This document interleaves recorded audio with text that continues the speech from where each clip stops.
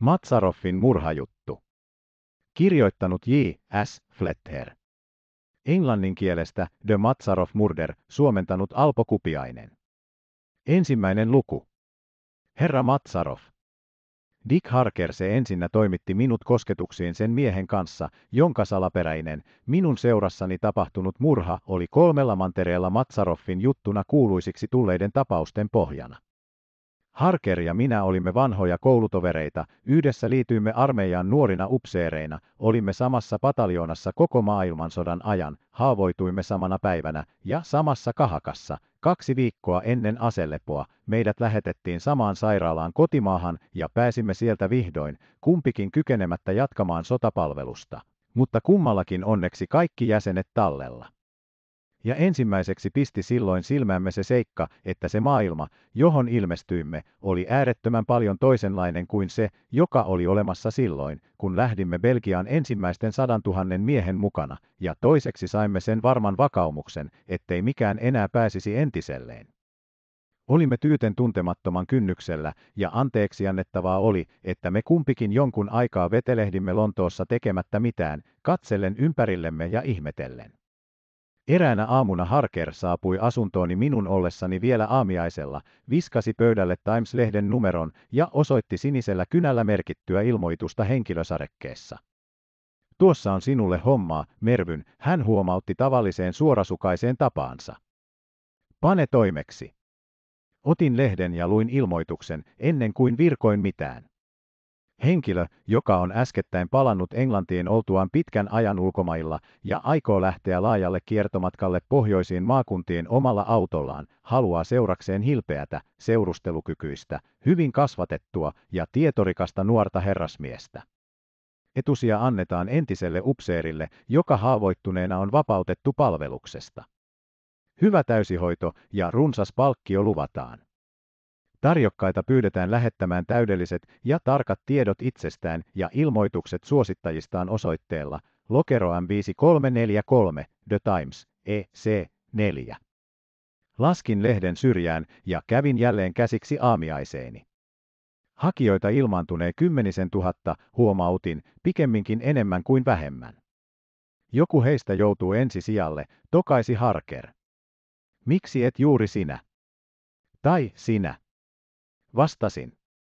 En minä, torjui hän jyrkästi. Se homma on sinua varten. Minulla on eräs toinen suunnitelma itseni varalle. Mutta tuo on omituinen ilmoitus, eikö olekin? Luultavasti joku miljoonamies. Tekisi mieli tietää, kuka ja mikä hän on. Vastasin ilmoitukseen luullakseni pikemminkin uteliaisuudesta kuin jostakin muusta syystä, esitin taitoni ja mainitsin suositukseni. Suositukset olivat moitteettomat, taidot kainostelematta, jos kohta vaatimattomasti luetellut. Mutta vastausta en odottanut. Tiesin varsin hyvin, että Lontoossa oli satoja miehiä, joilla oli yhtä hyvät todistukset ja suositukset kuin minullakin, miksi pitäisi valinnan osua juuri minuun. Ällistyin sen vuoksi kelpo tavalla, kun noin kaksi viikkoa myöhemmin sain seuraavan sisältöisen kirjeen. Hotel Cecil, syyskuun kahdeksantena päivänä 1919. Herra Mervyn Holta. Kiittäen elokuun 23. päivätystä kirjeestänne ilmoitan, että luullakseni meiltä yhdessä ollessamme aika kuluisi rattoisasti. Olisin teille sitäkin kiitollisempi, jos pistäytyisitte luokseni tähän hotelliin huomenna kello puoli yksi, niin että voisimme hiukan keskustella. Kunnioittain Salim Matsarov. Allekirjoitus pani minut ymmälle. Ilmoituksen sanamuodosta olin saanut päähäni, että ilmoittaja oli englantilainen, joka oli ollut poissa syntymämaastaan kauan aikaa, palannut nyt ja halusi kiihkeästi päästä näkemään nuoruutensa temmellyspaikkoja. Mutta tuo nimi ei sointunut lainkaan englantilaiselta, enkä kyennyt päättelemään minkäkielinen se oli. Eikä sitä osannut ratkaista Dick Harkerkaan. Mutta mitäpä sillä väliä, hän sanoi. Epäilemättä aikasi menee perin hauskasti vanhuksen seurassa, ja lopuksi hän antaa sinulle suuren maksuosoituksen. Älä anna tilaisuuden luisua käsistäsi. Pidä tarkka vaari ajasta. Menin Hotel Cecilin täsmälleen kello 12 ja 30 seuraavana päivänä. Herra Matsarov oli ilmeisesti jo etukäteen antanut ohjeita minuun nähden, sillä heti, kun olin tiedustanut häntä, kysyttiin minulta vuorostani, olinko herra Mervyn Holt, ja vastattuani myöntävästi opastettiin minut hänen yksityiseen, palatsimaiseen huoneistoonsa. Oppaani, eräs vahtimestari, vei minut odotussaliin, koputti eräälle sisempiin huoneisiin vievälle ovelle, kuiskasi nimeni jollekin sen takana olevalle henkilölle, ilmoitti minulle, että herra Matsarov ei odotuttaisi minulla minuuttiakaan, ja poistui. Ja sain heti nähdä, että herra Matsarov oli todellakin sanansa mittainen mies, sillä ennen kuin minuutti oli kulunut umpeen, avautui ovi jälleen, ja hän astui esiin käsi ojossa. Astuessani esiin silmäilin häntä tarkoin. Hän oli todella näkemisen arvoinen, silmäänpistävä mies, jonka olisi eroittanut ihmistungoksestakin. Arvioni mukaan hän oli kuusi jalkaa pitkä ja leveys oli suhteellinen pituuteen, kokonaisvaikutus oli kokkuus ja vankkuus. Hänen ikänsä oli vaikea arvioida, hänen ruskea tukkansa ja partansa olivat harmaansekaiset, ja hänen silmiensä ja viiksiensä välillä oli runsaasti uurteita ja ryppyjä. Hän näytti mieheltä, joka oli kokenut myrskyjä ja liikkunut polttavassa päivänpahteessa ja purevissa tuulissa. Hänestä huokui hyvänluontoisuutta, leikillisyyttä, jopa hyväntahtoisuuttakin, mutta sitä vaikutelmaa laimensivat jonkun verran pitkä, terävä nenä ja lähellä toisiaan olevat, pienet silmät sekä lisäksi vasemman silmän kierous. Mutta hänen hymynsä oli miellyttävä, samoin hänen silmiensä tuike, eikä hänen kädenpudistuksensa ollut lainkaan muodollinen. Hauska tavata, virkkoi hän hieman karkeahkosti. Minä, hän keskeytti puheensa, ikään kuin ei olisi löytänyt sanoja, opasti minut arkihuoneeseen, josta oli juuri tullut, ja tarjosi minulle savukkeen pöydällä olevasta laatikosta. Suvaitsetteko lasin serryä, hän jatkoi, osoittaen karahvia ja lasia. Minun seurakseni ajoin juuri ottaa ryypyn puolisen alle. Silloin olin jo varma siitä, että mistä hyvänsä ja millä tavoin hyvänsä herra Matsarov oli saanut epäenglantilaisen nimensä, niin joka tapauksessa hän oli skotlantilainen, hänen murteestaan oli mahdoton erehtyä. Tehtyäni tämän havainnon tuntui oloni kotoisemmalta, ja ottaen vastaan hänen vieraanvaraisen tarjouksensa, istuuduin hänen osoittamaansa nojatuoliin. Katsoimme toisiamme silmiin.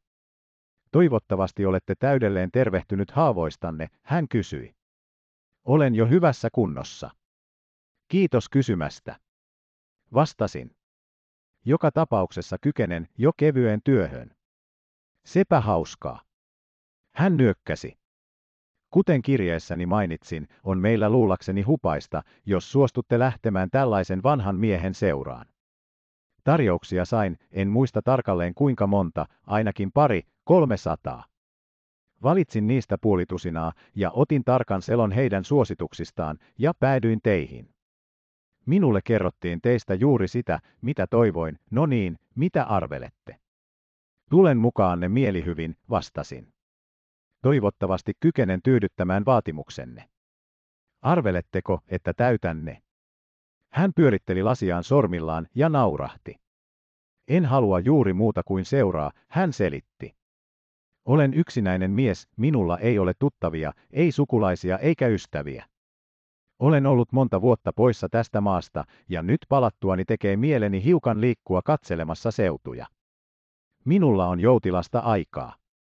Eikö teillä ole varmaa suunnitelmaa, tiedastin? Ei muuta kuin se, että nousemme autoon ja huristamme pohjoiseen, vastasi hän. Pysähdymme mihin haluamme ja milloin haluamme. Pidän vanhoista kaupungeista, kaikesta vanhasta, harmaasta ja viileästä. Olen viettänyt 20 vuotta kuumissa seuduissa, ja ajatellessani vanhaa englantilaista kaupunkia herahtaa vesi suuhuni. Tahdon nähdä vanhoja piispojen palatseja ja muuta sellaista, raunioita, harmaita muureja, vihreitä puita. Oivallattehan mielialani. Pohjoinen valtamaantie on sitten kaiketi sopiva, ehdotin. Sen varrella on paikkoja. Juuri sitä ajattelinkin, ehätti hän keskeyttämään melkein poikamaisen innokkaasti, siepaten sivupöydältä kokoon taitetun kartan ja levittäen sen väliimme. Olen tarkastellut tätä. Huntingdon, Stamford, Grantham, Newark, York, Durham. Ja suuri joukko muita hieman tien sivussa jommalla kummalla puolella, pistin minä väliin. Tunnen sen tien ja sen ympäristöt, hyvin tunnenkin. Sepä mainiota, huudahti hän riemastuneesti. Kaikki käy kuin voideltu, lähdemme suoraa päätä pohjoiseen. Minulla ei ole mitään erikoista päämäärää, saavuttuamme kauas pohjoiseen tahdon vain poiketa erääseen paikkaan, Marrasdalen nummelle, pelkästään verestämään entisiä muistoja. Mutta se on sen ajan murhe, saamme taivaltaa kelpo matkan, ennen kuin ehdimme niin pitkälle. Hän käänsi kartan kokoon, pisti sen syrjään ja loi minuun omituisen arkailevan silmäyksen. Entä ehdot, hän kysäisi ujostellen. Toivoisin, että te määräätte ne, vastasin. Se olisi minusta mieluisempaa. Hän huokasi silminnähtävästi huojentuneena. Juuri sellaista vastausta toivoinkin, hän virkkoi koruttomasti. Niistä seikoista ei herrasmiesten pitäisi tinkiä. Jättäkää se minun huolekseni, teidän ei tarvitse katua. Olen hyvin rikas, ja varakkaat ihmiset saavat tyydyttää pieniä oikkujaan ja mielijohteitaan, vai mitä? No niin, entä milloin voitte olla valmis lähtemään? Milloin hyvänsä, kunhan saan pari tuntia valmistusaikaa, lupasin. Sen kuultuaan hän hykersi käsiään. En ole koskaan nähnyt koulupojan riemuitsevan lomastaan niin paljon kuin hän riemuitsi tästä retkestä. Hyvä, perin hyvä, kehuskeli hän. Siispä panemmekin toimeksi heti, Holta. Tuokaa matkakapineenne tänne tänään iltapäivällä. Lähdemme liikkeelle kello viiden seuduissa ja ajamme verkkaisesti, kunnes mielemme tekee pysähtyä päivälliselle, jonkun vanhan kaupungin vanhanaikaisessa hotellissa voinemme viettää rauhaisan illan ja levollisen yön. Minulla on mainio Rolls-Royce-auto ja ehdottomasti varma ohjaaja, Webster-niminen, luotettava, hyvänluontoinen järkimies, ja matkamme sujuu kuin junassa. Tulkaa kello viisi. Sopiiko? Hyvä. Ja nyt pistäydymme haukkaamassa hiukan puolista yhdessä. Matsarov ja minä kulutimme parisen tuntia syödessämme puolista ja juodessamme sitten kahvia, poltellen sikaaria. Hän osoitti olevansa ymmärtäväinen ja aulis isäntä, suuremmoinen keskustelija. Hänen puhettaan kannatti kuulla. Pian minulle selvisi, että hän oli nähnyt paljon vieraita maita ja kansoja, kertomatta kovinkaan paljoa itsestään, ja puuhistaan hän antoi minun ymmärtää matkustaneensa laajalti erinäisissä Aasian ja Afrikan syrjäisissä osissa. Arabia, Persia, Intia, Burma, Somalimaa, Uganda, Rhodesia, Transvaal, Kapmaa, kaikki ne tulivat esille hänen eloisassa puhelussaan. Ja kuta enemmän hän haasteli, sitä varmemmaksi lujittui käsitykseni, että hän oli syntyisin jostakin Tweedin pohjoispuolelta, niin varmaksi, että vihdoin uskalsin sanoa tokaista sen hänelle itselleen. Olette nähnyt maailmaa harvinaisen paljon, huomautin, mutta pitäisin teitä skotlantilaisena. Hän naurahti, ikään kuin huomautukseni olisi ollut hänelle mieleen. Niinkö? Onkin luonnollista, että olette saanut sen vaikutelman, Holt, hän vastasi.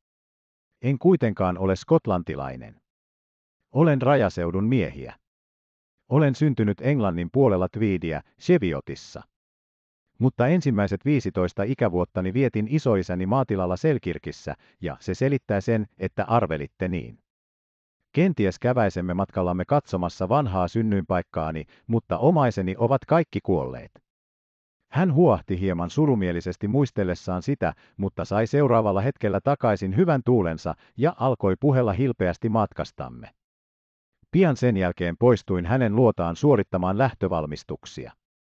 Kello viisi palasin hotelliin tuoden matkatavarani ja neljännes tuntia myöhemmin kiidimme eteenpäin upeimmassa autossa, jossa onnetar oli koskaan sallinut minun ajaa tai jonka olin milloinkaan saanut nähdä.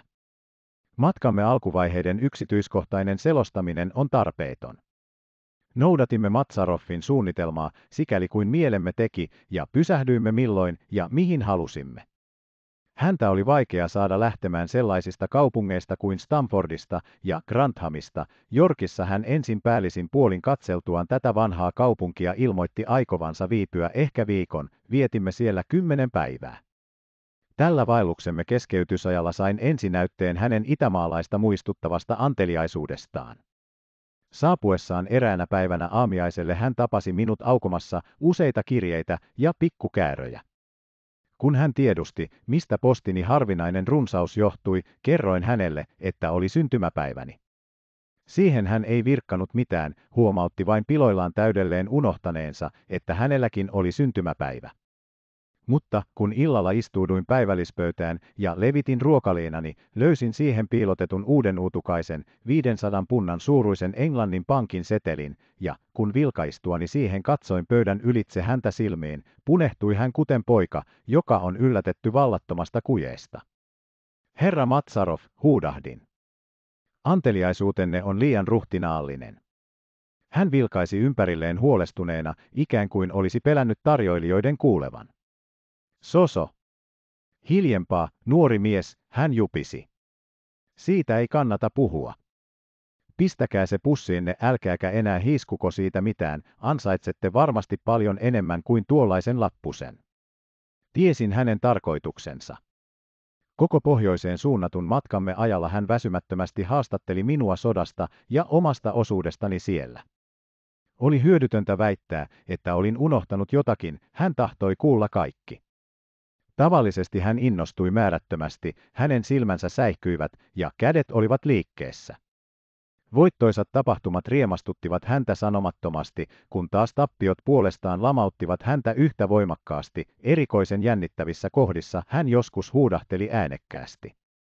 Ja kaikkia mukana olleita nuorukaisia hän ihaili tavalla, joka lähenteli todellista sankarien palvontaa. Suuremmoisia poikia, erinomaisia, hän saattoi mutista. Oi, jospa olisin ollut 30 vuotta nuorempi. Sopeuduimme loistavasti yhteen, hän oli mainio, isällisen veljellinen toveri. Kuukauden kuluttua olimme eroittamattomat. Olimme silloin joutuneet Englannin pohjoisosien viileään lokakuiseen ilmastoon Northumberlandin etelärajoille. Tarkastettuaan karttaansa hän antoi ohjaajalle määräyksen oikaista suoraan poikkimaan luoteista kohti Hexhamin ja Varkin kautta niiden takana oleville jylhille maisemille, Päämääränämme oli Marrasdalen nummella sijaitseva paikka, mikä karttaan oli merkitty Lehtokurpan majataloksi. Toinen luku. Lehtokurpan majatalo. Noin tunnin ajan, ennen kuin saavuimme tähän lähimpään päämääräämme, olimme halkoneet erikoisen jylhää ja harvaan asuttua seutua sellaisia teitä myöten, jotka hyvin ilmeisesti eivät ammatilliselta näkökannalta katsottuna lainkaan miellyttäneet automme ohjaaja Websteriä. Valtateille olimme sanoneet jäähyväiset Hexhamissa, sen jälkeen olimme matkanneet kuoppaisia kylänraitteja ja lopulta nummipolkuja pitkin. Eräs sellainen vei meidät Lehtokurpan majataloon, joka Matsaroffin kartalle oli merkitty tien ohessa, nähtävästi keskellä muutoin asumatonta seutua sijaitsevaksi taloksi. Mutta kun tielemme jyrkästi viettävän töyryn ympäri kierrettyämme tulimme sen näkyviin, kummastutti minua se seikka, että niin autiossa seudussa saattoi olla minkäänlaista majataloa. Harmaana, alastomana kivijärkäleenä se seistä törrötti korkeiden kukkuloiden ympäröimän laajan nummen laidassa, sen yksinäisempää paikkaa voi tuskin kuvitellakaan. Lukuun ottamatta sitä ei siellä ollut merkkiäkään inhimillisestä elämästä eikä asumuksista. Onpa tämä omituinen asema majatalolle, huudahdin lähestyessämme sitä. Käyköhän tuolla lainkaan vieraita? Mutta Matsarov teki kädellään kaartavan liikkeen osoittaen ympäristöä ikään kuin merkiksi siitä, että seutu oli hänelle hyvin tuttu. Tunnen tämän paikkakunnan, hän virkkoi. Nuorena ollessani kävin täällä usein. Ja vaikka ympärillämme ei todellakaan näy minkäänlaisia muita elonmerkkejä paitsi tuota vanhaa majataloa, niin ei tämä kuitenkaan ole sellainen erämaa kuin se ensisilmäyksellä näyttää.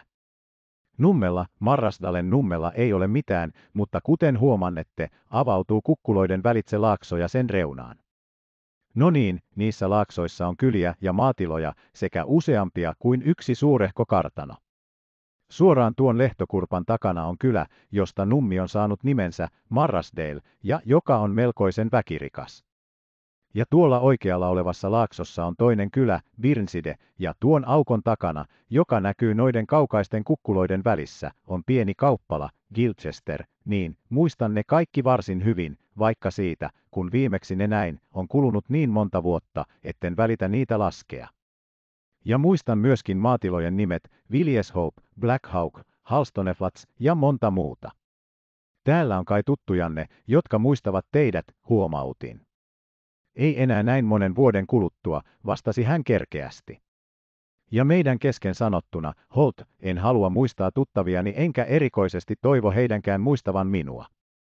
Olemme tyyten muukalaisia, matkailijoita, samoamassa ympäri maata, katselemassa maisemia, ja meitä huvittaa viettää joku aika näissä yksinäisissä seuduissa. Sellainen on suunnitelmani, käsitättekö? Täsmälleen, vakuutin, oivaltaen, mihin hän tähtäsi. Ymmärrän. Hän osoitti merkitsevästi ohjaajaa. Websterillä ei ole aavistustakaan, että olen aikaisemmin ollut näillä main, hän supatti. En ole hiiskunut siitä mitään hänelle. Noiden veitikoiden pahana puolena on puhella isännistään majatalojen keittiöissä, tiedättehän, en tahdo kenenkään saavan vihja siitä, etten ole aivan outo näillä seuduin. Minun aprikoidessani, miksi hän halusi olla niin salaperäinen, pysähtyi automajatalon ovelle. Läheltä nähtynä se oli iso, epäsäännöllinen, harmaasta kivestä kyhätty rakennus, jonka tyyli oli yksinkertainen ja koristelematon, ja johon liittyi tilava talli, sellainen paikka, joka toi mieleen entiset ajat, jolloin matkustettiin hevoskyydillä. Ja kun nyt olimme itse nummella, näin, että sen yhtäjaksoiseksi luulemani, kanervikon peittämän, laajan pinnan katkaisi vähän matkan päässä majatalon takana leveä valtatie, joka hohti valkoisena iltapäiväauringon valossa ja kulki lännestä itään, häipyen kaukaisten kukkuloiden taakse. Tuo on Skotlannista tuova tie, selitti Matsarov. Monet tuhannet, niin, kymmenet tuhannet, ihmiset ja eläimet ovat polkeneet sitä siitä alkaen, kun se laitettiin, nuori mies. Sitä myöten on tänne päin ajettu suuria karjalaumoja, siitä syystä tänne on sijoitettu tämänkaltainen iso majatalo tiepuoleen. No niin, täällä sitä nyt olemme, kukahan nyt hoitanee tätä vanhaa paikkaa? Mikä nimi on tuossa kilvessä? Talon leveän, avoimen oven yläpuolella oli yksinkertainen ilmoituskilpi, jota koristi vain nummimaiseman yllä lentävä, haalistunut lehtokurppa. Sen alla olivat himmenneillä kultakirjaimilla maalatut sanat, Lehtokurpan majatalo, James Musgrave. Viimeksi ollessani täällä se oli Hanesavien hallussa, jupisi kumppanini. He ovat kaikki epäilemättä manan majoilla. Ja tämä mies on varmaankin Musgrave. Avonaisesta ovesta oli ilmestynyt mies, joka nyt asteli tien poikki meitä kohti. Hän oli keski-ikäinen, hyvänluontoisen näköinen, puettu urheilupukuun. Lienemme herättäneet hänet iltapäiväunesta, tai sitten hän oli luonnostaan hidas ja hätäilemätön, sillä hänen silmänsä olivat puoliuniset ja liikkeet vastaavasti verkkaiset. Mutta hänen jäljessään tuli nainen, teräväpiirteinen, vilkas ja valpaskatseinen, somasti ja täsmällisesti puettu, hänen käytöksensä teki erinomaisen puuhaisan vaikutuksen, ja hän pujahti miehen ohitse, saapuen ensimmäisenä automme viereen. Hän se myöskin johti puhetta. Hyvää päivää, rouva, toivotti Matsarov. Te kai olette emäntä. Ja tämä lienee miehenne. No niin, aiomme keskeyttää matkamme ja viipyä täällä päivän tai pari, ehkä kolmekin, silmäilläksemme suuremmoista seutuanne. Te voitte kaiketi majoittaa meidät. Kyllähän toki, Sir, vastasi nainen, luoden arvostelevan silmäyksen autoon ja siinä istuviin miehiin. Meillä on tilaa mainiosti, Sir, Täällä käy usein omilla autoillaan liikkuvia matkailijoita. Vuoteet hyvin tuuletettuja, kyseli Matsarov. Eivätkä raidit tuoksahda ummehtuneilta. Vuoteemme ovat aina hyvin tuuletettuja, Sir, matkailuajalla, ja huoneemme ovat oikein hyvät, kehui emäntä. Siitä alkaen, kun nämä autoretket tulivat muotiin, on meillä käynyt koko joukko vieraita, ja me olemme valmiina heidän varaltaan. Jos suvaitsette astua sisälle, Sir. Niin, niin, entä sitten ruokalistanne, tiedusti Matsarov. Tämä Pohjolan ilma kiihottaa ruokahalua, ymmärrättehän, ja tämä talo tuntuu olevan etäällä markkinapaikoista. Mitä voitte tarjota meille? Emäntä ehätti rauhoittamaan häntä siinä suhteessa. Päättäen siitä, kuinka kielevästi hän laversi luetellessaan meille, mitä kaikkea hänen aitastaan löytyi, oli ilmeistä, että tulisimme hyvin toimeen ja että kellari oli yhtä runsaasti varustettu kuin aittakin. Sepä mainiota, rouva, virkkoi Matsarov. Siispä laskeudummekin heti maahan, kenties isäntä näyttää palvelijalleni, mihin hän voi sijoittaa auton, sitten tuodaan matkatavaramme sisälle. Teillä on täällä komea näköala ja ilmaraikasta, jatkoi hän astuttuaan maahan ja mennessään ovelle päin, ja talonne on epäilemättä oivallinen, vanhanmallinen rakennus. Luultavasti piette sitä mukavana, Sir, vakuutti emäntä opastaessaan meitä sisään. Meillä on ollut täällä vieraita, jotka ovat selittäneet, että heidän on ollut ikävä lähteä täältä pois. Täällä on sali, Sir, jonka saatte kokonaan omaan huostaanne. Hän vei meidät vanhanaikaiseen vierashuoneeseen, jossa oli siisti, vankka, vanha kalusto ja johon tuli valoa korkeista, kapeista, nummelle ja kukkuloille päin olevista ikkunoista. Heti sen nähtyään Matsarov murahti mielissään ja tyytyväisenä. Kas tätä, hän ihasteli. Tämä sopii loistavasti. Varatkaa tämä huone minulle siksi aikaa, kun viivymme täällä. Holt, hän huudahti sovittuaan emännän kanssa seniltaisesta päivällisestä ja viime mainitun jätettyä meidät kahden kesken.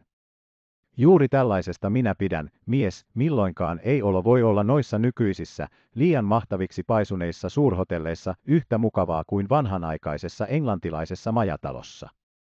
Juuri tällaisesta paikasta olen uneksinut monen monituista kertaa ollessani sellaisissa seuduissa, joissa ei ole seinän varjoa eikä puun lehvää suojaksi, vilpoisesta, harmaasta, uneliasta paikasta, jossa aika tuntuu pysähtyneen liikkumattomaksi. Pidän tästä, Holt, ja nyt nautimme lasin viskiä ja soodaa ja katselemme hieman ympärillemme ennen päivällistä. Ryyppäsimme viskymme ja soodamme ja lähdimme sitten kävelylle. Ei tarvinnut kovinkaan paljon jännittää huomiokykyäni päästäkseni selville siitä, että Matsarov tunsi tämän vanhan syrjäisen majatalon yhtä hyvin kuin sen isäntäväkikin. Vaikka hän ei puhunutkaan mitään Muskraven tai jonkun palveluskuntaan kuuluvan henkilön ollessa saapuvilla, näin hyvin, että noiden iäkkäiden rakennusten jokainen kivi ja kaikki niiden ympärillä olevat paikat olivat hänelle tuttuja. Silloin tällöin hän kuiskaili minulle muisteloitaan tai supatti, että johonkin kohtaan oli tullut jotakin lisää tai jostakin toisesta paikasta jotakin kadonnut. Talon vierellä oli muurien ympäröimä puutarha, hän liikkui siellä kuten ainakin ihminen, joka oli tutustunut paikkaan läheisesti. Poistuessamme sieltä kohtasimme portilla Muskraven, jolla oli kädessään omenakori, Matsarov meni hänen luokseen ja osoitti nurmikon keskellä olevaa neliskulmaista syvennystä. Minusta näyttää siltä, isäntä, hän huomautti, että tuossa on entisaikoina ollut tanner kukkotappeluja varten. Muskrave nyökkäsi, ja hänen tavallisesti uneliat silmänsä välähtivät hiukan mielenkiinnosta. Olette oikeassa, Sir, vastasi hän. Siinä oli sellainen. Tietystikin kauan ennen minun aikaani. Olen kuullut siitä vanhoilta täkäläisiltä asukkailta. Se oli ollut tuollainen neliskulmainen aukio tuon nurmikon keskellä. Täällä oli ollut tapana pitää niin sanottuja kukkoturnajaisia, sir, ihmisiä oli saapunut lintuineen läheltä ja kaukaa, ja tuolla saivat kukot otella omistajien istuessa katselemassa korotetuilla reunamilla, lyöden vetoja. Tunsin aikoinani pari ikämiestä, jotka muistivat ne ajat, mutta he ovat nyt kuolleet. Vanhat, hyvät ajat, mutisi Matsarov. Tai vanhat, pahat ajat. Pikemminkin pahat kuin hyvät minun mielestäni, Sir, joka suhteessa, vastasi isäntä. Minulle on kerrottu, että niihin aikoihin täällä tapahtui kauniita juttuja. Mutta nyt täällä joka tapauksessa on varsin rauhallista, eikö niin, kysyi Matsarov. Silloin tällöin meillä on aika paljon puuhaa, Sir, selitti Muskrave. Tänä aamuna on ollut vilkas liike. Ja tuota valtatietä käyttää vieläkin suuri joukko karjanajajia, siinä on huomenna aikamoinen tungos, sillä ylihuomenna on Klotvaitessa markkinat, ja tästä kulkee ohitse koko joukko väkeä. Matsaroffin ja isännän puhellessa olimme saapuneet puutarhan portille, ja juuri kun Muskrave oli avaamaisillaan sen, ilmestyi korkean muurin takaa näkyviimme kaksi naista, astellen samaa puolittain ruohottunutta polkua pitkin, jota myöten me olimme ajaneet autolla matkamme viimeiset viisi tahi kuusi kilometriä. Heidän katsoessaan meihin päin kohotti Muskrave kättään, he kumpikin nyökkäsivät hänelle hymyillen, jatkaen matkaansa majatalon editse. Toiseen heistä vain vilkaisin, toiseen kiinnitin huomioni tarkemmin.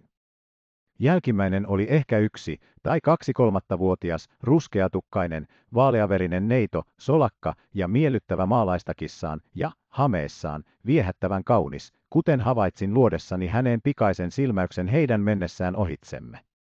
Toinen heistä oli komea, keski, ikäinen nainen, hän teki jonkun verran tylyn ja kylmän vaikutuksen, vaikkakin hän vastasi herttaisesti majatalon isännän kohteliaaseen tervehdykseen. Puvuista ja ulkonäöstä päättäen he olivat ilmeisesti arvohenkilöitä. Heidän kintereillään ja ympärillään juoksenteli puolikymmentä koiraa, jotka olivat edustamiensa eri rotujen loistonäytteitä. Naisten kadottua näkyvistä vilkaisin Matsaroffiin. Myöskin hän katseli heidän jälkeensä, kuten minusta näytti harvinaisen tarkkaavasti, mutta kenties se johtui siitä, etten siihen asti ollut huomannut hänen kertaakaan osoittavan minkäänlaista mielenkiintoa naisia kohtaan. Naapureitanneko, hän kysäisi äkkiä, pyörähtäen muskraveen päin. Siinä oli rouva Elfinstone Marrasdale-toverista, Sir, vastasi isäntä. Se on iso, vanha rakennus nummen toisella puolen, sen savupiiput parhaiksi näkyvät tuon nuoren mäntymetsän peittämän harjanteen ylitse. Marrasdale Taue oli ennen Sir Richard Kotgriven omaisuutta, kuulunut hänen perheelleen satoja vuosia, yleisen puheen mukaan. Sir Richardin kuoltua muutamia vuosia sitten osti herra Elfinstone kartanon ja tuli tänne asumaan. Suurin osa näillä tienoin olevasta maasta on hänen. Rouva Elfinstone, niinkö, virkkoi Matsarov. Entä nuori nainen? Neiti Elfinstone kaiketi. Ei, Sir, vastasi isäntä. Nuori nainen on neiti Mertsison, neiti Sheila, kuten me täkäläiset häntä nimitämme. Hän on rouva Elfinstonen tytär aikaisemmasta avioliitosta, Sir, luullakseni eivät herra ja rouva Elfinstone olleet vielä olleet kauan naimisissa tänne tullessaan. Olin havaitsevinani, että Matsaroffin kasvoista kuvastui uudelleen heräävää mielenkiintoa tämän selityksen aikana.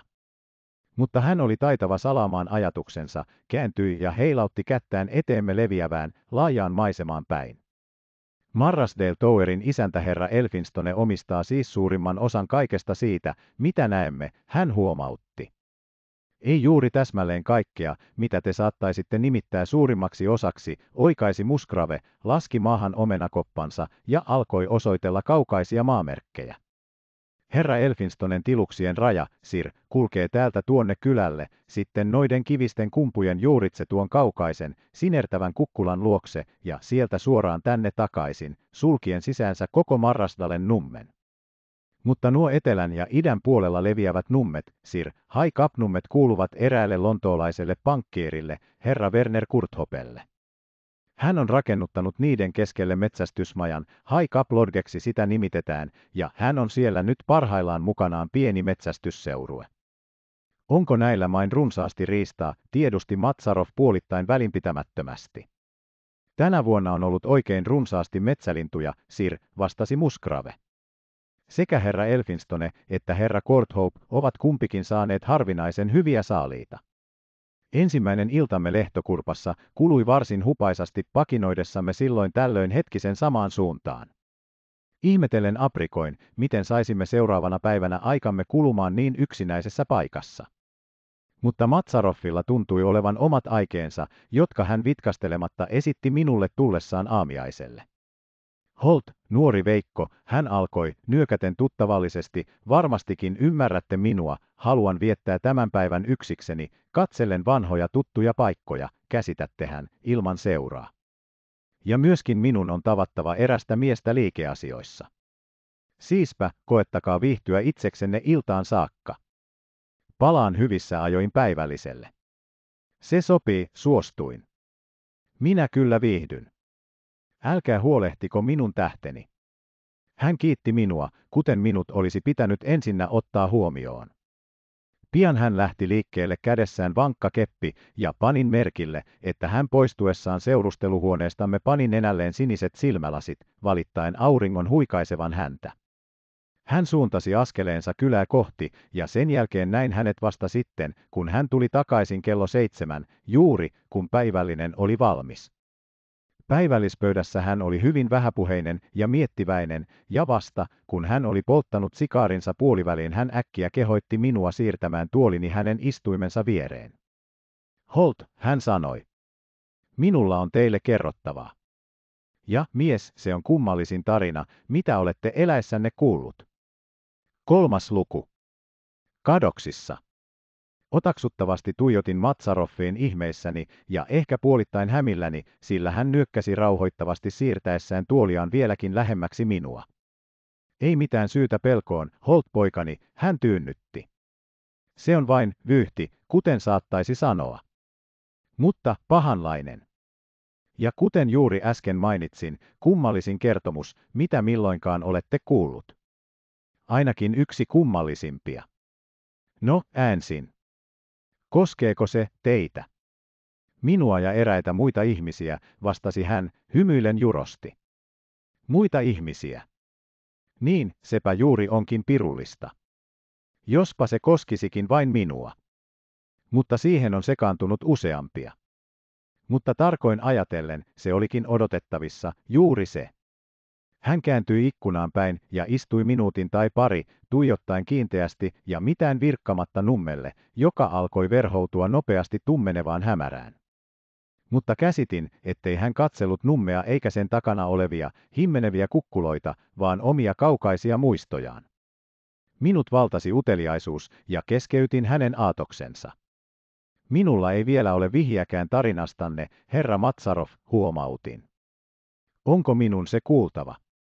Hän hätkähti ja nyökkäsi sitten minulle ponnekkaasti. Kyllä, hän vastasi. Teidän on se kuultava, Holt, sillä minulla ei ole ketään muuta, jolle voisin siitä puhua, ja minun on saatava neuvotella siitä. Lisäksi olette järkevä nuorukainen. Asia on näin, tehän näitte ne kaksi naista, jotka menivät ohitsemme keskustellessamme isännän kanssa eilen iltapäivällä puutarhurin portilla. Nyykkäsin myöntävästi. Olisin voinut lisätä, että sieluni silmillä olin nähnyt nuoremman naisen koko ajan siitä alkaen ja että olin viettänyt koko sen päivän ajatellen häntä. Mutta sen pidin omina tietoinani. No niin, jatkoi hän. He eivät sitä tiedä, eikä sitä tiedä kukaan muu paitsi minä. Mutta asia on niin, Holt, että he ovat vaimoni ja tyttäreni. Polttelin paraikaa Matsaroffin mainiota sikaaria, ja kun hän lausui paljastuksensa, säpsähdin niin rajusti, että se kirposi hampaistani ja putosi lattialle.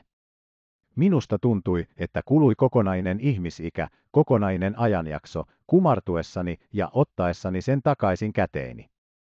Ja minua kummastutti, kuinka tyynesti ja jokapäiväisesti vastasin istuessani jälleen pystyssä, katsoen häntä silmiin. Musgrave ääneni oli aivan rauhallinen, nimitti vanhempaa naista rouva Elfinstoneksi ja nuorempaa neiti Merchisoniksi, neiti Sheila Merchisoniksi. Hän naurahti kärsimättömästi. Höpisköön Musgrave mitä hyvänsä, hän tokaisi. Hän ei tunne asioita paremmin eikä tiedä sen enempää. Mutta minä sanon teille, että vanhempi nainen on vaimoni ja tyttö tyttäreni, ja jollen keksi keinoa tämän selkkauksen selvittämiseksi, niin piru on merrassa. Keskustelumme katkesi siihen vähäksi aikaa. Hän istui pyöritellen tukevia peukaloitaan, ja kun hän oli pannut pois siniset silmälasinsa, näytti hänen silmänsä kierous jostakin syystä entistäkin pahemmalta. Aloin tuntea, että hän oli salaperäisyyteen kietoutunut henkilö, josta en ollut selvillä. En jaksa ymmärtää, sanoin vihdoin. Aion selittää sen teille, Holt, vastasi hän. Se on näin, tuon hyvännäköisen tytön nimi on todellakin Merchison. Ja se on myöskin äidin nimi, vaikka hän nimittääkin itseään Elfinstoneksi ja epäilemättä luulee, että hänellä on siihen täysi oikeus. Ja se on minunkin nimeni. Merchison. Eikä siis Matsarov, huudahdin. Minulla on oikeus myöskin siihen nimeen, selitti hän. Laillinen oikeus, asianmukainen ja eittämätön. Se on ollut laillinen nimeni monta vuotta, ja se pysyykin nimenäni. Mutta synnyin Merchisonina, eikä se tapahtunutkaan kaukana täältä, ja menin avioliittoon Merchisonina.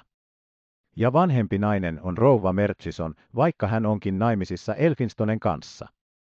En vielä käsitä vähäkään paremmin, tunnustin. No niin, Holt. Koetan selvittää sen teille parhaani mukaan. Kenties se ei olekaan niin sekava vyyhti, kun saatte kiinni langan toisesta päästä ja vedätte siitä yhtään hellittämättä. Nähkääs, synnyin näillä seuduin, isäni oli vakavarainen tilojen välittäjä täällä lähistöllä, ja minä hänen ainoa poikansa, ainoa lapsensa.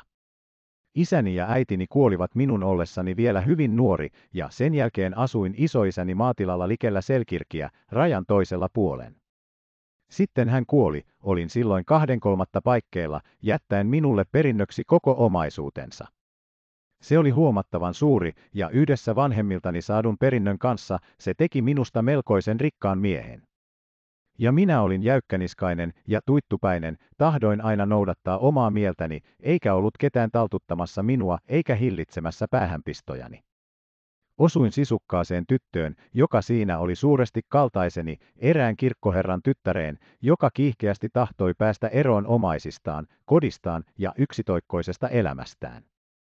Laittauduimme naimisiin tavallista kiireellisemmin ja aloimme katua tekoamme heti sen jälkeen. Minkä tähden, kysyin. Mies, hän vastasi. Luonteemme eivät sopineet yhteen. Meillä ei ollut yhteistä mitään muuta kuin itse ja omapäisyys. Ja pian huomasimme, että me olimme huonoin pari, mitä kuvitella saattaa. Minä halusin koko sydämestäni seikkailla ja matkustaa nähdäkseni maailmaa, hän tahtoi kaikin mokomin järjestää komean talouden ja näytellä suurellista naista niiden ihmisten keskuudessa, jotka aikaisemmin olivat ikävystyttäneet hänet puolikuoliaksi. Vähemmässä kuin vuodessa oivalsin, ettei meistä ikinä tulisi mitään, sen vuoksi otin ohjakset omiin käsiini. Millä tavoin, tiedastin. En tahdo inttää, etten menetellyt ynseän uhkamielisesti, ehkäpä itsekkäästi ja itserakkaasti, tunnusti hän miettivästi. Nyt en tekisi samoin, kun järkeni on selvempi ja tunnen paremmin maailmaa. Mutta silloin kävi kaikki seuraavasti. Menin erään lakimiehen puheille ja otin häneltä vaitiololupauksen. Sitten muutin rahaksi kaikki, mitä minulla oli, sitä olikin aika paljon, jaoin sen kahteen yhtä suureen osaan ja siirsin toisen puolen hänelle hänen ikuiseksi. Hänhän olisi sen kuitenkin saanut kokonaan, se tuotti, Holt, hänelle kokonaista 1500 puntaa vuodessa. Sen tehtyäni ja turvattuani hänen toimeentulonsa, otin oman osuuteni ja katosin ilman muuta. Hiiskumatta hänelle mitään, huudahdin. Niin, hänellä ei ollut siitä aavistustakaan, myönsi Matsarov. Mitäpä se olisi hyödyttänyt? Minä yksinkertaisesti lähdin. Suoraa päätä. Ei kukaan, ei edes asianajajanikaan, tiennyt, minne menin. Tosin jätin vaimolleni sanan aikovani lähteä matkoille muutamiksi vuosiksi, mutta en ilmoittanut minne. Te siis karkasitte hänen luotaan tokaisin. Jos tahdotte käyttää siitä sitä sanaa, myönsi hän avoimesti. Se oli ainoa keino. Muutoin olisi koitunut ikävyyksiä. Äänetön, hiljainen lähtö, se oli ainoa mahdollisuus mielestäni. Entä, lapsi tyttö, jonka näimme eilen, kysyin oltuamme vaiti hetkisen. Oliko hän syntynyt jo silloin? Ei, torjui hän ponnekkaasti. Hän ei ollut. Jos niin olisi ollut laita, en ehkä olisi lähtenytkään, oikeastaan olen varma, etten olisi. Mutta hän ei ollut syntynyt, enkä edes tiennyt, että hän todennäköisesti syntyisi. Hänen syntymänsä sattui kahdeksan kuukautta lähtöni jälkeen. Te kai kuulitte siitä sittemmin. Huomautin. En ole tiennyt siitä mitään ennen kuin tänä päivänä, huudahti hän. Olen suorittanut jonkun verran tiedusteluja ilmaisematta itseäni. Nämä maaseutulaiset, Holt, ovat harvinaisen hyvin perehtyneet perhetarinoihin ja salaisuuksiin, samalla kun he ovat perin kärkkäitä kertomaan tietonsa. Tietenkin rouva Elfinstone, jona hänet täällä tunnetaan, pitää teitä kuolleena, sanoin. Sehän on itsestään selvää. Niin toki, se on varmaa. Hän meni avioliittoon Elfinstonen kanssa vasta muutamia vuosia sitten, vähän ennen kuin mies osti tämän Marrasdalen tilan. Niin, hän luulee minun kuolleen jo aikoja sitten, mutta tässä minä olen elossa. Mitä aiotte tehdä, tiedastin. Mitä te itse tekisitte minun asemassani, Holt, ehätti hän puolestaan kysymään. Sanokaa minulle mielipiteenne suoraan, mies. En loukkaannu mistään. Kuten jo aikaisemmin huomautin, luotan suuresti terveeseen järkeenne. Puhukaa. Luultavasti lähtisin tieheni hiiskumatta mitään, vastasin. Joka tapauksessahan te jätitte vaimonne. Ja jos ilmaisette itsenne, niin rikotte otaksuttavasti tyydyttävän sopuisan liiton. Herra Elfinstone ja... Niin, kuulemani mukaan he sopivat yhteen yhtä hyvin kuin me sovimme huonosti, pisti hän väliin. Siinä liitossa ei ole mitään vikaa. Mutta tyttö on minun tyttäreni. Hän ei ole koskaan tuntenut teitä, herra Matsarov, huomautin. Hänen pronssinväriset poskensa punehtuivat ja hän pudisti päätään. Olette oikeassa, Holt, olette oikeassa, hän jupisi melkein nöyrästi. Ja se on oma syyni. No niin, tähän saakka ei ole tapahtunut mitään. Sitä ei tiedä kukaan muu kuin te. Ettekö ole puhunut siitä kenellekään, kysyin. En ainoallekaan sielulle, vakuutti hän. Olen vain koonnut tietoja. Ei kukaan tiedä sitä, ei kellään ole kaukaisintakaan aavistusta siitä, kaikkein vähimmin Marrasdalen linnan asukkailla. Niin monen vuoden kuluttua se olisi yllättävä paljastus, huomautin. Sitä sietää harkita. Ja, mutta sitten pälkähti päähäni uusi ajatus, ja katsoin häneen epäröiden. Jos asia menisi niin pitkälle, olisi teidän otaksuttavasti todistettava, että että Salim Matsarov on Andrew Merchison, keskeytti hän. No, se käy kyllä päinsä. Silmäni kierous, oikeassa käsivarressani oleva syntymämerkki, eräät paperit ja ihmiset, jotka tosin eivät ole juuri nyt käsillä, mutta jotka voidaan löytää, todistavat sen varmasti. Kuinka tulitte ottaneeksi noin harvinaisen nimen, rohkenin tiedustaa häneltä. Hän naurahti hiljaa, ikään kuin se muisto olisi huvittanut häntä. Kerron sen teille, hän vastasi. Lähdettyäni matkustin suoraan Intiaan. Liikuin siellä aika paljon, samoin Persian lahdella ja sen ympärillä olevissa maissa. Sitten siirryin kauemmaksi etelään, Durbaniin ja sieltä sisämaahan, timanttialueille. Durbanissa jouduin yhteen erään vanhan miehen kanssa, jolla oli samanlaiset pyrinnöt kuin minullakin, hän ja minä asuimme yhdessä ja harjoitimme kauppaa yhdessä. Hänen nimensä oli Matsarov, ja hän jätti kuollessaan minulle koko omaisuutensa, se oli melkoinen, sillä ehdolla, että otan hänen nimensä. Siis tein sen, miksi ei. Siihen aikaan en lainkaan aikonut palata takaisin Englantiin. Herra Matsarov, virkoin, eikö mieleenne milloinkaan johtunut, että vaimonne, luullen teidän kuolleen, kuten otaksun hänen tehneen, saattaisi mennä uudelleen avioliittoon? Sitä en voi väittää, hän selitti. Olen kenties hieman hidas. Minun olisi pitänyt ajatella sitä. Mutta en ajatellut. Ja nyt, tähän on tultu. Miten aiotte menetellä, kysyin. En tiedä, vastasi hän suoraan. En missään nimessä hätiköi. Ja kuten jo mainitsin, asiasta ei tiedä kukaan paitsi teitä ja minua. Ei ole pelkoa siitä, että minut tunnettaisiin.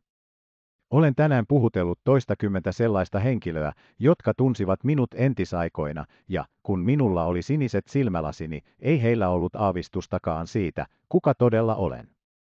Sitten hän nousi pystyyn, meni ulos ja käveli yksin sinne tänne majatalon edustalla. Sinä iltana hän ei virkkanut enää mitään äskeisestä paljastuksestaan, eikä ottanut asiaa puheeksi myöskään seuraavana aamuna. Suurimman osan päivästä kulutimme muutamille 30 kilometrin päässä oleville raunioille tekemällämme automatkalla. Illalla palatessamme oli majatalossa liike jotensakin vilkasta, väkeä palasi suurin joukoin Muskraven mainitsemilta markkinoilta, ja talon kaikki huoneet olivat täynnä vieraita, lukuun ottamatta meille yksityisesti luovutettua salia. Ja maantiellä oli ryhmittäin ihmisiä ja hevosia, kun Matsarov päivällisen jälkeen ilmoitti minulle haluavansa yksin miettiä asiaa perinpohjaisesti ja meni tien poikki aukealle nummelle, lähtien astelemaan kanervikkoa pitkin. Sen jälkeen en nähnyt häntä elossa. Kello oli noin puoli seitsemän, kun hän poistui ja katosi nummen aaltomaisten kumpujen sekaan. Lähdin itsekin pian sen jälkeen ulkosalle ja samoilin ilman päämäärää lammaspolkuja pitkin aina puoli kymmeneen saakka, jolloin palasin majataloon. Hän ei ollut tullut takaisin. Vielä kymmenenkään aikana häntä ei ollut kuulunut, ja kun kiviseinäisen eteissalin vanha kaappikello löi yksitoista, etsin käsiini Muskraven ja hänen vaimonsa, jotka istuivat illallispöydässään harvinaisen puuhaisan päivän rasitusten jälkeen. Matsaroffin autonohjaaja Webster aterioi heidän seurassaan. Isännän ja emännän mielestä ei ollut lainkaan syytä pelkoon eikä levottomuuteen. Kaksi vuorokautta kestäneen vierailumme aikana he olivat huomanneet, että herra Matsarov oli, kuten he sanoivat, puhelias ja ystävällinen herrasmies, joka mielellään seurusteli toisten ihmisten kanssa. Nyt he arvelivat hänen pistäytyneen johonkin nummen taloon ja olevan edelleenkin siellä kaikessa rauhassa pakisemassa. Mutta kun kahdentoista lyönti kajahti ja hän viipyi yhäti poissa, kävivät Muskraven kasvot pitkiksi ja hän alkoi puhella, kuinka ajattelematonta on liikkua pimeän tultua ulkosalla oudoissa paikoissa. Onko nummella joitakuita sellaisia kohtia, joissa häntä voisi kohdata vahinko, tiedastin? Varmasti on, vastasi Muskrave.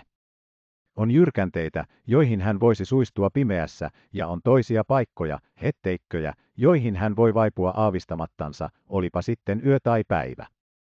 Ken ei tunne näitä nummia, hänen ei pitäisi liikkua niillä hämärän tultua. Kielelläni pyöri ajatus, että Matsarov tunsi tai ainakin oli tuntenut nämä nummet varsin hyvin, mutta hillitsin itseni ja menin sen sijaan mitään virkkamatta maantielle majatalon edustalle. Yö oli pimeä ja hiljaisuus häiritsemätön. Tuskin ainoatakaan tähteä oli näkyvissä, eikä kylästä nummen poikki tuovalta, kovaksi poljetulta tieltä kuulunut jalkojen kapsetta. Palasin sisälle päätettyäni, että jotakin oli tehtävä. Muskrave toi lyhdyn Websterille, minulle ja itselleen. Lähdimme nummelle käskettyämme rouva Muskraven pitää kirkkaita valoja majatalon etusivun ikkunoissa ja antaa meille sovitun merkin, jos Matsarov palaisi meidän ollessamme poissa. Hajannuimme eri suunnille, koko ajan kuunnellen mahdollisia hätähuutoja. Sillä tavoin kiertelimme nummella, kunnes heikkoa, harmaata valoa alkoi sarastaa itäisten kukkuloiden takaa, sitten palasimme majataloon. Ei kukaan meistä ollut kuullut eikä nähnyt mitään. Ja nyt Muskrave ja hänen vaimonsa esittivät uuden teorian. Matsarov oli edennyt liian kauas, poikennut johonkin taloon, johon hänen oli ollut pakko yöpyä, hän palaisi muka aamiaiselle. Minä en luottanut siihen. Webster ja minä nautimme hiukan ruokaa ja kuumaa kahvia ja lähdimme taaskin etsimään, hän toista, minä toista tietä. Minun polkuni vei aamusarastusta kohti. Ja aurinko oli juuri noussut koko syksyisessä loistossaan, ja kukkulat kimaltelivat aamukasteesta, kun minä kierrettyäni aaltoilevalla nummella olevan jyrkän töyryn ympäri äkkiä jouduin vastakkain sen tytön kanssa, jota olin ajatellut kaksi päivää. Edessäni oli Sheila. Neljäs luku. Nuoruuden vapaamurariutta. Sheila istui tuollaisen kaislojen reunustaman lammikon partaalla, joita oli nummen kanervien ja sammalten keskellä. Aavistamatta, että läheisyydessä oli ketään muita kuin hänen vierellään istuva pitkäkarvainen, vakavasilmäinen lintukoira, hän oli riisunut kenkänsä ja sukkansa, häilytellen jalkojaan ja nilkkojaan tummassa vedessä. Hänet nähdessäni valtasi minut äkkiä hätkähdyttävä ajatus. Vaikka hän ei tiennytkään siitä mitään, niin täällä olin minä huolestuneena etsimässä miestä, joka, jos hänen tarinansa oli tosi, oli tämän tytön isä. Koira huomasi minut ja haukahti. Sen emäntä vilkaisi nopeasti minun päin, näki minut, näytti muistavan tavanneensa minut ennenkin, ja vaikka hän punehtuikin, kun olin nähnyt hänet hieman omituisessa asemassa, suhtautui hän siihen rauhallisesti. Hän nyökkäsi minulle ystävällisesti, alkaen samalla vetää sukkia ja kenkiä jalkaansa. Pysyttelin tarkoituksellisesti taempana, kunnes hän ponnahti pystyyn, kääntyi minun päin ja osoitti nauraen lammikkoa. Tuohon lähteeseen liittyy taikauskoinen tarina, hän sanoi alkuvalmisteluitta ja empimättä. Väitetään, että jos siihen pistää jalkansa kuusi kertaa auringonnousun hetkellä mihin aikaan hyvänsä Mikonpäivän ja Martinpäivän välillä, niin pysyy onnellisena koko elämänsä. Niinpä, olin koettamassa sitä. Menin lähemmäksi hänen avoimen hymynsä ja käytöksensä rohkaisemana. Toivon, että se osoittautuu todeksi virkoin. Mutta itse puolestani en ole lainkaan onnellinen juuri nyt. Hänen katseensa sai huolestuneen ilmeen. Niinkö, hän kysyi. Ettekö? Miksi ette? Luultavasti näitte minut eilen, ei toissapäivänä, lähellä lehtokurppaa vanhanpuoleisen herrasmiehen seurassa, vastasin. Menitte ohitsemme. No niin, hän on hävinnyt, kateissa. Hän astui vähän lähemmäksi minua, ja ikään kuin hänen tietämättään hänen katseensa lipui pitkin nummea. Tarkoitatteko, täällä, hän kysyi. Nummellako? Juuri niin, myönsin. Hän lähti majatalosta eilen illalla päivällisen jälkeen, eikä ole palannut. Te kai tunnette nämä seudut. Onko täällä sellaisia paikkoja? Täällä on useita vaarallisia kohtia, keskeytti hän hätäisesti. Oletteko etsineet häntä? Etsimme häntä monin miehin koko yön, vastasin. Mutta emme ole kuulleet emmekä nähneet hänestä jälkeäkään. Onko hän isänne, tiedusti hän, katsoen minua osaottavasti. Ei ystäväni, jonka kanssa olen matkalla, selitin. Olen kauhean huolissani hänen tähtensä.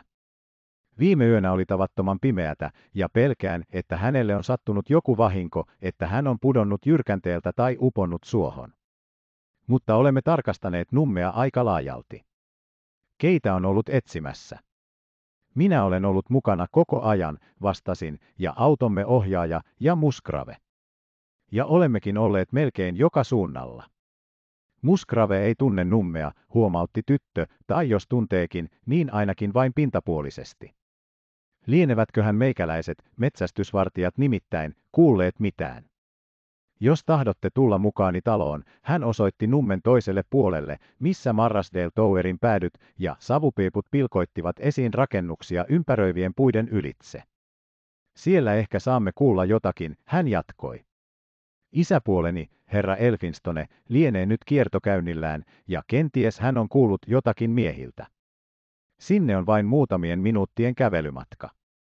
Hän opasti minua kanervikossa kiermurtelevaa polkua pitkin nummen sellaisen osan lävitse, jossa en ollut aikaisemmin käynyt. Puhelimme keskenämme, kerroin hänelle jonkun verran siihen saakka kokemistamme seikkailuista, mainitsin hänelle myöskin Matsaroffin ja oman nimeni. Kumppanini salaisesta tarinasta ja siitä, että hän ennestään tunsi tämän paikkakunnan, varoin visusti hiiskumasta mitään. Ja onko täällä todellakin vaarallisia kohtia, tiedastin, kun olimme jossakin määrin päässeet selville tilanteesta. Te tietysti tunnette seudun. On useita vaarallisia paikkoja, hän vakuutti.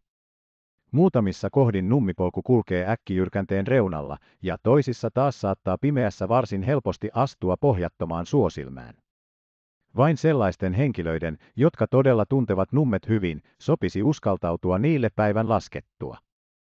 Jos tuntee polut, niin tietystikin. Ennen pitkää saavuimme Marrasdale-toverille, se oli vanhanaikainen, epäsäännöllinen rakennus, joka näytti muinaiselta rajalinnoitukselta. Pihalla tapasimme herra Elfinstonen keskustelemassa puuvillasamettiseen pukuun puetun miehen kanssa. Elfinstone oli pitkä, laiha, harmaahapsinen, lukeneelta näyttävä mies, hän katsahti minuun kummastuneena harvinaisen isojen silmälasien ylitse. Hänen tytärpuolensa vei minut hänen luokseen kursailematta, olin jo saanut nähdä, ettei hän tuhlannut aikaa muodollisuukseen. Tässä on herra Holt, herra Mervyn Holt, esitteli Sheila. Hän ja muuan hänen ystävänsä, herra Matsarov, vanhahko herrasmies, ovat saapuneet autolla Lontoosta ja pysähtyneet muutamiksi päiviksi lehtokurppaan. Eilen illalla herra Matsarov lähti yksin nummelle eikä ole vielä palannut. Herra Holt on etsinyt häntä ja on huolissaan hänen tähtensä. Herra Elfinstone näytti minusta sellaiselta mieheltä, joka ottaa asiat keveästi, hän nyökkäsi ja vilkaisi samettipukuiseen mieheen. Mies kadoksissa nummella, niinkö, hän virkkoi. Parker, menkää tiedustamaan talli- ja puutarhamiehiltä. Jotkut heistä kulkevat nummen poikki mikä mistäkin kohdasta, eikö niin? Niin, kyselkää hän. HM, Poissa koko yönkö? Hyväinen aika. HM, ettekö suvaitse tulla sisälle, herra, HM. Nimeni on Holt, sir, sanoin, ehättäen auttamaan hänen hajamielistä muistiaan. Holt, vai niin, hän kertasi. Hänen mielenkiintonsa näytti äkkiä heräävän. HM. Olin Mertonissa samannimisen miehen kanssa, tosiaan olimme yhdessä rugbissäkin, ennen kuin pääsimme Oxfordiin. Hän ja minä olimme aimosoutajia. Hän on nyt muistaakseni kappalaisena jossakin maaseutuseurakunnassa Buckinghamshiressä, on pitkä aika siitä, kun kohtasimme toisemme. Luullakseni puhutte isästäni, herra Elfinstone, sanoin. Hän opiskeli rugbissa ja Mertonissa ja on nyt kappalaisena Shellinghamissa Eilesburin läheisyydessä. Nyt muistankin, että hänen työhuoneessaan on joitakuita vanhoja ryhmävalokuvia Mertonin soutujoukkueista, muistelen nähneeni teidänkin nimenne yhden tahi kahden sellaisen alla. Hän käännähti, ojensi minulle kätensä ja pudisti kättäni ilmeisesti hyvin riemastuneena. Hyväinen aika, hän huudahti. Ajatelkaahan vain. Tämä on erittäin hauska sattuma. Olen paljon ajatellut Holtia, hän oli mainio, komea mies. Kun nyt tarkastan teitä lähemmin, niin huomaan, että olette ilmetty kuva siitä, millainen hän oli siihen aikaan. Käykää sisään, käykää sisään. Tämäpä erinomaista.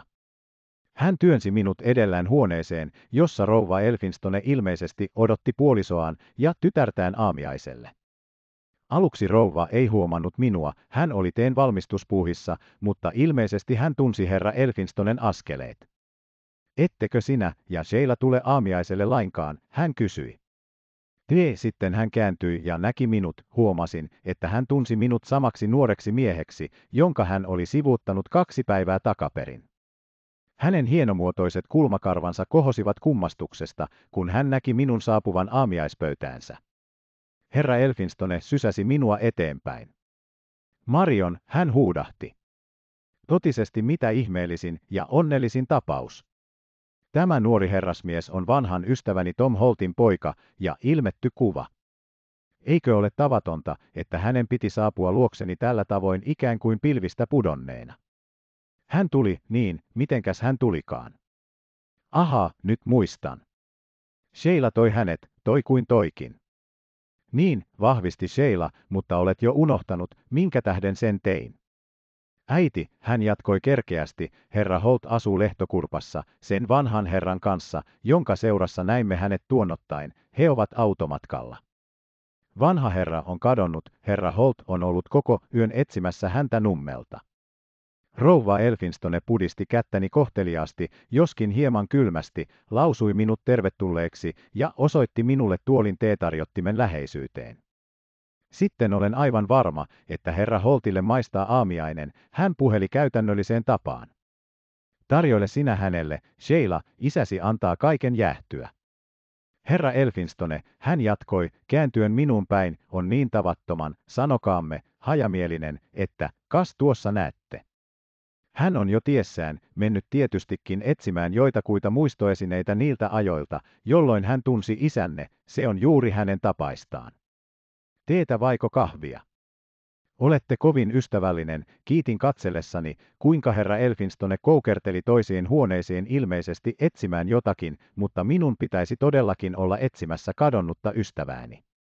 Hänen poissaolonsa alkaa käydä arveluttavaksi, ja Sheila keskeytti puheeni kertoakseen äidilleen koko tapahtuman. Hänen lopetettuaan saapui samettipukuinen mies avonaisen ikkunan luokse. No, Parker, huusi Sheila. Onko kukaan nähnyt mitään? Parkerilla ei ollut uutisia kerrottavanaan. Hän oli kysellyt kaikilta tallissa ja puutarhassa työskenteleviltä henkilöiltä, mutta kukaan ei ollut kuullut eikä nähnyt jälkeäkään kadonneesta herrasmiehestä. Tällä hetkellä palasi herra Elfinstone, syli täynnä kirjoja ja vanhoja valokuvia. Hän tahtoi ottaa minut kokonaan omaan haltuunsa, mutta hänen vaimonsa työnsi hänet kärsimättömästi syrjään. Luuletko todellakin, Malcolm, hän huudahti, että herra Holt voi katsella sinun ja isänsä kuvia ollessaan noin huolissaan vanhan ystävänsä tähden. Miesraukka saattaa virua jossakin nummen syrjäisessä osassa jalka katkenneena. Etkö osaisi esittää jotakin järkevää ehdotusta? Saatuaan näin kiihkeän kehoituksen laski herra Elfinstone syrjään muistoesine kokoelmansa, otti silmälasit nenältään, istuutui pöytään, nosti lautaselleen kalaa, maistoi muutamia kertoja miettivänä teelasistaan ja kumartui sitten pöydän ylitse tytärpuoleensa päin. Mitähän, jos tiedusteltaisiin Haika Plodgesta, hän ehdotti. Wernerin palvelusväki on saattanut kuulla jotakin tai ehkä tietää jotakin. Luultavasti on hänellä öisin vartioita ulkosalla, meillä ei ole nykyisin. Hyvä, vastasi Sheila. Saatan herra Holtin sinne heti. Hai Kaplodge, hän jatkoi kääntyen minun puoleeni, on serkkuni Werner Kurthopen metsästysmaja.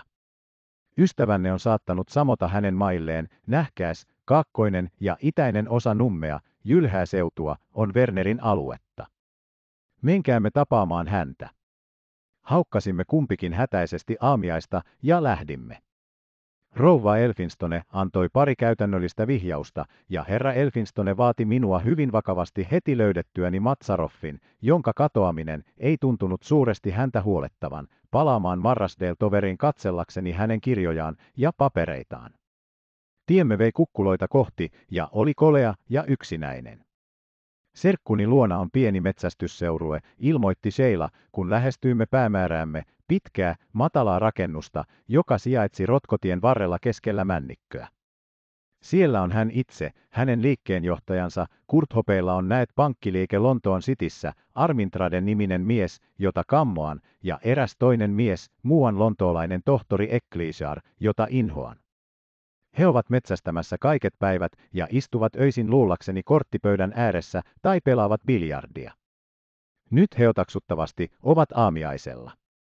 Hän oli ilmeisesti hyvin perehtynyt High Lodgeen ja sikäläiseen järjestykseen, sillä kursailematta ja vitkastelematta hän meni edellä sisään pääovesta ja pitkin käytävää, sysäten sitten auki oven huoneeseen, josta oli komea näköala nummelle. Hyvin varustetun aamiaispöydän ääressä istui kolme miestä, jotka meidän astuessamme kääntyivät kummastuneina, tarkastaen minua kiinteästi. Minäkin puolestani silmäilin heitä tarkoin, kutakin erikseen ja koko ryhmää, kun he työnsivät tuolinsa taaksepäin ja nousivat pystyyn. Sillä olin äkkiä saanut mielijohteen, joka lähenteli epäluuloa. Muistin, että Matsarov huomauttaessaan minulle haluavansa viettää ensimmäisen päivän lehtokurpassa yksin oli samalla maininnut menevänsä liikeasioissa tapaamaan jotakin läheisyydessä asuvaa henkilöä. Ja sillä hetkellä välähti päähäni, että koska kaikki nämä kolme miestä olivat Lontoosta, saattoi hänen tarkoittamansa henkilö olla yksi heistä, ainakin kaksi näistä miehistä käsitteli pankki- ja raha-asioita, niitä oli myöskin, kuten jo silloin varsin hyvin tiesin, Matsaroffilla. Mutta tarkasteluni, joka välttämättä jäi pintapuoliseksi, ei auttanut minua vähääkään. Yksi heistä, ilmeisesti isäntä, oli nuorehko mies, jonka piirteissä oli raskas ja äreämielinen vivahdus. Hän oli ulkonaisesti komea, mutta hänen poskensa olivat liian lihavat, ja hänen silmiensä ilme oli liian kiivas. Havaitsin heti, ettei hän ollut lainkaan mielissään nähdessään minut, vieraan, Sheila Merchisonin seurassa. Toinen oli taitavan ja ovelan näköinen, keski, ikäinen mies, hänellä oli huolellisesti hoidettu parta, ja hän teki hieman ylimielisen kopean vaikutuksen, pian sain tietää, että hän oli pankinjohtaja Armintrade. Kolmas oli kookas, turpea mies, inhimillinen liharökkiö, sileäksi ajeltu, kasvot, etenkin nenä ja huulet, jykevätekoiset, hänen kiiluvat silmänsä kiintyivät heti seuralaiseeni sillä tavoin, että minua suututti, vaikka olinkin vieras heille kaikille. Sheila ei kiinnittänyt vieraisiin ensinkään huomiota, hän vain nyökkäsi heille lyhyesti ja meni suoraan Kurthopen luokse. Werner, hän sanoi, tämä vieras on herra Holt, jonka isä on herra Elfinstonen vanha ystävä. Herra Holt on saapunut pariksi päiväksi lehtokurppaan, jonne hän tuli erään ystävänsä, herra Matsaroffin, seurassa viimeksi mainitun autolla. Eilen illalla herra Matsarov, joka on vanhanpuoleinen mies, lähti kävelemään nummelle eikä ole tullut takaisin. Oletko sinä tai onko sinun väkesi kuullut hänestä mitään? Oikeuden nimessä on minun myönnettävä, että Werner Korthope osoitti kohteliasta innostusta asiaan. Eihän eivätkä hänen vieraansa voineet ilmoittaa minulle mitään, mutta Korthope saattoi minut ja Sheilan metsästysmajan takana olevalle vajalle, jossa kaksi metsästysvartijaa ja joitakuita muita miehiä oli odottamassa, ja tiedusteli näiltä. Se jäi kuitenkin tuloksettomaksi, mutta hän lupasi, että senpäiväisen metsästyksen aikana hän ja hänen seurueensa pitäisivät silmänsä auki liikkuessaan nummella. Vain kerran hän puhutteli suoranaisesti minua. Aiotteko viipyä täällä vain pari päivää, hän tiedusti voimatta salata uteliaisuuttaan. Ettekö siis jää kauemmaksi? Olisimme pysähtyneet hyvin lyhyeksi ajaksi, vastasin, mutta nyt on minun tietystikin löydettävä kumppanini. Hän nyökkäsi, ja Sheila ja minä poistuimme pian Marrasdale-toveria kohti. Käveltyämme vähän matkaa äänettöminä hän äkkiä kääntyi minuun päin, luoden minun katseen, joka osoitti, että hän vaistomaisesti uskoi minun pelkästä nuorekkaasta myötätunnosta ymmärtävän, mitä hän aikoi puhua. Jos miestä voi arvostella hänen seuransa mukaan, hän virkkoi melkein katkerasti, niin mitä arvelette serkustani Werneristä. Oletteko koskaan nähnyt kahta niin äärimmäisen vastenmielistä miestä kuin Armintrade ja Ecclesiar ovat? Minua inhoittaa nähdessäni heidät. Ja, ja kuitenkin äitini tahtoo minun menevän Werner Kurthopen puolisoksi, vaatii sitä. Mutta minäpä en tahdo, en tahdo. Viides luku. Ainoa uskottu. Tämä äkillinen läheisen luottamuksen purkaus saattoi minut siinä määrin hämilleni, että menetin puhekykyni ja jäin vain se isomaan katsoen seuralaistani, muistuttaen tosiaankin isoa, ujoa tolvana. Sheila punehtui hieman katseeni johdosta, mutta hänen esiintymisensä muuttui entistäkin luottavammaksi ja vetoavammaksi. Te kaiketi piätte minua kauhean typeränä, kun puhelen tällä tavoin, hän jatkoi hätäisesti. Mutta te olette nuori, eikä täällä ole ainoatakaan muuta nuorta ihmistä. Ette tekään mielellänne antaisi pakottaa itseänne tekemään sellaista, mitä ette tahdo tehdä, vai kuinka? Loin hänen katseen, joka oli tarkoitettu hyvin tutkivaksi, ja hän punastui vielä enemmän, mutta katsoi sittenkin minua avoimesti silmiin. Mikäli olen teitä nähnyt, virkoin, luulisin, ettei kukaan voi pakottaa teitä tekemään, mitä ette halua tehdä. Toivoisinpa, että oma äitini käsittäisi sen, vastasi hän nopeasti. Hän on koettanut tyrkyttää minulle Werner Tourthopea viimeksi kuluneen vuoden ajan. Enkä minä huoli hänestä. Ettekö pidä hänestä, kysyin. En ainakaan sillä tavoin, vastasi hän. Hän on mainio keskustelemaan koirista ja hevosista, ja hänellä on hyvät puolensa, mutta mihinkään muuhun, ei. Miksi rouva Elfinstone haluaa sitä niin kiihkeästi, tiedastin? Sitä en tiedä. Vastasi hän hieman kärsimättömästi. Hän ja Wernerin äiti niin sanoakseni sopivat siitä keskenään. Kun Wernerin isä nyt on kuollut, on hän pankin nimellinen päämies, ja hänellä on paljon rahaa. Ja minä pelkään, että äiti pitää kaikista ja kaikesta, kunhan vain rahaa on mukana. Entä herra Elfinstone, kysäisin. Herra Elfinstoneen vetoamisesta on hyötyä suunnilleen yhtä paljon kuin johonkin hänen kirjastonsa teokseen, selitti Sheila. Hän elää unelmissaan päivät pääksytysten, kuten lienette huomannut. Kaikessa sellaisessa, mikä ei koske hänen kirjojaan, papereitaan ja kokoelmiaan, hän noudattaa vaimonsa määräyksiä ja hyväksyy ne. Hän vilkaisi minuun veitikkamaisesti, ja vasta silloin, vaikka olinkin aikaisemmin silmäillyt häntä perin tarkoin, huomasin erään seikan, joka sai minut säpsähtämään. Hänen vasen silmänsä oli kiero, tosin hyvin vähän, sama vika, joka paljon selvempänä näkyi Matsaroffin silmässä. Ja silloin muistin sen asian, jonka olin ollut vähällä unohtaa, nimittäin sen, että itse asiassa puhelin Matsaroffin tyttärelle. Ja tämän heikon samanlaisen piirteen lisäksi olin näkevinäni toisia selvempiä. Mutta veitikkamaista silmäystä seurasi nauru, puolittain arkaileva, puolittain ilkamoiva. Mitäkö aion tehdä, hän kertasi. Entäpä jos teen tyhjäksi äitini ja Wernerin suunnitelmat? Menen naimisiin jonkun toisen kanssa. Katsahdimme toisiamme silmiin perin avomielisesti. Onko, onko teillä joku toinen, kysyin. Hän vilkaisi minun kulmiensa alitse. Ei ole, hän vastasi. En muista, mitä ajoin sitten sanoa. Minulla on hämärä aavistus, että olin muitta mutkitta selittämäisilläni rakastuneeni häneen ensinäkemältä. Mutta juuri silloin käännyimme erään istutusryhmän nurkitse ja kohtasimme herra Elfinstonen, joka asteli eräänlainen alppisauva kädessään ilmeisesti vaipuneena omien aatoksiensa utuihin. Nähdessään meidät hän hätkähti ikään kuin olisi puusta pudonnut. Kasvain, hän huudahti. Taisinkin olla tulossa teitä vastaan. Holt, teidän on tultava meille puoliselle. Tahtoisin näyttää teille monia esineitä, jotka huvittaisivat isäänne. Hän ja minä. Keskeytin hänet jyrkästi, se oli ainoa mahdollinen tapa. Olette kovin ystävällinen, Sir, kiitin, mutta en voi suostua pyyntöönne ennen kuin olen löytänyt herra Matsaroffin tai saanut hänestä tietoja.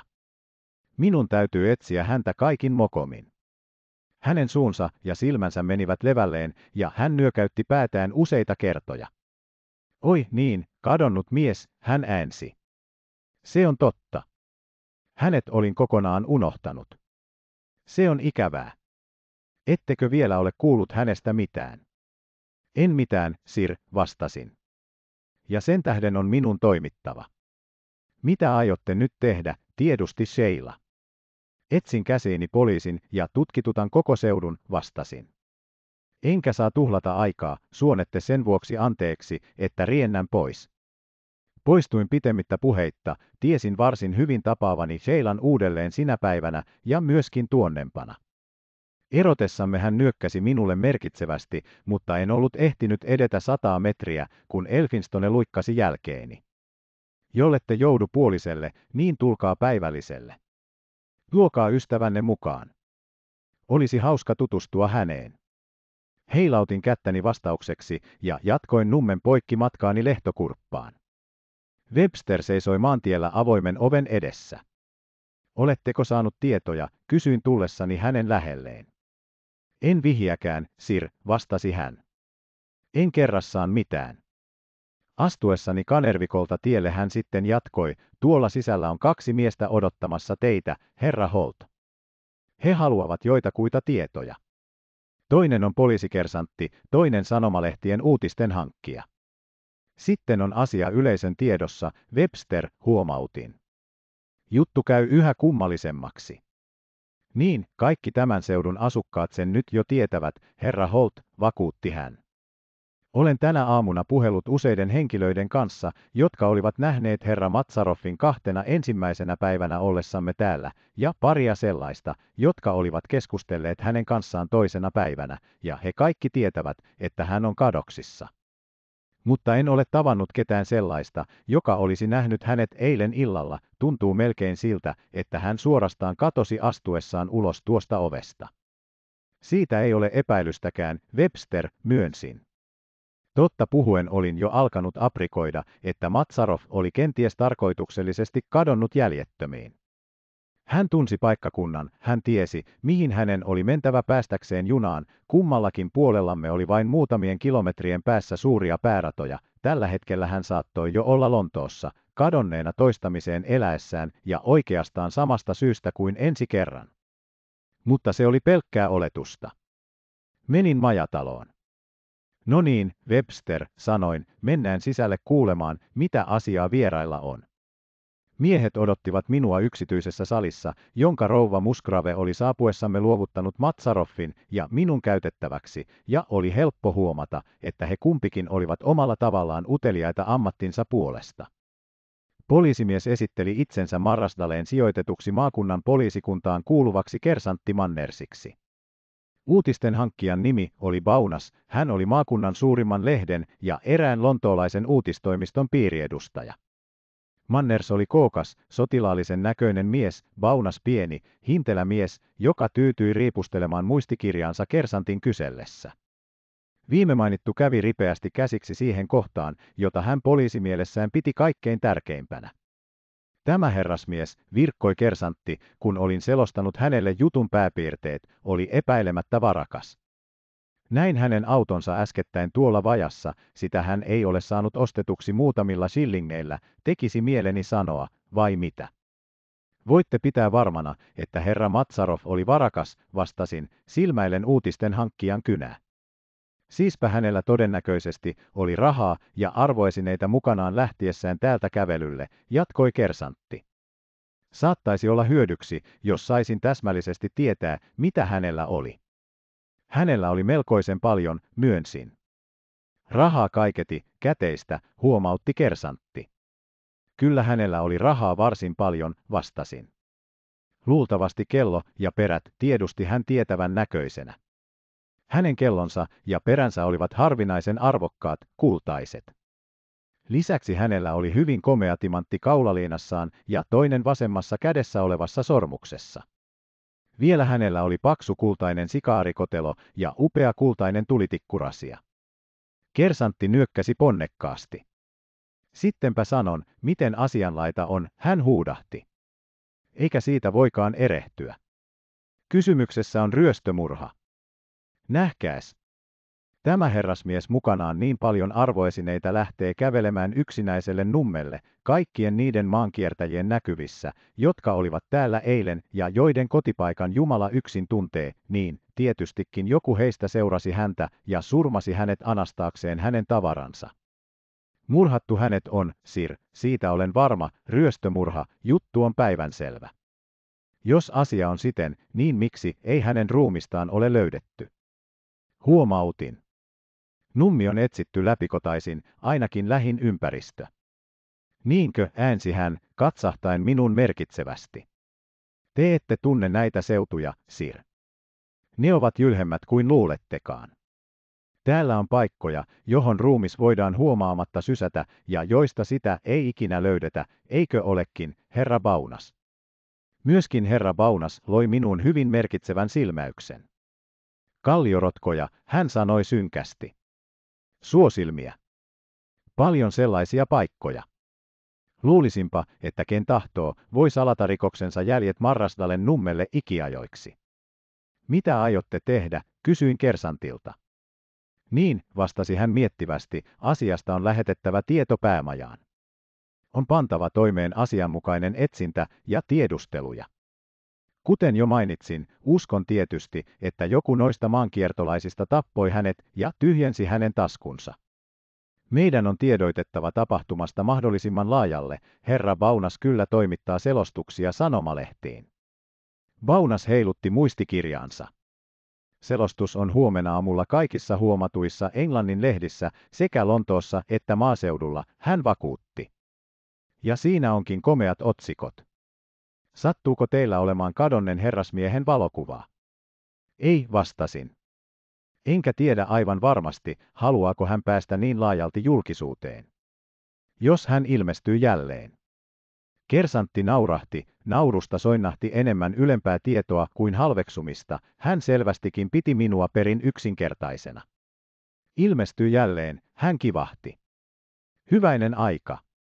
Ei hän enää ikinä ilmesty, jos hän kerran lähti ulos niin paljon arvoesineitä muassaan. Ryöstömurha se on, ihan varmasti. Ette kai ole hänen sukulaisensa, hän jatkoi, silmäilen minua tarkasti. Muskrave arveli, että te kaksi vain matkustitte yhdessä, ystävyksinä.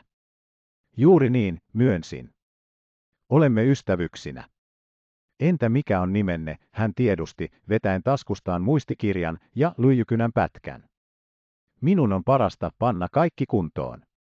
Ja osoitteenne, kotiosoitteenne. Mervyn Holt, entinen kapteeni Oaksiren keveässä jalkaväessä, vastasin.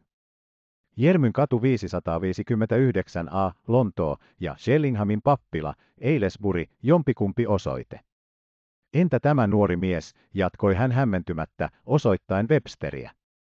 Autonohjaaja, eikö totta? Minun on merkittävä muistiin myöskin hänen nimensä ja osoitteensa, ymmärrättehän, selitti hän, riipustain kirjaansa ohjaajan ilmoittamat tiedot. Näissä jutuissa ei tietoja voi koskaan saada liikaa, kapteeni, käsittänette sen epäilemättä hyvin. Voihan jompikumpi teistä, sikäli kuin tunnemme asioita, olla syyllinen, ja mitenkäs minulle kävisi, jollen olisi ottanut teistä selkoa?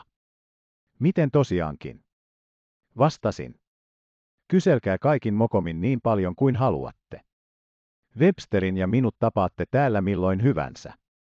Ei hän eikä uutisten hankkija hymyilyt kouraan tuntuvalle Ivalleni, heidän kasvonsa pysyivät vakavina kuin hautajaisten toimitsijan, ja sitten, kun kersantti oli vielä kerran huomauttanut, että tämä oli paha juttu ja että hän odotti sen kehittyvän hänen ennustamaansa suuntaan, he poistuivat.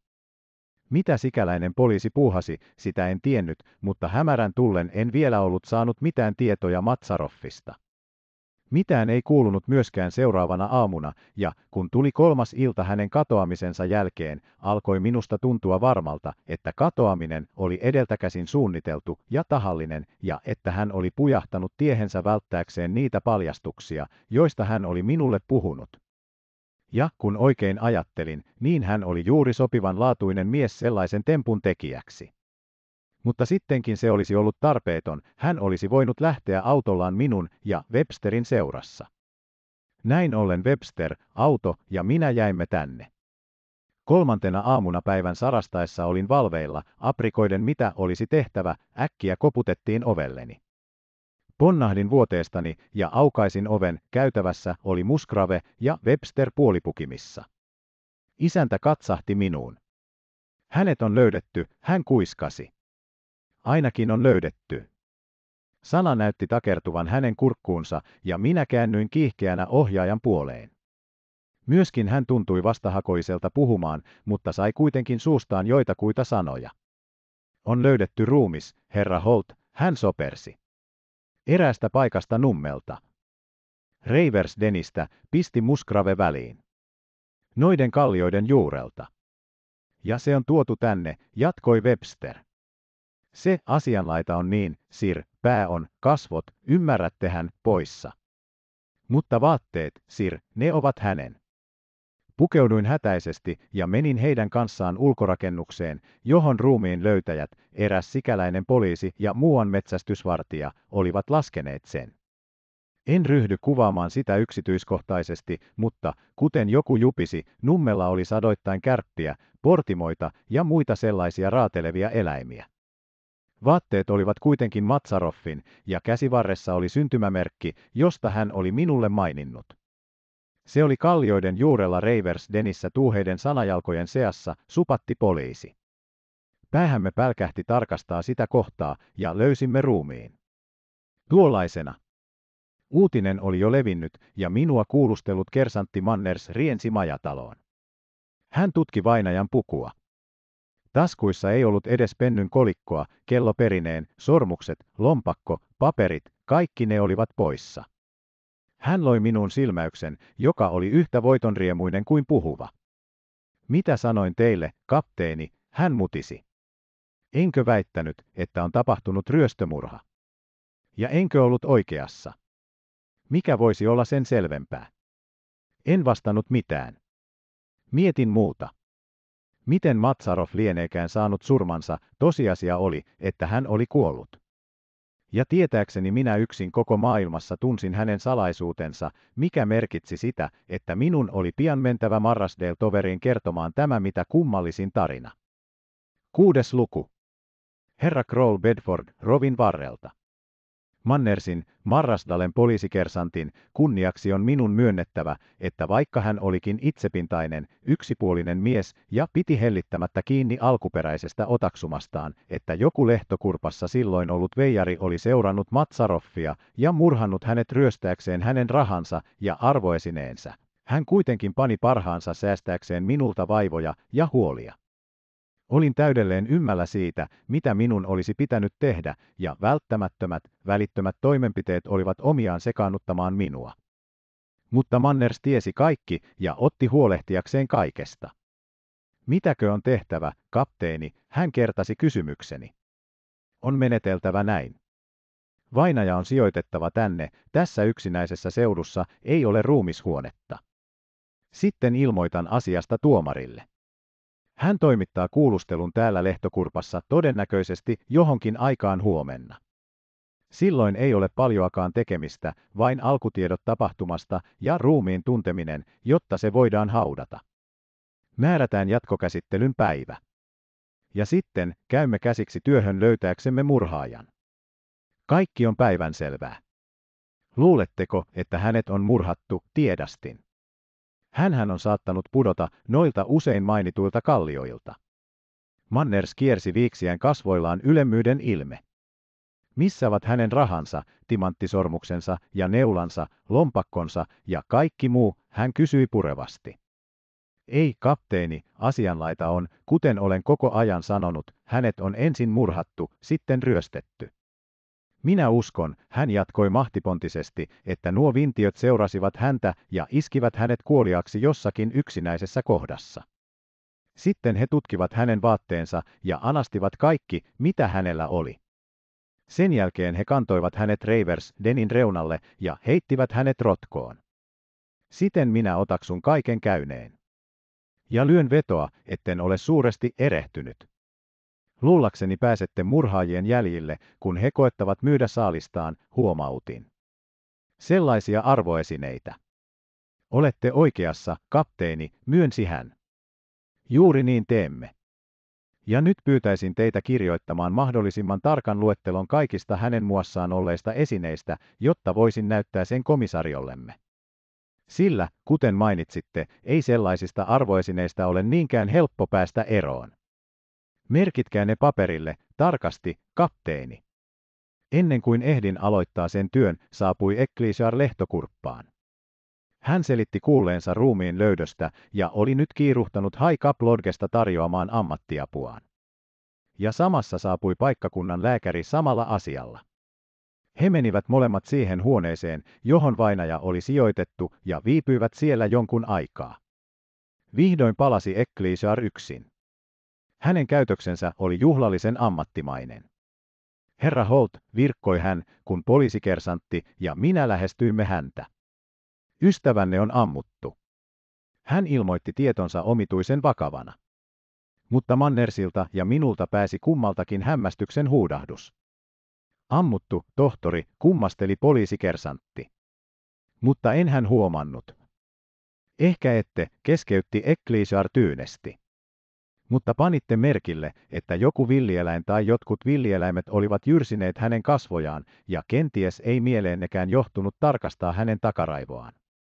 Hän piti jokseenkin pitkää tukkaa, ja se oli harvinaisen tuuhea hänen ikäiselleen miehelle.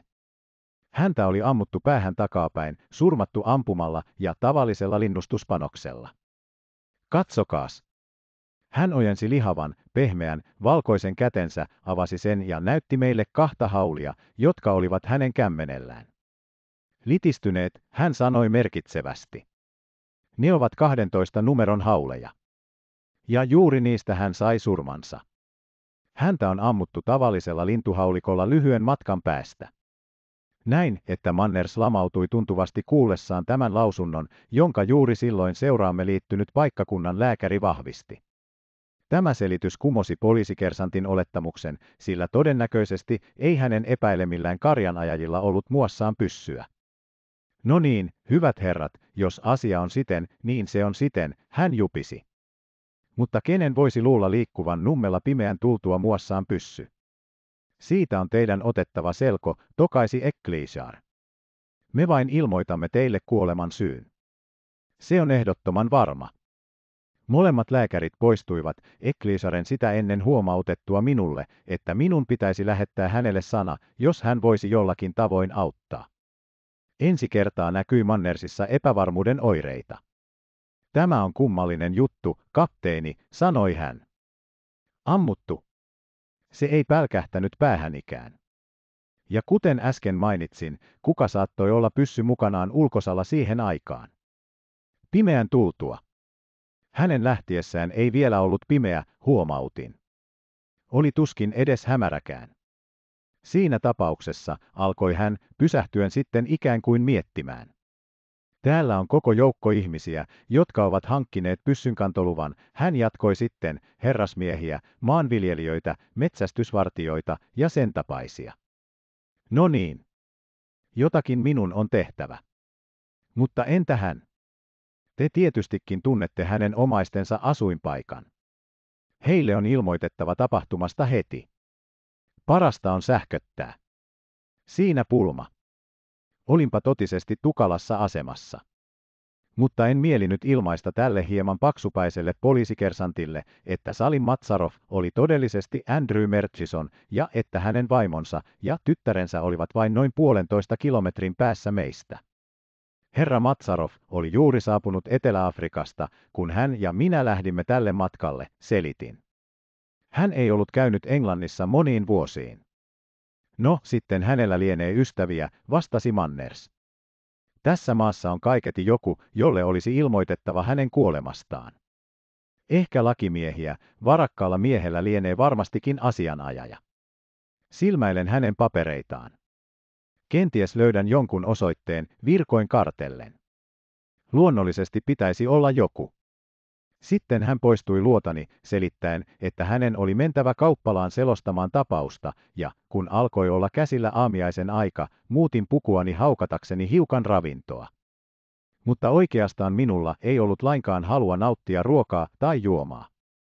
Matsaroffin salaisuus oli luijunraskaana sydämelläni. Pitäisikö minun säilyttää se omana tietonani? Vai pitäisikö minun mennä suoraa päätä Marrasdale-toveriin kertomaan rouva Elfinstonelle, mitä tiesin?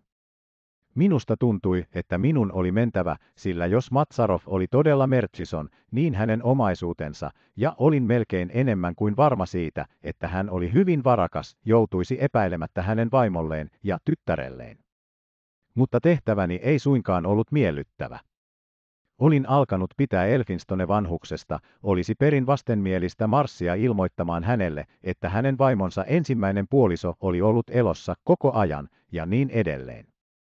Ja lisäksi oli Sheila, johon, sitä vastaan oli turha inttää, olin jo rakastunut.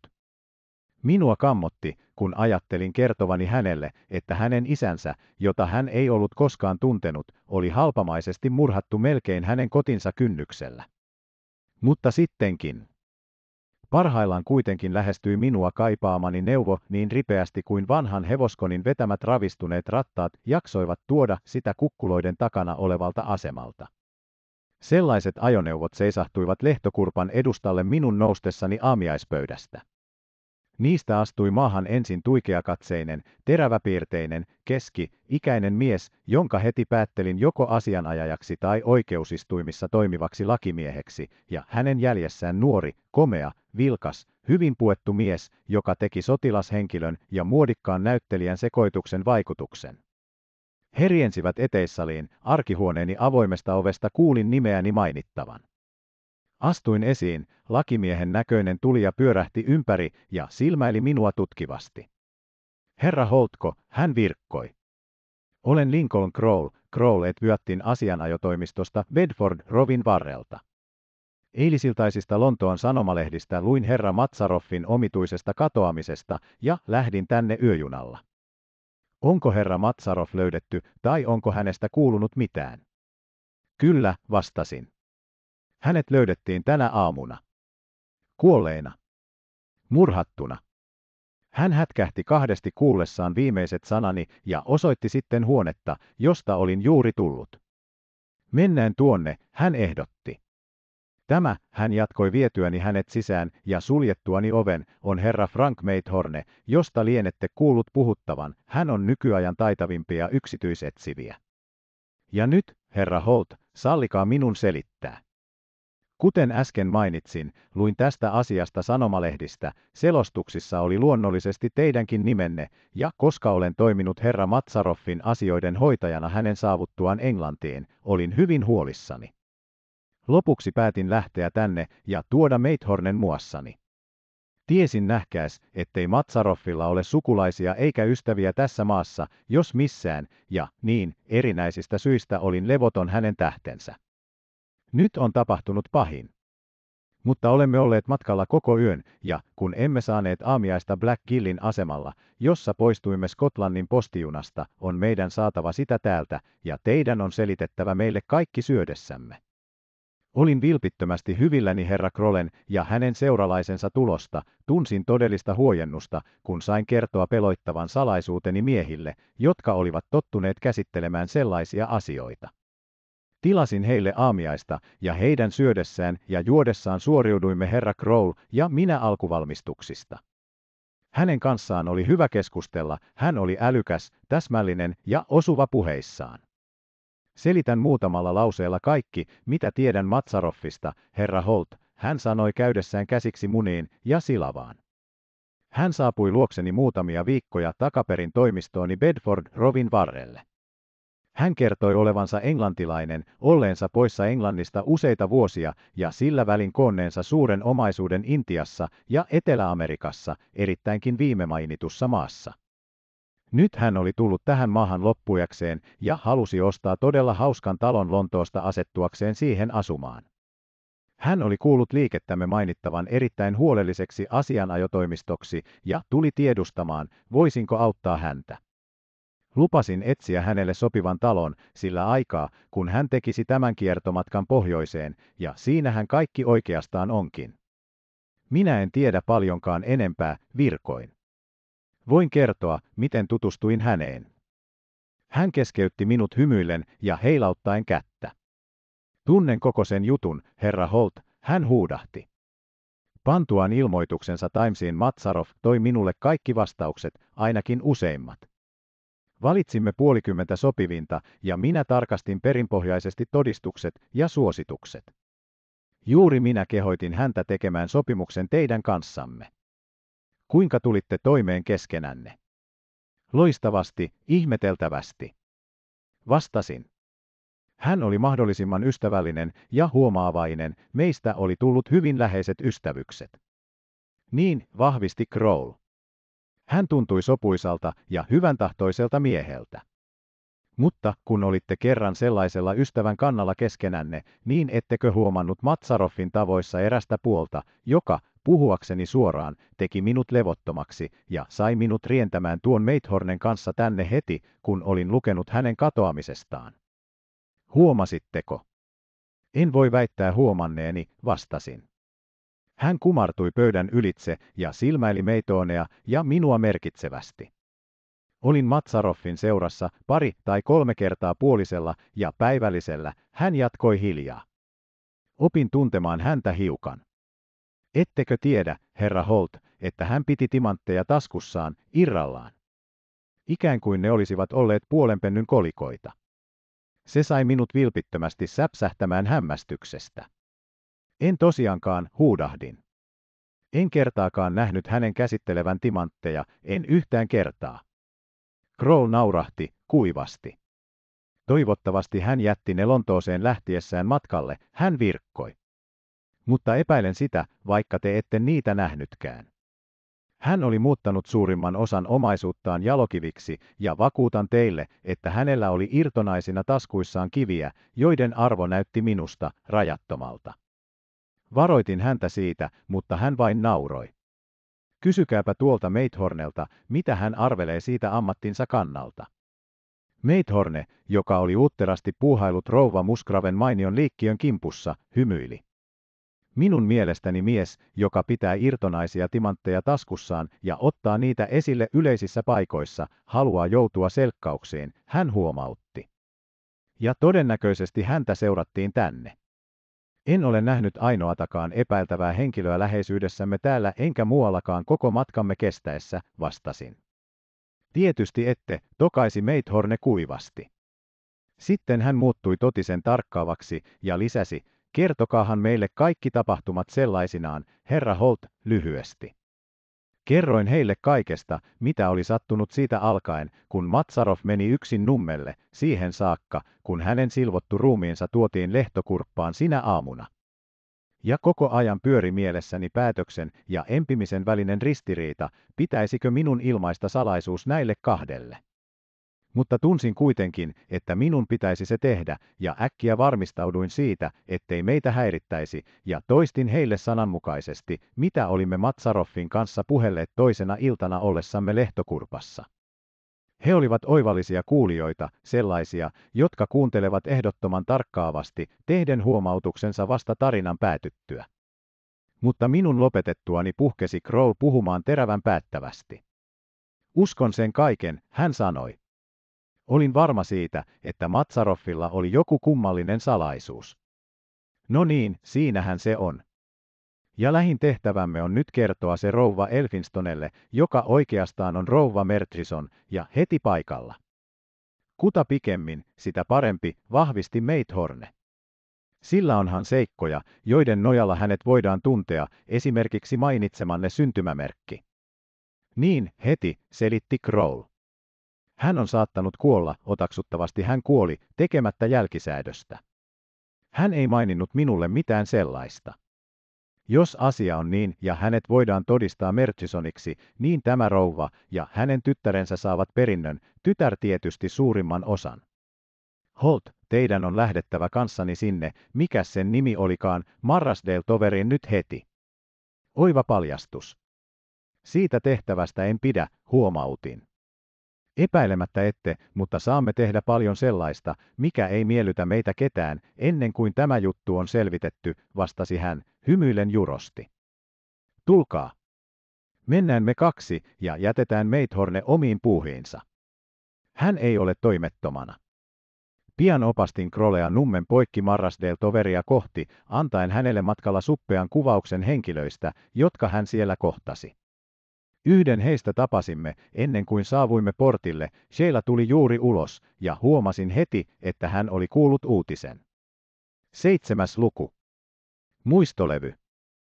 Asianajaja, luonnollisesti tarkka havaintojen tekijä, nykäisi kyynärpäätäni meidän ollessamme vielä parin, kolmenkymmenen askeleen päässä Sheilasta. Tytär kai, eikö niin, hän kuiskasi. Komea tyttö, sievä tyttö. Hän ei tietystikään tiedä mitään. Ei mitään, vastasin. Sitten minäkin kuiskutin, muistanette, että Matsaroffin vasen silmä oli selvästi kierrossa. No niin, tytön vasen silmä on myöskin. Tuiki vähän, tuskin huomattavasti, mutta se on sittenkin. Joskus se lisää viehkeyttä, virkkoi hän asiantuntijan tavoin. Niinpä niin, äidille ensin. Jättäkää kaikki minun huolekseni, Holta. Osaan hoitaa tällaiset asiat. Ammattikokemusta, ymmärrättehän. Olin kovin mielissäni saadessani luovuttaa koko jutun hänen huostaansa ja sanoinkin sen. Mutta nyt olimme ihan lähellä seilaa. Hän astui luokseni ja hänen somat kasvonsa kuvastivat teeskentelemätöntä myötätuntoa. Olen hyvin pahoillani kuultuani tämän ikävän uutisen, hän ehätti sanomaan. Otaksuttavasti se on tosi, olemme saaneet hyvin niukalti tietoja. Se on totta, ikävä kyllä, vastasin. Kun hän sitten katsahti seuralaiseeni, esittelin, minun mukanani on herra Matsaroffin asianajaja, herra Kroll. Hän saapui juuri äsken Lontoosta ja haluaisi kovin mielellään tavata rouva Elfinstonea. Sheila ei osoittanut lainkaan kummastuvansa siitä, otaksuttavasti hän arveli Krollen tahtovan kysellä naapuriston oloista. Hän kääntyi takaisin taloon päin, kehoittaen meitä seuraamaan itseään. Äiti on jossakin lähistöllä, hän selitti. Herra Elfinstone meni johonkin kunnan viranomaisten kokoukseen, hän palaa kotiin vasta iltapäivällä. Hän opasti meidät puutarhan läpi taloon. Tapasimme rouva Elfinstonen istumassa työhuoneessaan pöydällään olevien kirje- ja paperikasojen takana. Meidän astuessamme sisään hän loi meihin epäämättömästi kysyvän silmäyksen, se ei tosiaankaan näyttänyt liian ystävälliseltä, ja kuulin Krollen päästävän pienen, hiljaisen äännähdyksen, ikään kuin hän olisi tuntenut vihamielisen tuulahduksen sieraimissaan. Mutta tapansa mukaan Sheila tuli avuksemme käyden suoraan käsiksi asiaan. Äiti, hän alkoi, on aivan totta, mitä olemme kuulleet herra Matsarov parasta. Hänet on löydetty kuolleena nummelta, tässä on hänen asianajajansa herra Crow Lontoosta, ja hän haluaa puhutella sinua. Rouva Elfinstone tuijotti Kroleen, ikään kuin olisi kuullut tämän tulleen pyytämään hänen tyttärensä kättä tahi jotakin muuta yhtä ylettömän outoa seikkaa. Hän oli niitä naisia, jotka voivat saattaa ihmiset hämille pelkästään tuijottamalla heihin, ja jos hän olisi tuijottanut minuun samalla tavoin kuin Kroleen, olisin minä lähtenyt pakoon. Mutta Crow säilytti malttinsa täydelleen, ja hänen kumarruksensa oli yhtä hyytävän kylmä kuin rouva Elfinstonen käytös. Toivoisin vain, että minun sallittaisiin tehdä muutamia tärkeitä kysymyksiä asiakkaani kuoleman johdosta, hän virkkoi. Ensinnä lienee minun mainittava eräs seikka, jota ette ehkä kumpikaan tiedä. Herra Matsarov murhattiin. Tällä ilmoituksella oli erilainen vaikutus kumpaankin kuulijaan. Sheilalta pääsi hiljainen äännähdys, josta kuvastui kauhistusta ja hämmästystä, rouva Elfinstone loi Kroleen pikaisen silmäyksen. Oletteko siitä varma, hän tiedusti. Se on lääkärien mielipide, rouva, vastasi Kroll, kumartaen taaskin kylmästi. Mielestäni ei ole mitään syytä eittää sitä vastaan. Asiakkaani ammuttiin kuoliaksi. Rouva Elfinstone osoitti sormellaan kirjoituspöytänsä vierelle sijoitettuja tuoleja. Ettekö halua istuutua, hän kysyi hieman kohteliammin. Mainitsitte haluavanne esittää minulle joitakuita kysymyksiä, tärkeitä kysymyksiä. En todellakaan jaksa käsittää, mitä ne voisivat koskea. En tiedä tästä miesraukasta kerrassaan mitään. Luullakseni näitte asiakasvainajani pari päivää sitten, huomautti Kroll, jolle olin yksityiskohtaisesti kertonut kaikki, mitä lehtokurpassa oleskellessamme oli tapahtunut. Hän ja herra Holt seisoivat majatalon puutarhan portilla, kun te ja tyttärenne menitte siitä ohitse. Hänkö siis, huudahti rouva Elfinstone. Niin, muistaakseni näin hänet, eikö hän ollut kookas, parrakas mies. Minä vain vilkaisin häneen. Ettekö tuntenut häntä, rouva, kysyi Kroll, katsoen emäntään terävästi. Rouva Elfinstone tuijotti kyselijän erikoisen jäätävän kylmästi. Tuntenut häntä, hän kertasi kopeasti. Mitä ihmettä? Mitä tarkoitatte? Olin toivonut, että Kroll asteittain valmistaisi paljastusta, jota tekemään hän oli tullut, jostakin syystä, joskin epämääräisesti, mutta joka tapauksessa toivoin, ettei asiaa olisi äkkiä pamautettu Sheilan kuullen. Mutta Kroll ajatteli toisin, ja seuraavalla hetkellä hän lausui ajatuksensa. Tarkoitan seuraavaa, rouva, hän vastani muitta mutkitta. Vaikkakin näkemänne mies on viime vuosina nimittänyt itseään Salim Matsaroffiksi, on hän silti sama mies, joka joitakuita vuosia takaperin vihittiin kanssamme, Andrew Merchisonina. Se on tosiasia, rouva. Odotin jotakin, sanokaamme dramaattista, seurausta näistä sanoista. Mutta ei tapahtunut mitään, nimittäin ei mitään erikoista. Sheilan huulet raottuivat vähän ällistyksestä, ja hän katsoi ensin Krolea, sitten äitiään. Rouva Elfinstone puolestaan istui selkä suorana hyvin tuikeana ja arvokkaana kirjoituspöytänsä ääressä, hänen kasvonsa eivät värähtäneet sen enempää kuin jos hän olisi ollut kivestä hakattu kuva. Hän katsoi Kroleen, ikään kuin olisi ihmetellyt, oliko mies syyntakeeton valehtelija vaiko suorastaan mielipuoli. Äkkiä levisi hänen hienopiirteisille ohuille huulilleen pilkallinen, halveksiva hymy, ja hän nousi rauhallisena tuoliltaan. Tulkaa mukaani, olkaa hyvät, hän kehoitti. Seurasimme häntä äänettöminä, Kroll edellä, Sheila ja minä perässä. Sheila näytti haluavan puhua minulle, mutta minä käänsin tahallani kasvoni toisaalle. Vaikka rouva Elfinstone olikin edellämme, tunsin kuitenkin hänen läsnäolonsa, ja se tuntui minusta liian painostavalta. Olisin mieluummin hyökännyt vihollisten rintamaa vastaan tuntui melkein siltä kuin hän olisi vienyt Krolea ja minua teloitettaviksi tahi ainakin teljettäviksi johonkin läheiseen vankiholviin. Hän opasti meidät kahden tahi kolmen huoneen läpi eteissaliin, ulos rakennuksesta ja pihan poikki puutarhan itäisessä muurissa olevalle ovelle. Avattuaan sen hän astui ulos, me seurasimme ja huomasimme saapuneemme kylän kirkkotarhaan vanhojen kuusien ja suippojen kypressien keskelle. Hän asteli suoraan eteenpäin katsomatta kummallekaan puolelle kirkon kynnyksen yli sen muinaisnormannilaisesta ovesta varjoisaan keskeen. Käveltyään alttarin eteen hän äkkiä pysähtyi, osoitti kädellään ylöspäin, silmäili Krolea synkästi ja lausui kaksi sanaa, katsokaa tuonne. Me katsoimme. Alttarin edustan pohjoisella seinällä oli yksinkertainen, neliskulmainen, Aberdeenin graniitista valmistettu taulu, johon oli syvään kaiverrettu muutamia kullattuja sanoja. Tämän seurakunnan entisen asukkaan, Mombasan Lahteen lokakuun 17. päivä 1899 hukkuneen Andrew Merchisonin muistoksi. Vilkaisin Kroleen. Hänen kasvojensa ilme oli tutkimaton.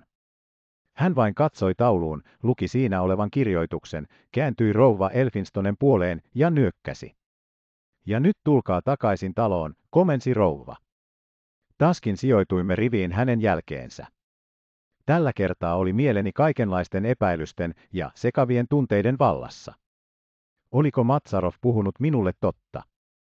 Vai tahtoiko hän vain esiintyä Andrew Merchisonina? Oliko olemassa kaksi miestä, joilla oli samanlaiset syntymämerkit ja ruumiinviat? Mitä tämä kaikki merkitsi? Entä olivatko nämä seikat millään tavoin murhan yhteydessä?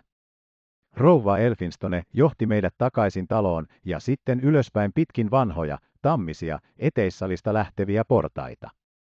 Hän asteli pitkin käytäviä, toista toisensa jälkeen, pysähtyen vihdoin eräälle ovelle. Valittuaan vyöllään hopeisista ketjuista riippuvasta avainkimpusta avaimen hän avasi oven ja vei meidät pieneen huoneeseen, jossa ei ollut mitään muuta kuin vanhanmallinen kirjoituspöytä, sen ääreen asetettu tuoli, vanhoilla teoksilla täytetty kirjahylly ja sivupöytä sekä sille nostettu, kulunut merimiehen arkku. Hän meni suoraan sen luokse ja laski kätensä sille. Ja nyt, hän sanoi, katsoen Kroleen, teen enemmän kuin kellään on oikeus minulta vaatia. Teen sen vain vaimentaakseni kerta kaikkiaan sen naurettavan ajatuksen, jonka esititte saapuessanne äsken tänne, kutsumattomana. Suvainette kuunnella minua. On aivan totta, että menin avioliittoon Andrew Merchisonin kanssa, kun sekä hän että minä olimme nuoruuden hulluja ja omapäisiä. Me emme sopineet yhteen. Hän huolehti minusta mahdollisimman hyvin, jakoi koko omaisuudestaan puolet minulle ja karkasi luotani. En tiedä, milloin hän lähti ja minne hän lähti. Hän jätti sanan aikovansa matkustaa. Kahdeksan kuukautta sen jälkeen syntyi tämä tyttö. Minä ja ystäväni panimme parhaamme löytääksemme hänet ja ilmoittaaksemme hänelle siitä, mutta se ei meille onnistunut. En kuullut hänestä mitään ennen kuin alkuvuodesta 1900, jolloin sain kirjeen erään Bombein ja Durbanin välillä kulkevan höyrylaivan kapteenilta. Lukekaa se.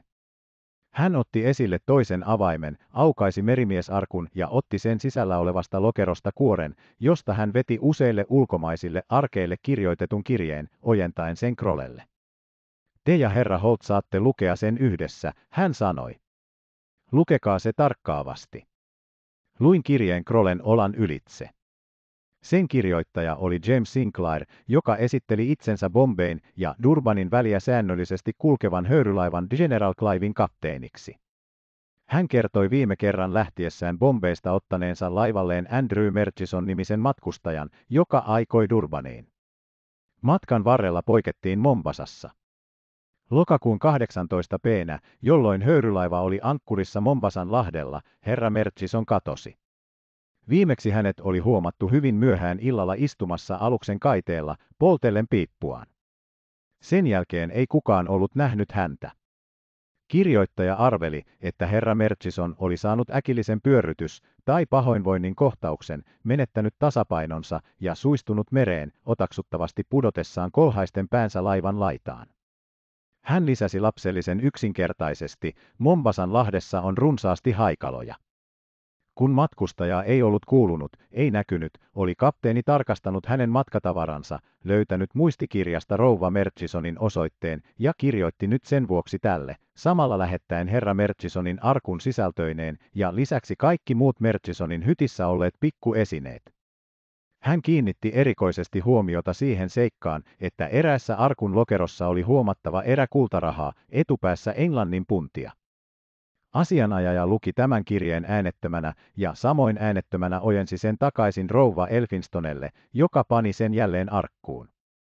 Tähän arkkuun ja sen sisältöön ei ole koskettu sen jälkeen, kun sen sain monta vuotta sitten, sanoi rouva.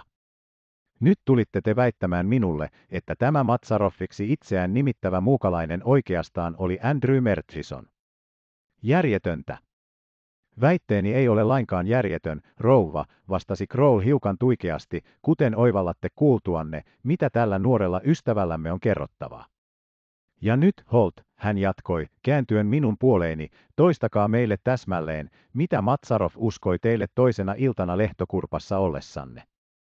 Kertokaa koko tarina. Kerroin kaikki seisoessamme pienessä huoneessa. En jättänyt pois mitään, korostin vielä sitä, että Matsarov oli vakuuttanut voivansa helposti todistaa, kuka hän oli, tuoden esiin keinotkin, ja sitä, että hän oli puhunut asiasta ehdottoman varmasti. Mutta vaikka kertomukseni aikana silmäilin rouva Elfinstonea tarkasti, en huomannut merkkiäkään siitä, että hän olisi horjunut, hänen ilmeestään kuvastui päinvastoin epäilyä, jopa ivaakin. Koko juttu on järjetön, selitti hän lopuksi. Kerrassaan järjetön. Mies oli luultavasti joku seikkailija, joka oli saanut tietoonsa eräitä piirteitä Merchisonin entisyydestä ja halusi muuttaa tietonsa rahaksi. Vilkaisin Kroleen, tämä katsoi rouva Elfinstonea, ikään kuin olisi nyt nähnyt hänet uudessa valossa. HM, hän äänsi tyynesti. Teidän arvelunne, rouva, jos suotte anteeksi sen, että käytän suoraa kieltä naiselle, on todella kokonaan järjetön.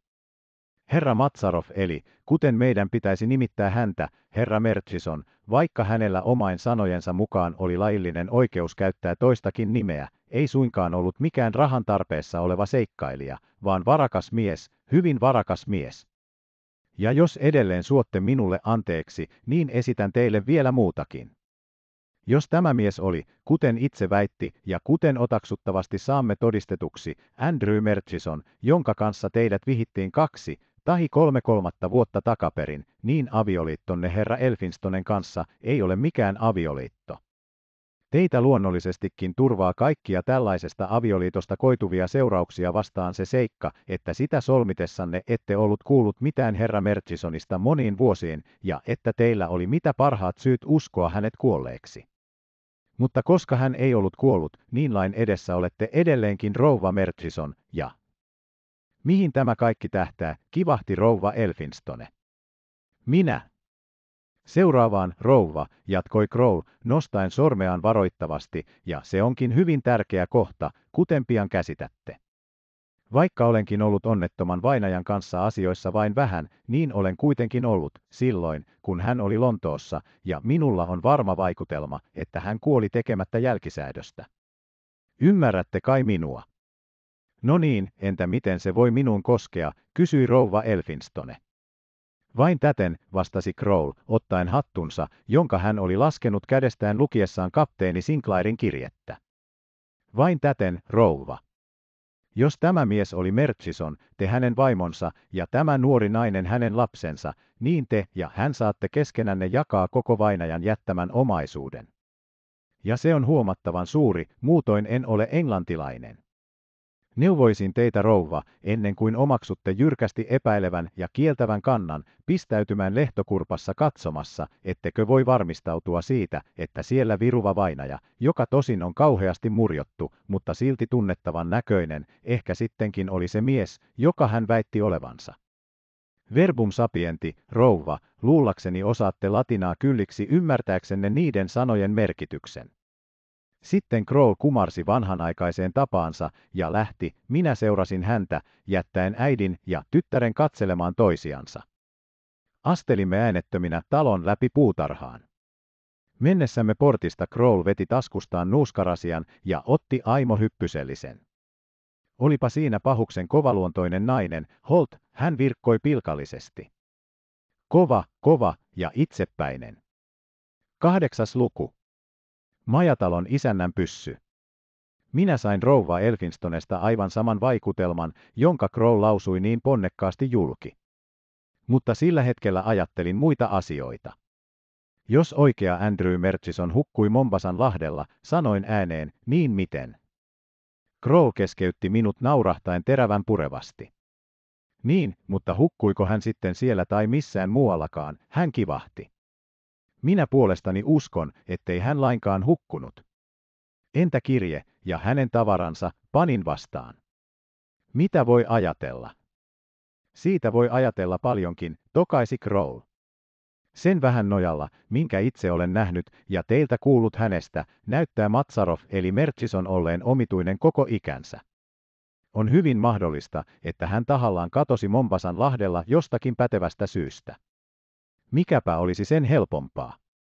Sinclairin kirjeestä ilmenevistä tiedoista päätellen Merchison oli sopinut, että vene saapui noutamaan häntä määrätyllä hetkellä yöllä. Se tuli, hän solahti siihen ja oli poissa.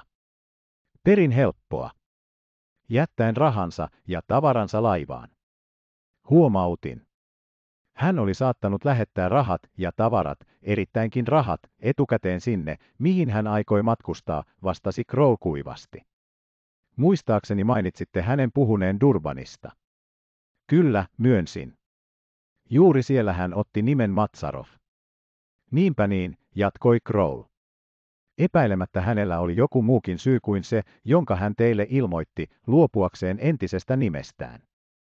Hän lienee toivonut, että sekä Englannissa että Intiassa pidettäisiin Andrew Merchisonia kuolleena. Ja kirjeestä ja matka-arkusta ja muistotaulusta huolimatta uskon, että Salim Matsarov oli Andrew Merchison ja että hänet murhattiin Merchisonina eikä Matsaroffina. Merchisonina, huudahdin, pysähtyen pelkästä hämmästyksestä. Mutta kuka täällä tunsi hänet Merchisonina? Se on saatava selville, vastasi hän tietävän näköisenä. Jatketaan matkaa, mennään katsomaan, mitä Meithorne puuhaa. Tapasimme Meithornen seisomassa majatalon ovella Muskraven seurassa. Lähestyessämme heitä Meithorne hymyili Krolelle, ikään kuin olisi tahtonut sillä osoittaa, että hänellä oli uutisia. Herra Muskrave teki juuri äsken erään havainnon, hän virkkoi. Hänen pyssynsä on kadoksissa. Muskrave, jonka puoleen vaistomaisesti käännyimme, liikautti äreänä päätään, hän oli ilmeisesti harmissaan. Vajaat kolme kuukautta sitten maksoin siitä 20 puntaa, hän pahoitteli. Se oli melkein ihan uusi. Enkä olisi saattanut uskoa, että se on voitu ottaa sieltä. Mutta se on tietystikin viety sinä yönä, jolloin meillä oli niin paljon väkeä. Sittenkin. Mistä se sitten otettiin, tiedusti Kroll. Yksityisestä salista, joka oli tuon herra Holtin ja vainajan hallussa, vastasi isäntä, katsahtaen minuun. Se riippui seinällä kahdessa naulassa, ihan ovenpielessä, lienette huomannut sen, herra Holt. Kyllä, näin siellä tosiaankin pyssyn, myönsin. Mutta en ole pannut merkille, että se on kadonnut. En minäkään, mutta enhän olekaan käynyt siinä huoneessa kahteen tai kolmeen päivään, selitti Muskrave. Muori sen huomasi, hän puhui siitä minulle juuri nyt. Tietystikin joku niistä maankiertäjistä pisti nenänsä sinne ja nähdessään, ettei ketään ollut saapuvilla, sieppasi sen. Helposti se kai oli käynytkin. Ette te eikä ystävänne ollut muistaakseni paljoa sisällä sinä iltana, herra Holt. Herra Matsarov lähti kohta päivällisen jälkeen, vastasin, ja kuten tiedätte, jäi sille tielleen. Myöskin minä olin ulkosalla jonkun aikaa. Huone lienee niin ollen ollut tyhjänä. Muskrave murahti ja pudisti päätään. Minun olisi pitänyt huolehtia siitä, että ovi olisi ollut lukossa teidän poissa ollessanne, hän valitti suruissaan. No niin, minun on ilmoitettava varkaus poliisille. Oliko pyssy panostettu, kysyi Meithorne. Kaiketi ei. Kyllä se oli, sanoi Muskrave. Pidin sitä panostettuna, ei voi tietää, milloin sitä saattaa sattua tarvitsemaan tällaisessa yksinäisessä paikassa. Siihen ei luonnollisestikaan otaksuttu kenenkään muun kajoavan, ja naulat ovat koko korkealla seinässä. On kuitenkin vaarallista pitää panostettua pyssyä sisällä, eikö teidänkin mielestänne, virkkoi Meithorne leppoisasti. Eihän panostamiseen kulu kuin minuutin murtoosa. Millaisia panoksia pyssyssänne muuten oli? Kynosin panoksia numero 12, vastasi Muskrave empimättä. Käytän aina niitä. Siitä on ehkä apua etsittäessä pyssyänne, huomautti Meithorne. Teidän pitäisi mainita siitä poliisille. Hän kääntyi isännästä nummelle päin, kehoittaen Krolea ja minua mukaansa. Aion pistäytyä tarkastamassa Deniä, hän selitti.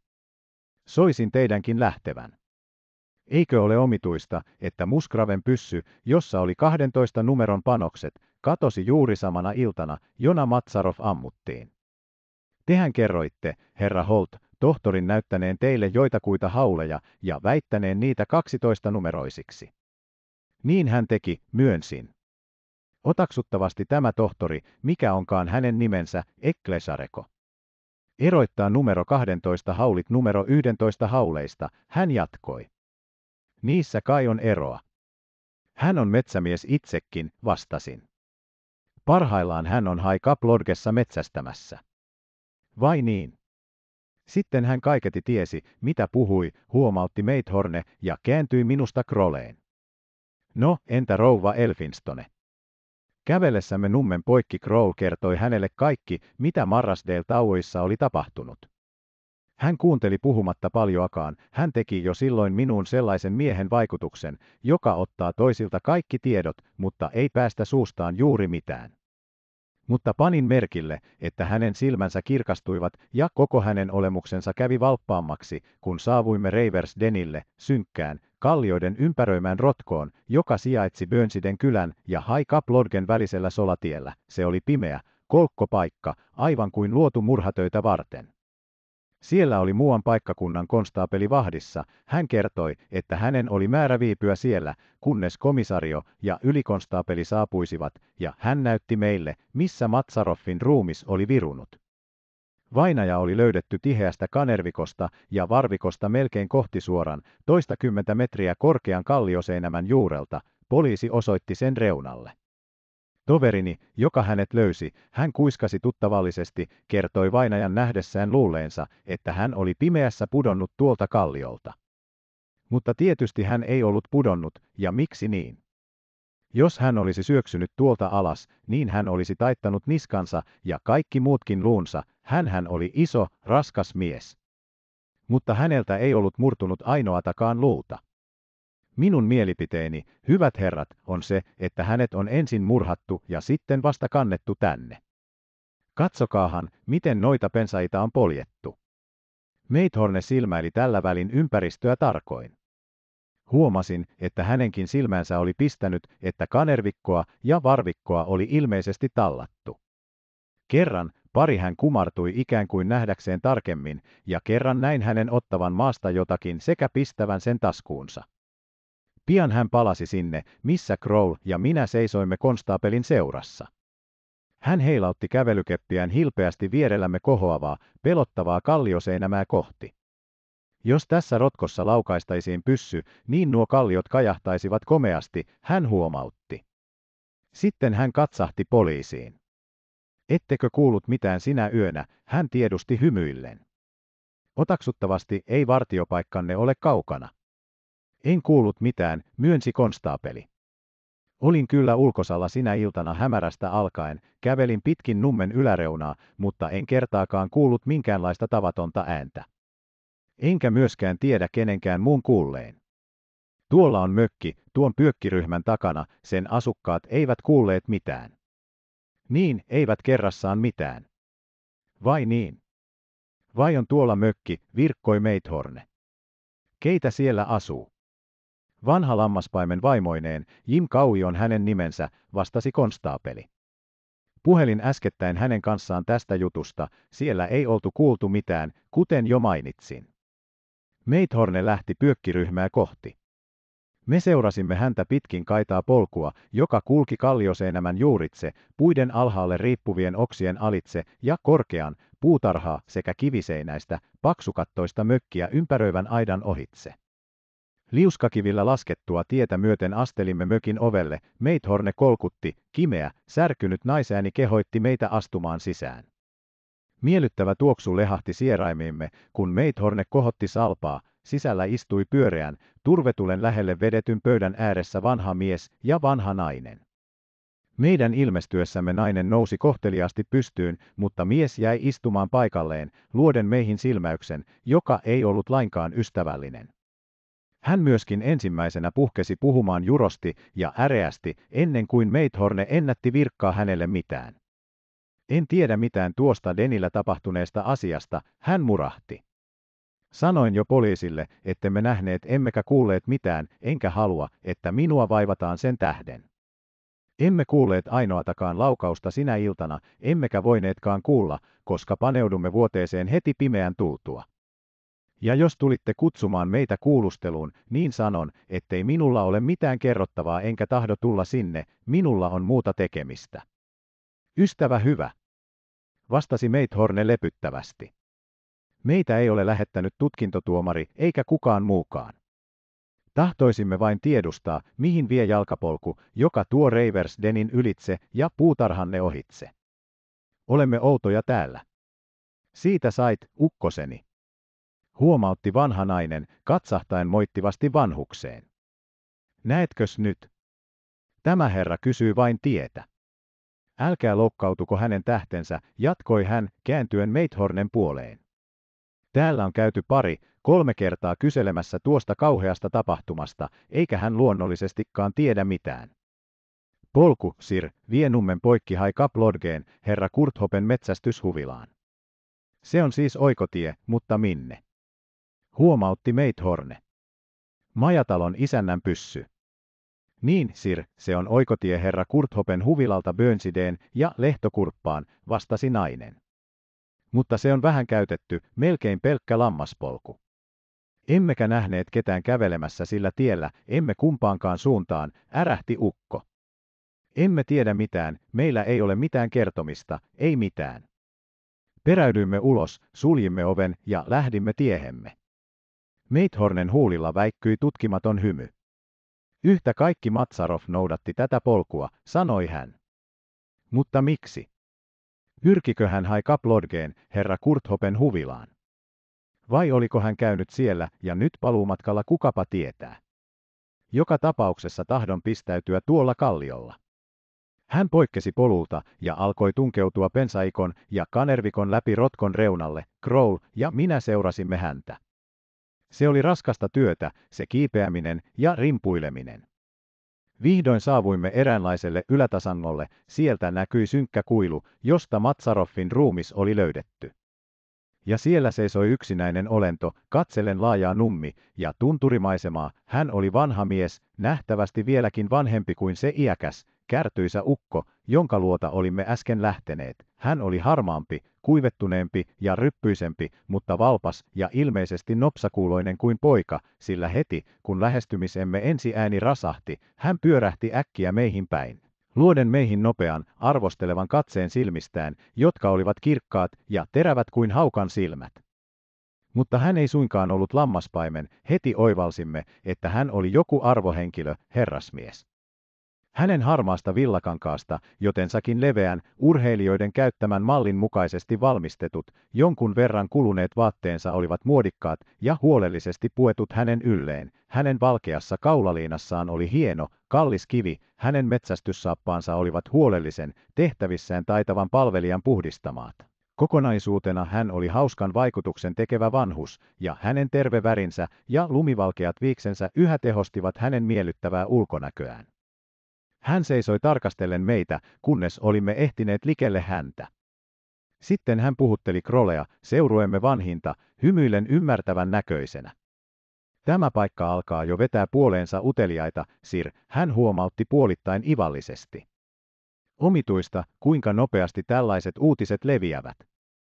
Tulomme syy on tärkeämpi kuin joutilaan uteliaisuus, Sir, tokaisi Kroll vastaan melkein tuikeasti. Olemme vainajan ystäviä. Vanhus nyökkäsi, eivät Krollen sanat eikä sävy näyttäneet lainkaan tehoavan häneen. Kaiketi hänellä oli ystäviä, jupisi hän ikään kuin itsekseen. Sitten hän silmäili vuorotellen meitä kaikkia, ja hänen terävä, tutkiva katseensa pysähtyi minuun. Tämäkö on se nuori herrasmies, joka oli hänen kanssaan majatalossa, kysyi hän. Olettamuksenne on aivan oikea, Sir, vastasi Kroll. Saanko minä puolestani tiedustaa, koska tämä asia näyttää kiinnittävän mieltänne, voitteko kertoa meille mitään, mistä olisi meille apua? Vanhus hymyili ja siirsi katseensa toisesta toiseen. Voinko kertoa teille mitään, mistä olisi teille apua, hän kertasi. No niin, voin kyllä mainita teille jotakin, mutta en tiedä, onko siitä apua vai eikö. Mutta saattaahan siitä olla. Kuulin pyssyn pamahduksen, täältä päin, samana iltana, jolloin vainaja katosi. Se on jotakin, sanoi Kroll. Entä, olitteko itse läheisyydessä, Sir? Vanhus kääntyi ja osoitti nummelle Bönsideen päin.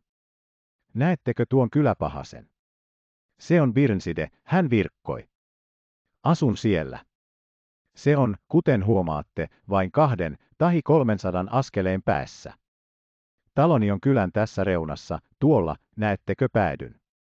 Mihinkähän aikaan se tapahtui, tiedusti Kroll. Suunnilleen tavalliseen maatapanoaikaani, vastasi vanhus.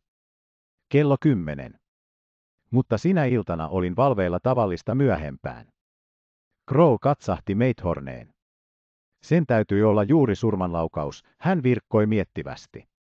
Otaksuttavasti, Sir, hän jatkoi, kääntyen jälleen kertojamme puoleen, on hyvin harvinaista, että täällä nummella ammutaan siihen aikaan vuorokaudesta. Kello kymmenen illalla. Mutta vanha herra hymyili ja pudisti päätään. Ei lainkaan, hän vastasi. Päinvastoin. Usein olen kuullut yksinäisiä laukauksia iltaisin. Metsästysvartioita, näette. Sellaista tietystikin sattuu tavallisimmin kirkkaina tai kuutamoisina öinä. Tällä kertaa oli kuitenkin hyvin pimeätä. Mutta en osaa arvata, mitä hän aikoi vielä sanoa. Juuri silloin katsahti kallion juurella oleva poliisimies, jota olin keskustelun kuluessa tarkkailut ja joka oli hääräillyt pensaikossa, meihin päin, huitoen käsiään kiihkeästi. Tulkaa tänne alas, hän luikkasi. Löysin jotakin. Pyssyn. Yhdeksäs luku. Kapkaupungin postileima. Tämä poliisikonstaapelin äkillinen ilmoitus sai meidät kaikki säpsähtämään ällistyneinä. Vanhaan herraan se vaikutti vieläkin voimakkaammin. Häneltä pääsi huudahdus, joka tuntui osoittavan äärimmäistä hämmästystä. Pyssyn, äänsi hän. Mahdotonta. Näin Meithornen katsahtavan häneen terävän kysyvästi, ikään kuin olisi aprikoinut, mitä vanhus tarkoitti. Mutta hän ei virkkanut mitään eikä myöskään Kroll, aloimme kaikki laskeutua kalliolta tiheään varvikkoon, jossa konstaapeli seisoi. Hänen kädessään oli metsästyspyssy, ja meidän saapuessamme hän osoitti tuuheata kanervikkoa. Se oli työnnetty tuonne, hän huudahti. Juuri siellä se oli. Auringonsäde heijastui piipusta, juuri se sai katseeni osumaan siihen. Hieman ruostunut paikoitellen, se on kasteen vika. Meithorne ojensi ääneti kätensä ja huomautettuaan, kuinka vaarallista ampuma-aseilla leikkiminen on, ojensi konstaapeli pyssyn hänelle. Hän aukaisi lukon, pyssyn kahdesta piipusta oli toinen suppeampi, ja siinä ollut panos oli laukaistu. Meithorne vilkaisi Kroleen. Kummallista, hän sanoi. Miksi ei murhaaja käyttänyt oikeanpuolista piippua? Vanha herrasmies, jota epäilemättä murhaan käytetyn aseen näkeminen näytti kiehtovan, naurahti hiukan. Jos tämä on sama pyssy, jolla tämän nuoren herran vanhempi seuralainen ammuttiin, mitä minä puolestani en lainkaan epäile, niin vasemman piipun käyttämiseen on ollut hyvä syy, hän selitti. Kenties, hän lisäsi, vilkaisten viisaan näköisenä Meithorneen, ette ole metsämies, Sir. Jollette, niin ilmoitan teille, että lintupyssyn vasen piippu on aina suupuolelta suppeampi, tarkoitus on tietystikin se, että haulit pikemminkin suppenevat kuin hajaantuvat. Jos joku haluaa ampua toisen kuoliaksi lyhyeltä matkalta, kuten tässä tapauksessa, niin hän luonnollisestikin käyttää suppeaksi porattua piippua mieluummin kuin toista. Olen hyvin kiitollinen, Sir, vastasi Meithorne. Selityksenne johdosta olen taipuvainen ehdottomasti päättelemään, että murhaaja oli tällaisiin pyssyihin läpikotaisin perehtynyt henkilö ja että murha tehtiin kylmäverisesti ja harkitusti. Mielestäni voitte pitää sitä varmana, vakuutti vanha herra, hymyilen taaskin tietävästi. Niin, niin, harkitusti, juuri niin. No niin, näytte saavan kokoon todistuskappaleita. Kohteliasti nyökäten hän sitten kääntyi pois, kiiveten kallioita ja rinteitä perin ketterästi niin vanhaksi mieheksi. Meithorne tarkkaili häntä minuutin ajan ja katsahti sitten poliisikonstaapeliin. Kuka on tuo vanha herra, hän tiedusti. Hän on herra Hassendeane Virnside Housesta, Sir, vastasi konstaapeli. Mutta häntä nimitetään yleisesti herra Vattieksi, hänen ristimänimensä on Walter. Vaikka hän onkin iäkäs, niin hänen isänsä, vanha herra Hassendeane, kuoli vasta muutamia vuosia sitten, ja kun häntä isän eläessä aina nimitettiin herra Vattieksi, niin se nimitys jäi hänelle pysyväiseksi, ymmärrättehän, Sir. Kyllä, myönsi Meithorne. Hän tarkasteli yhäti pyssyä, ja pian hän kiinnitti Krolen huomiota sen perään upotettuun levyyn kaiverrettuun nimeen ja osoitteeseen, J. Musgrave, Lehtokurpan majatalo, Marrasdale. Tämä on majatalon isännän kadonnut ase, siitä ei ole epäilystäkään, hän huomautti. Sitten hän kääntyi taaskin poliisin puoleen ja kysyi, ettekö maininnut odottavanne tänne joitakuita esimiehiänne. Kersantti Manners ilmoitti aikovansa tuoda tänne komisarion ja ylikonstaapelin, vastasi puhuteltu. Minun piti olla täällä vartioimassa heidän saapumiseensa asti. Ja toivoisin heidän pian tulevan, sillä päivällisaikani alkaa olla käsissä. Säilyttäkää tätä heidän tulonsa saakka, kehoitti Meithorne, ojentaen hänelle pyssyn takaisin.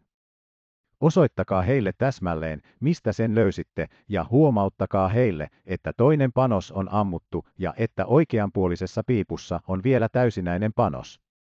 Jos tahdotte, niin mainitkaa heille jo näyttäneenne sitä herra Holtille ja hänen ystävilleen, he tietävät ketä tarkoitatte. Sen jälkeen poistuimme Reivers Denistä ja palasimme nummen poikki. Crow tuntui olevan halukas pohtimaan asioita, mutta Meithorne oli harvapuheinen.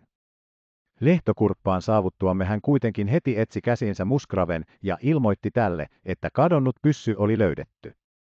Hän söi hätäisesti puolista, ja niin pian, kun minä olin lakannut aterioimasta, puhutteli hän minua. Poliisit varmastikin tulevat tänne nyt, kun pyssy on löydetty. Ja minä tahtoisin ehättää heidän edelleen eräässä suhteessa, jota he eivät näy ajatelleen eivätkä ehkä ajattelekaan. Haluan tarkastaa Matsaroffin tavaroita. Juuri niin, mutisi Kroll. Se on tietystikin tehtävä. Matkatavarat, vaatteet ja niin edelleen. Otaksuttavasti se ei tuota vaikeuksia. Ei minun tietääkseni, vastasin. Mutta mielestäni ei ole paljoakaan tarkastettavaa, hänellä oli hyvin vähän tavaroita muassaan. Menimme vainajan huoneeseen, isoon, vanhanmalliseen makuukamariin, jonka ikkunat olivat nummelle päin. Kaikki oli koskemattomana Matsaroffin jäljeltä, hän oli harvinaisessa määrin täsmällisyyttä ja järjestystä rakastava mies, joka ei sietänyt nähdä esineitä heitettyinä sinne ja tänne, ja kaikki hänen tavaransa olivat huoneessa sijoitettuina hänen oman järjestelmänsä mukaisesti. Kuten olin alhaalla huomannut, oli siellä verrattain vähän tarkastettavaa, parissa käsilaukussa oli kaikki, mitä niiden omistaja oli pitänyt tarpeellisena ottaa mukaansa Hotel Cecilistä. Pukutarpeissa, liina, ynnä pitovaatteissa ja muissa sen tapaisissa ei ollut todellakaan mitään nähtävää emmekä löytäneet minkäänlaisia papereita käsilaukuista emmekä pöydällä olevasta pukeutumisrasiasta. Meithorne etsi, Kroll ja minä taas katselimme hyvin huvitettuina, kun hän tutki pukeutumisrasiaa löytääkseen siitä salaisen lokeron, mutta ei onnistunut, otaksuttavasti siitä syystä, ettei sellaista ollut, ja vaatteita löytääkseen salataskun. Mitään salaista ei ollut, mutta paljon käytetyn villakankaisen puvun liivin taskusta hän veti esille joukon irrallisia timantteja, isoja ja pieniä, ja saman puvun housun taskusta vanhan kukkaron. Enkö sitä sanonut, huudahti Kroll, kun timantit tulivat esille. Hän piti timantteja irrallaan taskussaan. Kun kerran olimme puolisella Holborn ravintolassa, otti hän esille kourallisen niitä, joka puolella ympärillämme oli outoja ihmisiä, ja huomautin hänelle, kuinka vaarallista oli pitää mukanaan ja julkisesti näytellä sellaisia arvoesineitä, mutta hän vain nauroi. Katsokaahan noita, siinä on varmaankin toista kymmentä kiveä irtonaisina taskussa. Luultavasti nuotimanttimiehet tottuvat siihen eivätkä pidä sitä sen kummempana kuin maanviljelijä sitä, että hänellä on taskussaan vehnä ja ohranäytteitä. Kuinka arvokkaiksi luulette noita, Meithorne? Te tunnette ne paremmin kuin minä. En osaa sanoa, vastasi Meithorne välinpitämättömästi. Hän oli laskenut timantit syrjään pukeutumispöydälle ja tarkasti vanhaa nahkakukkaroa meidän seisoessa katsojina hänen vierellään. Sieltä hän ei saanut paljoakaan mielenkiintoista, siellä oli joitakuita tavallisia rahoja, valtakunnan kulta ja hopeakolikoita muutamia muita hän oli eri lokerossa säilyttänyt ilmeisesti harvinaisuuksina. Niitä oli Krugerin puolikruununen, Englannin Länsi-Afrikan nikkelinen puolipennynen, Mombasan rupia, portugalilainen hopearaha ja Saksan Itä-Afrikan kolikko jossa oli keisarin kuva sekä lisäksi joitakuita egyptiläisiä ja intialaisia kultarahoja. Meithorne kiinnitti niihin hyvin vähän huomiota, häntä innostutti enemmän ohut, rypistynyt paperikaistale, jonka hän löysi kukkaron sisälokerosta ja levitti eteemme. Katsokaas tätä, hän kehoitti. Tämä on ainakin jotakin. Paperikaistale oli kuitti kirjoihin viedystä kirjeestä, joka oli lähetetty Kapkaupungista ja osoitettu eteläafrikkalaiselle Imperial Pankkiyhtymälle, Lontooseen, Lombardkadun 695. Meithorne osoitti postimerkin päiväystä, tammikuun 17. päivä. Yhdeksän kuukautta sitten hän huomautti. Kuinka kauan Matsarov oli ollut Englannissa, kun kohtasitte hänet Cecilissä? Vain muutamia viikkoja, mikäli tiedän, vastasin. Minä tiedän, ilmoitti Kroll. Hän saapui Englantiin heinäkuussa, kuukauden lopulla. Siispä se kirje tai paketti, tai mikä se lieneekään ollut, jota tämä kuitti koskee, lähetettiin Kapkaupungista tämän pankin haarakonttoriin kuukausia aikaisemmin kuin Matsarov tuli tänne, huomautti Meithorne. Hän käänsi kuitin ympäri. Selkäpuolella on muistiinpano, kirjaimia ja numero, hän jatkoi. Näettekö? ST1 mitähän se merkinnee? Entä onko tuo Matsaroffin käsiala? Kyllä se on hänen käsialansa, ihan varmasti. Hän kirjoitti isot kirjaimet jotensakin omituisesti. Otaksuttavasti mustiinpano koskee paketin sisältöä, arveli Meithorne. ST1, saanen vielä selville sen merkityksen. No niin, yksi seikka on selvillä, tiedämme, mitä lontoolaista pankkia hän on käyttänyt. Mutta kenties herra Holt sen jo tiesikin. Ei, en tiennyt, vastasin. Se tuntunee kummalliselta, mutta en tietänyt. Kuten jo aikaisemmin mainitsin, näkyi hänellä olleen melkoisen paljon käteistä rahaa muassaan. En kertaakaan nähnyt hänen käyttävän maksuosoituksia, vaan hän suoritti hotellilaskumme aina käteisellä, seteleillä. Ja epäilemättä otti niitä aina esille kourallisen, vai mitä? Huomautti Meithorne, jurosti hymyillen. Hänellä näytti todella olevan niitä runsaasti lompakossaan, myönsin. Siinä suhteessa hän oli hieman ajattelematon, tarkoitan sitä, että hän näytteli rahojaan, mutta olen varma siitä, että hän teki sen tarkoituksetta. Meithorne otti esille oman lompakkonsa ja sijoitti kuitin huolellisesti sinne. Pidämme tämän toistaiseksi omina tietoinamme, hän sanoi. Jos poliisit iltapäivällä saapuvat tänne, kuten he pyssyn löydön jälkeen jokseenkin varmasti tekevät, ja haluavat tutkia vainajan tavaroita, niin antakaa heidän tehdä se. Pistämme nuotimantit takaisin samaan taskuun, josta ne otin, he saavat mieluisasti nähdä ne ja kaiken muunkin. Mutta tämän paperikaistaleen pidän itselläni, koetan saada jotakin selville sen avulla. Poliisit saapuivat lehtokurppaan vähän myöhemmin, heitä oli kolme, ylikonstaapeli, komisario ja Manners. He kyselivät Muskravelta monenlaista hänen pyssystään, minulta sekä Websteriltä, missä olimme olleet murhailtana, Krolelta, kuka ja minkälaisessa asemassa vainaja oli ollut, ja taaskin minulta, kuinka paljon rahaa ja mitä arvoesineitä murhatulla todennäköisesti oli ollut mukanaan. Ja heidän tiedustelujensa aikana tuli ilmi eräs seikka, jota en ollut siihen saakka tiennyt. Kävi selville, että Matsarov, joka luonnostaan oli seuraa rakastava, oli murhailtana päivällisen jälkeen minun kirjoittaessani eräitä yksityisiä kirjeitä mennyt lehtokurpan tarjoilusaliin, johon oli kokoontunut perin sekalainen seurakunta, maanviljelijöitä, karjakauppiaita ja ajajia, vetelehtiöitä, jotka kaikki olivat kotimatkalla Cloudwaiten markkinoilta. Muskraven tarjoilijattaren ilmoituksen mukaan hän oli siellä esiintynyt hyvin hauskasti, tarjonnut koko seurueelle ryppyjä ja sikaareja, jotka hän maksoi viiden punnan setelillä. Sen hän tarjoilijattaren kertoman mukaan oli ottanut hyvin täyteläiseltä näyttävästä lompakosta kaikkien näkyvissä. Tämä tieto näytti tuottavan melkoista tyydytystä, jopa huojennustakin poliisivirkailijoille ja Mannersille, joka päämiestensä poistuessa jäi jälkeen malttamatta pidättyä ilmoittamasta minulle luulevansa, että he olivat oikealla tolalla.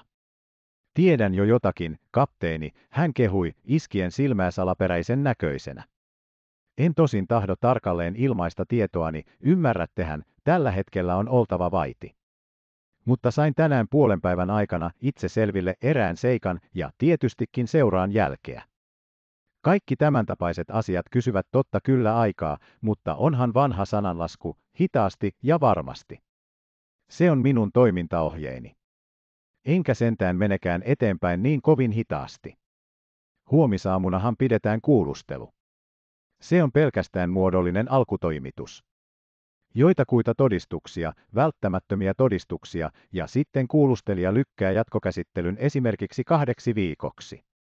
Se antaa minulle tilaisuuden. Ja jollen saa käsiini oikeata miestä kahden viikon kuluessa, no niin, silloin olen kummissani. Kerroin sinä iltana teetä juodessamme Krolelle ja Meithornelle, kuinka toiveikas poliisikersantti oli.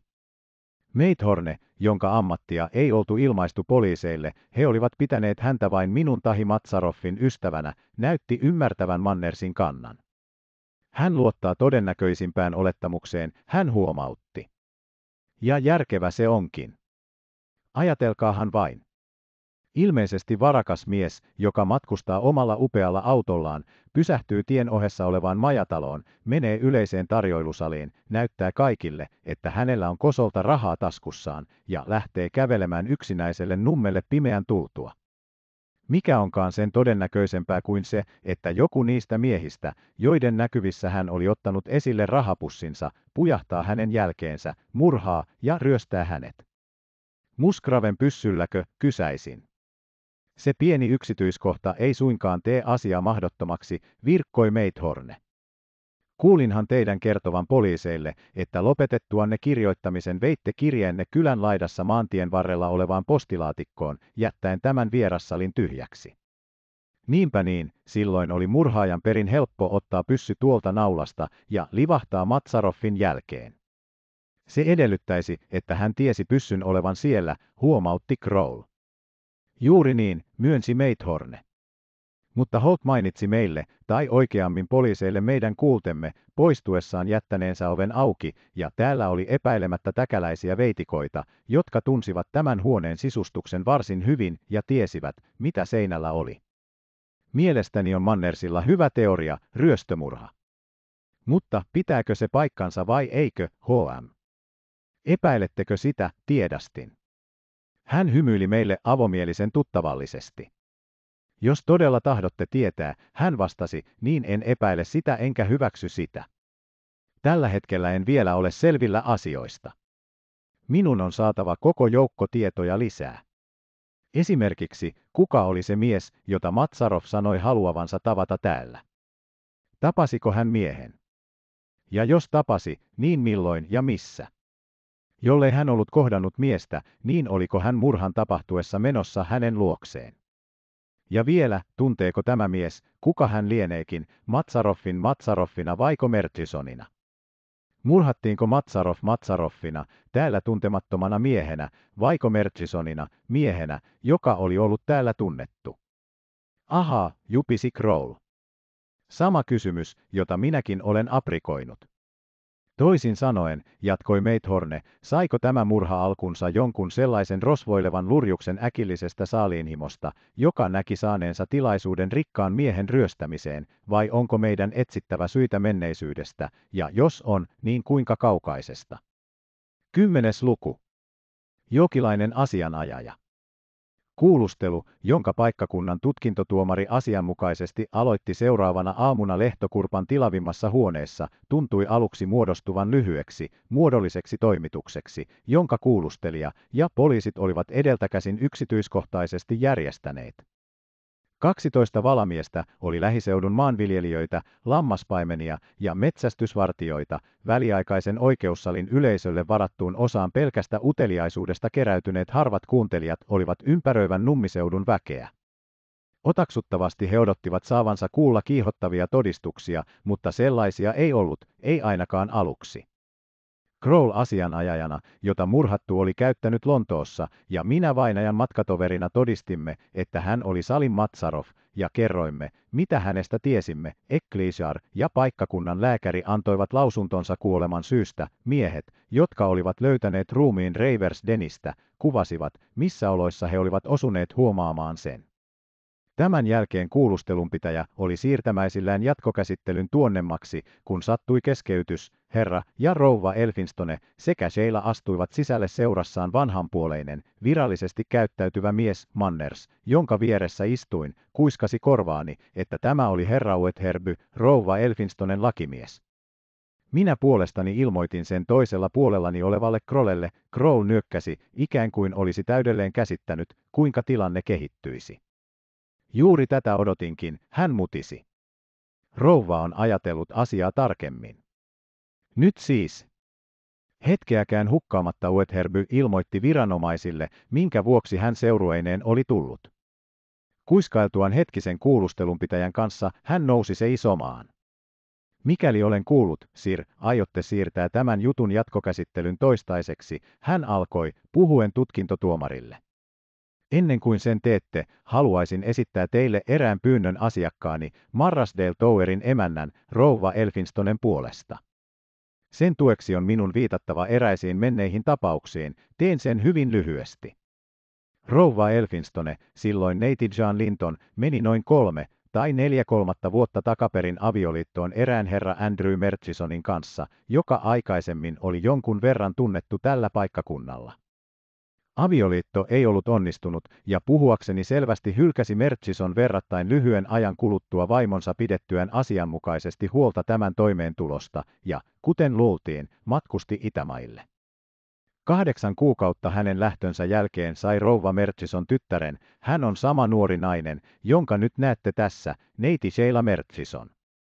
Lapsen syntymästä ilmoitettiin useissa Englannin ja Intian lehdissä, toivottiin, että Merchison huomaisi ilmoituksen, mutta häneltä ei kuulunut vastausta. Merchisonista ei tiedetty mitään ennen kuin muutamia vuosia myöhemmin, jolloin rouva Merchison sai sanoman, että hän oli hukkunut Mombasan lahdella Afrikan itärannikolla ollessaan matkalla Bombeista Durbaniin. Tämä sanoma oli luotettava, voin vakuuttaa teille, Sir, kykeneväni esittämään teille todistuskappaleen, jonka rouva Merchison sai. Siitä ajasta alkaen rouva Merchison piti itseään leskenä ja meni sittemmin uudelleen avioliittoon, jolloin hänestä tuli rouva Elfinstone. Ja nyt joudun pyyntöni syyhyn. Eilen kävi rouva Elfinstonen luona kaksi nyt täällä saapuvilla olevaa herrasmiestä, jotka, kuten olen kuullut, ovat juuri äsken antaneet lausuntonsa, herrat Holt ja Kroll. Herra Krollen kehoituksesta herra Holt kertoi rouva Elfinstonelle, että toisena iltana heidän saavuttuaan tänne lehtokurppaan herra Matsarov oli ilmoittanut hänelle, että vaikka hänellä olikin täysi oikeus käyttää sitä nimeä, jolla hänet nyt tunnettiin, koska hän oli joitakuita vuosia sitten sen laillisesti omaksunut, hän kuitenkin oikeastaan oli se Andrew Merchison, joka oli mennyt avioliittoon John Lintonin kanssa ja sitten hylännyt hänet. Sikäli kuin herra Holt kertoi rouva Elfinstonelle, oli herra Matsarov tuonut esiin päteviä välillisiä todistuksia siitä. Minun tuskin tarvitsee sanoa, Sir, että tämä on hyvin vakava asia päämiehelleni. Hän on neuvotellut siitä kanssani, ja olen sitä mieltä, että kaikille asianosaisille olisi hyvä, jos rouva Elfinstonen sallittaisiin nähdä vainaja, ja siten päästä selville, saattaako hän tuntea hänet Andrew Merchisoniksi. Tuntuu selvältä, että niin on tehtävä, myönsi tutkintotuomari. Kenties haluatte seurata päämiestänne, herra Uetherby. Useimmat kuuntelijat olivat hillityn kiihkon vallassa rouva Elfinstonen ja hänen asianajajansa poissa ollessa. Jotkut vanhemmat heistä kuiskailivat keskenään, Merchisonin nimi oli herättänyt uinuvia muistoja. Mutta useimmat meistä odottivat jännittyneen äänettöminä. Kun vilkaisin salaa päin seilaan, näin hänen istuvan silmät hievahtamatta tähdättyinä oveen, josta hänen äitinsä täytyi palata, kasvoillaan kiinteän odottava ilme. Arvasin, mitä hänen mielessään liikkui. Mutta kun rouva Elfinstone Uetherbyn seurassa jälleen ilmestyi ovesta, olivat hänen kasvonsa ilmeettömät, ikään kuin olisivat olleet veistetyt marmorista. Hänen silmissään ja huulillaan ei ollut jälkeäkään mielenleikutuksesta eikä levottomuudesta, hän oli ehdottoman itsehillinnän ruumiillistuma. Tutkintotuomarin kehoituksesta hän meni todistajain paikalle ja antoi lausuntonsa. Sen suppea sisältö oli, hän ei voinut tuntea vainajaa Andrew Merchisoniksi. Jos kasvonpiirteet olisivat säilyneet eheinä, niin hän muka ehkä olisi voinut ratkaista, mutta asiain näin ollen se oli mahdotonta. Hän ei voinut sanoa, että mies oli Mertsison, mutta ei toisaalta myöskään voinut väittää, ettei hän ollut. Ammattinsa puolesta Crow nousi ja teki rouva Elfinstonelle kysymyksen. Rouva Elfinstone, oliko Andrew Merchison vasen silmäkiero? Rouva Elfinstone nyökkäsi empimättä myöntävästi. Oli kyllä, hän virkkoi, ja lisäksi hyvin selvästi. Crow kääntyi puheenjohtajan puoleen. Monet henkilöt voivat todistaa, että sillä onnettomalla miehellä, jonka kuoleman johdosta tätä kuulustelua pidetään, oli vasen silmäkiero, hän puhui. Hänellä oli myöskin syntymämerkki, ruskea luomi oikeassa kyynärvarressa. Sellainen merkki on kuitenkin luullakseni varsin tavallinen, enkä pidä sitä erikoisen tärkeänä. Mutta lujan vakaumukseni mukaan on saatavissa lisätodistuksia siitä, että vainaja oli Andrew Merchison, ja ehdottaisin. Sitä ei tarvitse lainkaan epäillä, kuului äkkiä huudahdus katselijain joukosta. Mies oli Andrew Merchison. Tiesin, kenen ääni se oli, ennen kuin edes vilkaisin taakseni. Vanha herra Hassendeane, jonka olin pannut merkille, kun Kroll ja minä tulimme huoneeseen, oli noussut istuimeltaan ja hymyili vakuuttavasti tutkintotuomarille. Ennen kuin viime mainittu ennätti virkkaa mitään hän jatkoi. En aikonut puhua mitään koko jutusta, ennen kuin näin, mitä tapahtui, herra tutkintotuomari. Mutta koska rouva Elfinstone ei voi olla varma, niin sopinee minun vakuuttaa, että minä olen. Menneinä päivinä tunsin Andrew Merchisonin varsin hyvin, silloin, kun hän usein kävi täällä, ja myöhemmin hänen ollessaan nuori mies, tunsin hänet myöskin sitten, kun hän oli mennyt avioliittoon neiti Lintonin, nykyisen rouva Elfinstonen kanssa. Ja muistan kasvoja erittäin hyvin, tunsinkin hänet varsin helposti, kun näin hänet äskeisenä iltana. Hän oli Andrew Merchison, siitä ei ole epäilystäkään. Tosin kaksi tai kolme kolmatta vuotta vanhempana. Missä näitte tämän miehen, herra Hassendeane? Keskeytti tutkintotuomari ilmeisesti ällistyneenä tästä uudesta käänteestä. Näin hänet samana iltana, jona hän ilmeisesti sai surmansa, vastasi vanha herra. Se oli Bönsiden kylän raitilla, lähellä taloani. Olin ollut puutarhurini majalla, ja palatessani raittia pitkin näin pitkän miehen sytyttämässä sikaariaan Metkalfen talon porttikäytävässä, tuuli hiukan. Hän piti tulitikkua hyvin likellä kasvojaan, joten eroitin ne selvästi ja panin merkille silmän kierouden, jonka muistin oikein hyvin. Ettekö puhutellut häntä, tiedusti kuulustelija. En, vastasi Hassendeane. Se oli mielessäni, mutta saatuaan sikarinsa palamaan hän pyörsi ympäri ja poistui Deniä ja Haikaplodgea kohti. Oletteko aivan varma, että hän oli Andrew Merchison? Ehdottoman varma. Mies oli Andrew Merchison, miksi hän lienee viime vuosina itseään nimittänytkin. Tutkintotuomari katsahti sen pöydän ympärille kokoontuneihin asianajajien, jonka yläpäässä hän itse istui. Meidän lienee parasta siirtää jatkokäsittely kaksi viikkoa tuonnemmaksi, hän lausui. Sillä välin. Samassa aukaisi eräs konstaapeli oven, päästäen sisälle nuoren miehen, jolla oli silmälasit nenällään ja joka päättäen huoneen ympäri luomastaan kiihkeän kysyvästä katseesta pelkäsi toimituksen jo päättyneen. Tutkintotuomari pysähtyi ja silmäili häntä kysyvästi. Oletteko saapunut tänne kuulustelun johdosta, Sir hän tiedusti. Aiomme juuri. Tulija otti esille käyntikorttikotelon, lähestyi pöydän päätä ja kuiskasi muutamia sanoja kuulustelijan korvaan. Tutkintotuomarin kasvoilla välähti sekavan hämmästyksen ilme, vielä pari sanaa, ja hän katsahti taaskin pöydän ympärille. Käsiteltävänämme näyttää olevan omituisen salaperäinen juttu, vaikka kuolema jätettäisiinkin kokonaan huomioon ottamatta, hän virkkoi. Tämä herrasmies, hän vilkaisi käyntikorttiin, asianajaja herra Steven Postlethwaite Jookista, kertoo eilen lukeneensa tämän jutun selostuksia sanomalehdistä ja rientäneensä tänne antamaan eräitä tietoja. Meidän lienee paras kuulla ne nyt. Ehkä suvaitsette mennä todistajan paikalle ja ilmoittaa meille sen, mitä varten olette tullut. Postlethwaite astui väliaikaisesti kyhättyyn todistaja-aitioon ja muodollisesti vakuutti olevansa asianajaja ja toimivansa Jorkissa Lendal kadun 293. Hän otti esille päiväkirjan ja luki julki syyskuun 23. päivänä tehdyn merkinnän, jossa mainittiin herra Salim Matsaroffin käynnistä. Herra Matsarov, hän jatkoi, jota en ollenkaan tuntenut, vaikka olin nähnyt hänet kaupungilla yhtä tai kahta päivää aikaisemmin erään nuoren herrasmiehen seurassa, joka näkyy olevan täällä saapuvilla, ilmoitti tulleensa jokkiin muutamiksi päiviksi ja majailevansa Not Eastern hotellissa. Hän oli muka saapunut Lontoosta omalla autollaan ja aikoi pistäytyä vielä kauempana pohjoisessa, siihen hän lisäsi olevansa kotoisin pohjoisesta, mutta olleensa poissa Englannista useita vuosia ja mielivänsä nyt palattuaan sijoittua Lontooseen. Sitten hän ilmoitti olevansa hyvin varakas, hankkineensa omaisuutensa erinäisillä liikepuuhilla Itämailla ja viimeksi suurilla timanttikaupoilla Etelä-Afrikassa. Nyt hän oli vetäytynyt syrjään liike-elämästä, muuttanut koko omaisuutensa rahaksi ja tallettanut saamansa varat eteläafrikkalaisen Imperial Pankkiyhtymän Lontoon konttoriin, aikoen sijoittaa ne tähän maahan.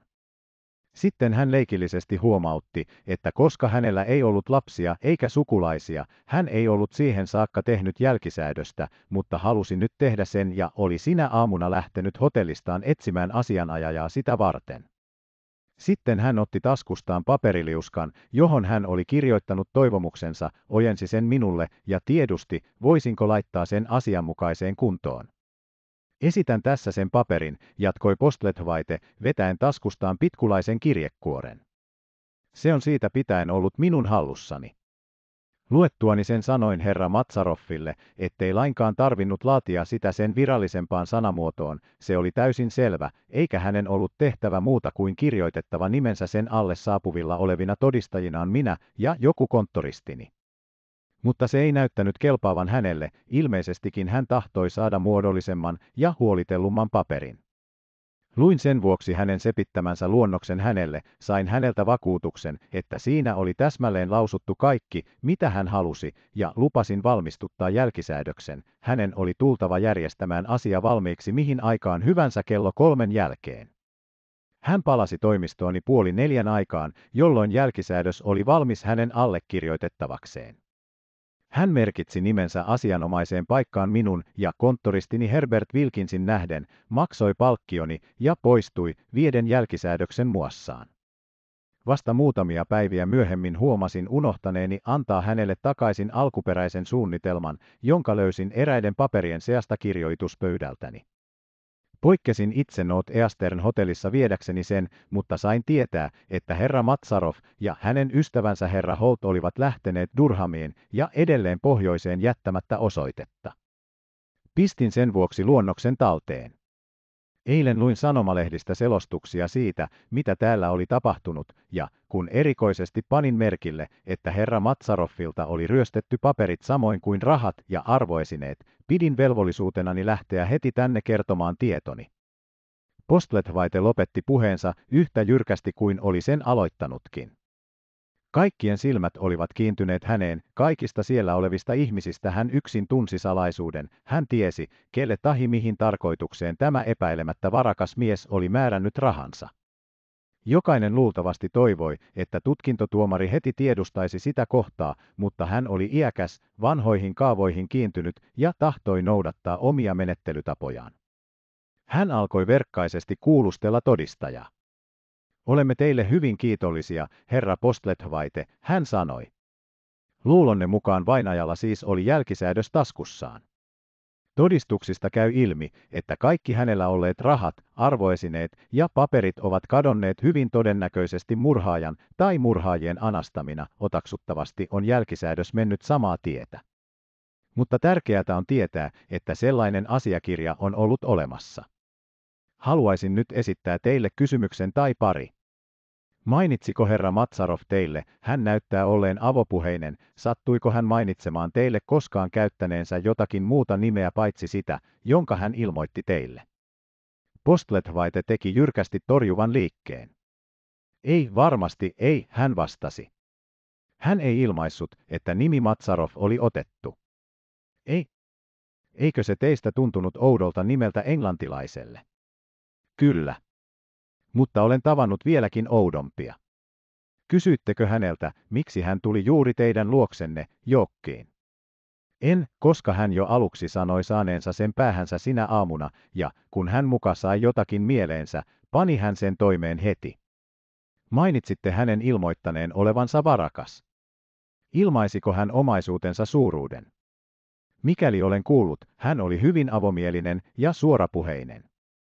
Niin, Kyllä hän ilmaisi sen. Hän sanoi, että hänellä oli noin 800 000 puntaa. Tutkintotuomari nojautui taaksepäin tuolissaan, pani sormiensa päät vastakkain ja katsoi ympärilleen salissa olijoihin. Sitten hän jälleen kääntyi todistajan puoleen. Pyydän vaivata teitä lukemaan jälkisäädöksen luonnoksen, herra Postlethwaite, hän virkkoi rauhallisesti. Postlethwaite otti pitkulaisesta kuoresta paperiarkin ja alkoi lukea haudan hiljaisuuden vallitessa. Minun, Salim Matsaroffin, joka asun Hotel Cecilissä, Lontoossa, Midlesesin kreivikunnassa ja Darlinkadun varrella kapkaupungissa, Etelä-Afrikassa, viimeinen tahtoni on seuraava. Tällä jälkisäädöksellä määrään kaiken omaisuuteni, sekä kiinteän että irtaimen, joka minulla kuollessani on tahi johon minulla silloin on oikeus, Mervyn Holtille, joka asuu Lontoossa, Jermyn katu 559a, hänen täydelleen hallittavakseen. Samalla määrään sanotun Mervyn Holtin tämän jälkisäädökseni ainoaksi toimeenpanijaksi ja kumoan kaikki aikaisemmat jälkisäädökseni ja määräykseni. Siinä oli kaikki mutta äkkiä huomasin, että kaikkien katseet olivat kääntyneet todistajasta minuun. 11. luku. Poliisien otaksuma. Ensimmäinen seikka, jonka täsmälleen tajusin jorkilaisen asianajajan ilmoituksen aiheuttaman musertavan tunteen jälkeen, sillä totta puhuen se vaikutti minuun lamauttavammin kuin kertaakaan pommin räjähtäminen maailmansodassa, oli Krolen ääni korvani juuressa. Pysykää tyynenä, Holt, hän kuiskasi kiihkeästi. Pysykää tyynenä, rauhallisena. Luullakseni vain kuulin hänen sanansa niitä käsittämättä, silmäilin tutkintotuomaria ja tunsin, että häneen ikään kuin oli kiteytynyt kaikki se, mitä tässä huoneessa olevat ihmiset ajattelivat ja aprikoivat. Äkkiä hän esitti tuikean kysymyksen Postlethwaitelle. Oliko varsinaisen, vainajan asianomaisesti vahvistaman jälkisäädöksen sanamuoto juuri tämä? Täsmälleen, vakuutti Postlethwaite. Tämä on luonnos, vainajan käsialalla kirjoitettu, josta varsinainen jälkisäädös jäljennettiin. Tutkintotuomari katseli ympärilleen, ei erikoisesti kehenkään. Tietääkseni ei jälkisäädöstä ole löydetty, hän sanoi. Otaksuttavasti on murhaaja sen anastanut vainajan muiden paperien joukossa. Ei kukaan tiedä siitä mitään, vai kuinka? Uetherby ponnahti seisoalleen luoden minuun syrjäsilmäyksen. Koska jälkisäädöksessä määrätty perillinen herra Holton saapuvilla, hän virkkoi, niin haluaisin kysyä häneltä, tietääkö hän siitä mitään. Tunsin Krolen nykivän hihastani, mutta hypähdin pystyyn. En tiedä siitä mitään, huudahdin. En ole milloinkaan kuullut siitä. Uetherby katsahti minuun uudelleen, hänen katseessaan oli pureva ilme, joka harmitti minua kovasti, ja tunsin veren kohoavan poskiini. Te ja vainaja olitte luullakseni hyvin läheisiä ystävyksiä, sanoi hän tyynesti. Eikö asia ole niin? Meistä oli tullut läheiset ystävykset, hyvin läheiset, vastasin. Mutta, hän keskeytti minut, heilauttaen kättään ja hymyilen taaskin ilkeästi. Niin läheisiä ystävyksiä, että hän jättää teille kaikki rahansa, tavattoman omaisuuden. Ja määrää teidät viimeisen tahtonsa ja jälkisäädöksensä ainoaksi toimeenpanijaksi, eikä sittenkään edes mainitse teille hyvistä aikeistaan ja teidän harvinaisesta onnestanne, hän jatkoi melkein pilkallisesti. Oletteko varma, ettei muistinne petä? Olen varma jostakin muustakin kuin siitä, kivahdin rohkeasti. En tiedä kerrassaan mitään Matsaroffin jälkisäädöksestä, en ole tiennyt hänen tehneen sellaista. Mutta sen tiedän, että jos Matsarov todella oli Mertsison ja jos hänen jälkisäädöksensä löytyy ja minä joudun hoitamaan hänen rahojaan, siirrän ne niille henkilöille, joille ne kuuluvat, hänen leskelleen ja tyttärelleen. Kuuletteko sen, herra Uetherby jollette, niin sanon sen vielä kerran. Mutta tällöin oli Crow tarttunut käsivarteeni ja kiskoi minua istumaan. Istukaa, Holt, te nuori aasi, hän supatti kiivaasti. Istukaa. Antakaa minun hoitaa tämä asia.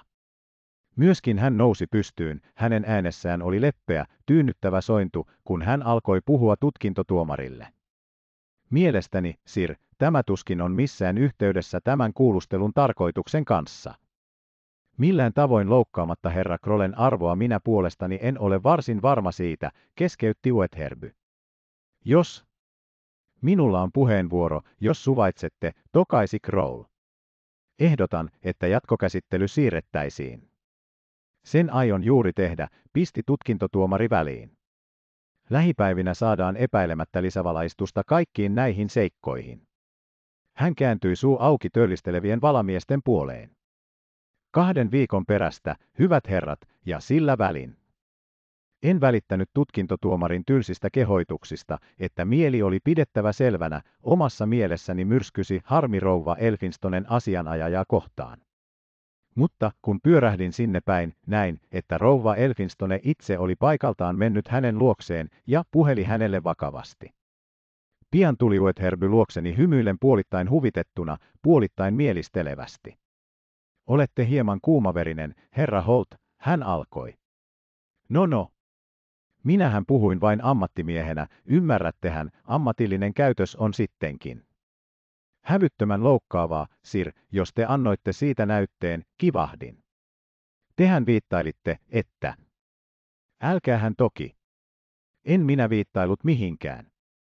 Keskeytti hän lepyttävästi. Minun on huolehdittava asiakkaani eduista, tuo Crow ja Postlethwaite olisivat menetelleet aivan samoin. Toistan vielä, on kummallista, ettei Matsarov eli Merchison maininnut teille mitään jälkisäädöksestään. Mutta koko juttu on kummallinen, hän jatkoi, vilkaisten ympärilleen, ja minä puolestani ehdotan, että me lakimiehet ja ne, joita asia koskee, keskustelisimme hetkisen, jos vain voimme löytää sopivan paikan. Vein heidät yksityiseen vierassaliin, jonka Matsarov ja minä olimme tilanneet ja jota minä edelleen pidin hallussani. Sinne tulivat kolme asianajajaamme, Rouva ja herra Elfinstone, ja Sheila Meithorne neuvotteli jo poliisien kanssa rauhallisessa sopukassa samassa huoneessa, jossa kuulustelu oli pidetty. Sitä seuranneen keskustelun aikana puhuivat enimmäkseen asianajajat, se koski yksinomaan kadonneen jälkisäädöksen löytämismahdollisuuksia ja sitä, voitaisiinko alkuperäinen luonnos, joka oli kirjoitettu Matsaroffin käsialalla ja jossa myös oli hänen allekirjoituksensa, saattaa voimaan, jos varsinainen jälkisäädös pysyisi kadoksissa. Neuvottelu ei kiinnittänyt mieltäni, kaiken sen jälkeen, mitä olin kuullut, olin päättänyt, etten ottaisi pennyäkään vainajan rahoista. Ja minä keskeytin kömpelön karkeasti lakimiesten virallisen puhelun. Te kaikki unohdatte, sanoin, että tehdessään jälkisäädöksensä Jorkissa herra Matsarov eli, kuten häntä mielestäni on nimitettävä, herra Mertsison ei tiennyt, että hänellä oli tytär. He kaikki kääntyivät katsomaan minuun. Arveletteko, että hän olisi tehnyt toisenlaisen jälkisäädöksen, jos olisi tiennyt sen, kysyi Uetherby. Voin sanoa vain sen, mitä tiedän, vastasin. Kun Matsarov eli Mertsison kertoi minulle avioliitostaan, karkaamisestaan ja muista niiden yhteydessä olevista seikoista, mainitsi hän, että jos olisi syntynyt lapsi ennen hänen lähtöään, hän varmastikaan ei olisi poistunut. No niin, hän palasi vuosikausien kuluttua ja sai tietää, että hänellä oli lapsi, tytär. Hän näki tyttärensä. Ja minusta on järkeenmenevää otaksua, että hän siinä tapauksessa halusi jättää omaisuutensa tyttärelleen. Sitä paitsi. Pysähdyin. Päähäni oli äkkiä juolahtanut eräs ajatus, josta olin iloinen. No, tiedusti Uetherby leppoisesti. Ottaen huomioon sen, että hän tänne tultuaan huomasi olevansa isä, jatkoin, on minusta perin ilmeistä, mitä hän teki Jorkissa laatimalleen jälkisäädökselle. Niinkö? Mitä sitten, kysyi Uetherby. Poltti sen tietysti. Vastasin. Miksi hän olisi jättänyt rahansa minulle, kun hänellä kerran oli oma tytär? Jorkissa ollessaan hän ei sitä aavistanut, mutta sai sen tietää tunnin tai parin kuluttua saavuttuamme tänne. Tuo tuntuu järkevältä, mutisi Uetherby. Hän on saattanut tehdä niin. Mutta kysymys on siitä, aikoiko hän ilmaista olevansa Mertrison. Oliko hän Mertrison? Huomautti Postlethwaite. Sen jälkeen keskustelu katkesi hetkeksi. Äkkiä Kroll iski nyrkkinsä pöytään, jonka ääressä istui. Kuka tämän miehen murhasi, hän huudahti ponnekkaasti. Siitä on kysymys. Kuka hänet murhasi ja miksi? Se saattaa olla tavallinen rikos, ryöstöaikeessa. Mutta siinä saattaa piillä enemmänkin. Hän oli ilmeisesti salaperäinen mies. Ja, kuten olen jo aikaisemmin kysynyt, murhattiinko hänet Matsaroffina vai Mertisonina? Minä luulen, että juuria on etsittävä menneisyydestä, kenties hyvinkin kaukaisesta. Mutta minusta tuntuu, että aluksi on murha selvitettävä. Entäpä jos hän ei olekaan Merchison, huomautti Postlethwaite toistamiseen. Entä? En tiedä, mikä hänen toinen olettamuksensa oli. Hän näytti kiihkeästi haluavan tuoda esiin useita, joista ei mikään tuntunut minusta varsin tärkeältä. Juuri silloin astui Meithorne sisään ja sulki oven jälkeensä. Oletteko saanut selville jotakin, tiedusti Kroll. Kyllä, jotakin, vastasi Meithorne. Eikä se olekaan mikään salaisuus. Manners kertoi, että muuan mies, nimeltä Parslave, Ralph Parslave, paremmin tunnettu nimellä Rätti, joka asuu eräässä mökissä Bönsiden liepeillä, ei ole ollut kotona markkinapäivän jälkeen.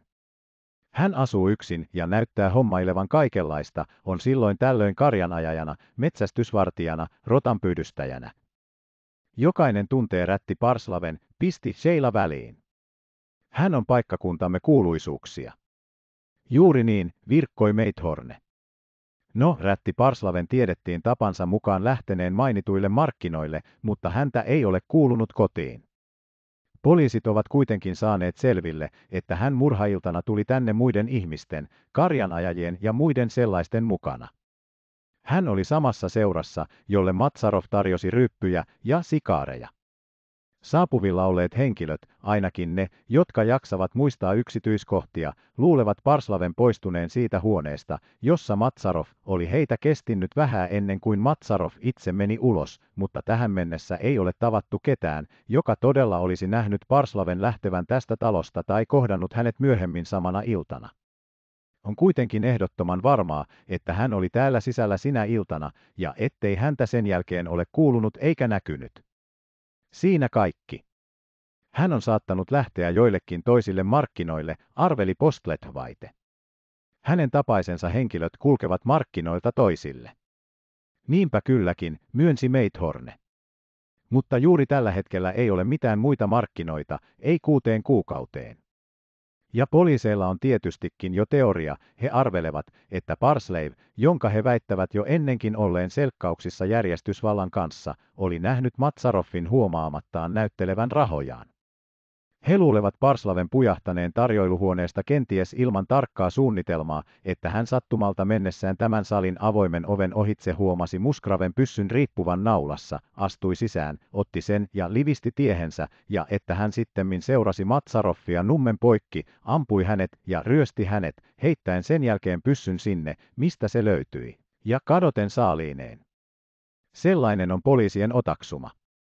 Entä mitä te siitä arvelette, kysyi Wetherby hieman uteliaasti.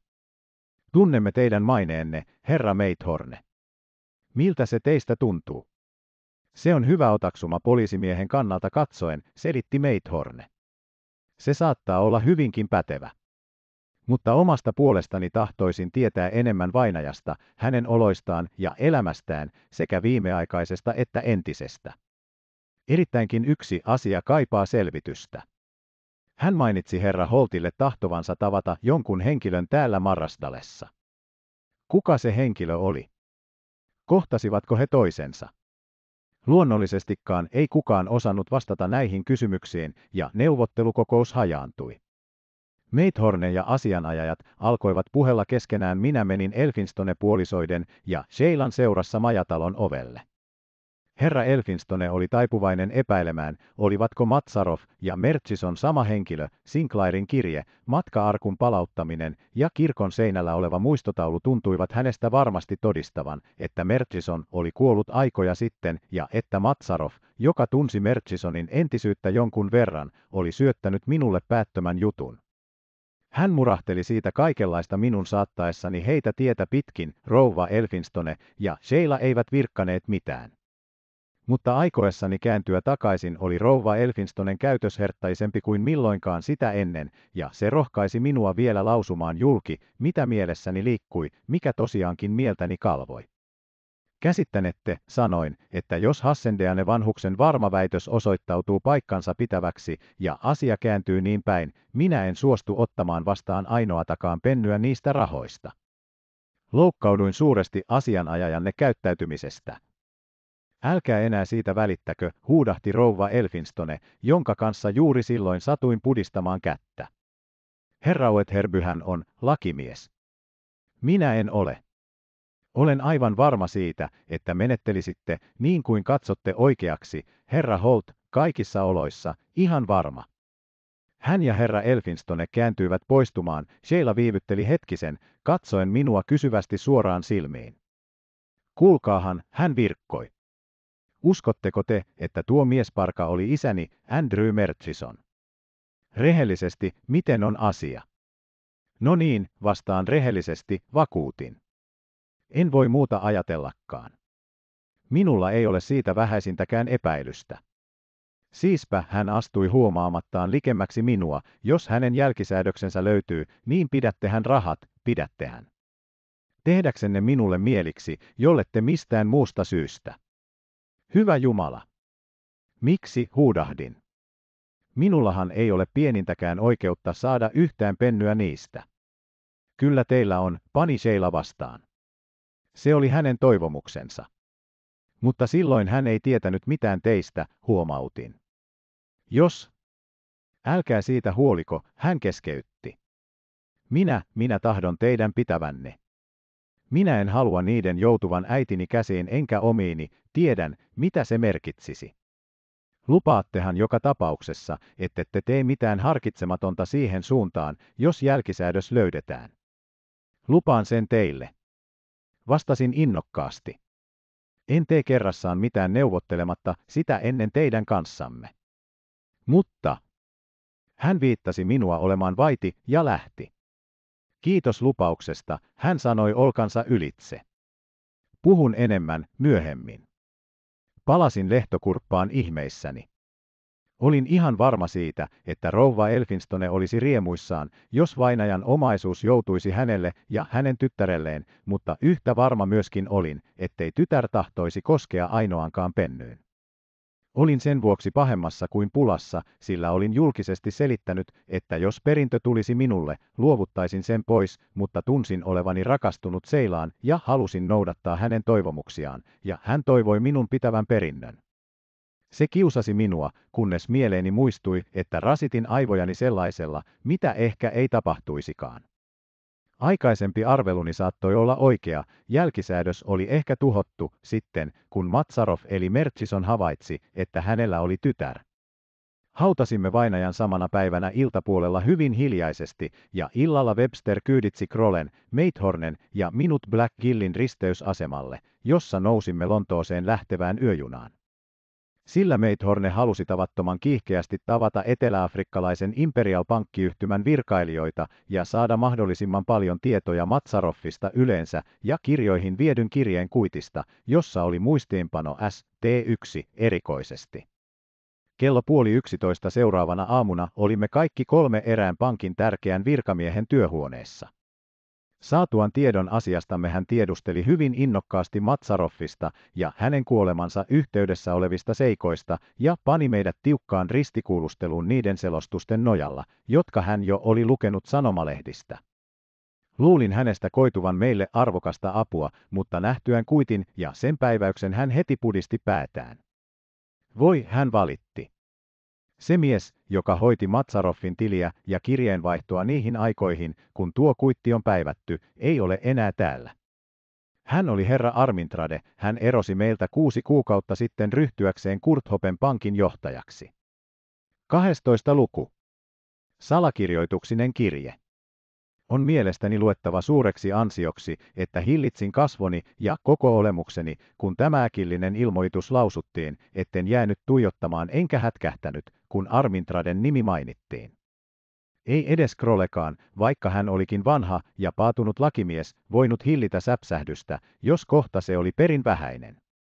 Mutta korkeassa asemassa oleva henkilö, jota puhuttelimme, ei katsonut Kroleen eikä minunkaan, hän oli kiinnittänyt huomionsa seuralaiseemme, jonka nimi ja maine ilmeisesti olivat hänelle hyvin tutut. Ja Meithorne ei tietystikään osoittanut hämmästyneensä, hänen ainaherttaiset ja hilpeät kasvonsa eivät paljastaneet mitään. Aha, äänsi hän. Ymmärrän. Tarkoitatte, että Matsaroffilta hänen Etelä-Afrikassa ollessaan saapuneet kirjeet joutuivat aina tavallisesti herra Armintraden käsiin, ja että herra Armintrade on nyt eronnut liikkeestänne. Juuri niin. Vastasi pankkivirkailija.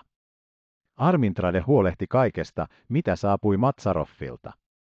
Ja kuten äsken sanoin, Armintrade poistui meiltä kuusi kuukautta sitten, tullen Kurthopen pankin ylijohtajaksi.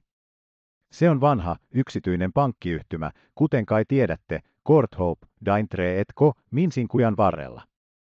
Niin, kyllä tiedän Kurthopen pankin kuulopuheitten mukaan, vastasi Meithorne. Te siis, te itse, ette osaa kertoa meille erittäin paljon Matsaroffista. Kerron sen, minkä tiedän, lupasi haastateltavamme, joka ilmeisesti oli tuiki halukas keskustelemaan kanssamme. Tunnemme Matsaroffin hyvin varakkaaksi mieheksi, jolla oli laajoja kauppa-asioita ja joka viime aikoina hankki ja muitimantteja ja muita jalokiviä Itämailla ja Etelä-Afrikassa. Päätilinsä hän piti Kapkaupungissa olevassa pääkonttorissamme, mutta jo vuosikausia hänellä on ollut pienempi tili avattuna täälläkin. Joku aika sitten hän siirsi tänne tilinsä Kapkaupungista, hän myöskin möi kaikki kiinteimistönsä ja sijoitti tänne niiden hinnan, aikoen kiinnittää ne uudelleen englantilaisiin vakuuksiin. Sitten teillä lienee hänen varojaan melkoinen erä, huomautti Kroll. Olemme saaneet tietää, oikeastaan hän mainitsi sen jorkilaiselle asianajajalle Postlethwaitelle, että se on noin 800 000 puntaa. Niille suunnille, aivan varmasti, myönsi johtaja melkein välinpitämättömästi. Pikemminkin enemmän luullakseni. Niinpä niin, hän oli varakas mies. Mutta jälkisäädös on kadonnut, niin hän sanoitte. Kadoksissa vain toistaiseksi toivottavasti, virkkoi Kroll. Mutta Postlethwaitella on alkuperäinen luonnos, joka on Matsaroffin itsensä kirjoittama ja allekirjoittama. Tässä on siitä jäljennös. Hän ojensi jäljennöksen pankkimiehelle, joka luki sen hitaasti. Tämä nuori herrasmies on jälkisäädöksessä mainittu Mervyn Holt, huomautti Kroll. Johtaja silmäili minua ymmärtävän näköisesti kultasankaisten silmälasiensa ylitse ja kumarsi minulle ystävällisesti. Onnittelen teitä, herra Holt, hän sanoi hymyillen. Se on tavoittelemisen arvoinen omaisuus. Se ei ole vielä hänellä, huomautti Crow nauraen. Sitä ennen on paljon suoritettava. Mutta nyt voitteko kertoa meille mitään Matsaroffista henkilökohtaisesti? En sanottavasti mitään, vastasi johtaja. Hän kävi täällä, mutta vain kerran, oltuaan jonkun aikaa Lontoossa. Näin hänet, juuri tässä huoneessa. Hän ei viipynyt täällä viittä minuuttia ja mainitsi tulleensa vain ilmoittamaan meille saapuneensa Lontooseen ja sijoittuneensa Hotel Ceciliin. Hän aikoi muka pistäytyä Pohjois-Englannissa ja käydä täällä palattuaan muutamia viikkoja myöhemmin. Ja siinä kaikki. Otaksuttavasti olette lunastaneet hänen maksuosoituksiaan sen jälkeen, virkkoi Meithorne. Siitä voin ottaa selvää, tarjoutui johtaja. Hän soitti kelloaan ja antoi sen johdosta ilmestyneelle konttoristille määräyksen. Tämä poistui, palaten muutamien minuuttien kuluttua ja tuoden tarvittavat tiedot. Ei ainoatakaan herra Matsaroffin maksuosoitusta ole meille esitetty, Sir, sitten, kun herra Matsaroff itse käväisi täällä elokuun 29. päivänä, hän ilmoitti. Silloin hän itse muutti rahaksi 2000 punnan suuruisen maksuosoituksen. Johtaja nyökkäsi ja konttoristi oli poistumaisillaan, mutta Meithorne pysähdytti hänet, katsahtaen hänen päämieheensä. Matsarov kai otti sen rahaerän seteleinä, virkkoi Meithorne. Ja täällä tietysti on muistissa setelien numerot. Voisinko saada ne? Sitä vastaan minulla ei ole mitään muistuttamista, vastasi johtaja. Noutakaa ne, hän käski konttoristia. Luuletteko, hän jatkoi, kääntyen jälleen Meithornen puoleen, että Matsarov murhattiin ryöstötarkoituksessa? Niin, siihen suuntaan viittavat seuraavat seikat, selitti Meithorne. Sikäli kuin olen saanut tietää, tältä herra Holtilta ja eräiltä muilta henkilöiltä, Matsarov oli noita huolettomia ihmisiä, jotka, tahtomatta rehennellä, ymmärrättehän, pelkästä ajattelemattomuudesta näyttelevät taskussaan olevia rahoja. Hän saattoi vetää esille kourallisen seteleitä, jotka olivat irrallaan hänen taskussaan. Eikä ainoastaan seteleitä, jupisi Kroll. Hänellä oli timantteja ja muita arvoesineitä. Liivin taskuissaan. Se johdattaa kiusaukseen.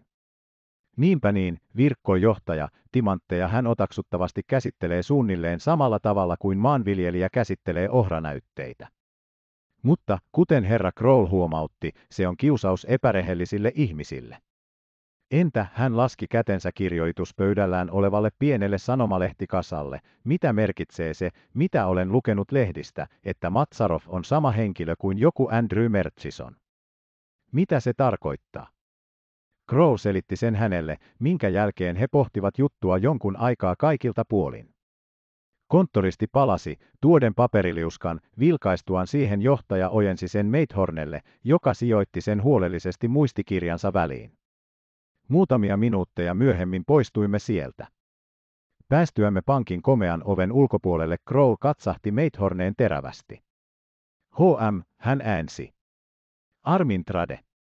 Juuri niin, vahvisti Meithorne. Kuten sanoitte, Armintrade. Sitten he astelivat äänettöminä muutamia metrejä, kun taas minä, joka olin näissä asioissa aloittelija, koettelin arvailla, mitä he miettivät.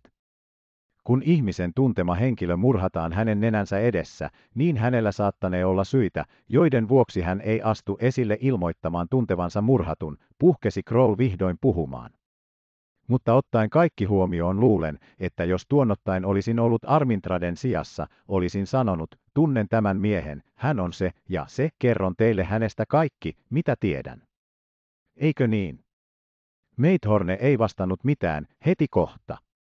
Hän otti esille savukekotelon.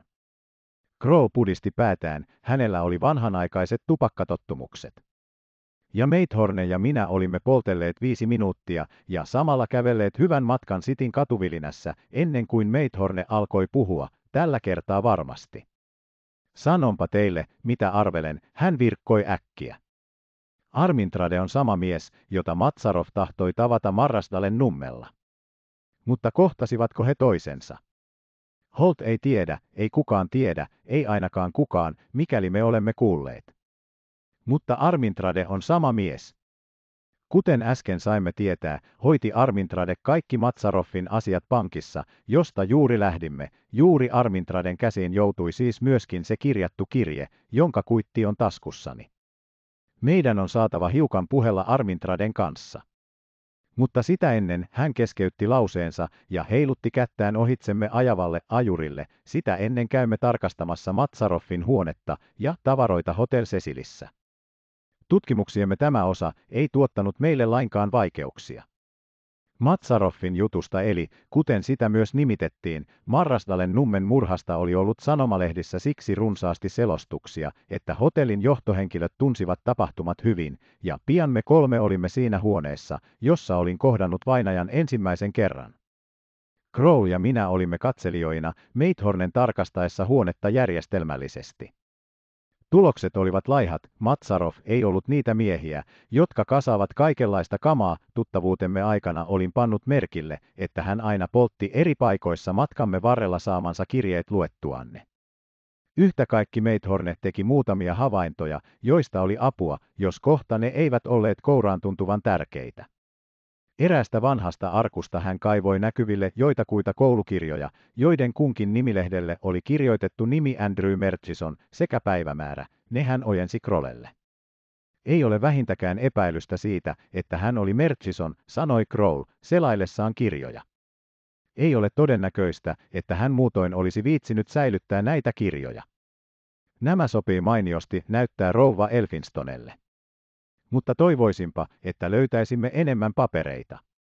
Meithorne löysikin muutamia papereita kirjekotelosta, joka oli Matsaroffin kirjoituspöydällä olevassa lukitsemattomassa lipastossa. Ne olivat kirjeitä, yksityisiä kirjeitä kaikki paitsi yhtä, ne oli viime aikoina lähettänyt kapkaupungista joku Herman Klopp, joka nähtävästi oli Matsaroffin läheinen, henkilökohtainen ystävä. Niissä ei ollut mainittu juuri mitään liikeasioista, ne sisälsivät etupäässä pakinaa, kerhopakinaa, henkilötietoja ynnä muuta sen tapaista vanhojen ystävysten välistä jutustelua. Mutta niillä oli oma arvonsa, huomautti Meithorne, nyt hän tiesi nimen ja osoitteen kapkaupungissa ja voi sähköttää sinne saadakseen vainajasta eräitä tietoja. Se ainoa kirje, joka ei ollut Herman Kelloopin kirjoittama, näkyi erityisesti herättävän kumppanieni mielenkiintoa. Se oli samassa kotelossa kuin kelloopin kirjeet, mutta sen kuoren kielekkeessä oli eteläafrikkalaisen Imperial pankkiyhtymän sinetti ja sen Lontoon konttorin osoite. Meithorne osoitti meille heti postimerkkiä ja päiväystä, kirje oli pantu postiin Lontoossa edellisen tammikuun kolme päivänä. Se on epäilemättä Armintradelta Matsaroffille, arveli Meithorne. Hän oli innostuneen näköinen avatessaan kirjeen, mutta sitten hänen kasvonsa venyivät pitkiksi. Salakirjoitusta huudahti hän. Siinäpä mutka. Paperiarkki oli melkein täynnä kirjoitusta, sen kirjoittaja oli mies, joka, kuten Meithorne kerkeästi huomautti, käytti teräväkärkistä kynää, oli alun perin kouliutunut liikemaailman kynän käyttöön ja jonka numeroista näki, että hän käsitteli niitä yhtä mittaa. Mutta meille kirjeen sisällys oli merkityksetöntä mongerusta, emme ymmärtäneet siitä vähääkään. Mutta jotakin oli paperiarkissa sentään selvääkin, se oli pankin tavallista kirjepaperia, ja arkin etusivun otsikossa oli pankin nimi ja osoite. Kirjeen alku oli ymmärrettävää kieltä, hyvä herra Matsarov. Samoin loppu oli selvä, kunnioittaen John Armintrade. Mutta niiden välillä oli kummallisia sanoja ja numeroita sekasotkuna, joka oli meille hebreaa. Salakirjoitusta toisti Meithorne. Matsaroffilla kai oli sen lukemisen opas. Se oli epäilemättä hänen muistikirjansa välissä ja on niin ollen varastettu. No niin. Sitäkin ilmeisempää on, että meidän on päästävä herra John Armintraden pakinoille. Mutta ensin jotakin muuta. Poistuimme hotellista. Meithorne kiiruhti suoraa päätä lähimpään sähkösanomatoimistoon. Hän tahtoi välttämättä heti sähköttää Herman Kloopille saadakseen eräitä tuiki tarpeellisia tietoja Matsaroffista. Ja kun puolipäivä oli jo aikoja ohitse, menimme me, Kroll ja minä, Romanon ravintolaan haukkaamaan hiukan puolista, olimme kumpikin rasittuneet matkustettuamme yön ja käveltyämme sinne tänne Lontoossa. Se on kummallinen juttu, Holt, sanoi Kroll, kun olimme sijoittuneet mukavaan ja rauhalliseen soppeen. Tarkoitan sitä, mitä olemme saaneet selville tänä aamuna. Oletteko nähnyt Armintraden? Vain melkein kuin ohimennen vastasin. Kurthopen metsästyshuvilassa silloin, kun neiti Mertrison vei minut sinne tiedustamaan, oliko siellä kuultu mitään Matsaroffista. Minkälainen mies hän on? Minä en tunne häntä lainkaan. Ovela veitikka luullakseni. Näyttää siltä, että hän tahtoisi kuulla kaikki, mutta ei suostu virkkamaan mitään. No, tähän asti hän on osoittautunut luulonne mukaiseksi, huomautti Kroll. Olisi odottanut hänen tulleen ilmoittamaan olleensa liikeasioissa Matsaroffin kanssa. Mutta hänpä ei hiiskunut sanaakaan. Hän näyttää sellaiselta mieheltä, joka vastaa siihen, ettei Matsaroffin kuolema ole hänen asiansa. Sellaisen vaikutuksen hän tekee. Niinpä niin, virkkoi Kroll, meidän on saatava selko muutamista seikoista, siitä kyllä Meithorne pitää huolen. Toivoisin, että saisimme käsimme jälkisäädöksen, teidän tähtenne. Minä en sitä toivo, tokaisin. Olen sen jo sanonut, ja syynkin. Älkää olko hupsu, hän moitti. Älkää milloinkaan kieltäytykö ottamasta vastaan rahaa, nuori mies. Vainaja halusi antaa rahansa teille. Ottakaa ne, jos vain saatte. Ehkä on paljoa parempi, että ne joutuvat teille, kuin jos ne saisi leski, joka rouva Elfinstone lain mukaan on, ja tytär. Se johti mieleeni, mitä Sheila oli edellisenä päivänä puhunut. Ja kun jo tiesin, että Kroll oli kokenut ja taitava mies, kerroin hänelle siitä lyhyestä keskustelusta. Miksi hän niin kiihkeästi haluaa, etteivät rahat joutuisi hänelle ja hänen äidilleen, kysyin. Crow laski samassa veitsensä ja haarukkansa lautaselleen, nojautui taaksepäin tuolissaan, mietti hetkisen ja naurahti sitten hiljaa. Sukkela tyttö, hän kehui. Mitä tarkoitatte? Hän kumartui tutunomaisesti eteenpäin. Näin meidän kesken, Holt, hän vastasi. Jollemme lainkaan ota huomioon Matsaroffin jälkisäädöstä, niin minkälainen on taloudellinen asemanne? No niin, minulla on tuloja noin 500 puntaa vuodessa omasta kohdastani, ilmoitin, ja luullakseni saan lisää toiset 500 tahi 600 isäni kuoltua. Kas niin, hän huudahti. Siis tuhannen punnan vuositulot. Nyt esitän teille toisen kysymyksen, poikani. Jos rouva Elfinstone tyttärineen, erikoisesti äiti, saisi kahdeksan tai 900 000 punnan suuruisen omaisuuden, niin luuletteko, että rouva Elfinstone, joka on hieman maailmallinen ja kunnianhimoinen nainen, olisi taipuvainen antamaan tyttärensä verrattain köyhän miehen puolisoksi? Tämä on todellisuuden eikä haaveiden maailma, nuori mies. Mihin tähtäätte, huudahdin.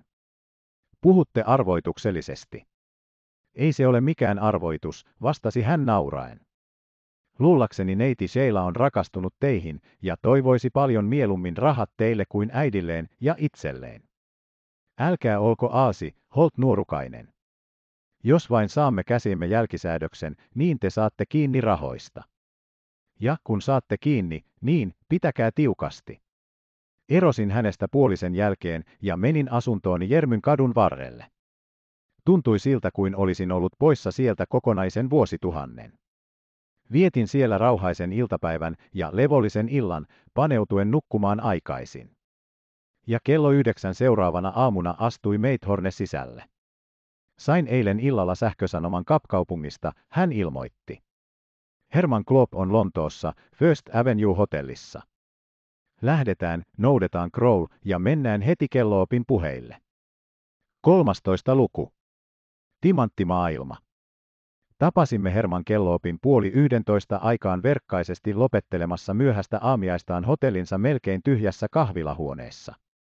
Hän oli pieni, ketterä, juutalaisen näköinen mies, hyvin huolellisesti ja muodikkaasti puettu, mutta yllään enemmän kultakoruja ja timantteja kuin englantilaiset tavallisesti käyttävät.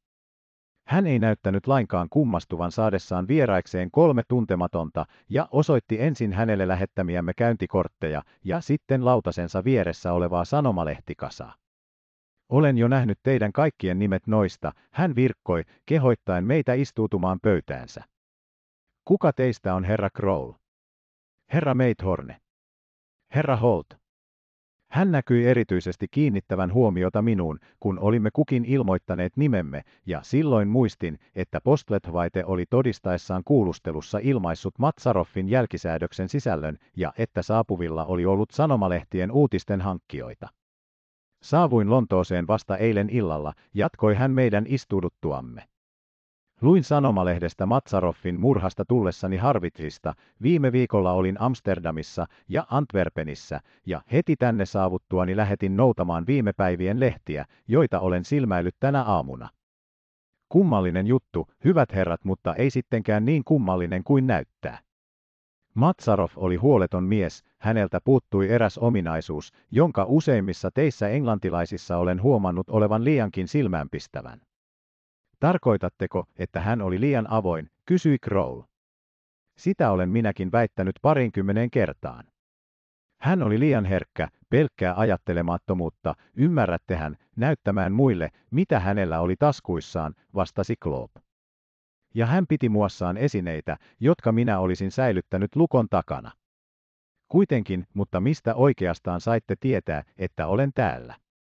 Löysimme nämä teidän lähettämänne kirjeet Matsaroffin asunnosta Hotel Cecilistä, selitti Meithorne, ottaen esille kirjekotelon, jonka hän oli tuonut muassaan, ja päätellen niistä, että olitte vainajan hyvin likeinen ystävä, sähkötin eilen aamulla kapkaupunkiin teidän osoitteellanne ja sain illalla vastauksen, että olette täällä. Oletteko lukenut jutun selostuksia, herra Kloop? Olen lukenut kaikki, mitä on näissä lehdissä, vastasi Kloop, laskien sormuksien koristamat sormensa paksulle pinkalle. Poliisit näkyvät epäilevän erästä paikkakuntalaista, muotta kyläläistä, jolla ei ole varsin hyvä maine. Saattaa olla niin, mutta kun tunnen Matsaroffin, niin luulisin, että murhalla on syvemmät syyt kuin pelkkä ryöstöhimo. Koska olen näiden sanomalehtien selostuksista nähnyt, että herra Holt oli Matsaroffin toverina hänen pohjoiseen suunnatulla retkellään ja hänen seurassaan koko ajan myöskin Lehtokurpan majatalossa, niin tahtoisin pyytää herra Holtia ilmoittamaan minulle pari, kolme seikkaa, sellaisia kysymyksiä, jotka ovat pälkähtäneet päähäni, ymmärrättehän? Vastaan kaikkeen, mihin osaan, vakuutin. No niin, jatkoi hän. Matkallanne pohjoista kohti te epäilemättä pysähdyitte monissa paikoissa ja hotelleissa. Kyllä, varsin useissa, vastasin. Ettekö koskaan huomannut mitään sellaista, mikä olisi pannut teidät ajattelemaan, että teitä, se on, että Matsaroffia seurattiin, tiedusti hän. En voi sanoa huomanneeni mitään sellaista. Ettekö esimerkiksi pannut merkille, että joku mies tai jotkut miehet jokseenkin säännöllisesti ilmestyivät samoihin hotelleihin, joihin te majoituitte, kysyi hän. Tarkoitan, ettekö huomannut sanokaamme Stamfordissa jotakuta miestä, jonka myöhemmin näitte esimerkiksi Granthamissa, sitten jälleen Yorkissa ja ehkä sittemmin Durhamissa. Käsitättekö tarkoitukseni? Minä käsitän, huudahti Kroll. Ja se kannattaakin ottaa huomioon pinnistäkää muistianne, Holta. Jännitin muistiani ankarasti.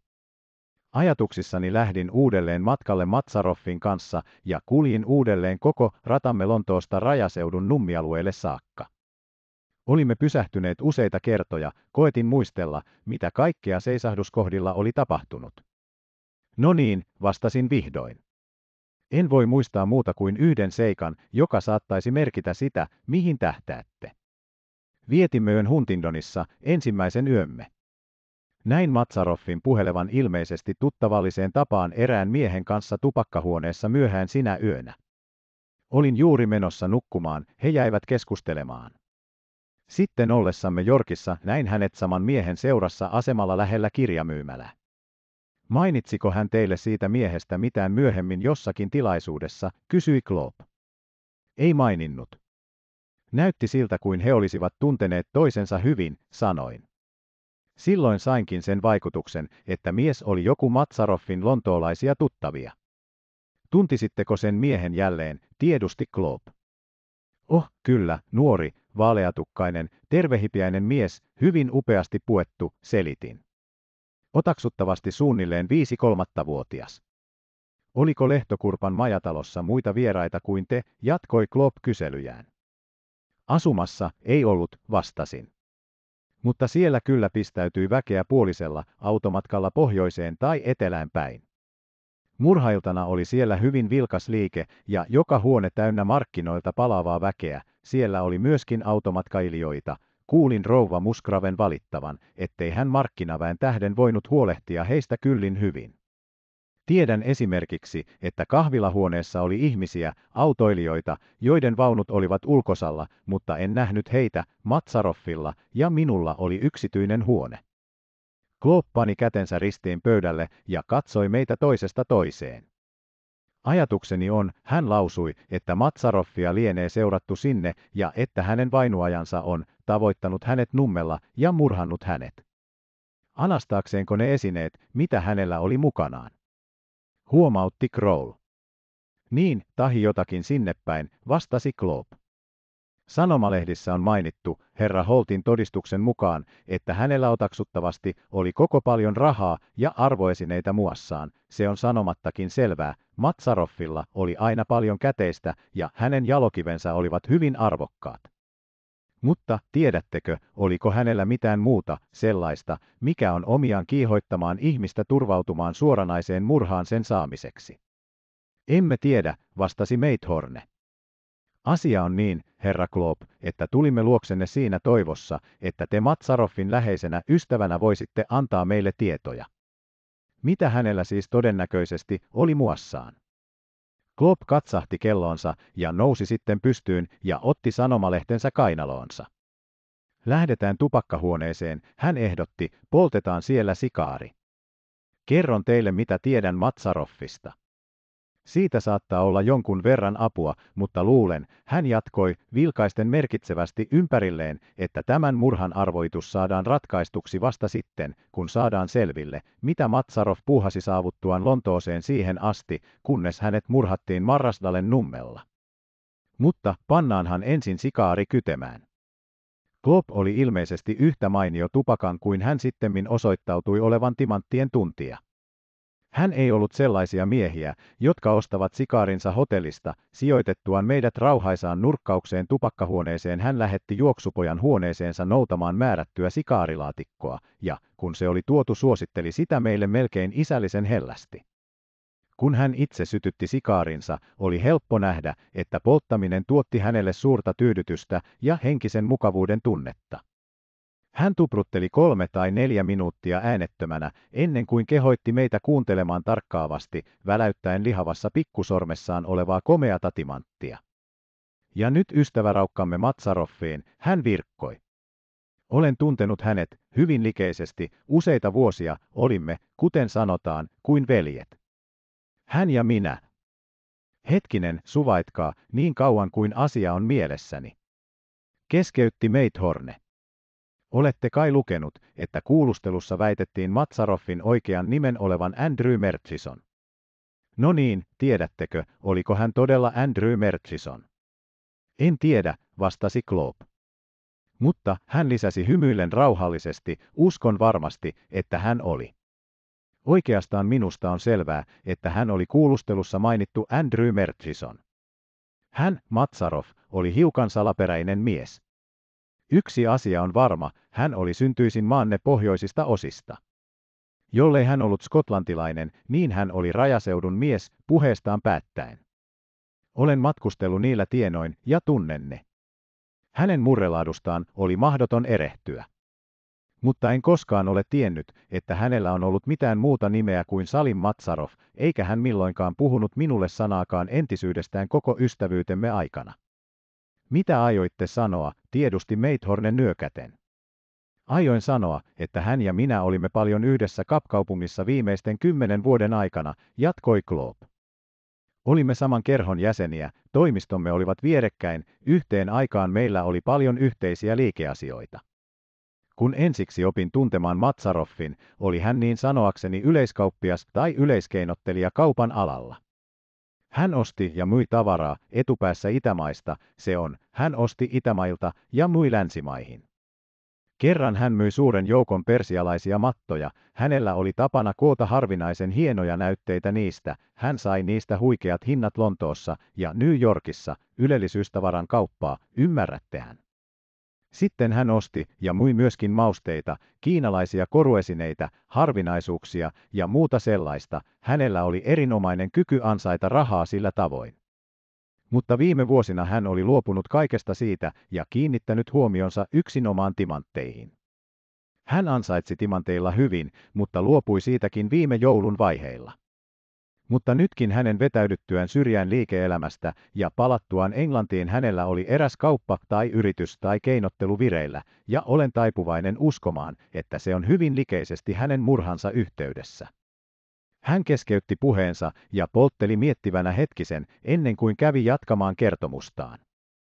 Tähän mennessä hän puhkesi vihdoin jälleen puhumaan, ei noissa näy olevan mitään siihen viittaavaa, mistä aion teille kertoa. Viime talvena Matsarov sai käsiinsä samantekevää miten, sillä se on hänen salaisuutensa, yksi hänen monista salaisuuksistaan timanttikaupoissa, todella suuremmoisen sinisen timantin. No, sininen timantti on sininen timantti, jos kattelette timantteja käsittelevistä kansantajuisista kirjoista kuuluisien kivien värillisiä kuvia, niin näette, että on keltaisia, oranssinkeltaisia, vihreitä ja ruusunpunaisia timantteja, mutta ei kovinkaan monta sinistä, ne ovat tosiaan harvinaisia. Se sininen timantti, jonka Matsarov oli saanut, oli poikkeuksellisen komea. Olen itse nähnyt mainion sinisen toivon, Matsaroffin kivi oli parempi sekä koltaan että laadultaan. Se painoi 55 ja puoli karaattia, sen väri ja valontaittamiskyky olivat oivalliset. Uskon, oikeastaan olen varma, ettei sitä kapkaupungissa nähnyt kukaan muu kuin minä, Matsarov lähetti sen Englantiin. Hän. Kelle pisti Meithorne väliin? Sitä en tiedä, vastasi Kloop, hymyillen nopealle kysymykselle. Hän ei kertonut minulle kaikkia asioitaan. Meithorne otti esille kapkaupungista lähetetyn, kirjoihin viedyn kirjeen kuitin ja ojensi sen Kloopille. Luuletteko, että tämä kuitti koskee sitä lähetystä, hän kysyi. Katsokaa takapuolella olevaa muistiinpanoa, se on Matsaroffin käsialaa. Klopp tarkasti huolellisesti paperipalasta kummaltakin puolelta ja ojensi sen sitten takaisin, nyökäten varman näköisenä. Epäilemättä, hän vakuutti.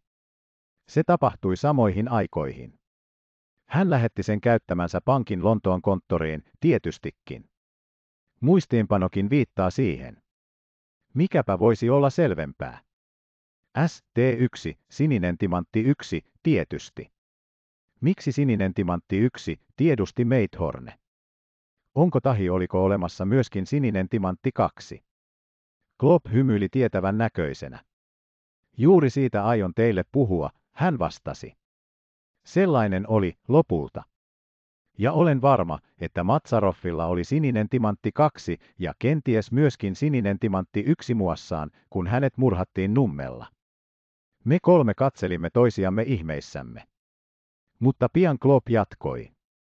Sitten, kun Matsarov oli saanut haltuunsa ensimmäisen sinisen timantin, alkoi hän melkein mielipuolisen kuumeisesti tavoitella toista.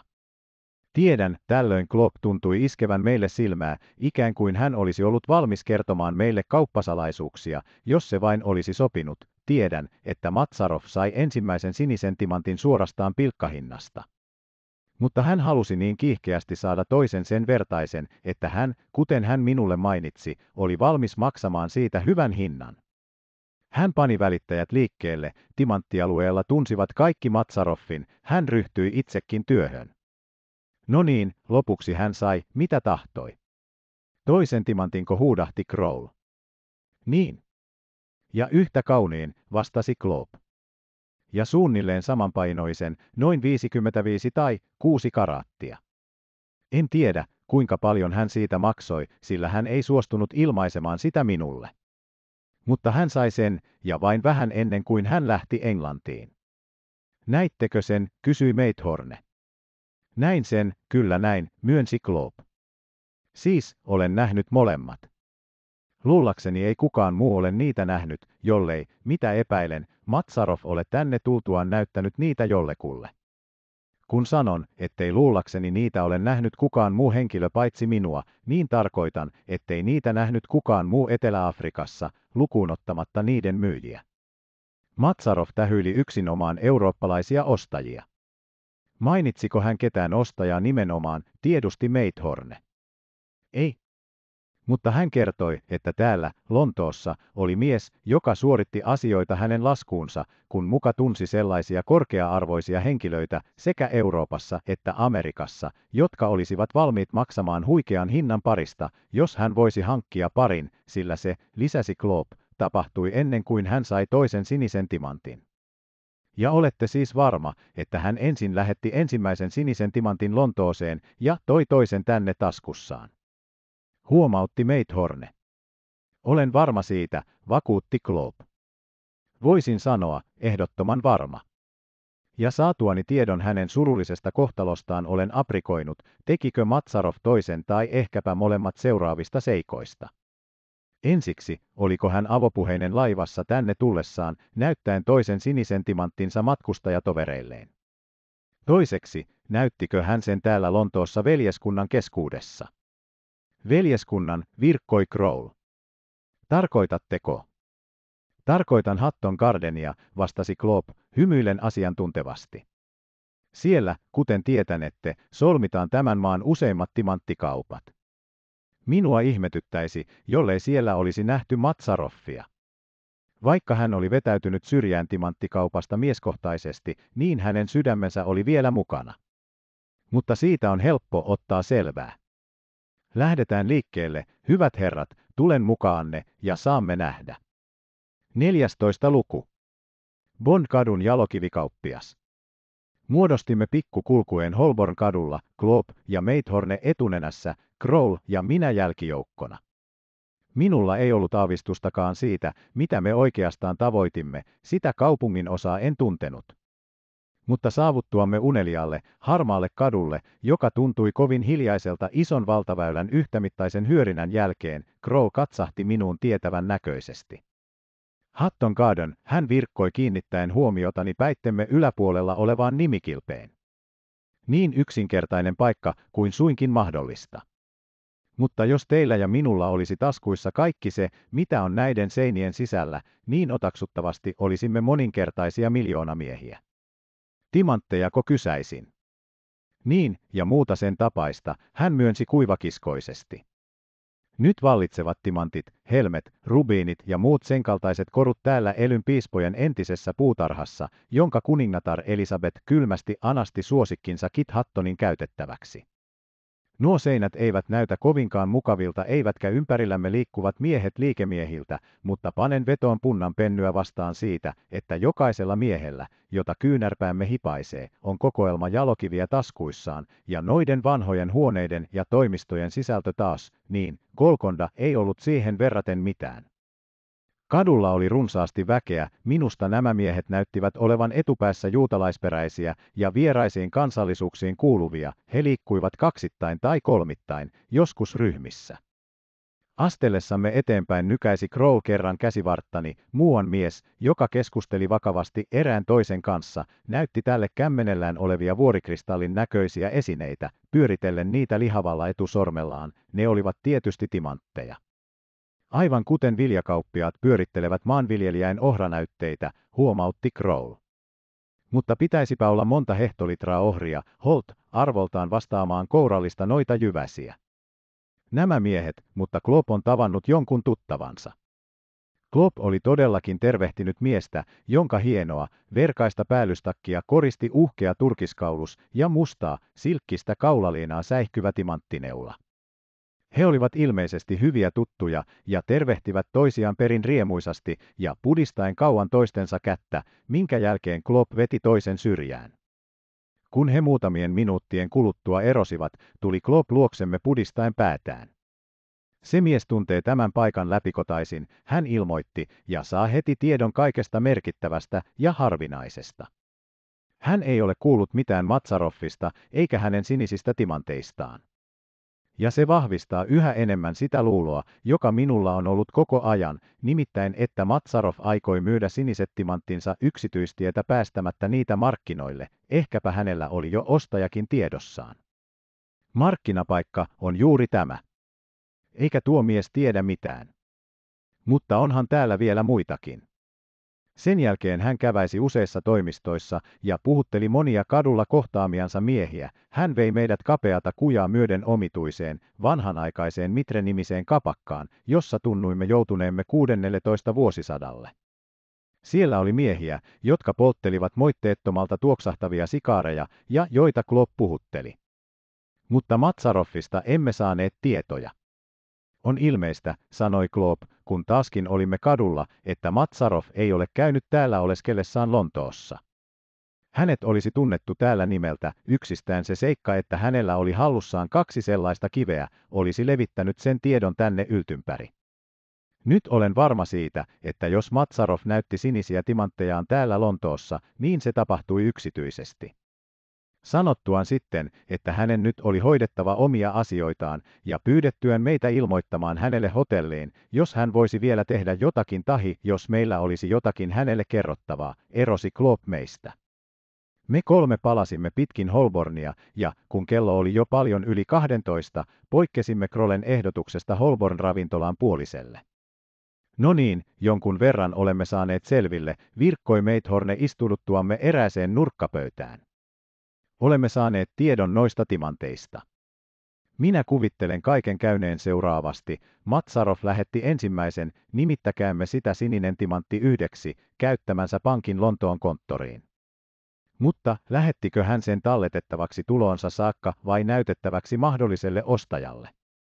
Minun luullakseni näytettäväksi, menenpä vielä pitemmällekin, ottaen huomioon salakirjoituksi sen kirjeen. Arvelen, että Armintrade, joka silloin työskenteli eteläafrikkalaisen Imperial pankkiyhtymän Lontoon konttorissa, sen lisäksi, että hän pankin puolesta hoiti Matsaroffin kirjeenvaihtoa, lisäksi oli, otaksuttavasti jonkun aikaa, myöskin yksityisesti kirjeenvaihdossa Matsaroffin kanssa. Ajattelen, että Armintrade otti huostaansa ensimmäisen sinisen timantin, kunnes Matsarov saapuisi tuoden toisen, ja otaksuttavasti sillä välin kuulusteli sopivaa ostajaa molemmille. Mutta ei timanttien kauppakeskuksessa huomautti Kroll.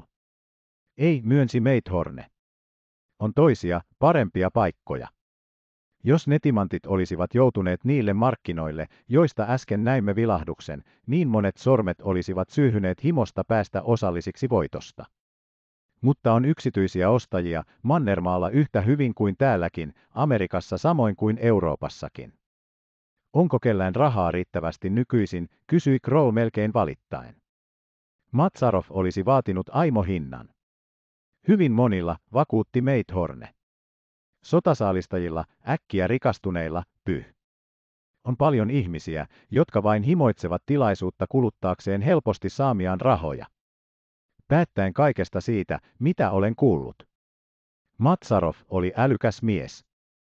Otaksuttavasti hän laski seuraavasti, Englannissa on paljon ihmisiä, jotka, olkootpa keinot oikeat tahi väärät, ovat hankkineet suunnattomia omaisuuksia sodan aikana. Nämä ihmiset, kuten hyvin tiedämme, tahtovat mahtailla tahi oikeammin mahtailevat.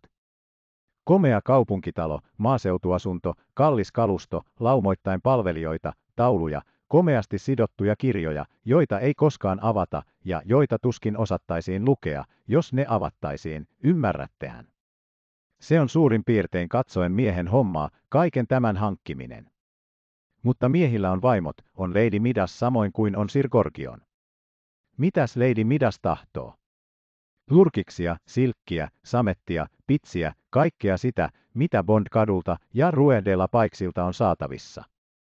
Mutta enemmän kuin mitään näistä, timantteja mitäpä on muodikas nainen ilman timantteja, eivätkä 500 punnan sormukset ja 10 000 punnan kaulaketjut riitä, hän vaatii otsakoristuksen, ja vielä enemmänkin, sen pitääkin olla oikein erikoinen. Hänen tukkansa saa olla tekotukka ja hänen ihonsa keltainen kuin pergamentti, mutta timantteja pitää välkkyä kummassakin. Luultavasti Matsarov oli selvillä kaikesta tästä ja suunnitteli saavansa Lady Midasta etsimänsä ostajan. Mitä arvelette? Niinpä niin, epäilemättä ette ole kovin paljoa väärässä, vastasi Crow nauraen. Oletteko kenties saanut selville Lady Midaan osoitteen? Tällä hetkellä, huomautti Meithorne, on Lady Midalla monta osoitetta. Toistaiseksi on penkomistyötä toisaalla. Minusta tuntuu, että sitä on monella taholla, sanoi Kroll. vielä emme ole saaneet vähäkään valaistusta Mombasan juttuun. Ei voida lainkaan epäillä, että Merchison oli sillä laivalla, livahti sieltä, jättäen sinne tavaransa, ja pääsi onnellisesti maihin kadotakseen olemasta Merchisonina ja ilmestyäkseen jälleen Matsaroffina. Mutta minkä tähden? Minä pidän sitä ratkaistuna kysymyksenä, vastasi Meithorne. Kaikki yksityiskohdat viittaavat juoneen. Hänellä oli silloin syytä kadota, ja hän saattoi toteuttaa sen varsin helposti. Lähtiessään bombeista hän samalla erosi entisyydestään. Jos voisimme ottaa siitä selkoa, niin otaksuttavasti saisimme nähdä, että hän oli siirtänyt rahansa Etelä-Afrikkaan jo ennen kuin poistui Intiassa, että matkaarkun ja muiden tavaroiden jättäminen oli silmänlumetta. Hän tietystikin pääsi rantaan hyvin helposti ja lähti alkamaan uutta elämää toisena miehenä. Taaskin, mistä syystä, tiedusti Kroll. Minä luulisin syyksi sen, että hän tahtoi päästä varmasti eroon kotimaahan jättämästään rouva Merchisonista, sanoi Meithorne kuivasti. Hän tahtoi tämän luulevan häntä kuolleeksi.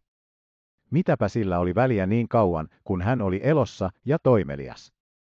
Hän näyttää muuten olleen varsin toimelias Matsaroffinakin.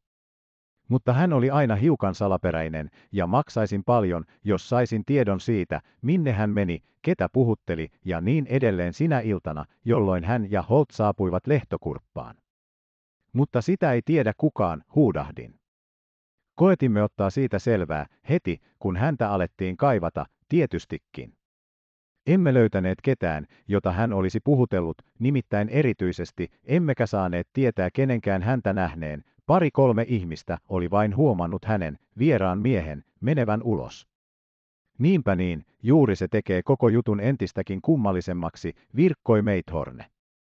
Varmaa on, että hän sinä päivänä kohtasi jonkun, jolta hän sai tietoja rouva Elfinstonesta ja neiti Merchisonista, sen hän kertoi teille, eikö niin? Kyllä, myönsin. No niin, kuka oli se henkilö, jatkoi hän. Hän ei ole ilmoittautunut. Mitä te kumpikin arvelette siitä? Ei kumpikaan meistä osannut arvella siitä mitään, emmekä virkkaneet mitään. Meithorne, joka istui Krolea ja minua vastapäätä, laski veitsen ja haarukan käsistään ja kumartui pöydän ylitse puoleemme. Entäpä, hän supatti salaperäisen merkitsevästi, entä, niin, entä jos se oli hänen vaimonsa? Rouva Elfinstone, huudahdin. Rouva Merchison lain mukaan, vastasi hän. Juuri niin. Entä jos se olikin hän? Tämä otaksuma näytti vaikuttavan Kroleen vieläkin voimakkaammin kuin minuun, hänen suunsa avautui ja hän hätkähti. Mutta ennen kuin hän ehti sanoa mitään, pujotteli ihmisten täyttämän huoneen läpi nuori mies, lähestyen häntä. Tuli ja kumarsi, ojensi Krolelle käyntikortin ja kuiskasi jotakin. Kroll katsahti korttiin ja sitten ovelle. Odottaako hän ulkona, hän kysyi. Tuokaa hänet tänne, Rollinson, pyytäkää häntä tulemaan seuraani, näyttäkää hänelle tietä. Rollinson, Krollen konttoristeja, poistui ja Kroll viskasi kortin pöydälle meidän nähtäväksemme. Se oli hyvin soma, kauniisti painettu kortti, siinä oli nimi Adolf Robenius ja osoite Bond katu 508, 2 V. Sen omistaja oli komea, perin hienosti puettu herra, West Endin muodikkaan liikemiehen ja kunnioitettavien piirteiden perikuva. Bond-kadun jalokivikauppiaat ovat keikareita, kuiskutti Kroll, kun Frobenius konttoristin opastamana lähestyi nurkkaamme. Hän on asiakkaani ja naapurini asuu lähelläni Wimbledonissa. Taitava mies. Kasvain, Frobenius, hän jatkoi, tervehtien vierasta. Onpa hauska, että sait minut tavoitetuksi. Oletko syönyt puolista? No, polta sitten seurassamme sikaari ja ryyppää kahvia. Suo minun esittää seuralaiseni, herra Meithorne, herra Mervyn Holt. Olen melkein varma, hän lisäsi hymyillen viekkaasti, että olet jo ennen kuullut heistä kummastakin. Herra Meithornesta usein, vastasi jalokivikauppias, kumartain kohteliaasti, ja herra Holtista lukiessani sanomalehdistä selostuksia Matsaroffin jutusta. Juuri sen jutun vuoksi, Kroll, hän jatkoi, olenkin tullut sinua tapaamaan. Niin ajattelinkin, sanoi asianajaja. Arvasin sen heti. Olemme hyvillämme kaikista tiedoista. Tulimme Lontooseen ottamaan selkoa Matsaroffin asioista, ja näin meidän kesken kulutimme tänä aamuna tunnin Hatton Gardenissa, kysellen hänestä, mutta tuloksitta. Tunsitko hänet? Frobenius, joka juuri oli ottanut sikaarin Krolen kotelosta, viritti sen ja veti muutamia savuja ennen kuin vastasi tähän kysymykseen. Olen lukenut sanomalehdistä paljon selostuksia tästä jutusta, hän alkoi vihdoin puhua. Useimmat niistä ovat luultavasti sikäläisten uutisten hankkijain lähettämiä. Myöskin luin, ja huolellisemmin kuin muut tiedot, selostuksen kuulusteluista. Tietystikin huomasin, että siinä oli mainittu teidänkin nimenne, herrat Kroll ja Holt. Ja tulin puheillesi, Kroll, koska olen melkein varma, että kohtasin Matsaroffin joku aika sitten melkoisen harvinaisissa oloissa. Sepä jotakin, huudahti Kroll. Mutta joko tapasit hänet tai et tavannut häntä. Minkä tähden melkein? Sen tähden, ettei kohtaamaani miestä minulle lainkaan esitelty, vastasi Frobenius. Minä vain tapasin hänet. Mutta hän oli silmänpistävä mies, ja sanomalehtien kuvaukset Matsaroffista sopivat häneen. Kerron, miten kaikki kävi. Sinä, Kroll, tiedät hyvin, minkälaista liikettä harjoitan ja millaiset suhteet minulla on West Endissä. No niin, viimeksi kuluneen vuoden aikana olen tehnyt kauppoja erään Sir Samuelin ja Lady Leiken kanssa. Sir Samuel on nousukas, suoraan puhuen, hän hankki tavattoman omaisuuden tavarahankinnoilla äskeisen sodan aikana, hän on luultavasti moninkertainen miljoonamies. Noin vuosi sitten hän osti Lordi Mulworthyn talon Parklanen varrella, hänellä on myöskin, niin olen kuullut, hyvin komea maaseutuasunto Buckinghamshiressä. Hän ja Lady Leike, etupäässä jälkimmäinen, ovat ostaneet minulta paljon jalokiviä sekä kulta- ja hopeaesineitä, ymmärtänette, lisäsi hän, hymyillen tyynen tietävästi, että heidän, HM, oli välttämättä hankittava esineitä, joita heillä ei menneinä aikoina ollut. Esimerkiksi Lady Leike on ostanut minulta hyvän joukon jalokiviä, ja rohkenenpa väittää, että hän on saanut erinomaisen käsityksen maustani ja kokemuksestani. Se on kunniaksi hänen maulleen, pisti Crow kohteliaasti väliin. No niin, jatkoi jalokivikauppias myhäillen, nyt joudun kertomukseni tärkeään kohtaan. Noin kuukausi tai viisi viikkoa takaperin kutsuttiin minua eräänä iltapäivänä puhelimeen. Soittaja oli Sir Samuel Leike. Hän pyysi minua heti tulemaan Parklanen varrelle katsomaan ja arvostelemaan erästä hänelle tarjottua timanttia. Lupasin olla hänen luonaan muutamissa minuuteissa ja niin olinkin käytettyäni autoa.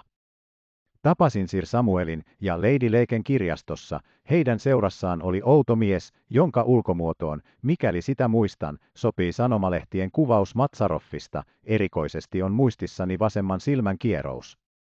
Häntä ei esitelty minulle nimeltään, huolimatta varoistaan eivät Sir Samuel ja Lady Leike oikein tunne, käsitättehän.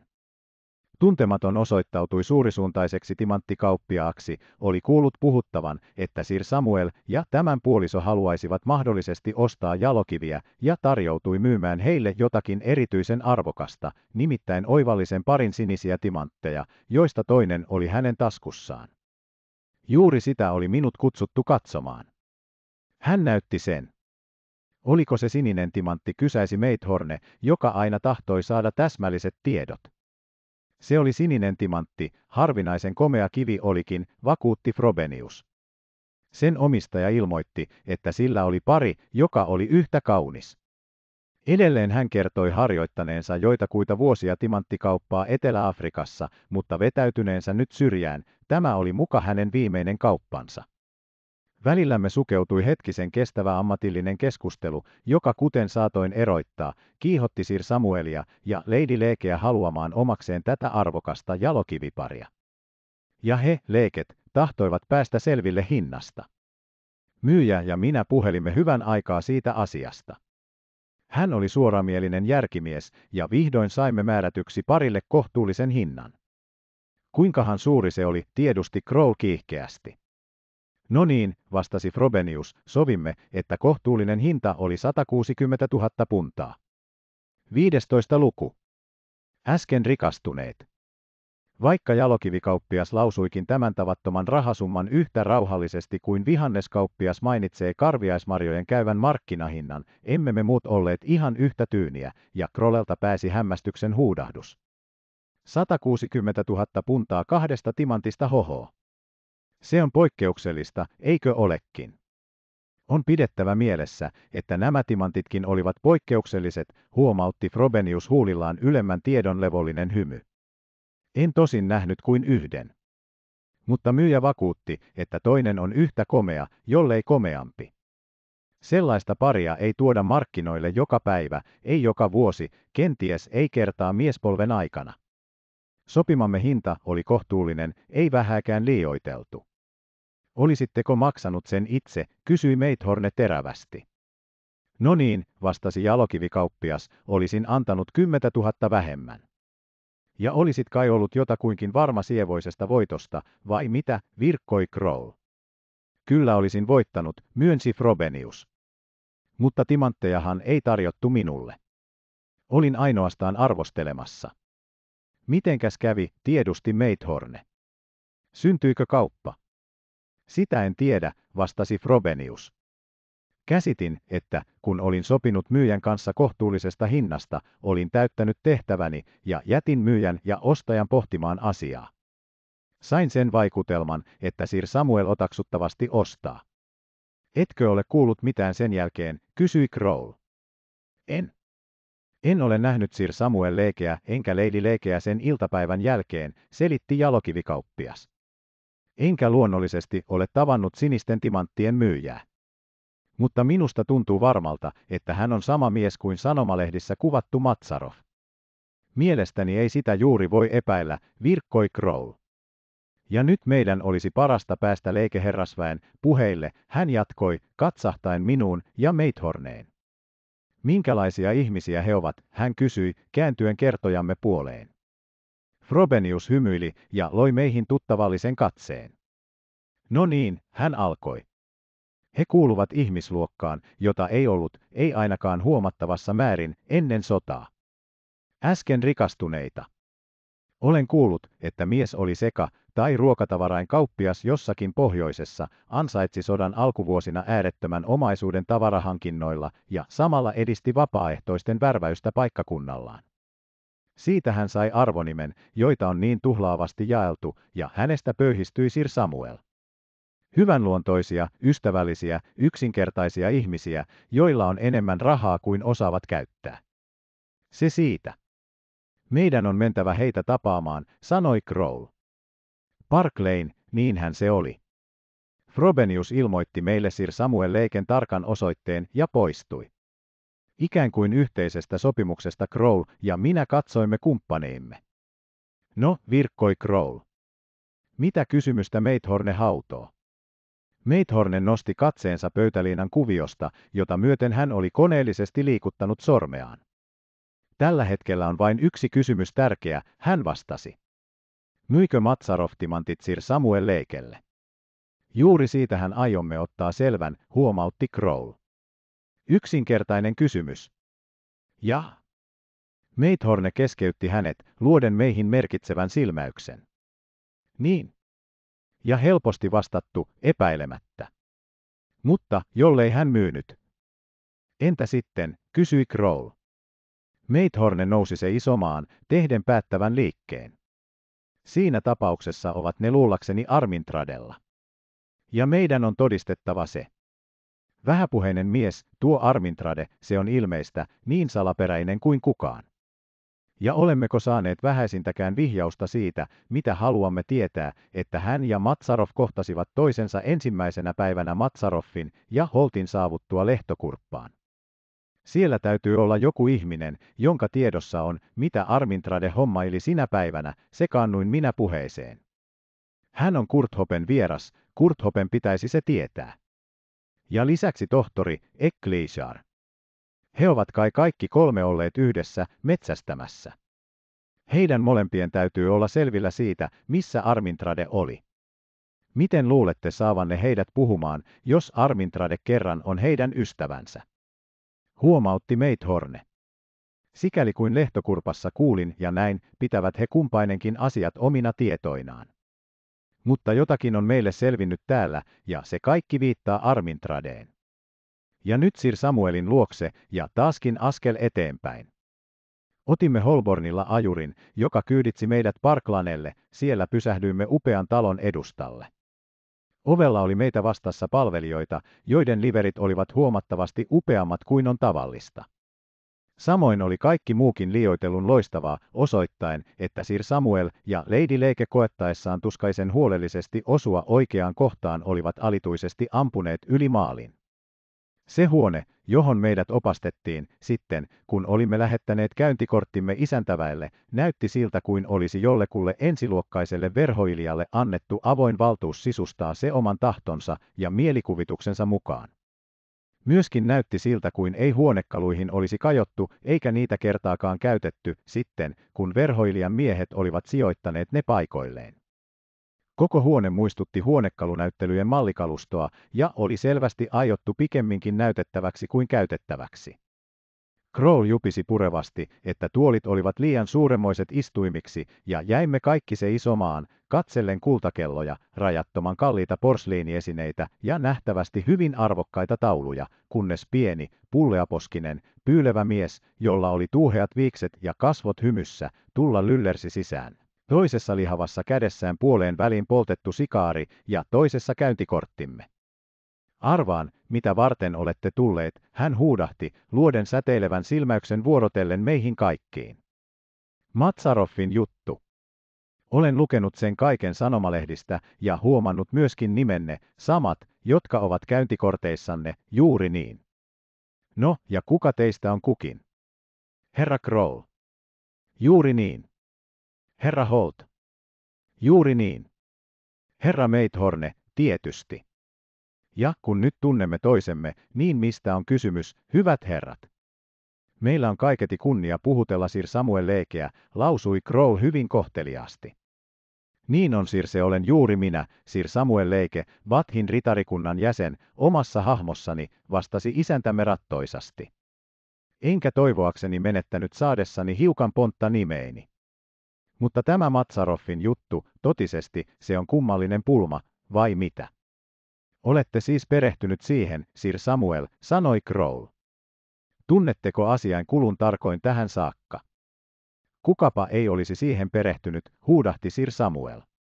Tietystikin minä ja puolisoni luemme kaikki, mitä vain osuu eteemme. Viimeksi tänä aamuna hän virkkoi minulle, Sam. Hän sanoi, Totta totisesti tulee joku puhuttelemaan meitä tämän jutun johdosta. Ja siinä te olette. Mutta, tulkaahan tänne, hyvät herrat sitten Lady Leikekin kuulee kaikki sanottavanne, naiset, kuten tiedätte, ovat uteliaita, ja uutiset ovat parhaita, kun ne on saatu alkuperäisestä lähteestä. Tätä tietä, Seurasimme Sir Samuelia vastaanottosalin kylmästä loistosta toiseen pienempään, vähemmän muodolliseen ja mukavampaan huoneeseen, jossa Lady Leeke istui roihuavan takkatulen ääreen sijoitetussa pehmeässä nojatuolissa, koettaen ratkaista jotakin ajanvietetehtävää. Hän oli yhtä pyylevä kuin puolisonsakin, hänen pukunsa oli uusimman muodin mukainen, ja hänellä oli useita sormuksia sormissaan, olin heti huomaavinani, että hän oli älyllisesti jonkun verran terävämpi kuin Sir Samuel, ei aivan yhtä avoin ja äärettömän paljon valppaampi. Hän arvioi meidät kaikki sillä aikaa, kun meidät muodollisesti esiteltiin hänelle, ja ohjasi meidät vastassaan oleviin tuoleihin, joten valo sattui meidän kasvoihimme, mutta hänen piirteensä olivat varjossa. Arvasinhan, että meiltä tultaisiin tiedustelemaan, hän virkkoi hieman teennäisesti. Huomautin siitä Sir Samuelille tänä aamuna. Mainitsin siitä heille äsken, ilmoitti Sir Samuel, joka vieraanvaraisesi kumartuneena ojensi sikaarikoteloaan vuorotellen kullekin meistä. Mutta minulla ei totisesti ole vieläkään aavistusta siitä, mikä heidät tänne toi. Kukaan ei luullakseni tiedä, että hieroimme kauppaa Matsaroffin kanssa. Matsarov lienee kaiketi puhellut siitä. Mutta miten saitte kuulla meistä? Hyvä Sir Samuel, vastasi Crow juhlallisesti, salaisuuksissakin on vielä salaisuuksia. Teidän asemassanne oleva ja maailmaan niin hyvin tutustunut mies ymmärtää minua, kun sanon, että tämä on suuri asia. Olette jo lukenut siitä melkoisen paljon, no niin, lyhyesti sanoen, mitä voitte kertoa meille? Sir Samuel istui vaimonsa lähellä olevaan tuoliin ja hieroi käsiään polviaan vasten minusta näytti, että hän suuresti nautti kertomisesta. No niin, luullakseni voin puhua suoraan, alkoi hän, vilkaisten Lady Leikeen. Eikä minulla olekaan paljoa kertomista. Herra Matsarov kävi täällä eräänä päivänä ja esitteli itsensä mieheksi, joka oli harjoittanut laajatimanttien ja muiden sellaisten kauppaa Etelä-Afrikassa. Hän mainitsi kuulleensa, että Lady Leike mahdollisesti ostaisi, jos hänelle tarjottaisiin poikkeuksellisen kauniita timantteja, ja oli arvellut Lady Leiken haluavan nähdä erikoisen komeata näytettä, jonka hän oli saanut hankituksi. Sitten hän ilmoitti, että hänellä oli kaksi hyvin kaunista ja harvinaisen sinistä timanttia, ja otti esille yhden.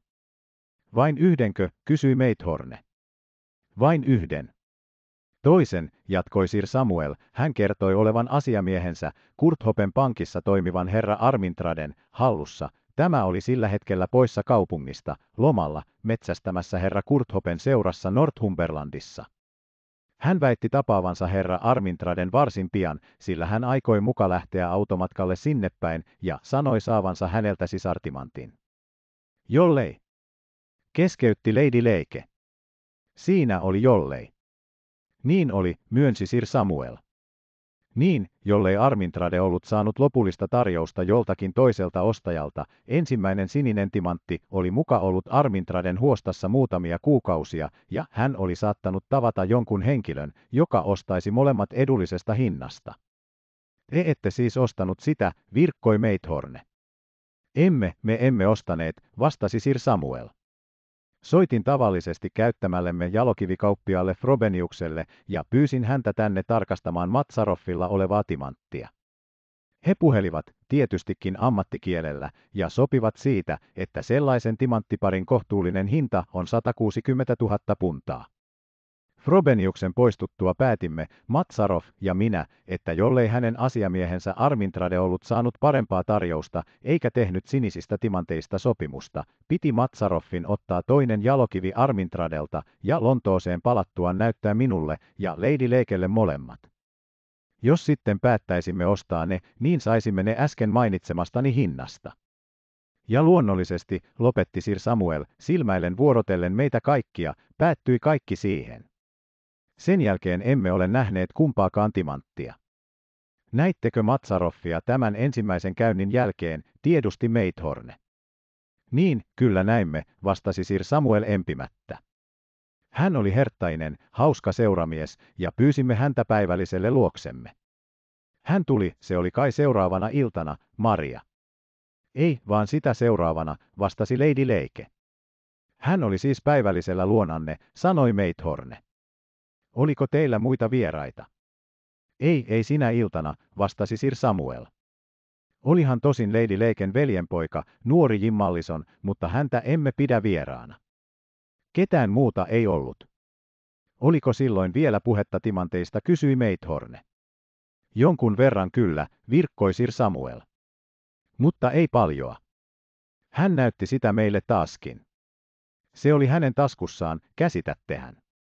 Mutta silloin oli keskustelulla seurustelusävy, ei liike-elämän tapainen. Oliko se ainoa kerta, jolloin näitte Matsaroffin, lukuun ottamatta ensimmäistä, tiedusti Meithorne? Ei, kohtasimme vielä kerran, vastasi Sir Samuel. Kun olimme kutsuneet hänet päivälliselle, pyysi hän taas meitä puolestaan. Me menimme hänen hotelliinsa, Ceciliin. Hän olikin harvinaisen oivallinen isäntä. Vain te ja Lady Leeke otaksuttavasti huomautti Meithorne. Ei. Jim Mallison oli mukana, vastasi Sir Samuel. Hän kutsui meidät kaikki kolme, ja perin hupainen ilta se olikin. Oliko silloin puhetta timanteista tiedusti Meithorne? Ei, muistaakseni niitä ei lainkaan mainittu. Sopimushan oli tehty, nähkääs. Meidän piti nähdä molemmat Matsaroffin palattua matkaltaan. Ettekö nähnyt häntä enää sen jälkeen, oltuanne hänen luonaan päivällisellä Sesilissä, kysyi Meithorne. Ettekö kohdannut häntä muualla täällä Lontoossa? Emme, emme ole nähneet häntä emmekä kuulleet hänestä, ennen kuin nyt sanomalehdistä. Entä Lady Leiken veljenpoika, herra Jimmallison muistaakseni? Huomautti Meithorne. Oletteko kuullut hänen mainitsevan nähneensä Matsaroffin kaupungilla sen päivällisen jälkeen? Sir Samuel katsahti vaimoonsa. En ole kuullut hänen puhuvan siitä, hän vastasi. Jim liikkuu paljon seurapiireissä ja niin edelleen, hän on nytkin poissa kotoa, muutoin hän voisi itse ilmoittaa sen teille. Mutta en ole kuullut hänen kertovan, että hän olisi kohdannut Matsaroffin. Oletko sinä, Maria? En, en ole kuullut hänen mainitsevan sitä, vastasi Lady Leike. Sitä paitsi luulen, että Matsarov oli lähdössä, kun olimme hänen luonaan päivällisellä Sesilissä. Keskustelumme tämän arvoisan avioparin kanssa supistui jälleen vähäiseksi, ja me poistuimme. Minua halutti kovasti päästä ulkoilmaan, tahdoin ilmoittaa jotakin, mitä en voinut ennen lausua. Niin pian, kun olimme päässeet eroon loistavapukuisista palvelijoista, puhkesin puhumaan. Kuulkaahan, huudahdin, tarttuen kumppanieni kyynärvarteen. Muistattehan, kun tänä aamuna kerroin nähneeni Matsaroffin keskustelemassa, ensin Huntingdonissa, sitten Yorkissa, erään minulle tuntemattoman miehen kanssa, jonka Matsaroff kuitenkin ilmeisesti tunsi. No niin, sen miehen, juuri saman miehen, valokuva on Lady Leiken uunin reunustalla. 16. luku. Koputus oveen. Molemmat seuralaiseni pysähtyivät jäiden tuijottamaan minuun, Krolen kasvoilla oli tavallisen näköinen ällistynyt ilme, kun taas Meithornen silmät välähtivät äkkiä ja kasvot saivat valppaamman ilmeen kuin koskaan sitä ennen olin niillä huomannut huomautukseni näytti vaikuttaneen häneen kuin valon leimahdus. Sitten hänen eloisa katseensa siirtyi yhtä äkkiä sivulle päin takaisin siihen taloon, josta olimme tulleet. Lady Leiken uunin reunustalla oli kaksi miehen valokuvaa, virkkoi hän yksi kummallakin puolella tuhannen kinean arvoiselta näyttävää kelloa. Kumpaa niistä tarkoitatte? Sitä miestä, jolla oli jokseenkin heleän värinen, ristiraitainen takki ja pehmeä kaulus, vastasin. Se oli rintakuva. Se oli kellon oikealla puolella, jatkoi hän miettiväisesti. Nuorehko mies, ilmeisesti vaaleatukkainen ja vaaleaviiksinen. Sekö? Juuri hänet näin joka tapauksessa puhelemassa Matsaroffin kanssa Huntingdonissa ja sitten taaskin Yorkissa, vakuutin. Tunsin hänet valokuvasta heti. Seisoimme hetkisen äänettöminä, Kroll ja minä tarkkailimme meitoonea. Äkkiä hän lähti liikkeelle, astelimme vähän matkaa Parklaneja pitkin. Todennäköisesti hän oli Mallison, sama veljenpoika, josta meille puhuttiin, sanoi Meithorne, ikään kuin heräten haaveiluista. Katsotaanpa, hänen mainittiin olevan Lady Leiken veljenpoika, ja Sir Samuelin puheesta päättäen hän tuntee Lontoon seurapiirit varsin hyvin. No niin, mitä sitten on selvinnyt? Sikäli kuin äsken kuulimme, kohtasi Mallison kahdesti Matsaroffin, kerran täällä Leiken talossa ja toisen kerran Cecil Hotellissa, kun he kaikki olivat Matsaroffin vieraina. Mallison kuuli puhuttavan sinisistä timanteista ja näki niistä toisen. Jos valokuva on Mallisonin, kuten te väitätte, Holt, niin Mallison on sama mies, jonka näitte keskustelevan Matsaroffin kanssa ensin Huntingdonissa, sitten Yorkissa. Tietääkö Mallison niin ollen mitään tästä jutusta siitä on otettava selkoa, kun saamme Mallisonin käsiimme. Sen ei pitäisi olla kovinkaan vaikeata, jupisi Kroll. Mallisonhan kuuluu olevan matkalla tällä hetkellä, huomautti Meithorne, jossakin pohjoisessa päin tietystikin, jos Holt tunsi kuvan oikein mutta se ei tuota minulle niin kovin paljoa päänvaivaa. Mieltäni kalvaa se, että Mallisonin nimi on jollakin tavoin tuttu, muistan sen jonkun täällä Lontoossa, West Endissä, verrattain äsken sattuneen tapauksen yhteydessä. Se pyörii aivoissani, mutta juuri nyt en saa sitä tarkkaan mieleeni. Mallison. Hän seisahtui keskelle katukäytävää, jäiden hetkiseksi tuijottamaan kiveykseen kädet työnnettyinä housuntaskuihin. Äkkiä hän katsahti meihin, kutsui ohitsemme ajavaa ajuria ja kehoitti meitä nousemaan kanssaan rattaille. Tulkaa toimistooni, hän kehoitti. Siellä on minulla apulainen, uskottu konttoristini, jonka pää on Euroopan terävimpiä ja muisti varmimpia. Hän tietää sen. Meithornen toimisto oli konduit kadulla, joten pääsimme sinne muutamissa minuuteissa. Halusin kiihkeästi nähdä, millainen paikka se oli, luonnollisesti arvellen, että yksityisetsivän työskentelypaikka on likaisen harmaa ja synkkä. Mutta asianlaita olikin täsmälleen päinvastainen toimisto, oli melkein palatsimainen. Siellä oli etuhuone, jossa kaksi näppärän näköistä neitosta uutterasti naputti kirjoituskoneiden näppäimiä, ja vilkas poika ilmeisesti toimi ovenvahtina. Sen takana oli sisempi, hyvin upeasti sisustettu huone. Siellä istui nuori herrasmies, joka meidän astuessamme sisään luki mukavassa asennossa spootin timesiä heittämättä sitä kädestään noustessaan pystyin kumartamaan meille. Sen takana taas oli ilmeisesti isännän tarkoin yksityinen osasto, huone, jonka turkkilaiset matot, pehmeät nojatuolit, muutamat hienot taulut ja viimeisen kuosin mukainen konttorikalusto teki perin uhkeaksi. Siinä huoneessa kerrottiin epäilemättä kaameita salaisuuksia silloin tällöin, mutta se tapahtui aisteja suuresti viehättävässä ympäristössä. Tämän huoneen kummassakin päässä oli kirjoituspöytä sisään tullessamme istui kaukaisemman ääressä nuori mies, joka olisi herättänyt huomiotani, missä hyvänsä olisin hänet kohdannut. Hän oli pienikokoinen mies, melkein höyhensarjalainen, käyttääkseni painiain kieltä, ja hänen hintelän ruumiinsa verhona oli hyvin leveäraitainen tviikankainen puku, tavallisen kauluksen asemasta hänellä oli metsästysliina, jonka laskoksia piti koossa kultainen, hevosenkengän muotoinen neula, siihen nähden hän olisi voinut olla tallipoikien päämies.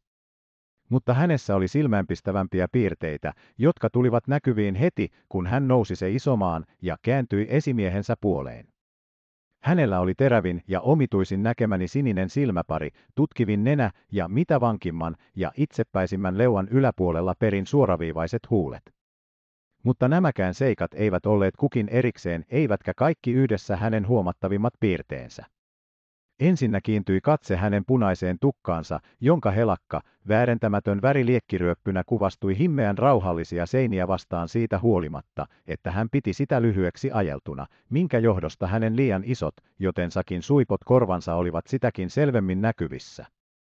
En tiedä, mitä Kroll hänestä ajatteli. Hän oli epäilemättä nähnyt miehen jo aikaisemmin, kenties useita kertoja, mutta omassa mielessäni kiteytyi heti nähtyäni hänen eloisa ihonsa, terävä nenänsä ja yleensä valpas olemuksensa hänestä saamani vaikutelma yhdeksi sanaksi. Vainukoira.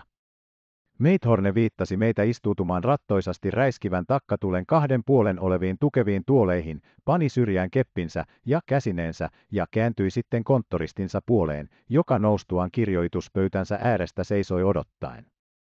Kottini alkoi Meithorne, käyden suoraan käsiksi asiaan ilman esipuheita. Tunnemmeko nimen Mallison? Näin nopean valon välähdyksen punapäisen miehen silmissä näytti siltä kuin olisi jossakin niiden takana äkkiä sytytetty lamppu. Suoraviivaisten, ohuiden huulien tiukka ilme heltisi, mies nyökäytti lyhyeksi ajeltua päätään. Kyllä tunnemme.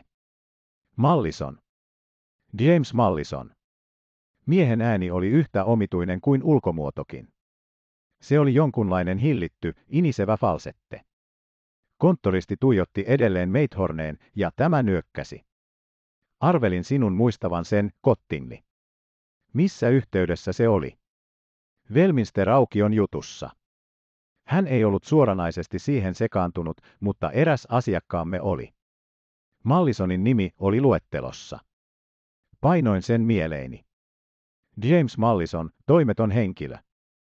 Osoite on Park Lane. Lady Leiken veljenpoika, tämä Mallison. Entä itse Velminster Aukion juttu, Kottingi?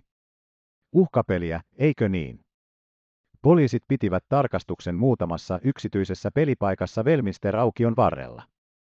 Noin kolme tai neljä kuukautta takaperin. Pidätettiin kolme, neljäkymmentä henkilöä. Mallison oli siellä mukana. Oli myöskin naisia.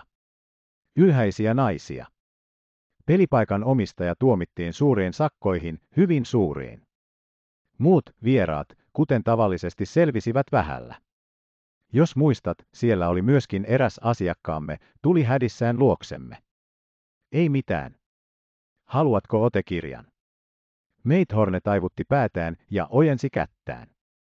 Konttoristi meni huoneen keskellä olevan ison pöydän luokse, otti jykevän kirjan, joka osoittautui sisältävän sanomalehtileikkeleitä, etsi sivun melkeinpä salaperäisen nopeasti ja ojensi kirjan Meithornelle. Tämä silmäili otetta ja työnsi sitten kirjan Krolelle ja minulle. Kas tuossa, hän virkkoi. Leikkaamme sanomalehdistä kaikenlaisia selostuksia ja juttuja ja liimaamme ne sitten kirjaan vastaisen varalle, niitä voi joskus sattua tarvitsemaan. Minusta on sellainen järjestelmä perin hyödyllinen, minun muistini ei ole niin mainio kuin tämän Kottinglein. Tässä, kuten näette, on sanomalehden selostus eräässä West Endin yksityisessä pelihelvetissä toimitetusta poliisitarkastuksesta. Omistaja oli herttainen herrasmies, jolla oli niin paljon ystäviä, sekä miehiä että naisia, vierailemassa luonaan muutamana iltana, että poliisit alkoivat epäillä ja päättivät itsekin käväistä hänen luonaan, kutsumattomina vieraina. Luossa on kerrottu, miten kaikki kävi, sekä mainittu huoneistosta tavattujen henkilöiden nimet ja niiden joukossa, kuten näette, on Parklanen varrella asuva toimeton mies James Mallison, mistä päättäen herra Mallison asuu tätinsä ja enonsa luona. Mutta ehkä kottini tietää sen, hänellä on tiedossaan koko joukko asioita. Tiedätkö mitään Mallisonista, kottinni? Konttoristi suipisti huuliaan ja liikautti hieman olkapäitään, ikään kuin olisi tahtonut ilmaista, että Mallisonin tuskin kannatti kiinnittää huomiota. Hyvin vähän. Nuori kaupunkilainen. Hiukan turhamainen. Urheilee vähän. Asuu Sir Samuelin ja Lady Leiken luona. Hänet näkee joskus näiden seurassa, useammin yksin jossakin Sir Samuelin autossa. Käsittelee rahaa jokseenkin auliisti, leikepuolisoilla ei ole lapsia. Äskettäin rikastuneita, sodasta hyötyneitä, ymmärrättehän. Sanotaan, että tämä mallison saa periä Sir Samuelin varat. Ja siinäkö kaikki, mitä tiedät, Kottingli? Siinä kaikki. Meithorne viskasi leikkelekirjan takaisin pöydälle. No niin, siinä se, hän sanoi. Nyt tiedämme Mallisonista hiukan enemmän. Epäilemättä hän on sama mies, jonka kanssa Matsarov keskusteli Huntingdonissa ja Yorkissa. Eihän se tosin ollut mitään erikoista, mutta se tuntuu osoittavan, että Mallison oli matkalla pohjoiseen. Ja haluaisinpa tietää, kohtasiko hän Matsaroffin enää sen jälkeen. Miksi niin, kysyi Kroll kummastuneen näköisenä. Ja missä sitten? Kysymyksen jälkimmäinen osa on tärkeämpi kuin edellinen, vastasi Meithorne. Sellaisessa kohtauksessa on merkityksellinen juuri paikka. Meidän olisi päästävä selville, missä yhteydessä Matsaroffin murha ja se seikka, että hänellä oli toinen sininen timantti taskussaan, olivat keskenään. Kuinka moni tiesi, että se oli hänen muassaan? Mikäli olemme saaneet selkoa, oli täällä mies, Mallison, joka varmasti tiesi sen. Mallison oli nähnyt sinisen timantin, numero kahden, Matsaroffin hallussa kahdesti. Kun he tapasivat toisensa Huntingdonissa ja Yorkissa, puhelivat he otaksuttavasti Sir Samuel Leiken kanssa hierotusta sinisten timanttien kaupasta. Meidän on löydettävä Mallison käsimme ja keskusteltava hänen kanssaan. Koetan tänä iltana ottaa selon siitä, milloin hän todennäköisesti palaa tahi mistä hän on tällä hetkellä löydettävissä, käyn itse tiedustamassa sitä leikeaviopuolisoilta. Mutta sitten, Armintrade. Myöskin se mies on tavattava, hän tietää enemmän kuin on puhunut, oikeastaanhan hän ei ole virkkanut mitään. Ja siihen mennessä häntä on pidettävä huolellisesti silmällä. Holt, onko lehtokurppaan jättämänne mies, autonohjaaja Webster, älykäs ja valpas? Webster on terävä ja nokkela poika, vastasin, sukkela ja luotettava. Anna minulle muutamia sähkösanomakaavakkeita, Kottingli pyysi Meithorne. Holt, aion sähköttää Websterille teidän nimessänne muutamia määräyksiä, joita haluan hänen noudattavan pitäessään silmällä haikaplodkea. Meidän lienee luullakseni matkustettava sinne takaisin, mutta se ei tapahtune vielä huomenna. Mitä tulee huomiseen, niin suostutteko te kaksi tulemaan tänne kello kymmenen aamulla? Crow ja minä poistuimme pian, jättäen Meithornen kyhämään Websterille lähetettävää sähkösanomaansa. Kadulle päästyämme Crow haukotteli. Minä lähden kotiin, Holt, hän sanoi. Kotiin Wimbledoniin, päivälliselle ja makuulle, poika. Se on minulle tarpeen kaiken tämän jälkeen. Entä te? Mitä aiotte tehdä? Aion menetellä jotakuinkin samalla tavoin, vastasin. Syön jossakin päivällistä ja vetäydyn sitten asuntooni. Minäkin olen väsynyt. Ja otaksuttavasti on meidän taaskin oltava liikkeellä huomenna aamulla. Meidän on tavattava toisemme Meithornen toimistossa, myönsi hän nyökäten. HM. Olemmekohan päässeet vähäkään eteenpäin tänä päivänä? Kuka tappoi Salim Matsaroffin? Toivottavasti en tänä yönä unissani hoe mielessäni sitä kysymystä. No niin, näkemiin huomiseen saakka sitten. Hän haukotteli toistamiseen, hymyili anteeksi pyytävästi, pudisti kättäni ja lähti rientämään lähimmällä maanalaiselle asemalle päin. Ja hänestä erottuani tunsin olevani uupunut, uupuneempi kuin olin aavistanutkaan. Viime päivien mielenkiihko, hoppu, sekavat mielenliikutukset, kaikki ne yhdessä alkoivat tehota. Vilkaisin kellooni, se oli täsmälleen kuusi. Päätin pistäytyä päivällisellä heti ja sitten mennä asuntooni Jermyn kadulle ja paneutua nukkumaan. Aterioin eräässä ravintolassa, jossa saa olla rauhassa nykyisinkin, ja koetin syödä vankasti uhraamalla siihen runsaasti aikaa. Se ja siitä saamani lepo virkistivät minua, mieleni alkoi tehdä etsiä käsiini ystäväni Harker ja kertoa hänelle seikkailuistani. Mutta tarkemmin harkittuani arvelin paljoa viisaammaksi mennä kotiin, sillä sikäli kuin tiesin olisi meillä huomenna vieläkin puuhaisampi päivä, ja meidän olisi kenties palattava Marrastaleen. Ostin sen vuoksi iltalehdet ja lähdin Jermyn kadulle aikeissa käydä levolle täsmälleen kello yhdeksän. Torkuin sanomalehtien ääressä odottaessani mainittua kellonlyömää ja olisin pysynyt päätöksessäni ja olinkin jo alkanut valmistautua paneutuakseni pitkäkseni, kun Meithorne saapui luokseni. Heti avattuani hänelle ulkooven näin, että hänellä oli uutisia. Tapasin Sir Samuel Leiken uudelleen, alkoi hän minun päästettyäni hänet sisälle, kehoitettuani häntä istuutumaan nojatuoliin ja tarjottuani hänelle viskiä ja soodaa sekä sikaarin. Esitin sopivan tekosyyn ja käväisin siellä vielä kerran. Sain selville erään tosiseikan, joka saattaa olla joko tärkeä taikka mitätön, tietystikin tuosta Mallison miekkosesta. No, äänsin. Mallison, jatkoi Meithorne, lähti pohjoiseen päin juuri samaan aikaan kuin myöskin te ja Matsarov. Hän meni yhdellä leiken autoista, heillä näyttää olevan niitä kokonainen liuta, ja hänellä oli varma päämäärä. Vanha leike aikoo vuokrata ensi vuodeksi jonkun metsästysalueen, jonkun teerinummen, ja hänen mielestään oli järkevää lähettää nuori Mallison etukäteen tarkastamaan alueita varsinaisena metsästysaikana. Hänen puheittensa nojalla olen ihan varma siitä, että Mallison oli Marrasdalen välittömässä läheisyydessä juuri silloin, kun te ja Matsarov saavuitte Lehtokurpan majataloon. Mitä siitä arvelette? Hän silmäili minua tarkasti ja näin, että hän odotti minun huomauttavan jotakin. Minulla ei ollut mitään huomauttamista, voin sanoa vain sen, etten ollut niillä tienoin nähnyt vilahdustakaan Mallisonista. Hän hymähti. Ette tietenkään, hän vastasi. Ette luonnollisestikaan nähnyt, tahi sanoisinko, ette saanut nähdä, mutta se oli kaikki vielä hämärän peitossa. Mutta varmasti Mallison oli siellä tahi niillä seuduin. Ja hän keskeytti lauseensa ja oli ääneti niin kauan, että lausuin julki, mitä mielessäni liikkui. Saanemmekohan milloinkaan kaikesta tarkkaa selkoa, virkoin. Hän loi minun omituisen, tietävän katseen. Kyllä saamme, Holt, hän vakuutti. Ja sitten siitä kehittyy soma yllätys. Katsokaas. Muistatteko, että käydessämme Reivers Denissä otin maasta erään esineen lähellä sitä kohtaa, mistä Matsaroffin ruumis löydettiin? Muistatte siis. No niin. Hän katkaisi sanansa jyrkästi. Ulkoovelleni koputettiin hiljaa, mutta jatkuvasti. Käännyimme kumpikin sinne päin kuuntelemaan. Taaskin kuului kolkutusta.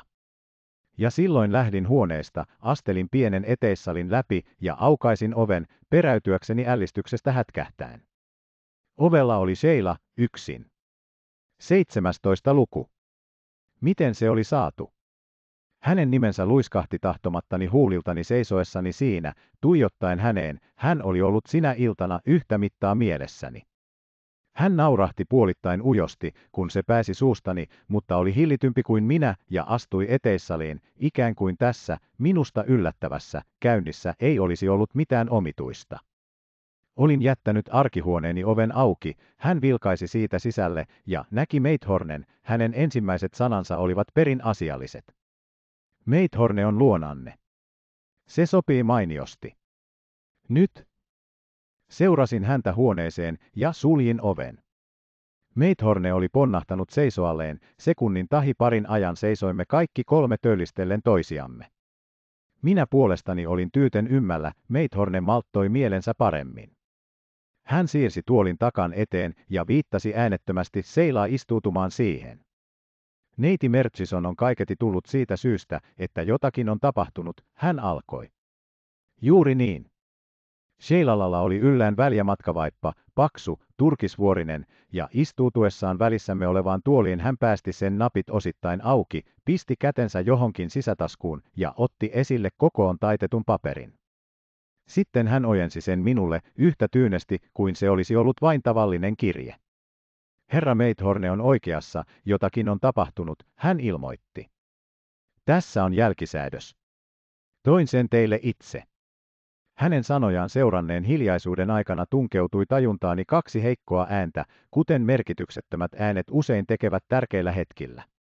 Toinen aiheutui siitä, että Meithorne, joka Sheilan koputtaessa oli juuri ollut sytyttämäisillään sikaarin, raapaisi tulitikun, toinen oli paperin hiljainen kahina minun levittäessäni sen auki. Vilkaisin sen alareunassa olevaan nimikirjoitukseen, se oli epäilemättä Jorkissa tehty jälkisäädös, josta Postlethwaite oli kuulusteluissa puhunut. Ojensin sen Meithornelle, hän silmäili sitä, taittoi sen jälleen kokoon ja kääntyi sitten tyynesti seilaan päin, pitäen sitä kädessään. Mistä saitte tämän käsiinne, neiti Merchison, hän tiedusti. Vastaus tuli empimättä ja terävästi, sävyltään jonkun verran kovasti. Varastin sen. Varastitte sen. Keneltä? On turhaa kaarella. Varastin sen omalta äidiltäni. Meithorne ja minä vilkaisimme toisiimme. Sheila katseli vuoroin meitä kumpaakin. Sitten hänen katseensa äkkiä kiintyi tuolini takana olevaan pieneen pöytään. Pyytäisin, virkkoi hän, antamaan minulle lasin viiniä. Tuolla näkyy olevan portviiniä. Söin tietystikin puolisen junassa ja sitten nautin jonkunlaisen päivällisen euston asemalla, mutta tahtoisin mielelläni lasin portviiniä ja keksin, jos sellaista on käsillä, sitten kerron teille, paljon.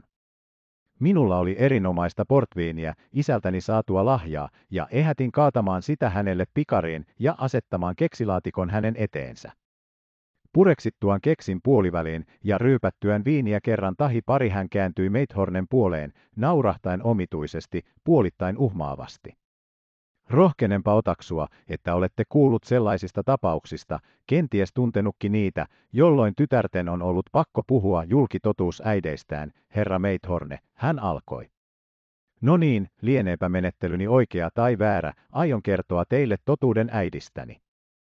Varastin tuon jälkisäädöksen tänä aamuna häneltä, koska tiesin, ettei hänellä ollut minkäänlaista oikeutta pitää sitä hallussaan, ja saatuani sen käsiini hypähdin polkupyörälleni ja oikaisin suoraa päätä Black Gillin risteysasemalle ja nousin ensimmäiseen etelään lähtevään junaan luovuttaakseni sen asianomaiselle henkilölle. Jollen olisi sitä tehnyt, niin kuka tietää, miten sille olisi käynyt. Meithorne silmäili häntä tarkkaavasti, nyökytellen päätään ymmärtävästi hänen jokaiselle lauseelleen. Minä puolestani istuin ymmälläni ja ihmeissäni. En käsittänyt mitään, toistaiseksi. Niinkö, sanoi Meithorne. Niinpä niin. Mutta tiedossanne on asioita paljon enemmän, neiti Mertsison. Ja me olemme kolmen kesken. Sheila söi loppuun pureksimansa keksin ja joi tyhjäksi lasinsa, sitten hän sysäsi vaippansa tuuheata kaulusta taaksepäin ja pani kätensä sylinsä ristiin, huomasin niiden hiukan vapisevan. Niin, hän myönsi, tiedän koko joukon enemmän ja kerron sen teille heti. Kuten jo heti alussa mainitsin, nyt on turhaa koettaa kierrellä. No niin, asia on näin. Heti, kun kuulustelussa saimme kuulla jälkisäädöksestä, tiesin äitini kiihkeästi haluavan saada tietoja, mutta en tietystikään lainkaan epäillyt, että se joutuisi hänen haltuunsa. Tahdoin ilmoittaa teille, sillä on turhaa väittää sitä vastaan, että äitini on sellaisia naisia, jotka rakastavat rahaa, hänestä on raha kaikki kaikessa, niin juuri, kaikki kaikessa. Alusta alkaen käsitin, että niin pian, kun hän todella alkoi uskoa Matsaroffia Merchisoniksi, alkoi hänessä myöskin kiteytyä ajatus saada Matsaroffin omaisuus haltuunsa. Mervyn, hän äkkiä huudahti, lausuen nimeni ensi kerran ja laskien kätensä käsivarrelleni, ikään kuin etsien suojaa luonnolliselta turvaajaltaan. Sanoinhan silloin, kun tuonnoittain kävelimme pois kuulustelusta, että minä, minä en tahtonut sinun luovuttavan käsistäsi sitä omaisuutta, etten halunnut sen joutuvan muille.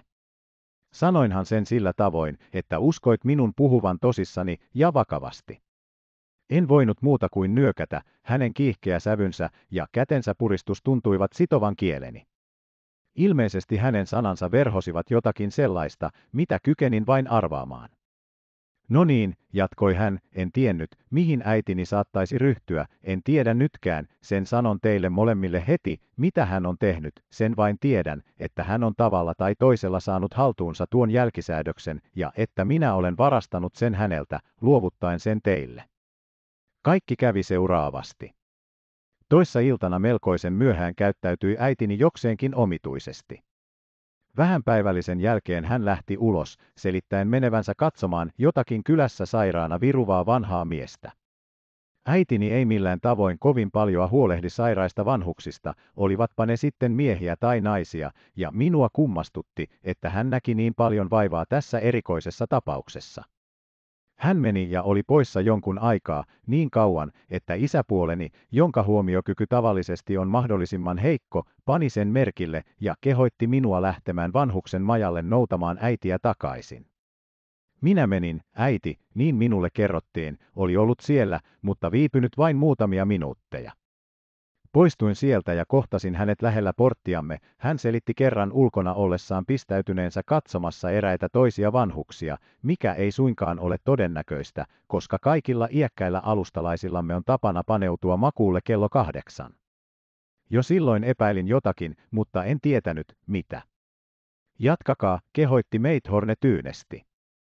Kertokaa meille kaikki. No niin, eilen illalla toistui sama temppu, puhui Sheila edelleen.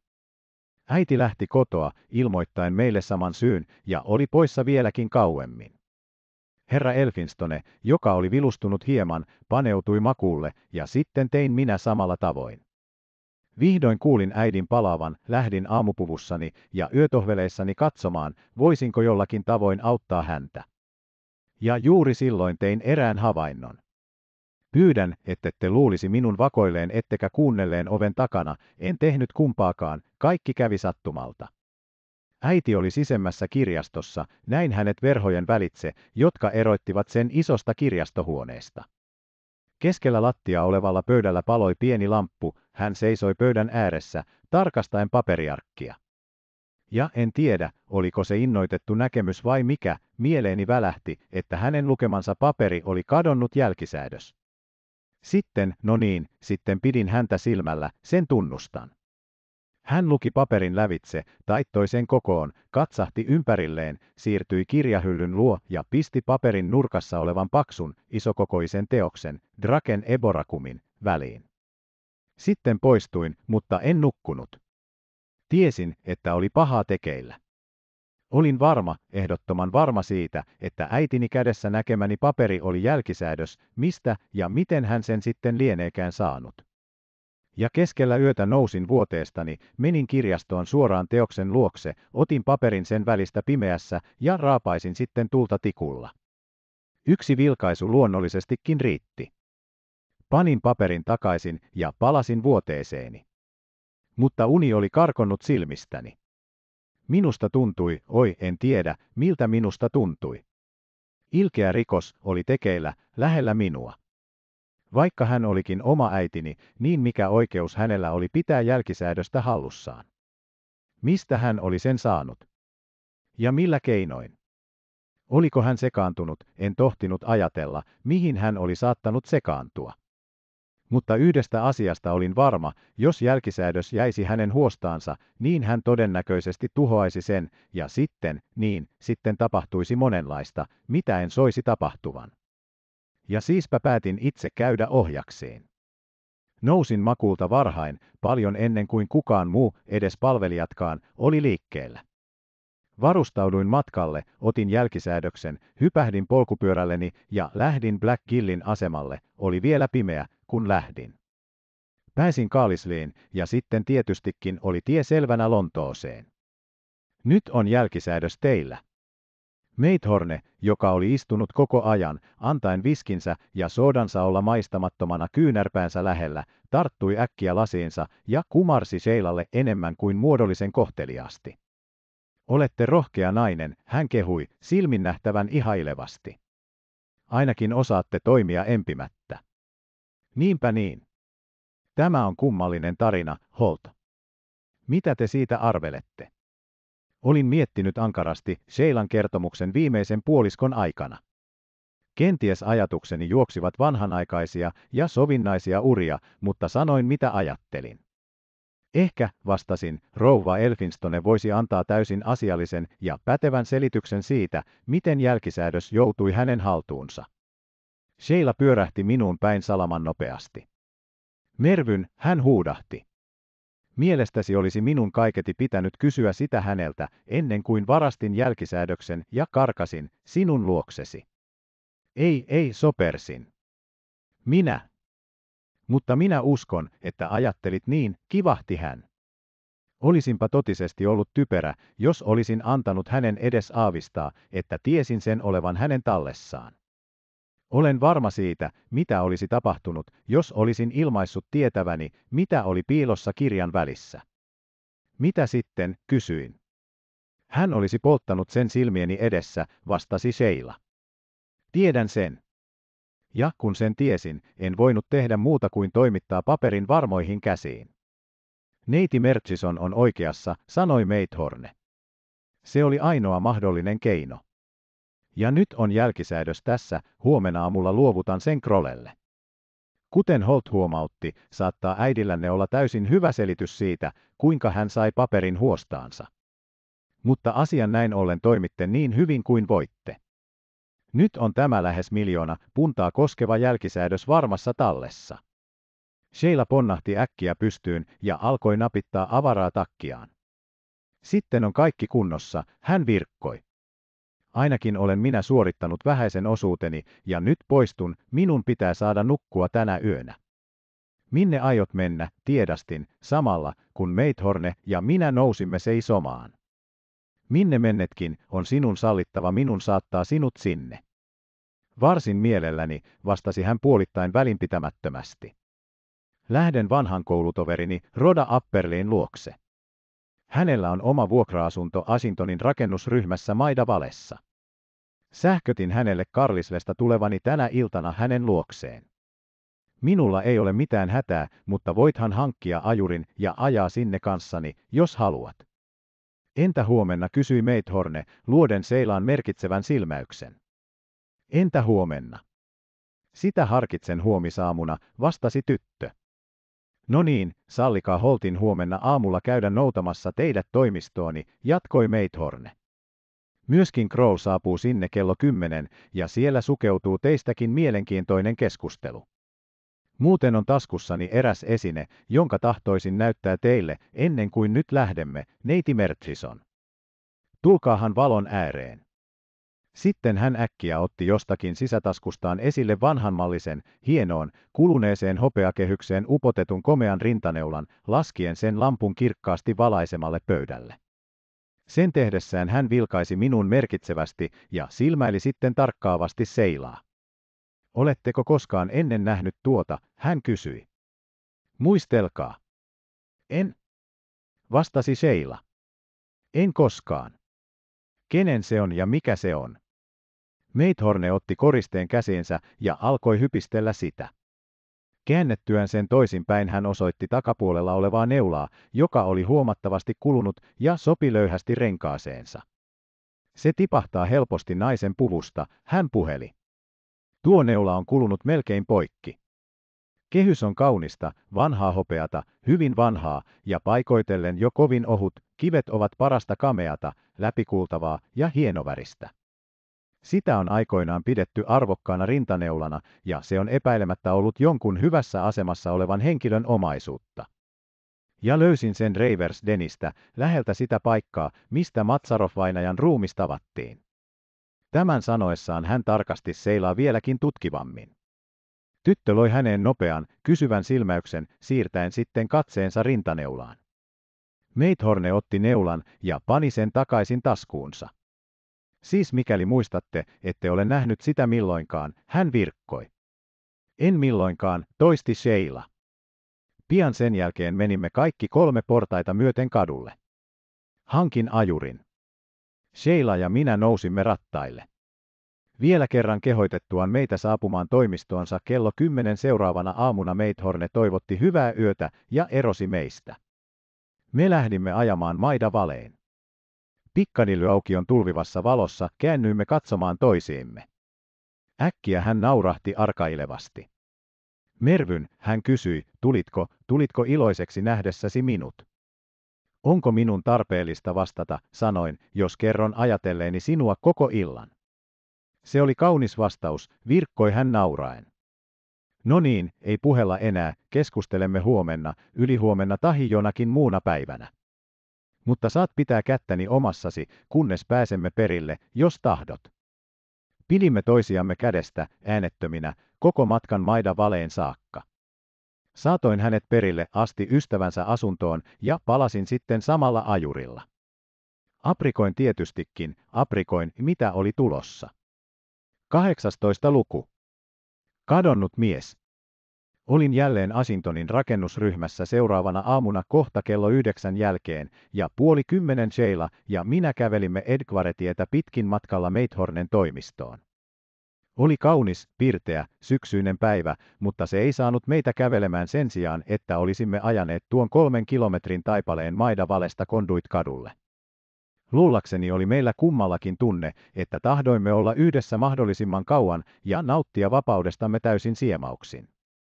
Siellä Lontoon väkirikkailla kaduilla olimme niin yksin, ettemme olisi voineet olla sillä tavoin kahden kesken Marrasdalen autioilla nummilla, ja se tunnelma oli meille yhtä uusi kuin viehättäväkin.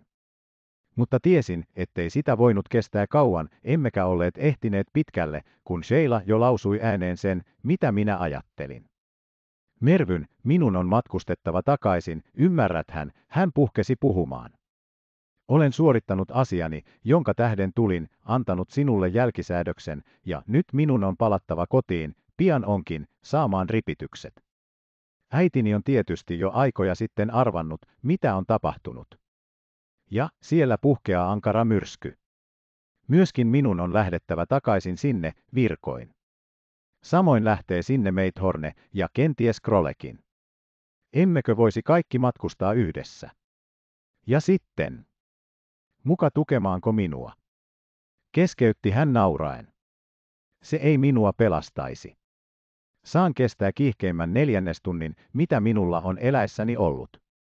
Ja minulla on ainoastaan yksi vastaus puolustuksekseni, eikä sitä ole hauska sanoa äidille, voin nimittäin kysyä häneltä, mitä hän aikoi tehdä jälkisäädökselle ja miten hän oli saanut sen. Ja jos tunnen hänet oikein, niin hän ei sitä ilmaise.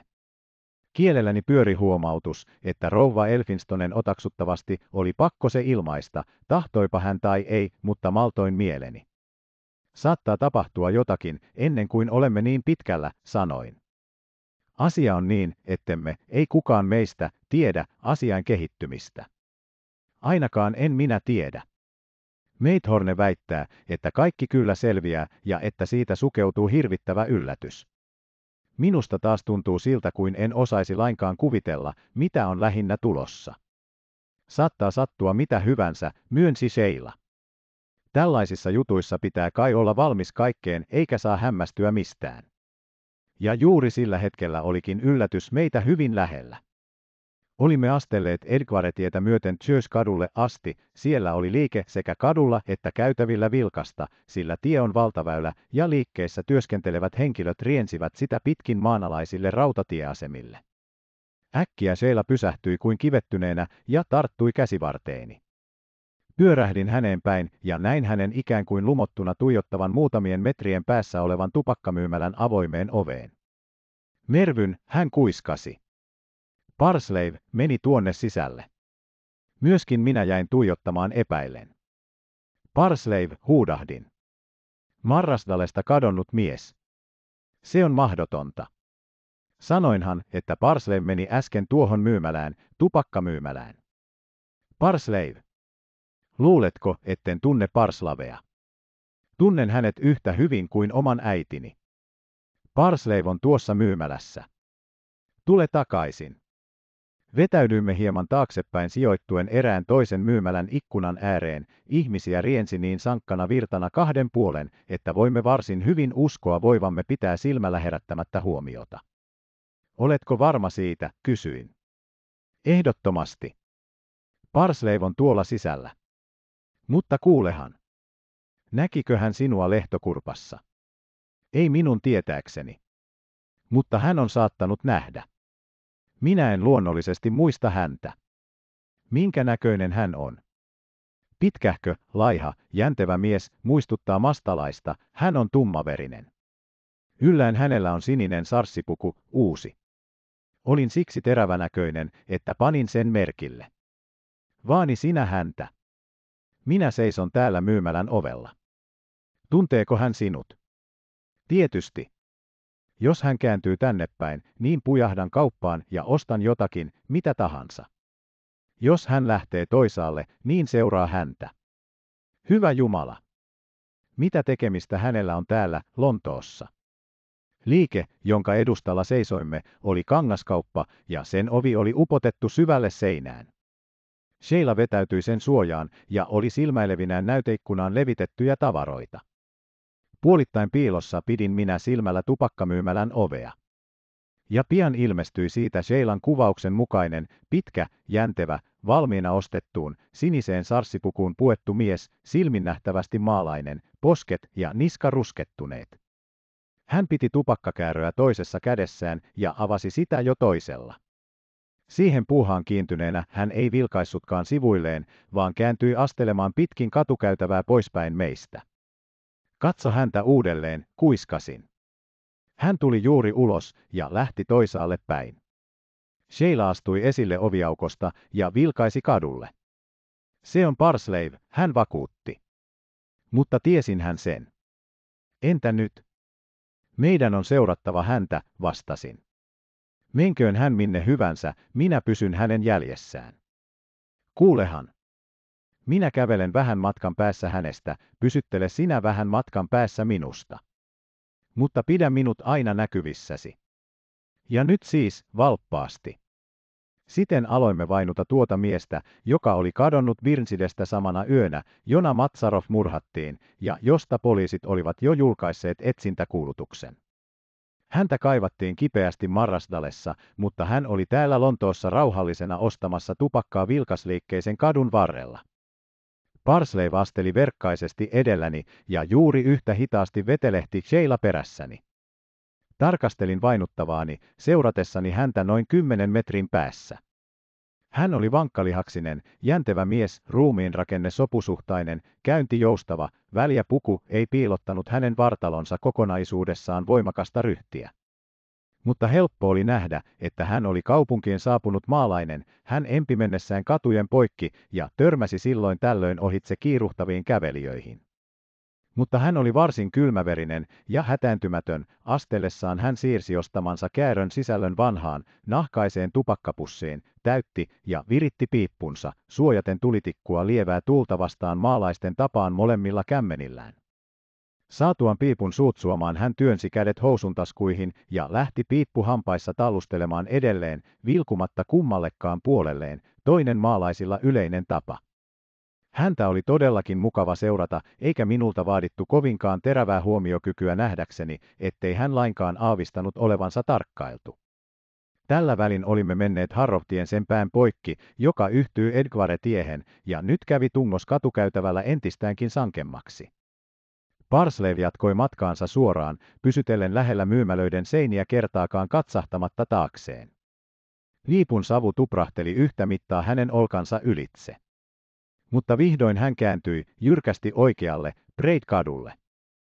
Käveltyään sitä myöten 50 metriä ja epäröityään hetkisen vilkkaan liikkeen tähden hän meni kadun poikki, asteltuaan vielä vähän matkaa toista käytävää myöten hän poikkesi eräälle Braid ja Oxford-katuja sekä Cambridge-pengertä yhdistävälle välikadulle.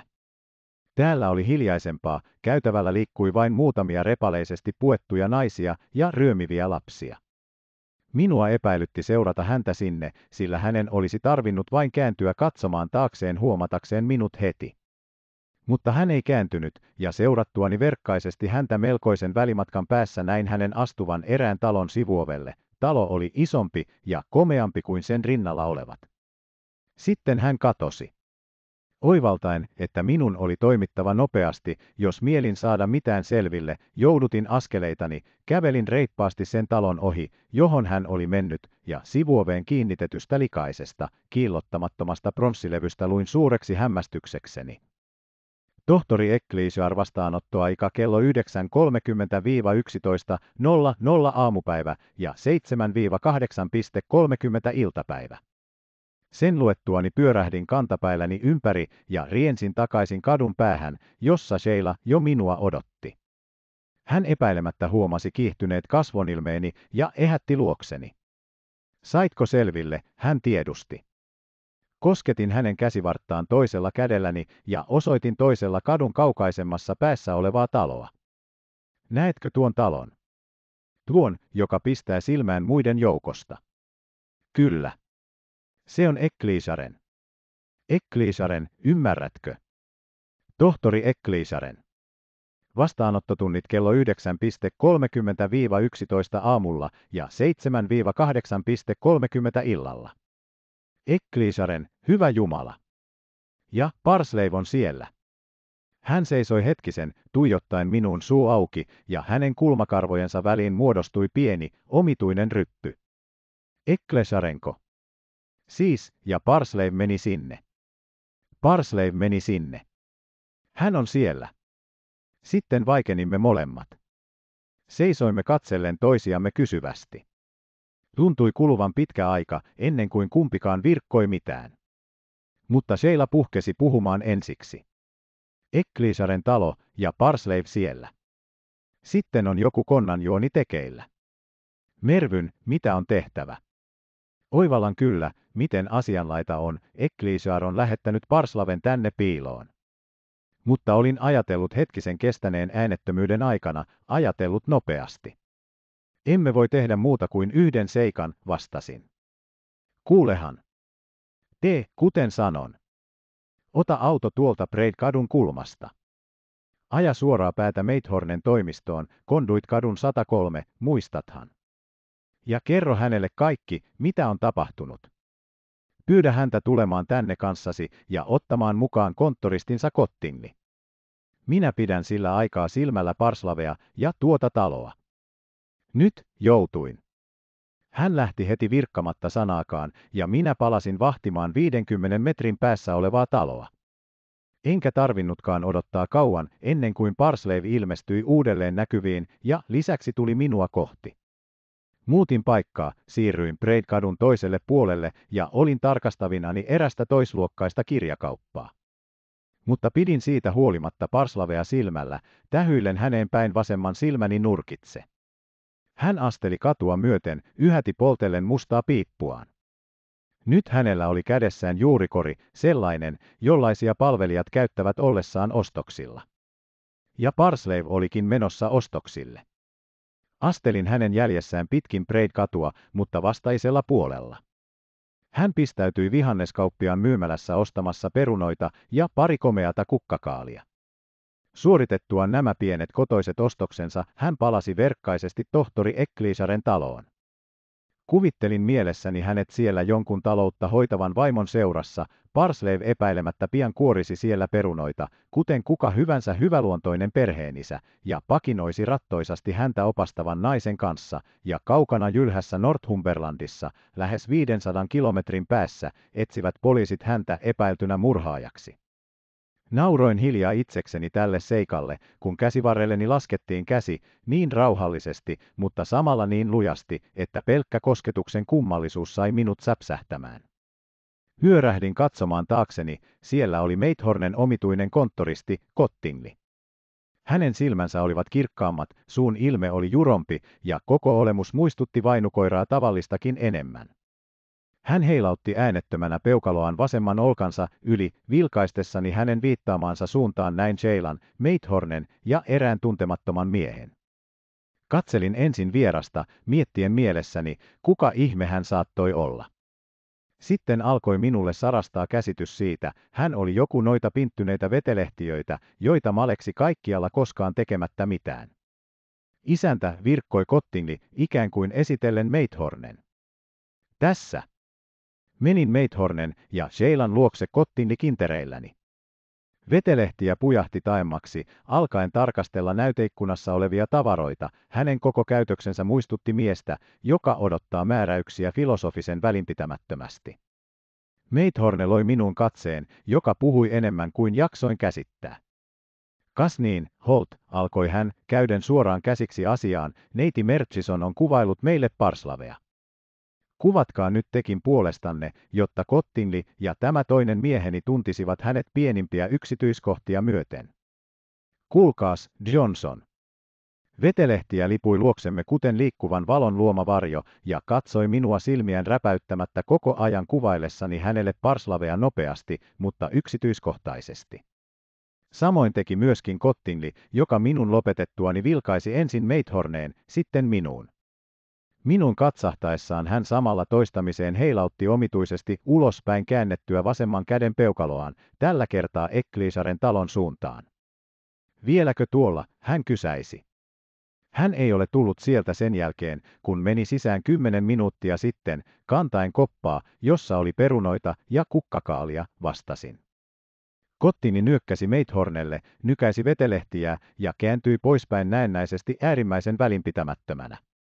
Hän otti taskustaan savukekotelon ja tarjosi kumppanilleen savukkeen, minkä jälkeen he astelivat luotamme, tuprutellen sauhuja.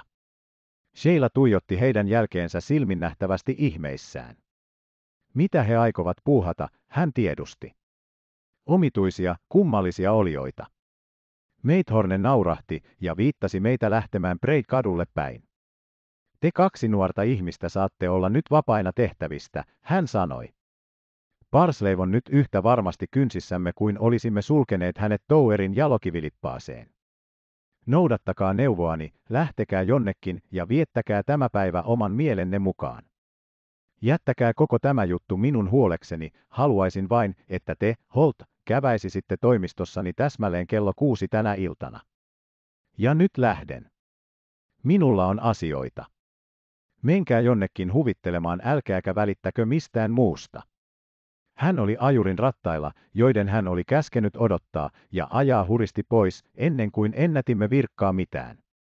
Seisoimme minuutin tai pari, töllistellen ympärillemme tietämättä mitä tehdä, ja ihmetellen tätä omituista käännettä. Sitten katsahdimme toisiimme ja purskahdimme nauramaan. Meithornen neuvo on ainakin hyvä, sanoin. Noudatetaan sitä. Lempo vieköön koko tämän jutun. Mennään jonnekin, missä voimme puhella. Mistä, kysyi hän, kun jäin empimään. Meistä itsestämme, vastasin. Olemme saaneet kylliksemme muista ihmisistä. Lähdimme jonnekin, tarkalleen sanoen, ajoimme autolla erääseen Lontoon pohjoispuolella olevaan pieneen kylään. Nautimme viehättävän puolisen viehättävässä, vanhanaikaisessa majatalossa, vietimme iltapäivän syksyn värittämillä kylänraiteilla ja mutta sepä ei olekaan missään yhteydessä tämän kertomuksen kanssa, vaikka se onkin kaikki kaikessa minulle ja Sheilalle. Puoli kuusi saatoin hänet takaisin ystävänsä asuntoon ja lähdin sitten konduit kadulle Meithornen luokse. Heti sisään astuttuani hän heilutti minulle sähkösanomaa. Tästä saatte, Holt, hän huudahti. Uusia käänteitä. Sähkösanoma palvelijaltanne Websteriltä. 19. luku. Sileä seinä. Websterin sähkösanoma ei ollut varsin monisanainen, mutta sisälsi koko joukon perin tärkeitä tietoja. Se oli osoitettu minulle Meithornen toimistoon ja lähetetty Black Gillin asemalta 10 minuuttia yli 10 sinä aamuna. Sen sisältö oli seuraava. Courthope, Armintrade, Ecclesiar, herra ja rouva Elfinstone lähtivät kaikki Kaalisleen kahdeksan junalla tänä aamuna. Muuta ei ole tapahtunut, eikä Mannersin kertoman mukaan Parslavesta ole kuultu mitään. Ojensin sähkösanoman takaisin virkkamatta mitään. Pistettyään sen muiden paperien joukkoon kirjoituspöytänsä sitä varten varattuun laatikkoon Meithorne viittasi aikatauluun, joka oli avonaisena lähelläni. Kaalisleen, siis tietystikin Lontooseen, hän päätteli. Olen silmäillyt aikataulua. He saapuvat Black Killin asemalta Kaalisleen 9 ja 30 hyvissä ajoin ehtiäkseen kello 10 pikajunaan. Se tuo heidät Euston asemalle kello viisi minuuttia yli kuusi, mikä merkitsee, että he jo tällä hetkellä ovat Lontoossa. Toiminnan näyttämö on muuttunut, Holt. Olemme saaneet muutamia pääosien esittäjiä läheisyyteemme. Minä en kyllä pane suurta merkitystä High Lodgen kolmen miehen palaamiseen, se osoittaa yksinkertaisesti, että heidän metsästysseurueensa on hajaantunut ja että he kukin ryhtyvät jälleen tehtäviinsä. Mutta toisin on asianlaita siihen nähden, että rouva Elfinstone on tullut Lontooseen. Rouva Elfinstone on tietystikin saapunut noutamaan tytärtään, huomautin. Ja jälkisäädöstä, tokaisi hän. Taikka ottamaan selkoa, mitä hänen tyttärensä on sille tehnyt. No niin, meidän on huomenna puhuttava varsin suoraa kieltä kahdelle miehelle.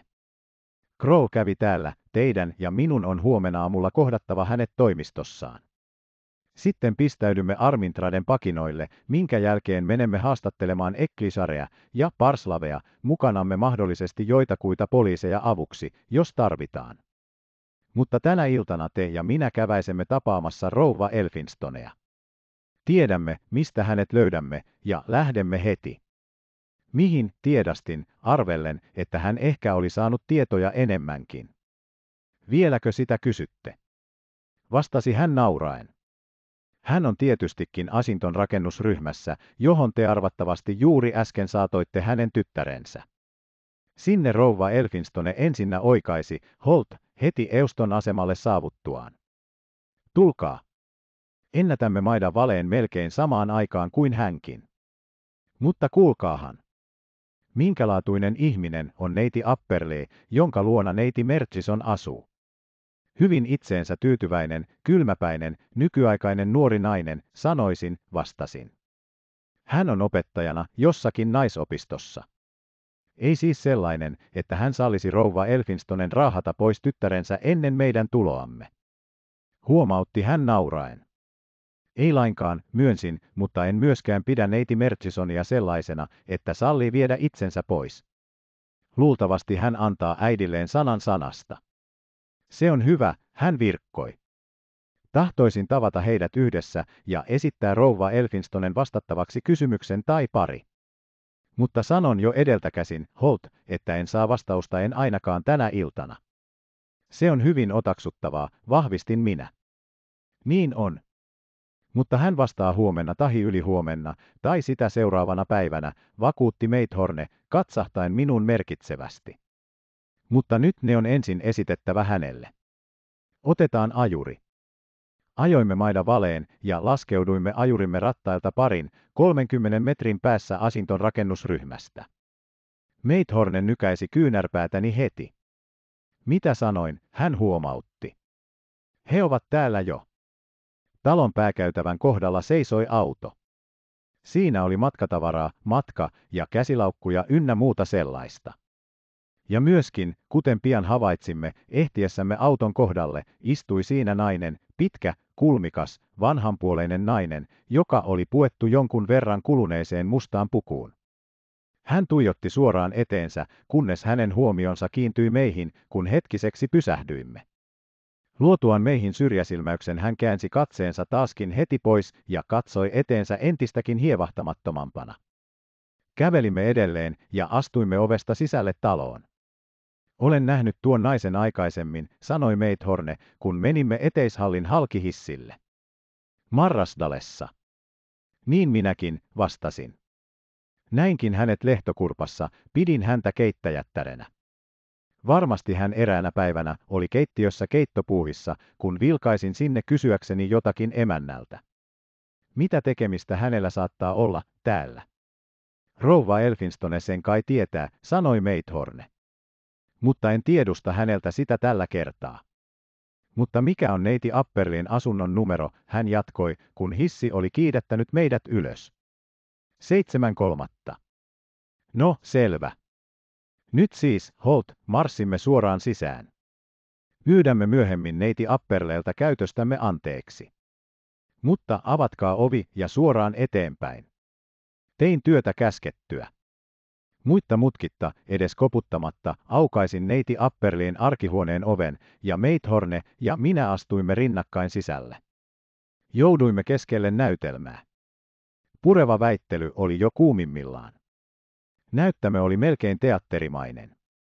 Asunnon haltija, jonka jokseenkin ylväällä nenällä keinuivat silmälasit, istui kädet sylissä Chesterfieldiläisessä tuolissa ikkunakomerossa, silmäillen puolittain huvitettuna, puolittain kummastellen vuoroin seilaa, joka seisoi harmistuneena ja uhkamielisenä lattian keskellä olevan pöydän ääressä, vuoroin taas rouva Elfinstonea, joka istui komeassa nojatuolissa takan luona silminnähtävästi kelpolailla sydämistyneenä. Herra Elfinstone taas kyyrötti sopessa sijaitsevan tuolin reunalla, puristellen sateenvarjonsa nuppia nähtävästi niin nolostuneena ja hermostuneena kuin rauhallinen mies suinkin saattaa olla. Meidän ilmestyessämme ovelle hän katsahti sinne päin ja ähkäisi ääneen.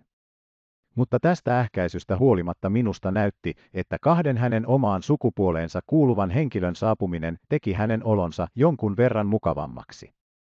Sanaakaan, äiti hyvä, ennen kuin ilmaiset, miten sait jälkisäädöksen haltuusi, selitti Sheila parhaillaan ponnekkaasti meidän tuoksahtaessamme sisään.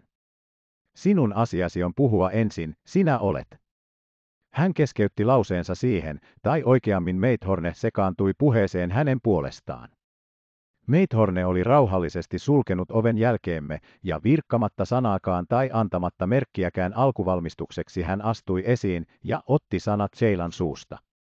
Tyttärenne on oikeassa, rouva Elfinstone, hän alkoi kylmän hillitysti. Teidän asianne on selittää.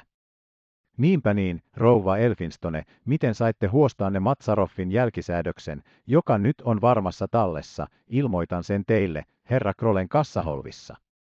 No? Herra Elfinstone ähkäisi jälleen väsyneesti. Mutta rouva Elfinstone näytti, että hänellä oli sisua ja oli valmis taisteluun. Kuinka uskallatte puhua minulle, minulle? Tuolla tavoin, hän kivahti. Mikä oikeus? Hyvä rouva. Keskeytti Meithorne. Pysykää tyynenä, älkääkä olko typerä. Harkitkaa hiukan. Hyvin varakas mies murhataan perin epäilyttävissä oloissa. Hänen taskussaan on muiden paperien joukossa hänen jälkisäädöksensä sekä lisäksi arvoesineitä ja rahaa. Hänet murhataan, ja sitä paitsi häneltä ryöstetään kaikki, mitä hänellä on mukanaan. Hänen kadonneesta omaisuudestaan ei löydetä jälkeäkään. Mutta muutamia päiviä myöhemmin tyttärenne eräänä iltana huomaa, että jälkisäädös on teidän hallussanne. Mitä arvelette poliisiviranomaisten siitä sanovan, rouva Elfinstone? Kysyn vain. Mutta minulle selvisi heti, että miten ja mitä Meithorne saattoikaan tiedustaa, hän ei saisi vastausta rouva Elfinstonelta, ei ainakaan silloin, jos koskaan. Rouva Elfinstone silmäili Meitonea puolittain ihmetellen, kuten läpikotaisin itsepäiset ja hieman typerät henkilöt katsovat kyselijää. Aivan selvästi näin, että hän kummasteli, kuinka Meithorne rohkeni olla niin suorapuheinen ja mutkaton. Ja kun hän pysyi vaiti, alkoi kumppanini puhua vieläkin suoremmin. Kuten sanoin, kysyn teiltä, rouva Elfinstone. Myöskin viittasin poliiseihin. Kumpi on teistä parempi, kertoa minulle vaiko joutua heidän kuulusteltavakseen? Viime mainittu vaihtoehto saattaa helposti esiintyä. Jos lausun vain sanan, niin, mutta luullakseni ymmärrätte. Herra Elfinstone ähkäisi vielä kerran kuuluvasti. Hän liikahteli tuolillaan rauhattomasti, tarttuen sateenvarjoonsa epätoivoisesti. Perin harmillista, hän jupisi. Tuiki epämiellyttävää. Tosiaan minä, minä arvelen, Marion, HM, ymmärrät hän, jos olisin sinun sijassasi, luullakseni ilmoittaisin, miten sait tuon, HM, asiakirjan, sen tekisin, tosiaan. Rouva Elfinstonen on ilmoitettava, miten hän sai sen ja keltä, huomautti Meithorne. Sen jälkisäädöksen epäilemättä anasti, varasti Matsaroffin taskusta hänen murhaajansa. Ja, herra Elfinstone, se on myöhemmin tavattu rouva Elfinstonen hallussa. Miten se joutui hänelle? Rouva Elfinstone tempasi äkkiä päällysvaippansa ja sateenvarjonsa nousten tuolistaan. Minusta hän näytti hillitsevän itsensä parhaiten kaikista huoneessaolijoista, jopa neiti Apperlössäkin alkoi ilmetä huolestumisen merkkejä. Mikä oikeus teillä on kuulustella minua, kysyi rouva Elfinstone, katsoen Meitonea suoraan silmiin. Te ette tietääkseni ole poliisi, eikä teillä liene siihen valtuutta. Jos olisin neiti Apperli, niin pyytäisin teitä poistumaan asunnostani. Minä puolestani lähden, ja kuka hyvänsä tahtoo tavata minua, hän löytää minut sortin hotellista. Sieltä löydät sinäkin minut, Sheila, en aio enää lähteä juoksemaan perässäsi. Se on hyvä tietää, rouva Elfinstone, virkkoi Meithorne yhäti itsepintaisena. Teidän luonanne epäilemättä käydään majapaikassanne. Ja mitä tulee siihen, että tunkeuduimme neiti Apperlin asuntoon, niin hän on luultavasti jo kuullut kylliksi uskoakseen, että se oli oikeutettua. Tämä on murhajuttu. Ja halusittepa tai ette, rouva Elfinstone, eli, kuten sen pitäisi olla, Merchison, minä aion ottaa selville, kuka Matsaroffin murhasi. Jos te sen tiedätte, olette nyt jo syypäärikoksen salaamiseen. Se oli hyödytöntä. Rouva Elfinstone siirtyi ovelle, viitaten herra Elfinstonea seuraamaan itseään. Vanhus nousi tuoliltaan epävarmana ja pelokkaana. Minä luulen, HM, luulen todella, että ehkä on joku, joku selitys, ymmärrättehän, hän änkytti, katsoen varovasti Meithorneen. Rouva Elfinstone on saattanut saada haltuunsa tämän, tuota noin, aivan. Rouva Elfinstonen on vain puhuttava, Sir, keskeytti Meithorne. Ei voi kiertää sitä tosiseikkaa, että asian laita on, kuten juuri esitin. Toistan vielä, tämä on murhajuttu. Jos rouva Elfinstone sallii itseänsä epäiltävän, niin se on hänen oma vikansa. Tälleen ei asia saa jäädä. Jos rouva Elfinstone on saanut jälkisäädöksen käsiinsä jollakin viattomalla tavalla, miksi hän ei sitten suoraan ilmoita, miten se kävi, ja edistä työskentelyämme sen sijaan, että hän nyt estää sitä. Rouva Elfinstone oli tällöin jo ovella, ja hänen katseensa oli yhtä kova kuin ennenkin, kun hän silmäili vuorotellen meitä kaikkia puolittain halveksivasti. Suorittakaa itse työnne, tokaisi hän. Aiotko tulla, Malcolm? Ja jos sinä, Sheila, vielä kaipaat minua, on sinun tultava luokseni. Muutoin. Hän teki liikkeen, joka tuntui osoittavan, että hän pesi kätensä sekä tyttäreen että kaikkiin muihin saapuvilla oleviin nähden, ja katosi käytävään odottamatta herra Elfinstonea. Mutta tämä vitkasteli ja loi toisen vetoavan katseen Meithorneen. Oikein hartaasti toivon, että te puhuisi tästä poliisille, hän virkkoi. Koko tämä asia on perin onneton ja kiusallinen, mutta uskon, olen varma, että se on selitettävissä. Mielestäni menetteli, HM, tytärpuoleni tylysti ja ajattelemattomasti lähtiessään salaa tuomaan tänne sitä asiakirjaa, sitä ennen kysymättä mitään äidiltään, ja Neiti Merchison menetteli ainoalla mahdollisella tavalla, keskeytti Meithorne. Hänen tekonsa oli eittämättä jyrkkä, mutta ainoa mahdollinen. Jos jälkisäädös olisi saanut jäädä teidän taloonne, herra Elfinstone, niin se olisi tuhottu, se on varma. Ja paras, mitä voitte tehdä, on antaa vaimollenne terveitä neuvoja. Kehoittakaa häntä puhumaan. Pitäkää se mielessänne. Ette te eikä hän näytä oikein käsittävän tosiasiaa, tämä on murhajuttu. Miksi sen vuoksi kujeilla?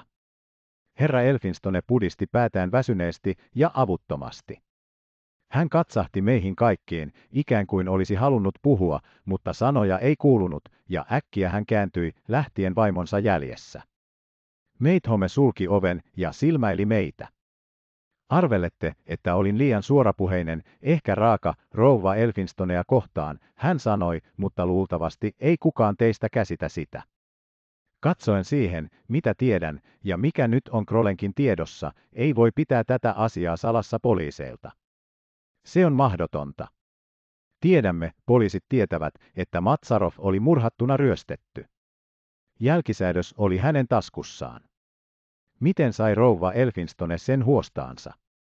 Yksi seikka näyttää jääneen huomaamatta teiltä ja ehkä kaikilta, puhkesi neiti Apperli äkkiä puhumaan ensimmäistä kertaa.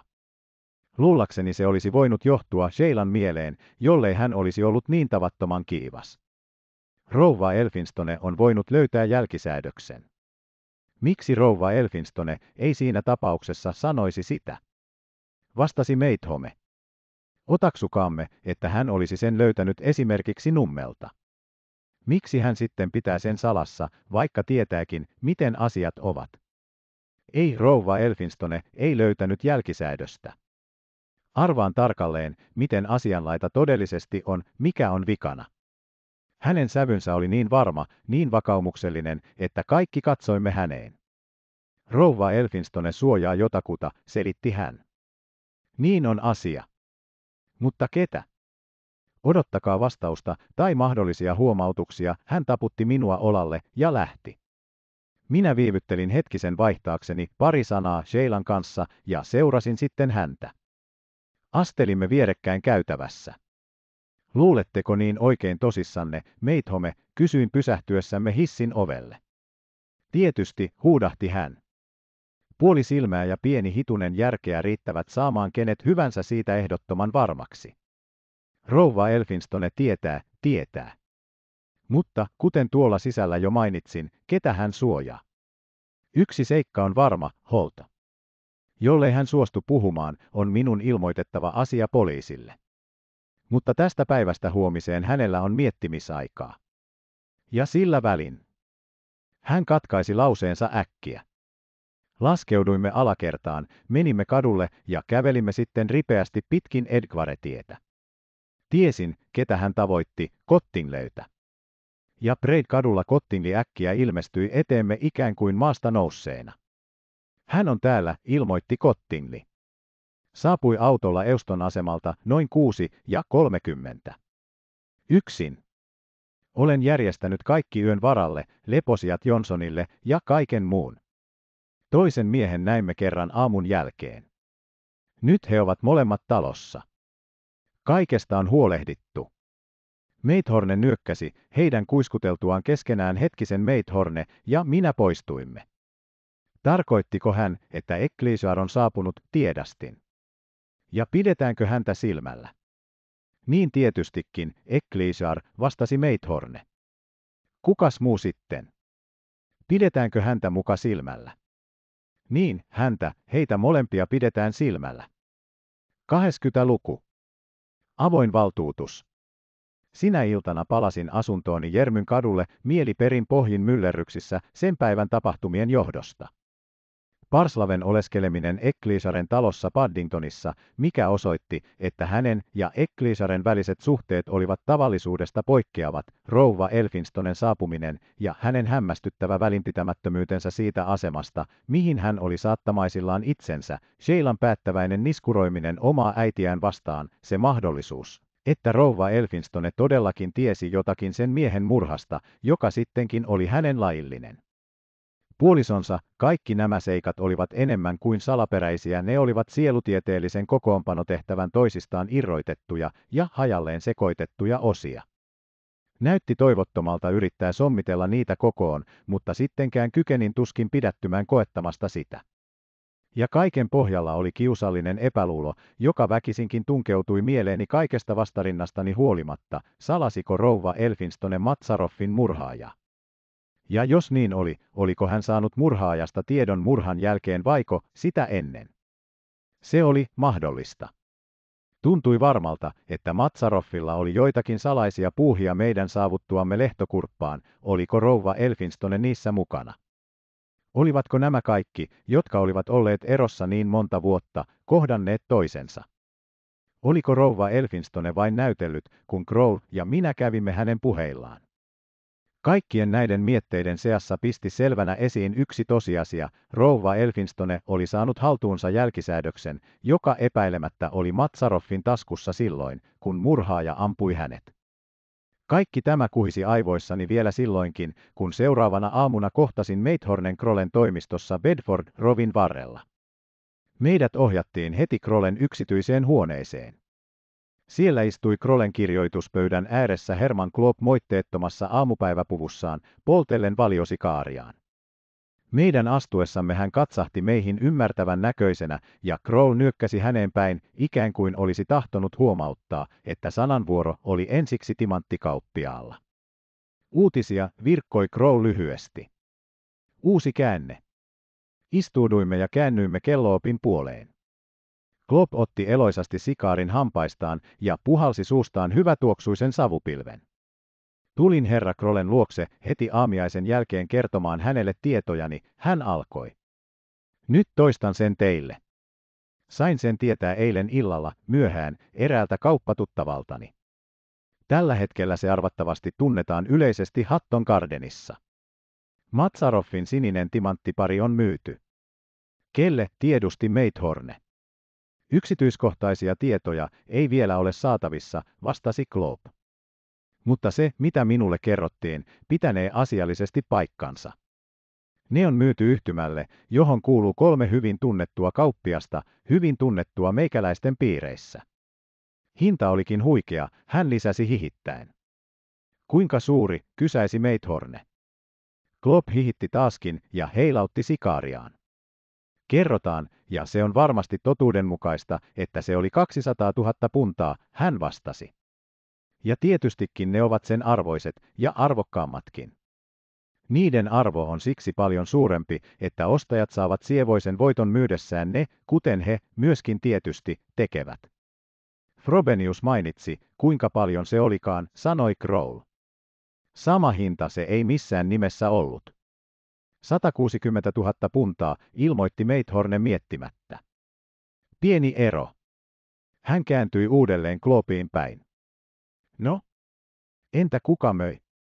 Klopp naurahti, vilkaisten Kroleen. Tosiaankin. Tärkeä kysymys. Myyjä oli Armintrade. Sitä ei ole lainkaan koetettu salata. Kaupasta puhuttiin peittelemättä. Armintrade, pankkimies. Armintradehan palasi pohjoisesta vasta eilen illalla, huomautti Meithorne. Missä ja miten tämä kauppa solmittiin? Niin, virkkoi Kloop, siitä osaan kertoa jonkun verran, mutta en täsmällisiä yksityiskohtia. Luullakseni se tapahtui kirjeellisesti. Joka tapauksessa kivet siirtyivät yhtymän omaisuudeksi eilen aamulla, ja keskipäivällä niitä näytettiin harvoille valituille. Kertojani mainitsi minulle, että eräs näkijöistä tarjosi heti ostajille niistä 10 000 puntaa yli kauppahinnan. Asia on niin, jos tahdotte sen tietää, että se timanttipari on neljännes miljoonan arvoinen. Meithorne katsahti Kroleen, tämä pudisti päätään. Meistä on tärkeää vain se, hän huomautti, että Armintrade möi nämä kivet, jotka olivat Matsaroffin omaisuutta. Tiedämme, että Armintraden hallussa oli niin sanottu sininen timantti numero yksi ja että Matsaroffilla lähtiessään pohjoiseen oli sininen timantti numero kaksi. Siispä on Matsaroffin täytynyt tavata Armintrade ja luovuttaa hänelle toinen kivi. Heidän on täytynyt kenenkään tietämättä kohdata toisensa Marrasdalessa. Meithorne puhutteli taaskin Kloopia. Armintraden nimi mainittiin teille avoimesti ja peittelemättä kaupan yhteydessä. Hänestä puhuttiin myyjänä. Kyllä, juuri niin, myönsi Kloop. Aivan avoimesti. Mainittiinko Matsaroffin nimi? Varmasti. Timanttien alkulähteenä. Puhuttiinko Armintradesta, minä hänet mainittiin. Niin, muistaakseni välittäjänä. Mutta se on toisarvoinen seikka, ainakin siltä näyttää.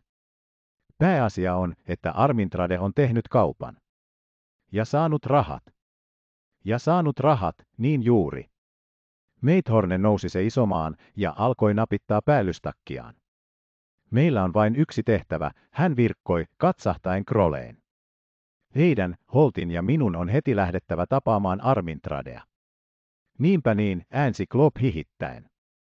Mutta saatte nähdä, että hänellä on kaikki kunnossa. Mistä sen päätätte, tiedusti Meithorne. Siitä, ettei kukaan selväjärkinen ihminen suorittaisi sellaista kauppaa avoimen julkisesti, jollei kaikki olisi kunnossa, selitti Klopp. Ajatelkaa. 200 000 puntaa. Meidän on yhtä kaikki saatava selitys, intti Meithorne. Mikäli minä käsitän, ovat ne timantit Matsaroffin kuolemasta saakka olleet tämän herra Holtin omaisuutta. Eikö asia ole niin, Kroll? Kyllä, vastasi Kroll lakoonisesti. Hän nousi pöytänsä äärestä, meni nurkassa olevalle kassakaapille ja otti jostakin sen sisälokerosta pitkulaisen kuoren. Tässä on jälkisäädös. Vien sen mukaan. Mutta luultavasti herra kelloopin huomautus osoittautuu oikeaksi, Armintradella on kaikki kunnossa. Ja sillä tarkoitan, että Armintradella oli oikeus kaupan tekemiseen. Yksityiskohtia en osaa arvailla. Mutta liikkeelle. Ulkona kadulla erosimme kelloopista. Crow, Meithorne ja minä otimme ajurin ja käskimme hänen viedä meidät Kurthopen pankille. Crow istui jurona ja miettivänä, hypistellen jälkisäädöstä, Meithornen aivot näyttivät työskentelevän kiihkeästi. Vihdoin hän kohotti päätään. Nyt tuntuu olevan selvää, ettei Matsaroffia murhattu timanttien vuoksi, hän mutisi, ikään kuin hieman harmissaan tästä asioiden uudesta käänteestä. Enkä taitanut sitä koskaan uskoakaan. Mutta, kun asia on siten, niin minkä tähden hänet murhattiin? Mikä oli vaikutin?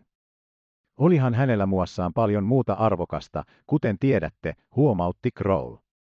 Ja meidän on käytävä tiedustelemassa muiltakin ihmisiltä selviydyttyämme Armintradesta, kuten esimerkiksi Ekklesarelta ja tuolta Parslavelta.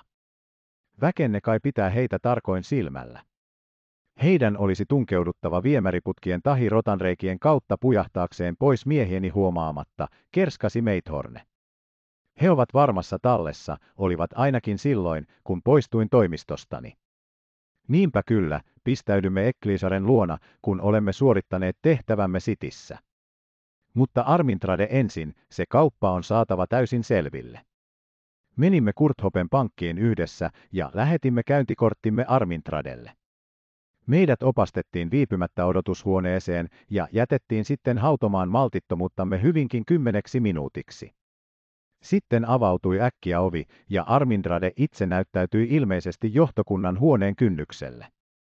Olen jo maininnut, että hän oli ovelapiirteinen, parrakas, ylpeäkäytöksinen mies. Hän näytti vieläkin ovelammalta ja kopeammalta seisoessaan siinä sitipuvussaan, silmäilen meitä. Mutta hänen silmänsä hymyilivät, minusta tuntui hieman ivallisesti, ja hänen käytöksensä oli ulkonaisesti kohtelias. Valitan, että annoin teidän odottaa, hyvät herrat, pahoitteli hän. Tehkää hyvin ja käykää sisään. Astuimme sisään. Armintrade sijoittui kirjoituspöytänsä ääreen ja viittasi meitä istuutumaan sen ympärille asetettuihin tuoleihin. Meithornesta ja minusta hän ei välittänyt paljoakaan, vaan kiinnitti huomionsa asianajajaan. No, herra Kroll, hän alkoi. Miten voin palvella teitä? Voitte antaa meille eräitä tuiki tarpeellisia tietoja, herra Armintrade, vastasi Kroll empimättä. Tiedossanne kaiketi on, että toimittuani herra Matsarov-vainajan asianajajana täällä Lontoossa olen pyytänyt tämän herra Meithornen tutkimaan hänen murhaansa. Olemme saaneet Kapkaupungista kotoisin olevalta, nykyisin Lontoossa oleskelevalta Matsaroffin läheiseltä henkilökohtaiselta ystävältä tietää, että Matsaroffilla oli kaksi tavattoman komeata timanttia, joista toinen oli hänellä itsellään, kun hän lähti pohjoiseen päin, Marrasdaleen, ja toinen oli ollut Matsaroffin asiamiehen, nimittäin teidän hallussanne muutamia kuukausia. Klopp ilmoitti meille äsken myöskin sen, että te olette myynyt nämä molemmat timantit 200 000 punnasta. Pitääkö se paikkansa? Armintrade, jonka silmissä oli koko ajan pysynyt ivallinen, tutkimaton hymy, nyökkäsi. Täsmälleen, hän vastasi. Tunnette asian yksityiskohtaisesti. Crow katsahti häneen ymmärtävästi. Suostutteko kertomaan meille koko jutun, hän kysyi. Kaikki on selitettynä arvattavasti perin yksinkertaista. Todella perin yksinkertaista, vakuutti Armintraden nauraen. Toimin Matsaroffin asiamiehenä eli kaupan välittäjänä, tai mitä nimitystä haluatte vain käyttää, jonkun aikaa tutustuin häneen hoitaessani hänelle menevää kirjeenvaihtoa sen pankin puolesta, jossa aikaisemmin palvelin. No niin, nämä siniset timantit olivat hyvin harvinaiset. Kuten sanoitte, oli toinen niistä jonkun aikaa huostassani. Toisen hän luovutti itse minulle lehtokurppaan saapumisensa jälkeisenä päivänä. Aha, Kohtasitte siis hänet siellä. Kyllä, kohtasin hänet siellä. Sopimuksen mukaisesti. Juuri niin, sopimuksen mukaisesti. Missä nimenomaan? Bönsiden tienristeyksessä puolen päivän aikaan. Olimme yhdessä vain noin kymmenen minuuttia. No? Entä mitä tapahtui? Keskustelimme timanttien myynnistä ja teimme sopimuksen. Saanko kysyä, millainen se oli? Kernaasti. Hän myönsi minulle avoimen valtuutuksen. Aha. Ymmärrän. Avoin valtuutus niinpä niin. Teidän piti saada niistä määrähinta, jos tahdoittekin valmisteluaikaa. Luonnollisesti. Mutta näytän teille ehtomme, ne ovat Matsaroffin kirjoittamat. Hän toi ne minulle valmiiksi allekirjoitettuina. Kas tässä? Kirjoituspöytänsä laatikosta hän otti esille kirjepaperiarkin ja ojensi sen Krollelle, joka luki sen tarkkaavasti. Selvä on, sanoi Kroll antaessaan paperin takaisin. Hän antoi teille yhden kuukauden kestävän valtuuden myydä timantit 175 000 punnasta. Ja te olette ryhtynyt asiaan. Olen ryhtynyt siihen ja myynyt molemmat timantit, kuten mainitsitte, eräälle yhtymälle 200 000. Siinä kaikki. Crow nyökkäsi. Sitten hän kumartui hiukan eteenpäin ja katsoi vakavasti Armintradea silmiin. Niinpä niin. Entä sitten se valtuussumma? 175 000 puntaa. Se olisi tietenkin ollut maksettava Matsaroffille. Juuri niin. Erä on Salim Matsarov-vainajan oikeudenmukaisen perillisen tai perillisten, hänen testamenttinsa saajain ja kaikkien asianmukaisesti oikeutettujen henkilöiden käytettävissä. Kroll osoitti minua. Tämä herra Holt on jälkisäädöksen mukaan Matsaroffin ainoa perijä. Hän saa kaikki. Armintraden naurahti ja hymyili minulle varovan näköisenä. Onneksi olkoon, herra Holt, hän virkkoi. Mutta oletteko siitä varma? Entä ne kummalliset tosiseikat, että Salim Matsarov olikin sama henkilö kuin Andrew Merchison, että rouva Elfinstone oikeastaan onkin rouva Merchison ja niin edelleen. Sitä paitsi olen kuullut, että Jorkissa tehty jälkisäädös on kadoksissa.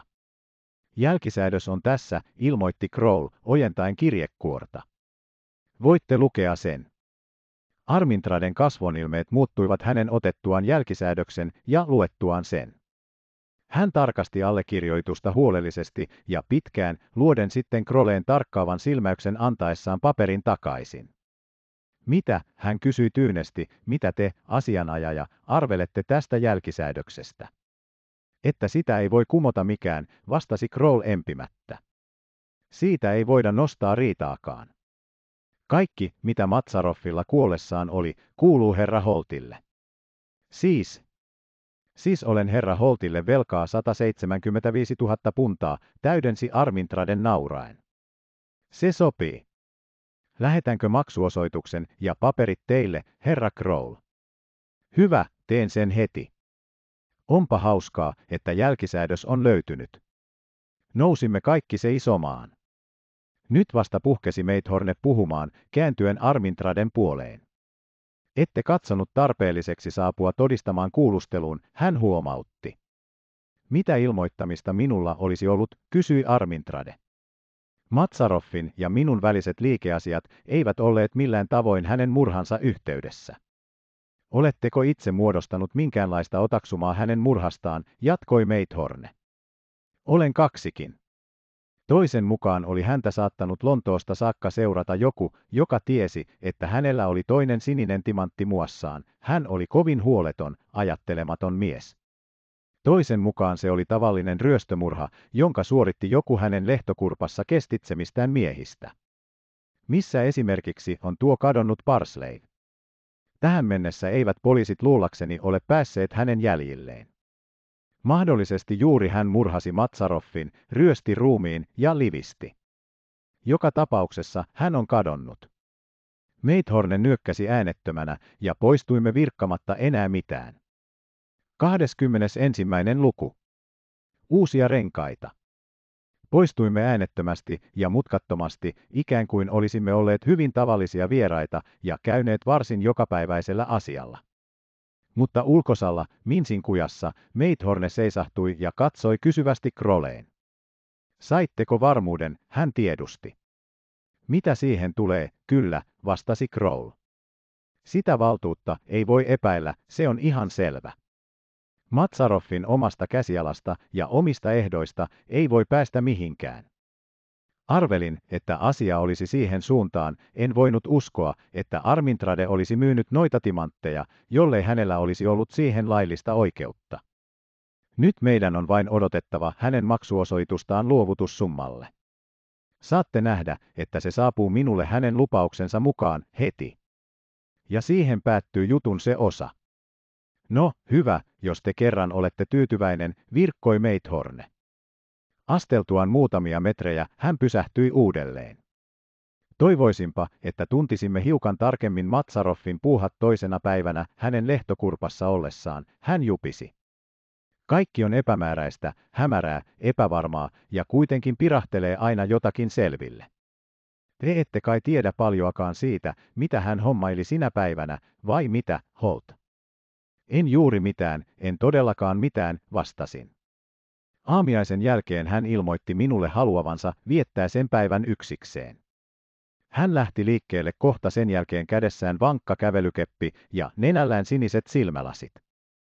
Luultavasti hän käytti niitä jonkunlaisena naamarina, sillä milloinkaan muulloin en nähnyt hänellä silmälaseja, ja tiesin, että hänen silmänsä olivat harvinaisen hyvät. Hän oli ulkosalla koko päivän, tapasin hänet vasta illalla. En tiedä, missä hän kävi tai keitä hän kohtasi. Hän tietysti tunsi paikkakunnan hyvin, huomautti Meithorne. Emme voi sanoa, minne hän ei olisi voinut mennä tai ketä hän ei olisi voinut kohdata, tahi, mikä on perin tärkeä seikka. Mitä sopimuksia hän ei olisi voinut tehdä seuraavan päivän tahi illan varalta? Seuraavan päivän hän oli minun seurassani, sanoin, ainakin jokseenkin koko päivän. Ajelimme autolla ympäristössä, katselemassa kirkkoja, raunioita ja muita sen tapaisia. Hän katosi vasta illalla kello puoli kahdeksan jälkeen. Meni epäilemättä tapaamaan jotakuta, mutisi Meithorne.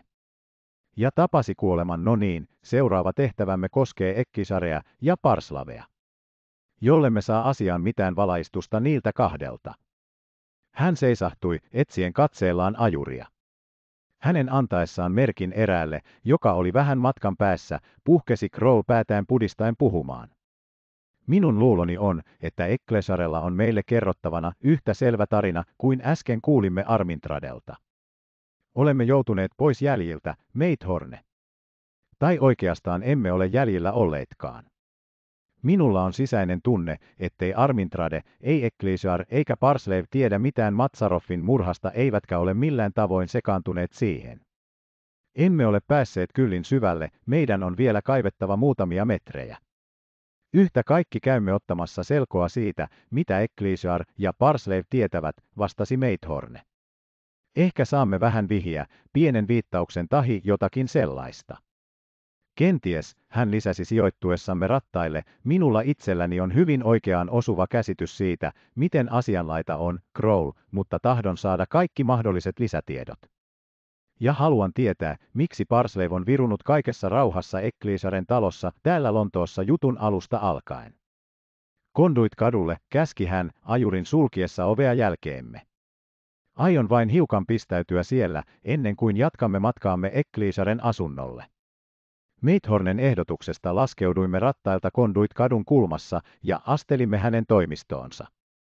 Hänen ovensa edustalla oli hieno, silminnähtävästi ihan uusi Rolls-Royce-auto, jonka ohjaajan liveri oli hitusen liian komea. Sen nähdessään Kroll hymyili. Ylimyksellisiä asiakkaitanne, niinkö, Meithorne, hän virkkoi pilaillen.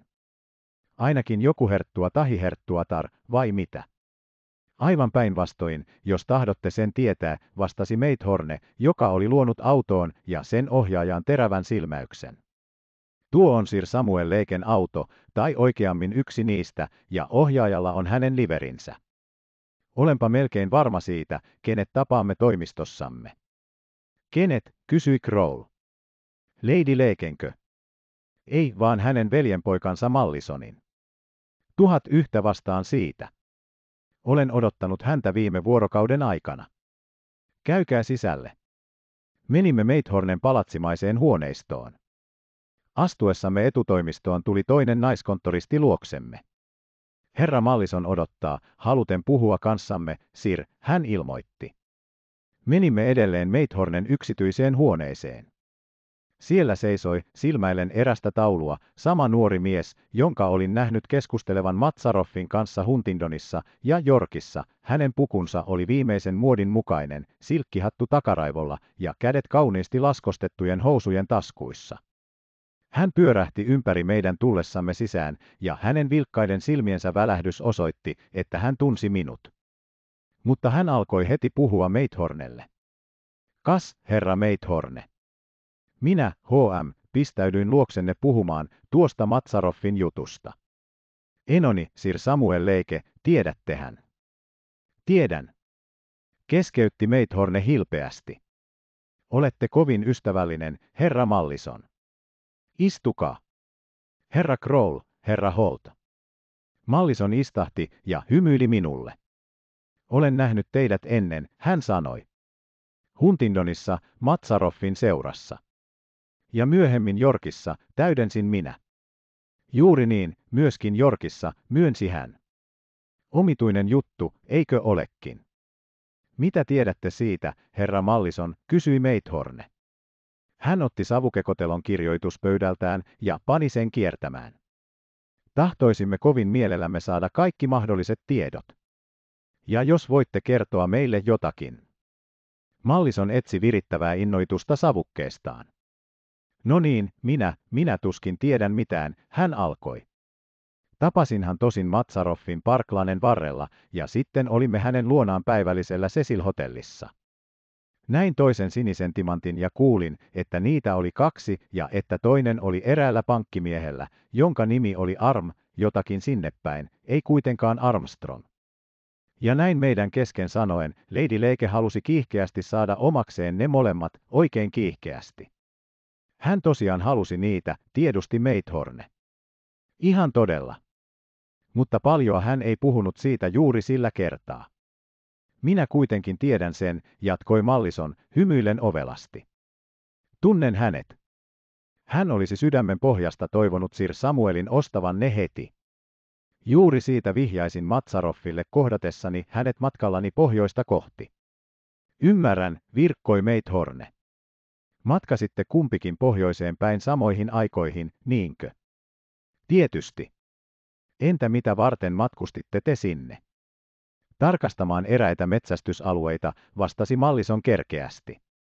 Sir Samuel tahtoo vuokrata Teerinummen ensi vuodeksi ja arvelimme oivalliseksi ajatukseksi, että kävisin mieskohtaisesti tutustumassa muutamiin sellaisiin varsinaisena metsästysaikana.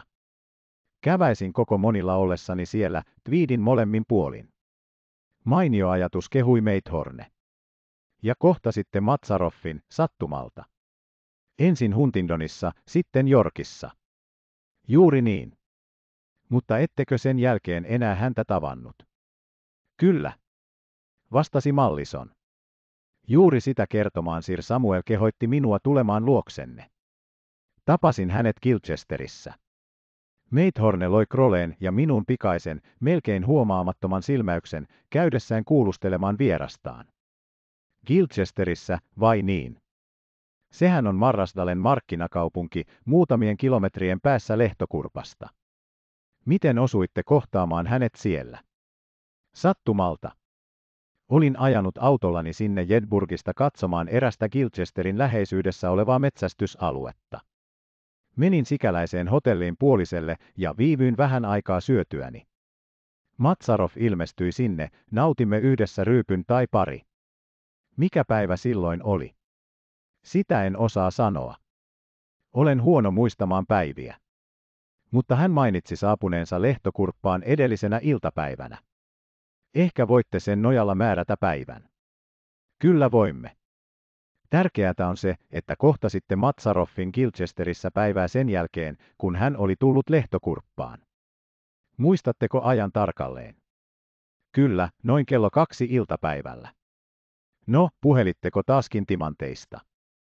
Tietysti. Hän kertoi minulle, mitä oli tehnyt. Hän oli muka tavannut asiamiehensä, Arm. Nimi on Armintrade. Sehän se oli. Armintrade. Hän sanoi tavanneensa Armintraden, joka oli metsästämässä lähistöllä, ja he olivat tehneet sopimuksen. Armintrade on jo pannut alulle suuren kaupan. Matsarov oli sen vuoksi laatinut Armintradelle valtuuden myydä ne 175 punnasta. Hän luuli Armintraden hyväksyvän sen. Mutta jollei hän hyväksyisi, selitti Matsarov, niin silloin Lady Leike saisi ne ensiksi mainitusta hinnasta, 160 000 punnasta.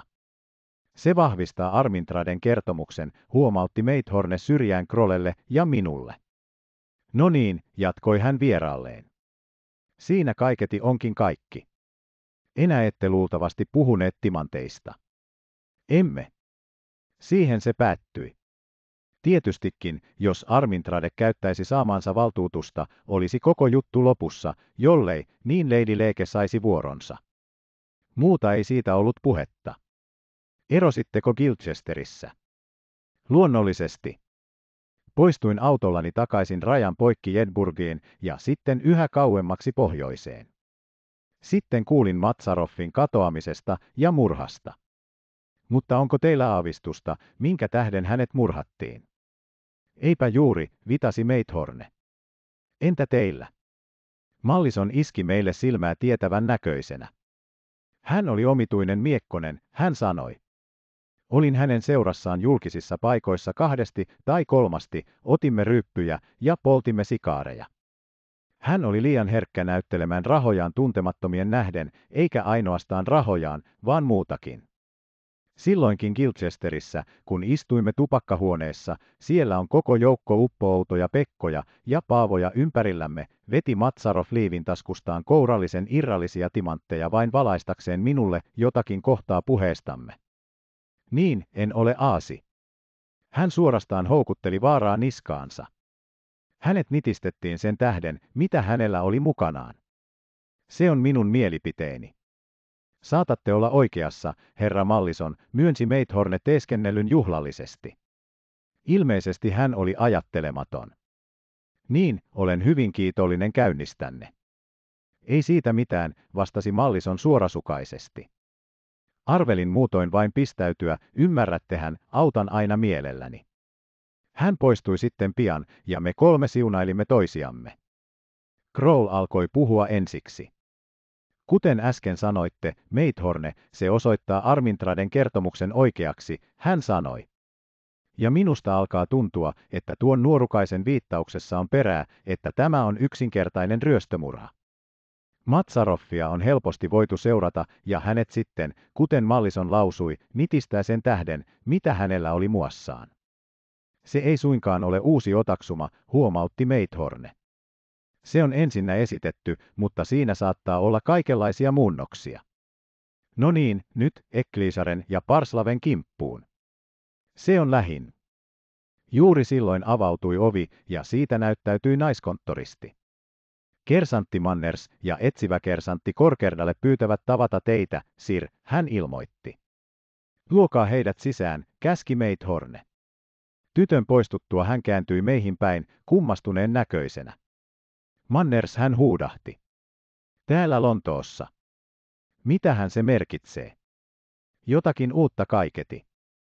Kasvain, Manners, hän jatkoi, kun kersantti ja eräs toinen mies molemmat siviilipuvussa astuivat sisään ja jäivät töylistelemään ympärilleen, mikäs teidät on tänne tuonut. Istukaa. Tunnettehan nämä herrat. Manners myhäili Krollelle ja minulle, istuutui ja avasi päällystakkinsa napit.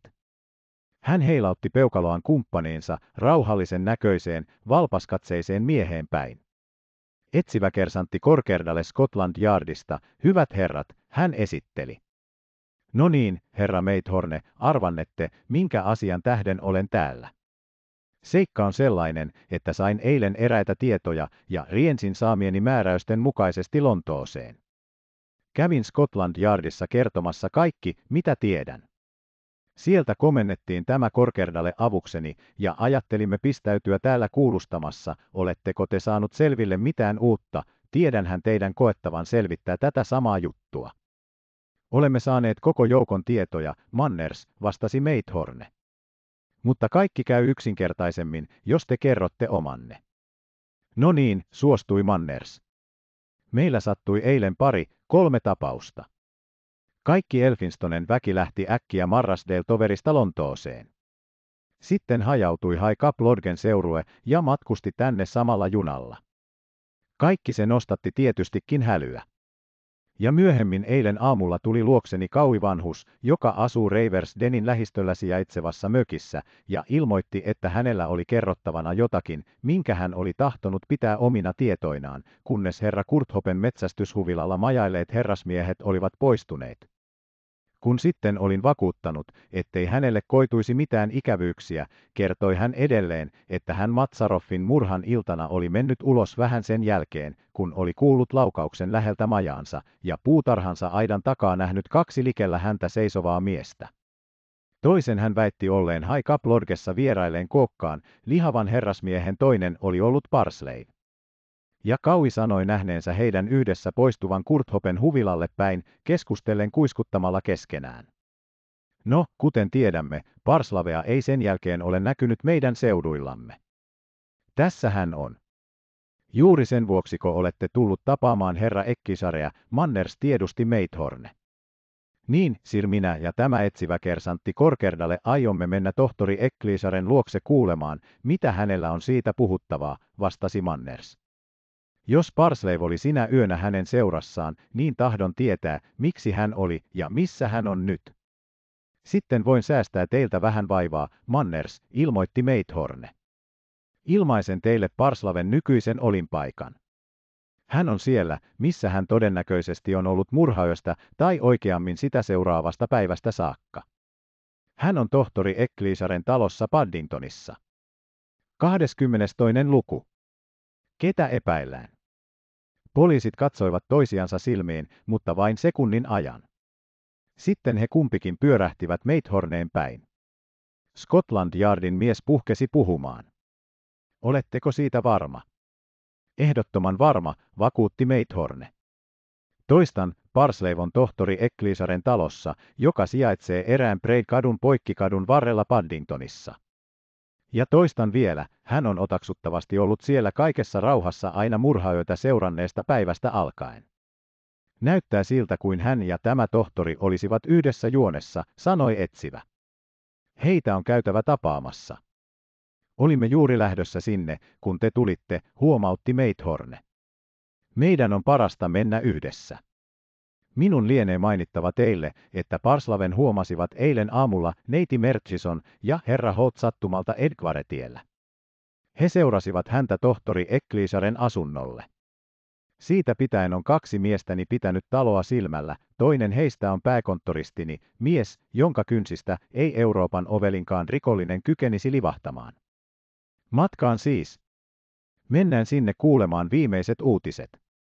Marssimme kaikki viisi peräkkäin ulos ja ahtauduimme vuokravaunuun.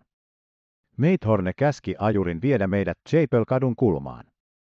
Sinne saavuttuamme hän käveli vähän matkaa Edgvaretietä pitkin, vilkaisi kelloonsa ja viitattuaan meitä seuraamaan meni vaatelijalta näyttävän ravintolan tarjoiluhuoneeseen. Rauhallisessa sopukassa istui siellä hänen omituinen konttoristinsa Kottinli edessään pöydällä ollut haarikka ja lautanen, jolla oli leipää ja juustoa, tyynesti syödä matustain ja lukien sanomalehteä. Ryhmityimme kaikki Kottinlein ympärille. Kottini nyökkäsi esimiehelleen, mutta ei muutoin välittänyt meistä sen enempää kuin jos olisimme olleet pelkkiä nukkeja. Ja käymättä hätäilen asiaan käsiksi tarjosi Meithorne meille kaikille ryypyt, eikä virkkanut mitään, ennen kuin kukin oli saanut lasin käteensä. Sitten hän kääntyi konttoristinsa puoleen. No, hän äänsi. Kottini vilkaisi meihin kummallisilla silmillään ja kumartui sitten lähemmäksi pienen pöydän ylitse, jonka ääressä istuimme. Ekklisar, hän alkoi, saapui kotiin Euston asemalta eilen illalla noin puoli seitsemän. Kolme matkalaukkua ja pyssykotelo. Parslev tuli ulos kantamaan niitä sisälle. Kello seitsemän Ekklisar ilmestyi talosta yksin. Hän meni Riggioriin, joka on tuon nurkkauksen takana Chapel-kadulla. Syötyään siellä päivällistä hän poistui sieltä täsmälleen kello kahdeksan ja palasi kotiin. Kello yhdeksän seuduissa tuli Parslave ulos. Hän meni erääseen kapakkaan, joka on kauempana saman kadun varrella, ja joi siellä lasin olutta. Sitten hänkin palasi. Kumpikaan heistä ei näyttäytynyt sen jälkeen eilen illalla, ei kumpikaan ole myöskään poistunut talosta tänä aamuna, emme ainakaan olleet nähneet heistä kummastakaan minkäänlaista merkkiä siihen saakka, kun erosin siellä Johnsonista puoli tuntia sitten. Mutta noin kello yhdeksän seuduilla ajettiin talon edustalle tavararattaat, joista nostettiin sisälle kuusi matka-arkkua, sellaisia arkkuja, joita pitkälle matkalle aikovat ihmiset käyttävät, vankkoja, sinkkikiskoilla lujitettuja. Rattaiden mukana tulleet miehet kantoivat arkut sisään. Oven aukaisi nainen, joka näytti palvelijattarelta. Siinä kaikki. Siinä onkin runsaasti. Huomautti Meithorne. Hän katsahti merkitsevästi Scotland Yardin mieheen. Ecclesiar aikoo livistää. Mitä arvelette, Korkerdale? Korkerdale, joka oli kuunnellut Kottingleen selostusta hyvin tarkkaavasti, nyökkäsi. Arvelen, hän vastasi, että on sitä parempi, kuta pikemmin käymme käsiksi asiaan. Mutta päätetään ensin, mitä tehdään. Meithorne kääntyi Mannersin puoleen. Onko teillä määräys pidättää Parsley? Ei, vastasi Manners. Paitsi sitä, että Parsley katosi, ei meillä ole mitään suoranaisia todistuksia häntä vastaan. Olemme julkaisseet kuulutuksia, joissa pyydetään hänestä tietoja. Niin, minulla ei ole vangitsemismääräystä. Yksinkertaisin temppu on, ehdotti Meithorne, että menemme sisään, sanomme, että Parslaven on nähty tulevan sinne, ja vaadimme heiltä selitykset. Lähdetään. Suoraa päätä sisälle taloon. Jätimme Kottingleen levollisesti lopettamaan keskeytynyttä puolistaan ja astelimme rauhalliselle sivukadulle Meithorne ja Manners etunenässä. Siellä näimme Johnsonin, joka näytteli vetelehtiän osaa erinomaisesti. Hän ei ollut huomaavinaan meitonea, eikä tämä liioin häntä, jolleivät he minun havaitsemattani vaihtaneet jotakin salaista merkkiä. Hetkistä myöhemmin olimme Ekkliisaren ovella. Ulkopuolelta talo näytti varsin rauhalliselta, se oli tyypillinen, hieman ränstynyt lontoolainen talo, jonka ovi oli yhdessä viivassa seinän ja katukäytävän kanssa. Meithorne kolkutti, oven avasi melkein silmänräpäyksessä vanhanpuoleinen nainen, jolla oli myssy päässään ja esileena vyötäisillään. Hän ei näyttänyt lainkaan kummastuvan nähdessään meidät kaikki viisi portailla. Onko tohtori Ecclesiar kotosalla, kysyi Meithorne. Vai niin, kiitos. Tulemme sisään. Hän ja Manners olivat kynnyksen sisäpuolella, ennen kuin nainen ehti virkkaa mitään. Me muut tunkeuduimme heidän jäljessään ja kurkistelimme heidän olkapäittensä ylitse. Edessämme oli tilava eteissali, joka sijaitsi keskellä alakertaa. Ja siellä seisoivat molemmat etsimämme miehet ja kääntyivät ihmeissään ja ällistyneinä katsomaan, kun me syöksyimme sisälle. Sinkkikiskoilla vahvistetut matkaarkut, joista Kottingli oli puhunut, olivat avonaisina eteissalin lattialla, ja Parslev sulloi paitahihasillaan niihin tavaroita Ekkliisaren valvonnan alaisena. Viereisten huoneiden avoimista ovista näimme pöytiä, joille oli ladottu mukaan otettavia esineitä, vaatteita, koneita, kirjoja. Kuten Meithorne oli arvannut, valmistautui Ekkliisar ilmeisesti poistumaan. Ekkliisar alkoi puhua ensiksi. Hän pyörähti meihin päin meidän tuppautuessamme sisälle, ja hänen katseestaan kuvastui yksin omaan hämmästystä, siinä ei ollut merkkiäkään pelästymisestä eikä levottomuudesta, oli helppo nähdä, että hänen mielensä oli kokonaan vallannut kummastus saapumisemme johdosta. Hallo, huudahti hän. Mitäs tämä on? Te, Manners, ja jäljessänne kokonainen komppania. Mikä on hätänä? Joku uusi käännekö? Manners lausui parhaat sanat, jotka hän saattoi lausua, se oli kunniaksi hänen maaseutulaiselle suorapuhaisuudelleen. Empimättä hän osoitti Parslavea, joka, ollen polvillaan matka-arkun vieressä, oli kääntynyt suu auki töllistelemään häneen. Tohtori Ecclesiar, kysyi Manners, mitä tekemistä on tuolla miehellä talossanne. Ecclesiar vuorostaan jäi tuijottamaan ensin Parslaveen, sitten Mannersiin näin, että hän nyt oli entistäkin ällistyneempi. Parslavellako, hän virkkoi. Miksi ei hänen pitäisi olla täällä? Hän on palvelijani. Teidän palvelijaneko, kummasteli Manners. Mistä alkaen? Siitä alkaen, kun pestasin hänet Marrasdalessa. Ekkliisar katsoi vuorotellen meitä kutakin. En ymmärrä, mitä se kehenkään kuuluu, hän jatkoi, mutta koska tunnutte olevan tavattoman utelias, voinen kertoa teille luovuttaneeni pois täkäläiset potilaani ja aion lähteä Etelä-Amerikkaan toimijakseni siellä muilla aloilla. Tarvitsin mukaani voimakasta, kykenevää miestä, mieluimmin ulkoilmaelämään tottunutta maaseutulaista, ja otin Parslaven palvelukseeni. Sen vuoksi hän on täällä. Manners veti syvään henkeään ja pudisti päätään.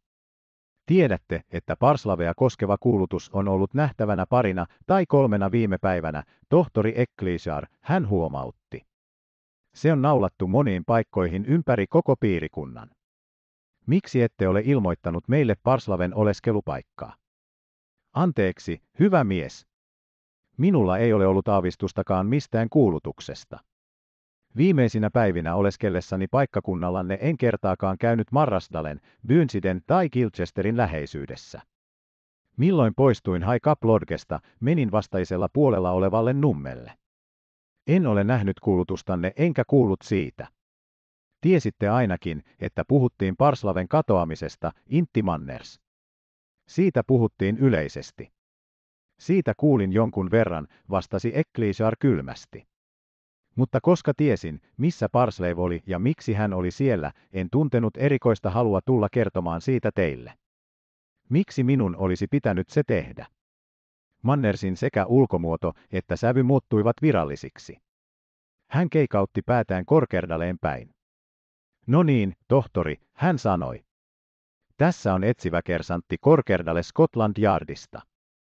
Kävin tänä aamuna siellä ja esitin viranomaisille erinäisiä tosiseikkoja teistä ja Parslavesta, ja jollemme saa teiltä tyydyttäviä selityksiä, niin pyydän teitä lähtemään mukaamme ja selittämään asioita muualla.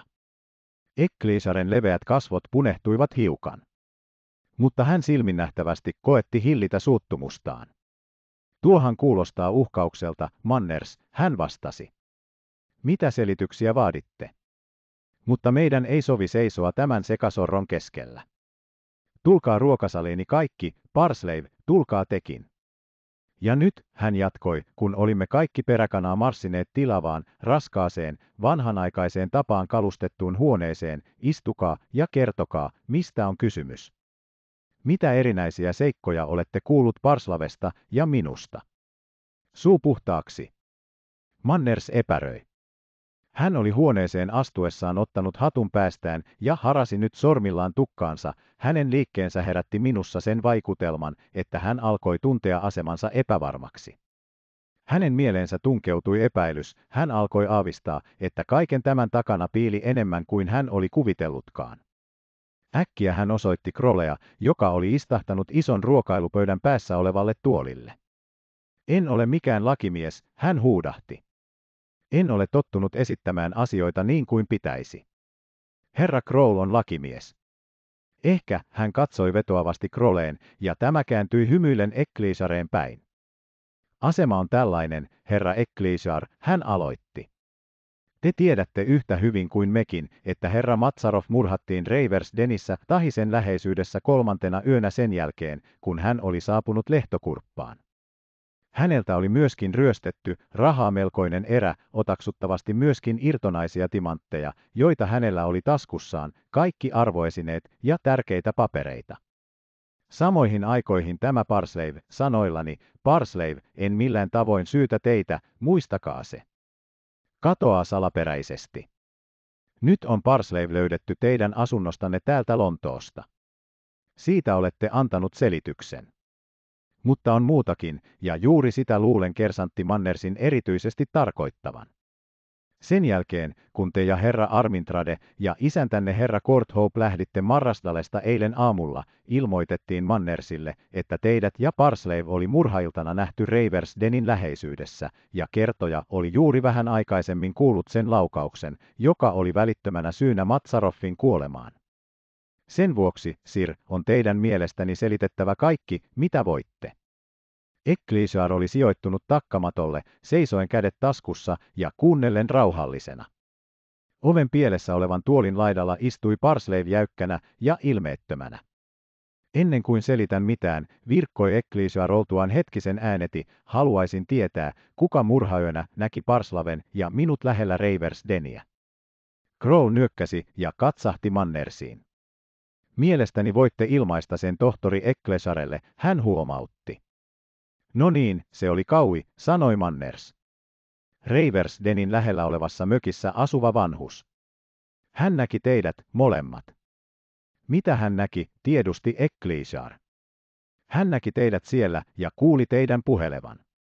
Sitten hän näki teidän yhdessä poistuvan herra Kurthopen huvilalle, haika Plodgelle päin. Ecclesiar nyökkäsi. Hän silmäili meitä vuorotellen ja pysyi hetkisen vaiti, ilmeisesti miettien. Kuulkaahan, hän puhkesi äkkiä puhumaan. Epäiläänkö minua tai Parslavea tai molempia murhaajiksi? Ei kukaan vastannut. Manners liikahti rauhattomasti tuolillaan. Scotland Yardin miehen kasvot pysyivät liikahtamattomina kuin olisivat olleet graneittia. Meithorne näytti välinpitämättömältä. Crow ja minä katselimme toisia. Syntyi lyhyt hiljaisuus, jonka katkaisi Manners. Haluaisin tietää, mitä tuolla Parslavella on kertomista senöisistä puuhistaan, hän sanoi. Hän on tuottanut meille aika lailla vaivaa. Olen ihan varma siitä, ettei Parslev ole lainkaan aavistanut tuottaneensa teille vaivaa, huomautti Ecclesiar. Ette kaiketi muista, ettei Parslev osaa lukea, joten hän ei ole saanut tietoja sanomalehdistä. Mutta, Parslev, kertokaa kersantti Mannersille, mitä teitte sinä iltana, jolloin lähditte Marrasdalesta. Näin käskettynä Parslev väänsi kasvonsa muistelevan näköiseksi. Äkkiä hänelle välähti jotakin päähän, hänen kasvonsa kirkastuivat. Sehän oli Cloudwaiten markkinapäivä, hän alkoi. Olin ollut siellä, vein sinne joitakuita herra Robinsonin lampaita. Palasin sieltä illansuussa. Sitten menin kotiin ja määräysten, tuon tohtorin määräysten, mukaisesti pukeuduin parhaisiin vaatteisiini. Miksikö? Minun oli lähdettävä Lontooseen sinä iltana. Söin sitten illallista ja sen jälkeen kävelin lehtokurppaan. Menin sinne sisälle ja join ryypyn. Siellä asuva vierasherra tuli huoneeseen, jossa meitä oli tungokseen asti, karjanajajia, paimenia ja sellaisia. Hän tarjosi meille kaikille ryppyjä ja sauhuja. Hän oli todella aulis. Ja keskustelikin kanssamme ystävällisesti. Sitten hän poistui. Minä viivyin vielä hetkisen, sitten minäkin lähdin kohtaamaan tuota tohtoria sopimuksen mukaan. Tapasin hänet. Muuta en sinä iltana tehnyt ennen lähtöäni. Mainitsitteko koskaan kellekään aikovanne matkustaa Lontooseen, tiedusti Meithorne. En, herra, en maininnut, vastasi Parsley. Minulla ei ollut mitään syytä siihen. Olen yksinäinen mies, minulla ei ole lapsia eikä omaisia, jotka jäisivät jälkeeni. Maksoin vuokrani ja lähdin. Se on tapaistani. En välittänyt puhella siitä. Tietääkseni se oli yksinomaan minun asiani. Missä kohtasitte tohtori Eklisaren, kysyi Manners.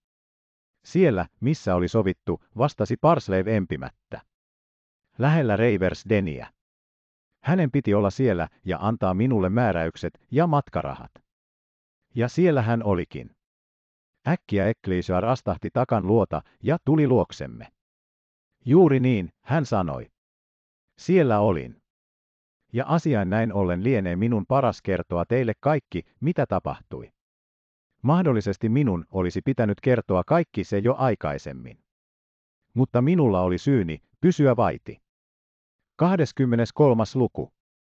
Kuka oli nainen? Luullakseni jokainen pöydän ympärillä istuvista miehistä tunsi, että vihdoinkin saataisiin jonkun verran valaistusta Matsaroffin murhaan, joka tähän asti oli pysynyt läpitunkemattoman pimeyden verhossa. Ainakin minä itse oivalsin sen, ja mieltäni alkoivat vaivata omituisen vastenmieliset pahat aavistukset, jotka olivat yhteydessä edellisen illan tapahtumien kanssa. Ecclesiar tiesi jotakin, samoin otaksuttavasti Parsley. Mutta mitä? Kuten mainitsin, oli minulla syitä pysyä vaiti, jatkoi Ecclesiar, istuutuen puhumaan meille. Minulla oli. Ja ne olivat minusta kyllin voimakkaat. Kenties olen ollut väärässä, kenties tällaisissa jutuissa, murha. Ei kukaan saisi pysyä vaiti minkäänlaisissa oloissa. Mutta miehinä te kuitenkin käsitätte, että minulla oli syitä, painavia syitä. Koska se nyt näyttää ehdottoman välttämättömältä, kerron teille tarkalleen, mitä Parslavelle ja minulle tapahtui sinä iltana, jona Matsarov sai surmansa. Alan alusta. Ennen kuin lähdin pohjoiseen Marrasdaleen linnustamaan Kurthopen luona, joka on saman kerhon jäsen kuin minäkin ja kuten Armintradekin, olin päättänyt luopua harjoittamasta täällä lääkärintointa, olin oikeastaan sen jo tehnyt, lähteä Euroopasta Etelä-Amerikkaan viettämään tyyten toisenlaista elämää, etsimään kultaa, linnustamaan, metsästämään ja niin edelleen. Tahdoin ottaa mukaani miehen, josta olisi minulle hyötyä, mieluummin maaseutulaisen, ulkoilmaelämään tottunut metsästysvartija oli mieleiseni. Marrasdalessa osuin tapaamaan Parslaven, kuten itse voitte nähdä, on hän juuri kaipaamani kaltainen jäntevä, vankkalihaksinen mies. Hän on, kuten hän itse äsken mainitsi, yksinäinen, eikä mikään sido häntä Englantiin. Hän on hyvin perehtynyt metsänkävijä ja niin poispäin, lyhyesti sanoen, hän on juuri sellainen mies, jota etsin. Esitin hänelle asian ja pian olimme sopineet ehdoista. Hän voi suorittaa puolestani erinäisiä asioita Lontoossa, minkä vuoksi järjestettiin niin, että hänen piti tulla tänne ennen minua ja majoittua asuntooni siksi, kunnes palaisin. Sovimme vielä, että palattuaan Cloudwhiten markkinoilta, joilla hänen oli käytävä liikeasioissa, hänen oli saman päivän iltana tultava tapaamaan minua, jolloin minä antaisin hänelle rahaa ja lopulliset määräykseni. Sen jälkeen hänen oli lähdettävä Newcastleen ja Lontooseen. Miksi Newcastlein kautta, kysyi Meithorne. Se on tosin pieni seikka, mutta miksi ei Black Killin aseman ja Carlislen kautta enemmän käytettyä läntistä rataa myöten? No niin, vastasi Ecclesiar. Parslavella on osuus eräässä pienessä talossa Newcastlessa. Koska hän aikoi poistua Englannista, tahtoi hän tavata Newcastlessa olevan asianajajansa, joka hoitaa mainittua taloa, ja antaa hänelle eräitä ohjeita. Päätimme sen vuoksi, että hänen erottuaan minusta oli mentävä nummen poikki pienelle, Marrasdalen itäpuolitse kulkevalle haararadalle, noustava viimeiseen Nykastleen menevään junaan, vietettävä yö siellä, käytävä aamulla asianajajansa puheilla ja sitten jatkettava matkaansa Kings Crossille. Ja niin, kuten hän itse teille kertoo, hän tekikin. Entä seniltainen kohtauksenne, tiedusti Meithorne. Tulen siihen nyt, jatkoi Ecclesiar. Olin käskenyt Parslaven tulla tapaamaan minua Haikaplodgen ja Lehtokurpan väliselle polulle kello kahdeksan. Lähdin kävelemään häntä vastaan heti, kun Kurthopen luona oli syöty päivällinen. Silloin lienee kello ollut noin kymmenen minuuttia yli seitsemän. Kohtasimme toisemme vähän matkan päässä Reivers Denistä Lehtokurppaan päin. Mikäli muistan, oli kello silloin hiukkasen yli kahdeksan. Seisoimme muutamia minuutteja keskustellen. Sitten. Hetkinen, suvaitkaa. Keskeytti Meithorne. Hän otti esille muistikirjan, laski sen avattuna eteensä pöydälle ja kiinnitti Ekklisaren huomiota yhdelle sivulle lyijykynällä karkeasti hahmoiteltuun piirrokseen. Tämän luonnoksen tein samana päivänä, jolloin saavuin lehtokurppaan. Siinä on nummen poikki vievät polut.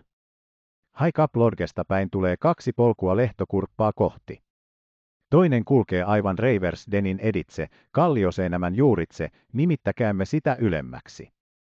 Toinen on 15 tai 20 metriä alempana Kanervikossa, olkoon sen nimi alempi polku. Kummalla te ja Parsley olitte? Ecclesiar kumartui hetkiseksi tarkastamaan luonnosta pyöräytettyään sen ympäri saadakseen paremman kuvan sen ilmansuunnista. Sitten hän laski sormensa erääseen kohtaan. Olimme suunnilleen tuolla alemmalla polulla. Mutta karttanne ei taida olla aivan selvä. Molemmat polut, toinen, alempi, on pelkkä lammaspolku, melkein yhtyvät Denin länsipuolella, High Kaplorgen puolella, lähellä kaujen mökkiä. Niiden välillä on siellä vain metri tai pari. Sitten alempi suuntautuu Kanervikon halki High Kaplorgen yläpuolelle, toinen sivuuttaa High Kaplorgen alapuolitse noin 50 metrin päässä ja yhtyy Cloudwhiteen menevään nummitiehen. Niin, virkkoi Meithorne. Joka tapauksessa te ja Parsley olitte alemmalla. Olimme alemmalla lähes sadan metrin päässä Reivers Denistä. Ja, kuten mainitsin, seisoimme siinä muutamia minuutteja. Silloin oli jo pimeä, mutta ilta oli tähtikirkas. Olimme juuri lähtemäisillämme liikkeelle Haikaplodgen suuntaan, kun kuulimme laukauksen. Se tuntui, mikäli saatoimme eroittaa, kuuluvan Denistä tai juuri sen takaa, luullakseni Denistä, sillä kalliot kajahtelivat selvästi. Sen jälkeen emme kuulleet mitään, emme huutoa, emme parkaisua, emmekä muuta sen tapaista. Kumpikaan meistä ei välittänyt siitä sen enempää, luultavasti ajattelimme kumpikin, että ampuja oli joku metsästysvartija, joka liikkui omilla asioillaan. Kiinnitimme siihen niin vähän huomiota, että keskustelimme sopimuksestamme vielä pari minuuttia laukauksen jälkeen. Koska Parslaven sitten oli aika kiiruhtaa junalle, siirryimme toiselle polulle, joka vei suoraan nummitielle. Kun parhaiksi olimme päässeet sille, kuulimme askelia Reivers Denistä päin. Lähellämme oli korkeita, tiheitä pensaita, ja en oikein tiedä, miksi sen teimme, painauduimme vaistomaisesti niiden varjoon, jossa oli aivan pimeä. Ja minuuttia myöhemmin meni ohitsemme hyvin vinhasti kävelevä nainen. Nainen. Tämä terävä huudahdus pääsi Mannersilta. Hän, kuten me kaikki muutkin, oli kuunnellut Ekliisaren kertomusta tarkkaavasti. Nyt hän näytti kiihtyneeltä, ilmeisesti hän oli äkkiä saanut mielijohteen. Nainen, toisti Ekliisar levollisesti. Pitkä, hoikka nainen, joka asteli hyvin ripeästi, eroitimme hänen raskaan huohotuksensa. Hän kiiti sivuitsemme kuin leimaus. Mihin suuntaan, kysyi Meithorne. Marrasdaleen päin, vastasi Ekliisar. Entä sitten, hoputti Meithorne lyhyen hiljaisuuden jälkeen. Sitten Parslev ja minä lähdimme jatkamaan matkaamme, hänen aikansa alkoi olla täpärällä. Emme enää nähneet emmekä kuulleet mitään. Menimme Kaujen mökin ohitse. Kerroitte Kaujen nähneen meidät. Se on todennäköistä, mutta me emme huomanneet häntä. Kävelimme ripeästi nummen poikki ja valtatielle päästyämme erosimme. Minä menin Haikaplodgeen ja Parsleiv, mutta kertokoon Parsleiv itse, mitä hän teki. Käännyimme kaikki Parslaven puoleen, joka yhä istui oven pielessä tuolin reunalla, pyöritellen peukaloitaan. Menin tietä pitkin suoraa päätä Petherbyn asemalle, alkoi Parsleiv. Nousin yhdeksän ja viidentoista junaan, se oli viimeinen Nykastleen päin. Saavuin Nykastleen kymmenen ja viisikymmentä. Majoituin yöksiaseman lähellä olevaan raittiushotelliin. Kävin herra Grahamin, lakimiehen, luona heti syötyäni aamiaista seuraavana aamuna, kello lienee ollut noin kymmenen. Toimitettuani asiani hänen luonaan haukkasin palase ja sitten nousin Lontooseen lähtevään 12 ja 10 pikajunaan. Saavuin King's Crossille neljänneksen yli kuusi samana iltana. Tulin suoraan tänne ja täällä olen ollut siitä asti. Sallikaa minun tehdä Parslavelle kysymys niin kauan, kun se on mielessäni, sanoi Kroll. Parslave, tarkoitatteko ettette Marrasdalesta lähdettyänne ole saanut mitään tietoa siellä tapahtuneesta murhasta? Ette sanomalehdistäkään. En osaa lukea, Sir, vastasi Parslave. En ole käynyt kouluja. En osaa lukea enkä kirjoittaa. Mutta olettehan ollut tohtori Ekliisaren taloudenhoitajattaren seurassa, jatkoi Kroll. Väitättekö, ettei hänkään ole milloinkaan lukenut teille siitä sanomalehdistä? Parslave pudisti päätään. Niin, Sir, hän ei ole. Hän ei näy olevan lehtien lukija, hän. Hän lukee kertomuksia, romaaneja, sellaisia. Mutta sanomalehtiä en ole nähnyt hänen lukevan. No niin, mutta teillä on täällä ollessanne epäilemättä ollut tapana käydä ryppäämässä lasiolutta jossakin kapakassa, tiukkasi Kroll. Ettekö sielläkään ole kuullut siitä puhuttavan? En, Sir, vakuutti Parslev juhlallisen varmasti. En kertaakaan. Käyn aina ottamassa naukun tämän saman kadun varrella olevassa kapakassa syötyäni päivällistä ja toistamiseen illallisen jälkeen, mutta en ole koskaan puhellut kenenkään kanssa, en ymmärrä näiden lontoolaisten puhetta, se on minulle kuin vierasta kieltä. En ole milloinkaan kuullut kenenkään mainitsevan tätä murhaa. Voitte uskoa vakuutustani, herra Kroll, puuttui Ecclesiar puheeseen, ettei Parslev ollut kuullut mitään Matsaroffin murhasta ennen kuin eilen illalla minun palattuani kotiin. Kerroin siitä hänelle, keskustelimme omista näkemistämme Reivers Denin luona sinä yönä, taustana kaikki se, mitä muistimme, tietystikin. Juuri siitä haluaisin esittää teille muutamia kysymyksiä, tohtori, sanoi Kroll. Minusta tuntuu, että olemme pääsemässä lähemmäksi tämän salaperäisen arvoituksen ratkaisua kuin tähän asti olemme olleet. Ette kai pahastu, jos tiedustan teiltä suoraan eräitä seikkoja. Kyselkää niin paljon kuin tahdotte. Vastasi Ecclesiar. Olitte Matsaroffin murhan johdosta lehtokurpassa pidetyssä kuulustelussa. Annoitte lausunnon. Puhtaasti ammatillisen, pisti Ecclesiar väliin. Juuri niin, kuoleman syystä, myönsi Kroll. No niin, miksi ette kertonut tutkintotuomarille ja valamiehille sitä, minkä nyt olette kertonut meille? Ja, jos saan lisätä sanasen, ehätti Manners puolestaan kysymään, miksi ette ilmoittanut meille, poliiseille, mitä äsken kerroitte meille Parslavesta, vaikka varsin hyvin tiesitte, että haeskelimme häntä.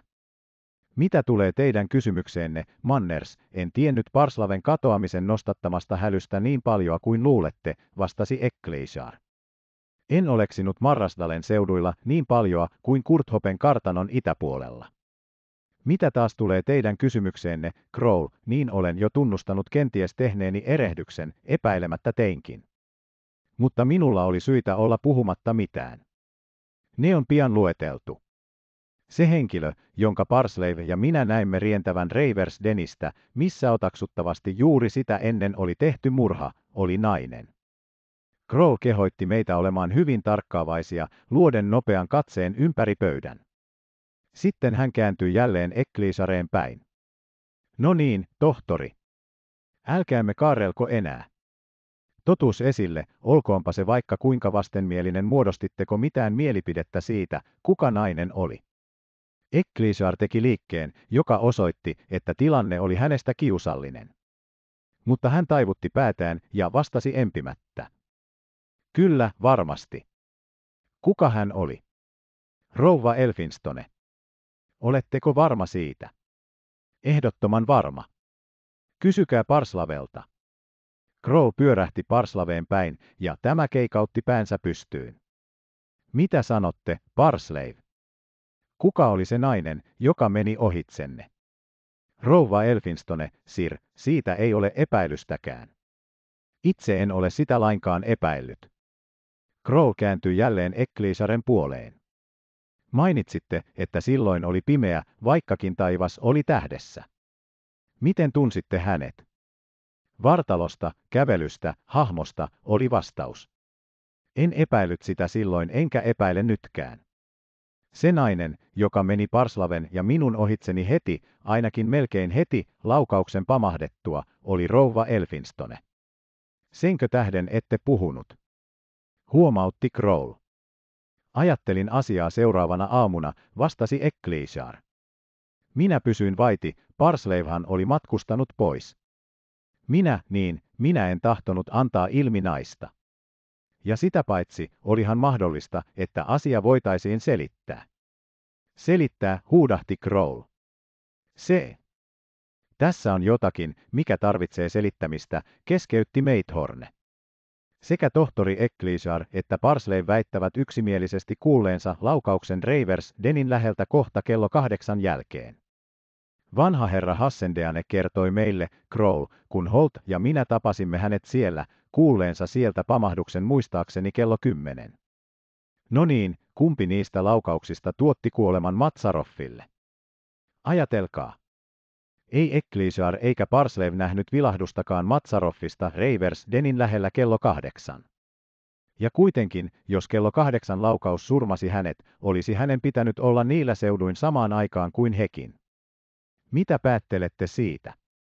En osaa sanoa, sitä on mietittävä, vastasi Kroll. Mutta minusta on tärkeä kohta seuraava. Tohtori Ecclesiar ja Parsley väittävät molemmat ehdottoman varmasti nähneensä rouva Elfinstonen tulevan Reivers Denistä, mistä myöhemmin löydettiin Matsaroffin eloton ruumis, jolta oli ryöstetty rahat, arvoesineet, paperit ja jälkisäädös. Ja sitten Manners ja Korkerdale eivät tiedä siitä mitään, ja kerron sen heille, koska he ovat poliisiupseereita. Muutamia päiviä murhan jälkeen huomattiin eräänä iltana, että jälkisäädös oli rouva Elfinstonen hallussa. Miten hän oli sen saanut? 24. luku. Tietymättömissä. Ei tarvinnut muuta kuin vilkaista molempiin poliiseihin huomatakseen, että tämä ilmoitus oli tehnyt heidän virallisesti koulutettuihin aivoihinsa samanlaisen vaikutuksen kuin olisi äkillinen valovirta kohdistettu ennen pimeässä olleeseen esineeseen. Korkerdalle katsoi Mannersiin, Manners tuijotti Korkerdaleen, sitten he molemmat kääntyivät asianajajaan päin. Rouva Elfinstone, huudahti Manners. Kadonnut jälkisäädös rouva Elfinstonen hallussa. Korkerdalen ensimmäinen huomautus oli sävyltään tyynempi. Se kaipaa jonkun verran selitystä, virkkoi hän tärkeän näköisenä. Mikäli olen kuullut, oli jälkisäädös Matsaroffin taskussa, kun hänet murhattiin. Sikäli kuin tiedetään, se oli, vastasi Kroll. Hän otti sen mukaansa Postletvaiten toimistosta Jorkissa, eikä sitä varmasti ollut hänen lehtokurpassa olevien tavaroittensa joukossa, jotka me tarkastimme hänen kuolemansa jälkeen. Selitystä. Niinpä kyllä. Mutta kerron teille, miten saimme tietää, että se oli rouva Elfinstonella. Sitten hän selosti edellisen illan tapahtumat, jättäen kuitenkin mainitsematta, että Sheila tuli asuntooni, tuoden kadonneen jälkisäädöksen. Ja nyt, hän jatkoi, on ydinkohta se, miten, missä ja minkälaisissa olosuhteissa rouva Elfinstone sai jälkisäädöksen haltuunsa. Rouva Elfinstonen saavuttua eilen illalla Lontooseen tapasi Meithorne hänet ja koetti saada häneltä selityksiä. Hän ei saanut. En sanaakaan, vahvisti Meithorne. Hän oli pelkkää uhmaa.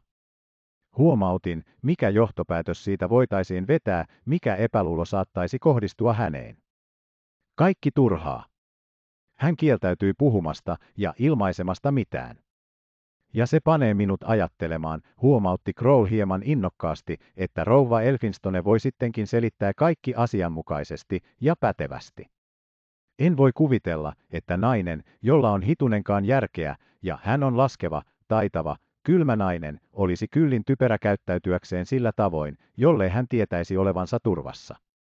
Te kai ilmaisitte, että teidän on ilmoitettava asia poliisille, eikö niin, Meithorne? Kyllä. Eikö sekään tehonnut häneen? Ei hituistakaan. Koko hänen käytöksensä tuntui sanovan, hoitakaa omat asianne. Kroll alkoi naputella sormillaan pöytää, silmäilen meitä muita, ikään kuin aprikoiden, eikö kellään olisi mitään huomauttamista. Kun kukaan ei virkkanut mitään, alkoi hän itse puhua. Onkohan Matsarov eli Mertsison, joka hän todella oli, kohdannut rouva Elfinstonen eli Mertsisonin, kuten hänen nimensä oikeastaan on, ennen kuolemaansa majaillessaan lehtokurpassa? Se on mahdollista. Minä en sitä usko, vastasi Meithorne, jota Kroll erityisesti katsoi. Ei mikään anna aihetta sellaiseen luuloon. Jos rouva Elfinstone taipuisi puhumaan, niin luonnollisesti selviäisi tavattoman paljon.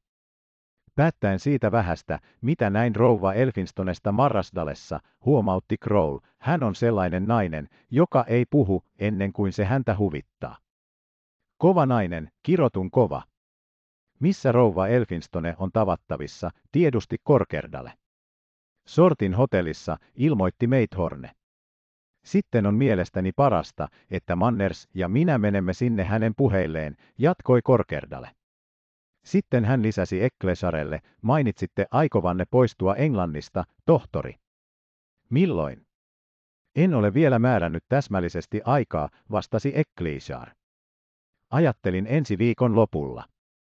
Teidän pitäisi siirtää lähtönne hieman tuonnemmaksi, esitti Korkerdalle tyynesti.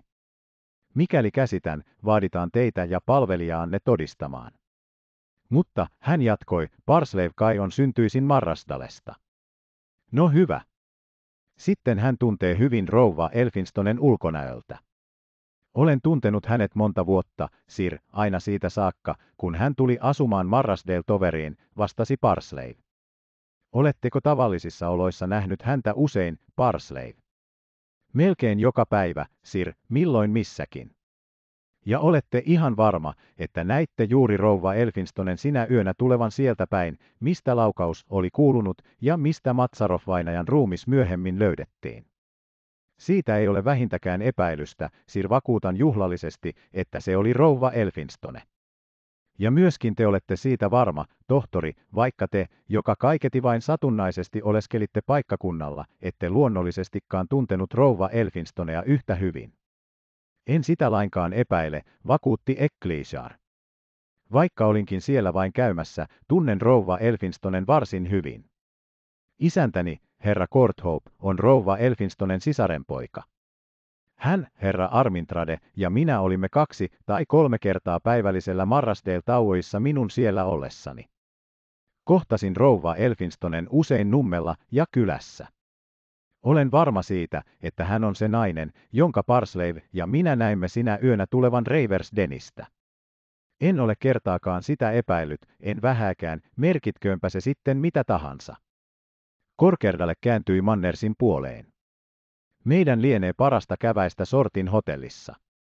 Niin minustakin, vahvisti Manners. Asia ei voi jättää tälleen. Nousimme kaikki se isomaan. Syntyi lyhyt äänettömyys. Kroll oli juuri sanomaisillaan jotakin, kun ovelle koputettiin. Ekkliisaren taloudenhoitajatar pisti päänsä sisään. Ulkosalla on nuori mies, Sir, tiedustelemassa, onko herra Meithorne täällä, hän ilmoitti. Hän saapui autolla, Sir, erään vanhan herran seurassa. Nuori mies käski sanomaan, jos herra Meithorne on täällä, että hänen nimensä on Pikles. Yksi konttoristeistani jupisi Meithorne. Suokaa anteeksi. Hän riensi ulos, palaten parin minuutin kuluttua muassaan herra Elfinstone. Ja ensimmäisen kerran koko tuttavuutemme aikana Meithornessa näkyi merkkejä kiihtymyksestä ja huolestumisesta.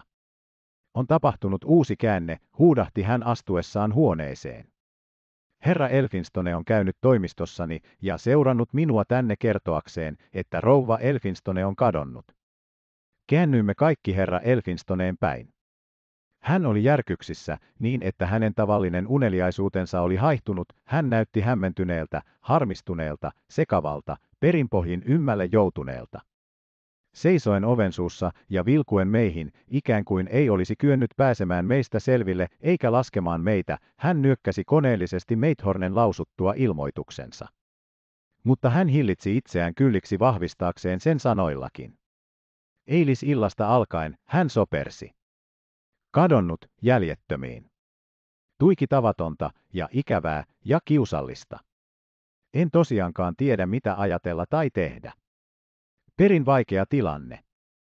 Crow, joka uutisen kuultuaan oli vilkaissut terävästi poliiseihin, työnsi tulokkaalle tuolin. Istukaa, herra Elfinstone, hän kehoitti. Ehkä voimme auttaa teitä vähän.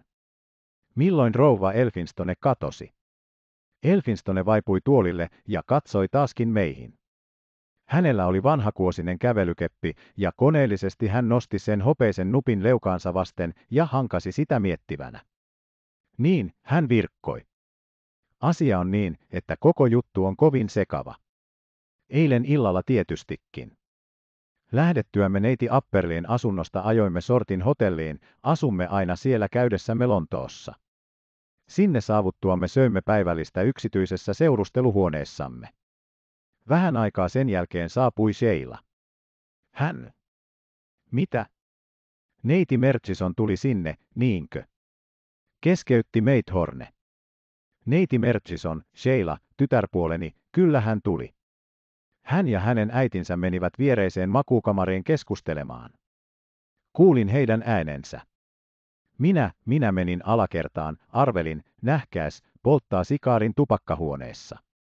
Olin siellä ehkä tunnin verran, jouduin mielenkiintoiseen keskusteluun erään miehen kanssa, joka osoittautui jonkunlaiseksi arkeologiksi. Kenties olin poissa hiukan kauemminkin. Sitten palasin huoneisiimme. Siellä ei ollut ketään, ei kerrassaan ketään. Ajattelin, että rouva Elfinstone ja Sheila olivat ehkä menneet seurustelusaliin, ja menin sinne, mutta heitä ei näkynyt. Odotin jonkun aikaa. Mutta, kun heitä ei kuulunut, aloin tiedustella. Ja sain tietää, todella hyvinkin hämmästyttävää, sain eteisvartijalta tietää, että rouva Elfinstone, Sheila ja Alison Murdo olivat kaikki poistuneet hotellista jonkun aikaa sitä ennen, ilmeisesti kohta sen jälkeen, kun minä olin lähtenyt tupakkahuoneeseen. Ja? Suokaa anteeksi, herra Elfinstone, pisti Meithorne väliin. Mutta, kuka on Alison Murdo? Elfinstone katsoi kysyjään samannäköisenä kuin mies, jota ihmetytti se, etteivät kaikki tiedä yhtä paljoa kuin hän. Alison Murdo, hän kertasi. Aha, niin, tehän ette olekaan Marrasdalen asukkaita. Alison Murdo on jonkunlainen vaimoni kasvatussisar. He kasvoivat lapsina yhdessä, nähkääs. Sitten hän aikoinaan oli monta vuotta vaimoni kamarineitona ja on vieläkin, kun olemme matkoilla, kuten esimerkiksi nyt. Mutta hän on muutamia vuosia asunut eräässä pienessä talossa Marrasdalessa, oikeastaan Bönsidessä, omilla varoillaan, hänen vaatimuksensa ovat vähäiset. Mutta hän on toimelias nainen, matkailuaikana esimerkiksi hän on apuna lehtokurpassa keittiöpuuhissa, taitava, työteliäs nainen. Ja menikö hän eilen illalla kaupungille rouva Elfinstonen ja neiti Merchisonin kanssa, kysyi Meithorne. Niin eteisvartija kertoi. Hän sanoi, että rouva Elfinstone ja hänen kamaripalvelijattarensa, heidät molemmat tunnetaan sortin hotellissa varsin hyvin, sillä käymme aina kaikki kolme Lontoossa kaksi tai kolme kertaa vuodessa, ja neiti Merchison, joka siellä myöskin tietysti tunnetaan hyvin, menivät kaikki yhdessä ulos, muistaakseni hän sanoi puoli kymmenen. Noutiko hän heille ajurin, tiedusteli Meithorne. Ei, hän kertoi heidän lähteneen vasemmalle katua myöten, jalkaisin, vastasi Elfinstone. Hyvä Jumala! En totisesti jaksa käsittää, miksi heidän piti mennä jalkaisin niin myöhään illalla. Mutta tärkeintä on, huomautti Kroll, palasivatko he tahi palasiko heistä joku. Heistä ei ole kukaan palannut, valitti Elfinstone. Odotin puoliyöhön saakka. Sitten vihdoin paneuduin makuulle, perin ymmällä. Mutta olin niin väsynyt, että vaivuin heti uneen ja nukuin sikeästi aamuun asti. Suureksi hämmästyksekseni ei rouva Elfinstone eikä Alison Murdo ollut palannut, Sheilan otaksuin luonnollisesti olevan neiti Apperliin luona. Syötyäni sen vuoksi hieman aamiaista ajoin neiti Apperliin asunnolle ja tapasin tämän nuoren naisen juuri lähdössä opetustunnilleen. Hämmästyin yhäkin enemmän, kun hän ei tietänyt mitään Sheilasta. Sheila, hän kertoi, oli edellisenä iltana istunut ensiksi pitkän aikaa äänettömänä, sitten ilmoittanut lähtevänsä sortin hotelliin selvittämään asioita äitinsä kanssa ja lähtenyt heti, eikä ollut palannut. Niin, päätti Elfinstone kertomuksensa, huojutellen hopeanuppista keppiään, siinä sitä ollaan. Kaikki kolme ovat kadonneet. Lontoossa, Muistin herra Meithornen, kävin hänen toimistossaan ja minut saatettiin tänne hänen luokseen. Ja aioin kysyä teiltä, herra Meithorne, pidättekö mahdollisena, että heidät on ryöstetty? Ei kukaan nauranut, Elfinstonen yksinkertaisuus oli liian silmiinpistävä. Hän oli yksinkertaisuudessaan myöskin vakava, ja Kroll oli yhtä totinen vastatessaan hänen vilpittömään kysymykseensä. Ei, herra Elfinstone, en usko, että kolme naista voidaan ryöstää edes Lontoossakaan. Luultavasti he ovat menneet jollekin omalle asialleen, ja kenties heillä on ollut hyvät syynsä jäädä palaamatta. Mutta sallikaa minun kysellä teiltä vielä vähän. Kun vaimonne ja hänen tyttärensä vetäytyivät makuhuoneeseen puhellakseen kahden kesken, niin missä oli Alison Murdo? Herra Elfinstone mietti hetkisen. Otaksuttavasti hän vastasi vihdoin sen viereisessä huoneessa, pukeutumishuoneessa, jossa hän nukkui.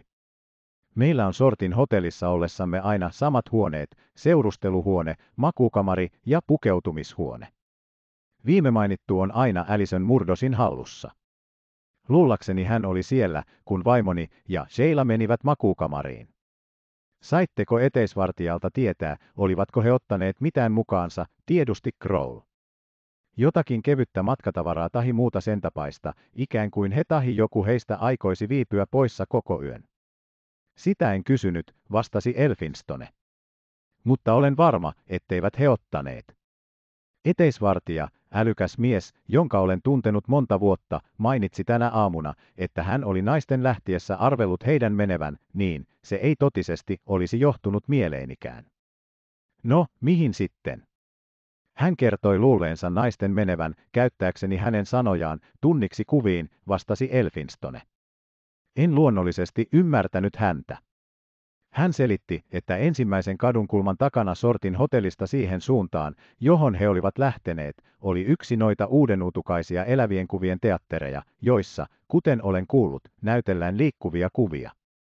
Mutta en saata uskoa, Luultavasti voimme pitää varmana, etteivät he menneet sinne, huomautti Meithorne. Hän katsahti merkitsevästi poliiseihin. Tähän on käytävä käsiksi huolellisesti, hän mutisi. Teidän alaanne. Ei ole varmaa, eikö rouva Elfinstone ole sortin hotellissa, kun herra Elfinstone palaa sinne, virkkoi Crow, vilkaisten kelloonsa. Nyt on kello 12, ja... Ei kylläkään, keskeytti Meithorne. Hiljaa hän sitten jupisi, mutta arvaampa, ettei hän ole. Herra Elfinstone, hän jatkoi, korottaen ääntään, tahtoisin näyttää teille jotakin, erään esineen, joka on taskussani. Tässä se on. Hän otti esille kohokuvakoristeisen rintaneulan ja pani sen pöydälle. Oletteko nähnyt sitä koskaan ennen? Herra Elfinstone katseli rintaneulaa tarkasti ja nosti sitten vilkkaasti päänsä pystyyn. Mistä olette sen saanut, hän tiedusti, ikään kuin kummastellen. Sehän on vaimoni oma. 25. luku. Kuka se mies oli? Meithorne kumartui pöydän yli Mannersin ja Korkerdalen puoleen ja kuiskutti heille minuutin tahi pari. Arvasin, että hän kertoi, miten ja mistä hän oli löytänyt juuri näyttämänsä rintaneulan. Sitten hän puhutteli taaskin Elfinstonea. Oletteko aivan varma siitä, että tämä on vaimonne omaisuutta, hän kysyi. Tällaiset rintaneulat ovat luultavasti hyvin samannäköisiä. Se on vaimoni, vakuutti Elfinstone jyrkemmin ja päättäväisemmin kuin tavallisesti. Ostin sen itse hänelle monta vuotta sitten Invernessistä. Se on toinen kahdesta, ne ovat täsmälleen samanlaiset. Kivet ovat harvinaisen laatuista kameata, hopeakehykset ovat vanhat. Ostin molemmat eräästä sekalaiskaupasta Invernessistä, muistan sen oikein hyvin. Mutta tosiaan. En ole nähnyt kumpaakaan vuosikausiin. Eikö rouva Elfinstone siis ole käyttänyt niitä, kysäisi Meithorne. Hän piti niitä vanhakuosisina ja liian raskaina, vastasi Elfinstone. Hänestä ne luullakseni olivat omituisia, harvinaisia esineitä, hän väitti, että niitä oli alkuaan käytetty pitämään kiinni viittoja, miesten viittoja, olkapäillä, ja pani ne syrjään. En muista hänen käyttäneen niitä kertaakaan, mutta olen ehdottoman varma, että näyttämänne on toinen niistä kahdesta. Mutta mistä sen saitte? Riittäköön toistaiseksi, kun sanon, herra Elfinstone, että löysin sen sattumalta käydessäni Marrasdalessa. Älkää välittäkö muusta tällä hetkellä. Hän pani rintaneulan takaisin taskuunsa ja nousi pystyyn katsahtaen meihin muihin. No? Entä nyt? Ei kukaan ehdottanut mitään. Sitten puhkesi Elfinstone puhumaan. Kumpa tietäisin, miten vaimolleni on käynyt, hän valitti. Eikö kukaan osaa keksiä, mitä olisi tehtävä? Häntä ryhdytään etsimään, Sir, lohdutti Korkerdalle. Hän nykäisi Mannersia. Mielestäni olisi meidän parasta käydä toimeen, hän jupisi. Ensin hotelliin, vai mitä? Meithorne kääntyi Ekkliisaren puoleen. Kai teillä on puhelin. Sepä hyvä. Soitetaan sortin hotelliin ja kuulustellaan, onko rouva Elfinstone palannut sinne. Hän poistui Ekkliisaren seuratessa eteissaliin. Me muut jäimme odottamaan. Heidän palatessaan muutamien minuuttien kuluttua pudisti Meithorne päätään. Ei mitään tietoja, hän ilmoitti. He eivät ole tulleet takaisin tähän mennessä. Mutta koska he lähtivät sieltä, niin se paikka on kai paras toimintakeskus meille. Me aiomme lähteä sinne joka tapauksessa, sanoi Korkerdalle. Rouva Elfinstone on löydettävä. Ehkä herra Elfinstone tahtoo lähteä mukaamme. Saatammehan löytää johtolannan jostakin, mitä he ovat jättäneet jälkeensä. Heikosti tuskitellen, että kaikki on tuiki harmillista ja sekavaa, hän poistui poliisien kanssa. Heidän mentyään Meithorne kohautti olkapäitään ja katsahti Kroleen. Siitä ei ole mitään hyötyä, hän virkkoi. He eivät löydä mitään. Tämä on kaikki suunniteltua, rouva Elfinstonen ja jonkun toisen, hyvin todennäköisesti Alison Murdosin punoma juoni. Minua kummastuttaa ainoastaan se, miten neiti Merchison joutui siihen mukaan eilen illalla. Se pani minutkin ymmälle. Mutta Kroll oli sukkelaalyisempi ja neuvokkaampi. Ei kai siitä voi olla kuin yksi ajatus, hän huomautti. Luullakseni oivallan kaikki. Sen periaatteen mukaisesti, että veri sittenkin on vettä sakeampi, neiti Merchison katui jonkun verran eilen illalla teidän poistuttuanne neiti Apperlin asunnosta ja lähti äitinsä luokse sortin hotelliin. Siellä rouva Elfinstone luultavasti ilmaisi tyttärelleen salaisuutensa ja lopputulos oli, että he livistivät. Miksi, kysäisi Meithorne. Kroll levitti kätensä tehden paljon puhuvan eleen. Minä luulen, että Matsaroffin ampui rouva Elfinstone, hän selitti. Niin minäkin, jupisi Ecclesiar. Mutta silloin se tapahtui oikeastaan kai Sheilan tähden, arvelin, että minunkin oli lausuttava joku sana. Olin ollut vaiti, sillä en katsonut kykeneväni puhumaan poliisien ja etsivien seurassa, mutta olin koko ajan ajatellut ja harkinnut. Minä uskon, että te molemmat olette väärässä, pamautin, katsoen ensin Krolea, sitten Ekklisarea silmiin. Matsarov, kuten tiedämme, ammuttiin Muskraven pyssyllä. Miten olisi rouva Elfinstone voinut saada sen käsiinsä? Muskraven pyssy löydettiin murhapaikalta. Mutta Meithorne pudisti päätään.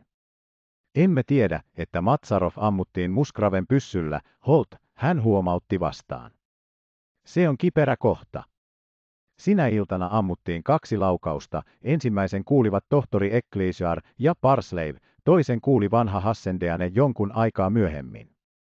Emme tiedä, kumpi laukaus surmasi Matsaroffin, emmekä sitä, mistä pyssystä se ammuttiin. Jos Matsaroffin surmasi toinen laukaus vähän ennen kymmentä, niin ampuja ei ollut rouva Elfinstone, Intin. Sillä Ecclesiar ja Parslave kertoivat nähneensä hänet vähän jälkeen kahdeksan. Enkä minä puolestani ole lainkaan varma, että he näkivät juuri hänet. He myöntävät, että oli pimeä, he ovat saattaneet nähdä jonkun toisen naisen, joka läheisesti muistuttaa häntä. Ei, kivahti Ecclesiar. Näimme hänet. Sitä paitsi, jatkoin, on otettava huomioon vielä yksi seikka. Onko se todennäköistä? Onko se edes otaksuttavaa? Miksi rouva Elfinstone olisi ampunut Matsaroffin eli Merchisonin laillisen aviopuolisonsa? Ehkä juuri siitä syystä, että Matsaroff oli hänen laillinen aviopuolisonsa, huomautti Kroll, hymyillen kuivasti. Sen nojalla, mitä olen nähnyt rouva Elfinstonesta, olen valmis uskomaan, että häneltä syntyy minkälainen teko hyvänsä.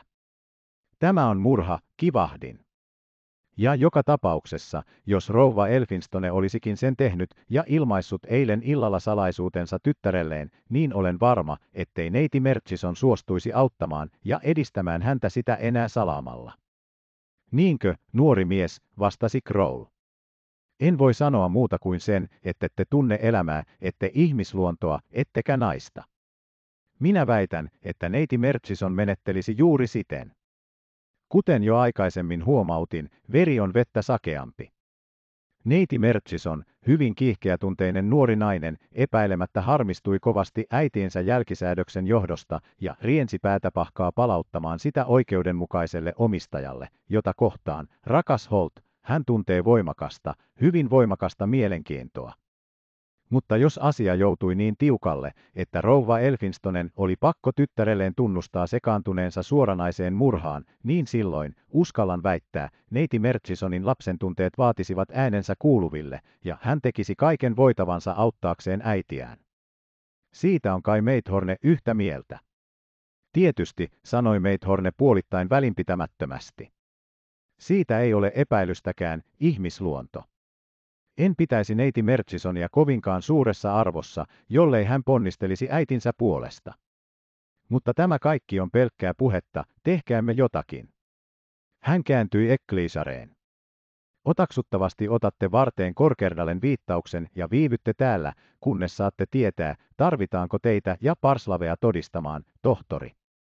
Minun lienee se tehtävä, myönsi Ekkliisar. Viikko tai pari ei merkitse kovinkaan paljoa, paitsi että henkilö, jolle olen luovuttanut asuntoni ja potilaani, haluaisi muuttaa tänne. Se voidaan kuitenkin järjestää. Lienee pakko, vai mitä? Luultavasti, vastasi Meithorne. No niin, jatkoi hän Krolelle ja minulle, lähdetään liikkeelle. Poistuimme talosta. Ulkosalla, kadun vastaisella puolella, oli Johnson yhäti vetelehtimässä. Hänen katseensa osui Meithornen silmiin. En tiedä, millä tavoin Meithorne antoi hänelle merkin, mutta hän löntysteli kauemmaksi, yhä kauemmaksi, kadoten näkyvistä. On tarpeetonta pitää tuota miekkosta enää täällä, huomautti Meithorne. Ja nyt Kottinglein luokse. Taidanpa lähettää hänet rouva Elfinstonen jäljille, hän löytää kadonneet paljon nopeammin kuin yksikään ammattipoliisi. Mistä hän ottaa käsinsä johtolannan, kysyi Crow purevasti. Jättäkää se Kottinglein huoleksi, tokaisi Meithorne. Hän löytää johtolannan sieltä, mistä ei kukaan muu sitä näe. Hän ei tarvitse muuta kuin selvät ja täsmälliset ohjeet alkaakseen. Tapasimme Kottinglein kadun päässä. Hän söi omenaa täydennykseksi leipä ja juustopuoliseensa. Rauhallisena kuten aina hän kääntyi kanssamme astelemaan lähimmällä ajuriasemalle, Meithornen puhuessa hänelle matkalla. Entä nyt, tiedusteli Kroll, kun jälleen olimme Edgvaretiellä. Aion pistäytyä sortin hotellissa, ilmoitti Meithorne, kuulustamassa, ovatko ne miekkoset saaneet mitään selville, ja saadakseni Kottingleille alkuvauhdin. Tulkaa te molemmat mukaan. Minun ei sovi, esteli Kroll. Minun on palattava toimistooni. Minusta ei siellä ole mitään hyötyä, ja voittehan soittaa Miilulle, jos saatte uutisia. Muuten, hän lisäsi, kun Meithorne antoi merkin ajurille, en ole muistanut mainita sitä aikaisemmin. Armintraden maksuosoitus saapui asianomaisessa kunnossa tänä aamuna.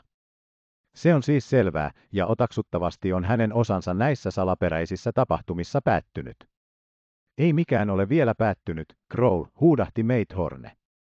Esirippu on vielä ylhäällä, lujasti ylhäällä, kaikki on käynnissä. Tuletteko, Holt?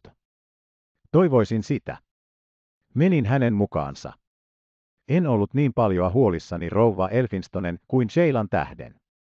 Tilanne oli jollakin tavoin vakavasti kärjistynyt, kun Sheila edellisenä iltana oli äitinsä luona, siitä ei voinut olla epäilystäkään, ei mikään muu, siitä olin varma, ollut voinut aiheuttaa omituista poistumista ja katoamista, josta Elfinstone oli meille kertonut. Mitä hän oli tapahtunut?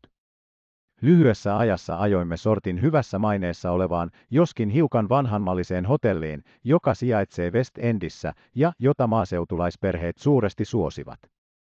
Matkalla sinne Meithorne selosti Kottingleille kaikki, mitä olimme sinä aamuna toimittaneet, ja syventyi erikoisesti rouva Elfinstonen katoamiseen. Kottini imi kaikki tiedot itseensä virkkamatta sanaakaan, hän söi yhä omeniaan, pureskellen niitä esimiehensä puhuessa. Mutta kun Meithorne lopetti, oli myöskin Kottini lopettanut viimeisen omenansa, viskasi siemenkodan vaunujen ikkunasta ulos ja sanoa napautti pari sanaa. Laivayhtiöiden konttorit. Todennäköisimmät paikat ensin. Hyvä, kehaisi Meithorne. Se saattaa olla viisasta. Se sopii. Ryhtykäähän siihen. Mutta ensin katsomme, onko täällä ilmennyt mitään. Laskeuduimme vaunuista vähän matkan päässä sortin hotellista ja kävelimme sen pääovelle. Manners ja Korkerdale olivat juuri tulossa ulos, kun me saavuimme sinne. Luulin heidän eleistään huomaavani, että he olivat kuulleet jotakin. No, kysyi Meithorne, kun ehdimme ihan likelle heitä. Onko uutisia? Ei ketään ole palannut, vastasi Korkerdale, eikä rouva Elfinstonen, eikä kamaripalvelijattaren huoneessa mikään osoita, minne he ovat menneet. Mutta kuulimme erään seikan, jota vanha herra ei ollut saanut tietoansa lähtiessään tänä aamuna teitä etsimään. Mitä sitten, tiedusteli Meithorne. Se on omituista tosiaankin, sanoi etsivä. Tahtoisinpa tietää, mitä se merkitsee, sen kertoi minulle eteisvartijan apulainen. Hän ilmoitti, että vähän sen jälkeen, kun herra ja rouva Elfinstone ja kamaripalvelijatar olivat eilen illalla saapuneet, hän tuntee muka hyvin kaikki kolme, koska he käyvät siellä kahdesti tahi kolmesti vuodessa, tuli eteissaliin mies, joka tiedusti, asuivatko he, mainiten heidän nimensä, siellä. Hän vastasi myöntävästi ja arveli heidän parhaillaan syövän päivällistä. Mies poistui. Mutta eteisvartijan apulainen väitti panneensa merkille, että mies sen jälkeen maleksi hotellin edustalla ja että hän oli siellä ikään kuin pitämässä silmällä silloinkin, kun rouva Elfinstone, hänen tyttärensä ja kamaripalvelijatar lähtivät ulos, onpa hän varma siitä, että mies seurasi heitä pitkin katua ja ensimmäisen kadunkulman taakse. Ja siinä on kaikki. Ja sitä onkin hyvä annos, virkkoi Meithorne. Osasiko hän kuvailla miestä? Kyllä. Pieni, laiha, noin 30-vuotias mies, vähäiset, ruskeat viikset, silmälasit nenällä, hyvin arvokkaasti puettu, päässä trilbyyhattu, näytti konttoristilta tai kauppamatkustajalta, jotakin siihen suuntaan. Oliko hän maininnut eteisvartijan apulaiselle mitään siitä, miksi hän kysyi Elfinstoneja, tiedusti Meithorne. Ei, vastasi Korkerdale. Kun mies oli kysynyt häneltä, saako hän viedä jonkun sanoman Elfinstonelle, oli vieras vastannut kieltävästi. Sillä ei muka väliä, hän ei tahtonut häiritä heitä, jos he olivat päivällisellä, hän kävisi toisen kerran. Mutta häntä ei sitten enää kuulunut. Ei. Kun eteisvartijan apulainen viimeksi hänet näki, seurasi hän naisia kadulla. Meithorne oli ääneti minuutin tahi pari. No niin, hän virkkoi vihdoin. Te kai selvittelette asioita omalla tavallanne. Jos voin mitenkään auttaa, niin lähettäkää minulle sana. Jos minä puolestani kuulen jotakin, niin ilmoitan teille, Korkerdalle. Voimme varsin hyvin auttaa toisiamme. Hän kääntyi pois, Kottinli ja minä seurasimme häntä. Käveltyään jonkun matkaa hän viittasi konttoristilleen. Koettakaa suunnitelmaanne, laivayhtiöiden konttoreita, Kottinli. Siitä saattaa olla hyötyä. Kottini poistui, Meithorne ja minä astelimme hetkisen äänettöminä edelleen. Tämä on kummallinen juttu, Holt, puhkesi hän jonkun ajan kuluttua puhumaan. Että rouva Elfinstone joko on syyllinen tahi tuntee syyllisen, se tuntuu ehdottoman varmalta. Mutta mihin kummaan hän on kadonnut? Ja milloin ja mistä saamme hänestä tietoja? Siihen pulmaan sain enemmän valoa vasta yli kahden päivän kuluttua. Ei kukaan kuullut mitään, ei kukaan saanut mitään selville. Kävin vähän väliä sortin hotellissa. Herra Elfinstone, joka aluksi oli poissa suunniltaan, tasaantui odottamaan filosofisen tyynesti. Eikä tapahtunut mitään, ennen kuin Meithorne kolmantena iltana naisten katoamisen jälkeen syöksyi asuntooni ja sinkautti iltalehden eteeni. Jumalan tähden, Holt, hän huohotti. Lukekaa tuo. 26. luku. Me tunnemme miehen. Sieppasin sanomalehden hyvin kiihkeästi, Meithornen käytös osoitti, että siinä oli tärkeitä uutisia. Katseeni osui siihen heti, se oli isoilla kirjaimilla painettuna viimeisten uutisten osastossa. Yllättävä löytö Harrov kadulla. Epäillään ryöstömurhaa. Kun kauppias Kiltvaite, Harrov-katu 623X, tänään kello puoli viisi iltapäivällä kävi liikkeensä takapihalla etsimässä joitakuita koppia, jotka olivat siellä säilössä kaikenlaisten muiden tavarain joukossa, huomasi hän miehen ruumiin, joka ilmeisesti oli laahattu sinne pihan poikki takaportista ja osittain piilotettu irtonaisten lautojen alle. Hän ilmoitti asiasta heti poliisille. Tarkastuksessa kävi ilmi, että mies oli murhatta iskemällä häntä useita kertoja päähän jollakin raskaalla aseella. Hän on otaksuttavasti 30-vuotinen, pienikasvuinen, hentorakenteinen mies, hänellä oli silmälasit, joiden oikea linssi oli särkynyt, vainaja oli arvokkaasti puettu, ja ruumiin alta löytyi uusi trilbyhattu. Hänet oli surmattuna ilmeisesti ryöstetty puhtaaksi, sillä hänellä ei ollut lainkaan rahaa eikä arvoesineitä, ei myöskään löytynyt minkäänlaisia papereita, joista olisi voitu päättää, kuka hän on. Kaikki sen suuntaiset esineet oli huolellisesti poistettu, eikä hänen vaatteistaan löydetty mitään muuta kuin täytekynä ja kaksi äskettäin teroitettua luijykynää. Scotland Yardeen ilmoitettiin tapahtumasta heti ja etsivät suorittavat parhaillaan perinpohjaisia tutkimuksia. Jos joku tuntee vainajan edellä olevan kuvauksen perusteella, pyydetään häntä heti ilmoittautumaan poliisiviranomaisille. Laskin paperin käsistäni ja jäin kysyvästi tuijottamaan Meithorneen. Hän läimäytti kätensä raskaasti juuri lukemani uutisen kohdalle. Holt, hän huudahti. Se on sama mies, joka tuonnottain seurasi sortin hotellista kadonneita kolmea naista. Miljoona yhtä vastaan siitä. Niinkö luulette, sanoin epäilevästi. Mutta on paljon ihmisiä, joihin tuo kuvaus sopii. Hän on sama mies. Lyön siitä vetoa vaikka kuinka paljon, hän vakuutti. Ja tämä juttu käy yhä salaperäisemmäksi. Katsokaas. Rouva Elfinstone, hänen tyttärensä ja kamaripalvelijattarensa poistuivat äkkiä myöhään illalla sortin hotellista hiiskumatta mitään Elfinstonelle. Heitä seuraamassa nähdään mies, joka aikaisemmin on käynyt tiedustamassa, asuvatko Elfinstonet mainitussa hotellissa. Naiset eivät palaa takaisin siitä hetkestä tähän saakka, vaikka on kulunut näin paljon aikaa, 72 tuntia, ei heistä ole kuultu mitään. Ja sitten tehdään havainto, se mies, jonka on nähty seuraavan heitä, löydetään murhattuna, pää hakattuna mäsäksi ja ryöstettynä. No, miksi? Jos hän on sama mies, huudahdin. Minua kummastuttaisi vielä enemmän kuin nyt, vastasi Meithorne, jos hän ei olisi sama mies. Mutta siitä saamme pian varmuuden. Tulkaa, minua odottaa auto ulkona. Käväisemme sortin hotellissa, otamme mukaamme eteisvartijan apulaisen ja ajamme Harrov-kadulle. Katsomaanko ruumista, kysyin. Mitäs varten muutoin? Joutukaa. Ei voi tietää, kuinka paljon siitä riippuu. Entä missä ovat naiset? Vaarassa, sikäli kuin me voimme päätellä. Silloin lähdin perin mielelläni. Miten lieneekään, siihen saakka ei ollut johtunut mieleenikään, että Seila saattoi uhata todellinen vaara, olin pikemminkin kuvitellut hänen olevan auttamassa äitiään pakoon oikeuden käsistä tai ainakin välttämään vastenmielisiä kuulusteluja. Luuletteko todella niin, sanoin rientäessämme portaita alas. Missä he ovat, hän kysyi. Poliisit ovat etsineet heitä kolme päivää ja kolme yötä. Ei jälkeäkään. Kottinli ja minä olemme työskennelleet omalla tahollamme. Kaikki yrityksemme ovat menneet myttyyn. Holt, olen siksi varma siitä, että tämä on sama mies, joka seurasi heitä, että meidän on heti käytävä häntä katsomassa. Ja jos hän on. No, hoputin kärsimättömästi, kun hän pysähtyi. Entä sitten? Jos hän on sama mies ja jos saadaan selville, kuka hän on, hän jupisi, niin lienemme vihdoinkin oikeilla jäljillä, joita myöten pääsemme edemmäksi. Rientäkää. Mennään pian. Ajoimme sortin hotelliin ja vähäisen viivytyksen jälkeen saimme eteisvartijan apulaisen mukaamme.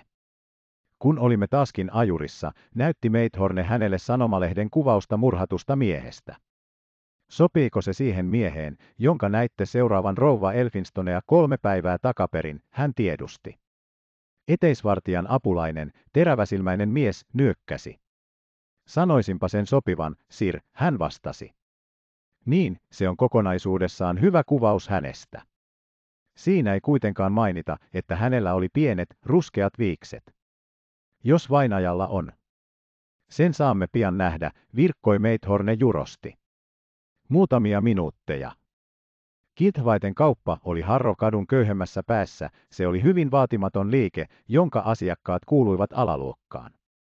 Mutta kun laskeuduttuamme vaunuista astelimme sitä kohti, niin huomasimme, että se ainakin tällä kertaa oli tavattoman mielenkiinnon, jos kohta ei ostohalun keskipisteenä. Katukäytävä oli sen edustalla tungokseen saakka täynnä väkeä, ja joukko poliiseja koetti saada ihmisiä liikkeelle, mutta ei kovinkaan menestyksellisesti. Kaksi konstaapelia seisoi kaupan ovella, he olivat ilmeisesti saaneet määräyksen, ettei sisään saanut päästää ketään muita kuin viranomaisia. Meithornen kuiskaama sana hankki meille kuitenkin pääsyluvan, ja me astuimme sisälle. Siellä seisoivat Manners ja Korkerdalle keskustelemassa kauppiaan kanssa, Tämä oli kiihtynyt henkilö, jonka suusta sanat tulivat ryöppynä hänen silminnähtävästi kertoessaan tarinaansa XTTä kertaa. Korkerdalle nyökkäsi merkitsevästi, kun Meithorne lähestyi heitä. Sama ajatus kuin meilläkin, herra Meithorne, hän virkkoi hymyillen. Arvelimme, että tämä mies saattoi olla sama, joka nähtiin sortin hotellin edustalla, ja pistäydyimme sen vuoksi tänne. Mieleemme ei kuitenkaan johtunut tuo mies, hän lisäsi, osoittaen eteisvartijan apulaista. Hyvä ajatus tuoda hänet mukananne. Oletteko nähnyt vainajan, kysyi Meithorne. Emme vielä, vastasi Korkerdalle. Hän on luonnollisestikin ruumishuoneessa. Menemme sinne. No niin, hän jatkoi, puhuen kauppialle, käväisemme täällä uudelleen tullessamme ruumishuoneelta, ja ehkä sitten näytätte meille paikan, mistä löysitte hänet. Miten vain haluatte, lupasi kauppias, hykertäen käsiään. Avustan aina mielihyvin poliiseja. Nämä herrat kai ovat myöskin teikäläisiä. Hiukan siihen suuntaan myönsi Korkerdalle, hymyillen Meithornelle. No niin, hän lisäsi, viitaten meitä seuraamaan. Kävelemme sinne, matka ei ole pitkä. Hän opasti meitä synkkää katua pitkin vielä synkemmälle, jos kohta siistimmälle rakennukselle, jonka murheellista kolkkoutta vielä korosti sen virallinen muodollinen leima. Astelimme peräkkäin poliisikonstaapelin johdolla valkeaksi kalkittuun huoneeseen. Sen keskessä olevalla pöydällä tahilavitsalla virui valkoisen peitteen alla ruumis, jota olimme tulleet katsomaan.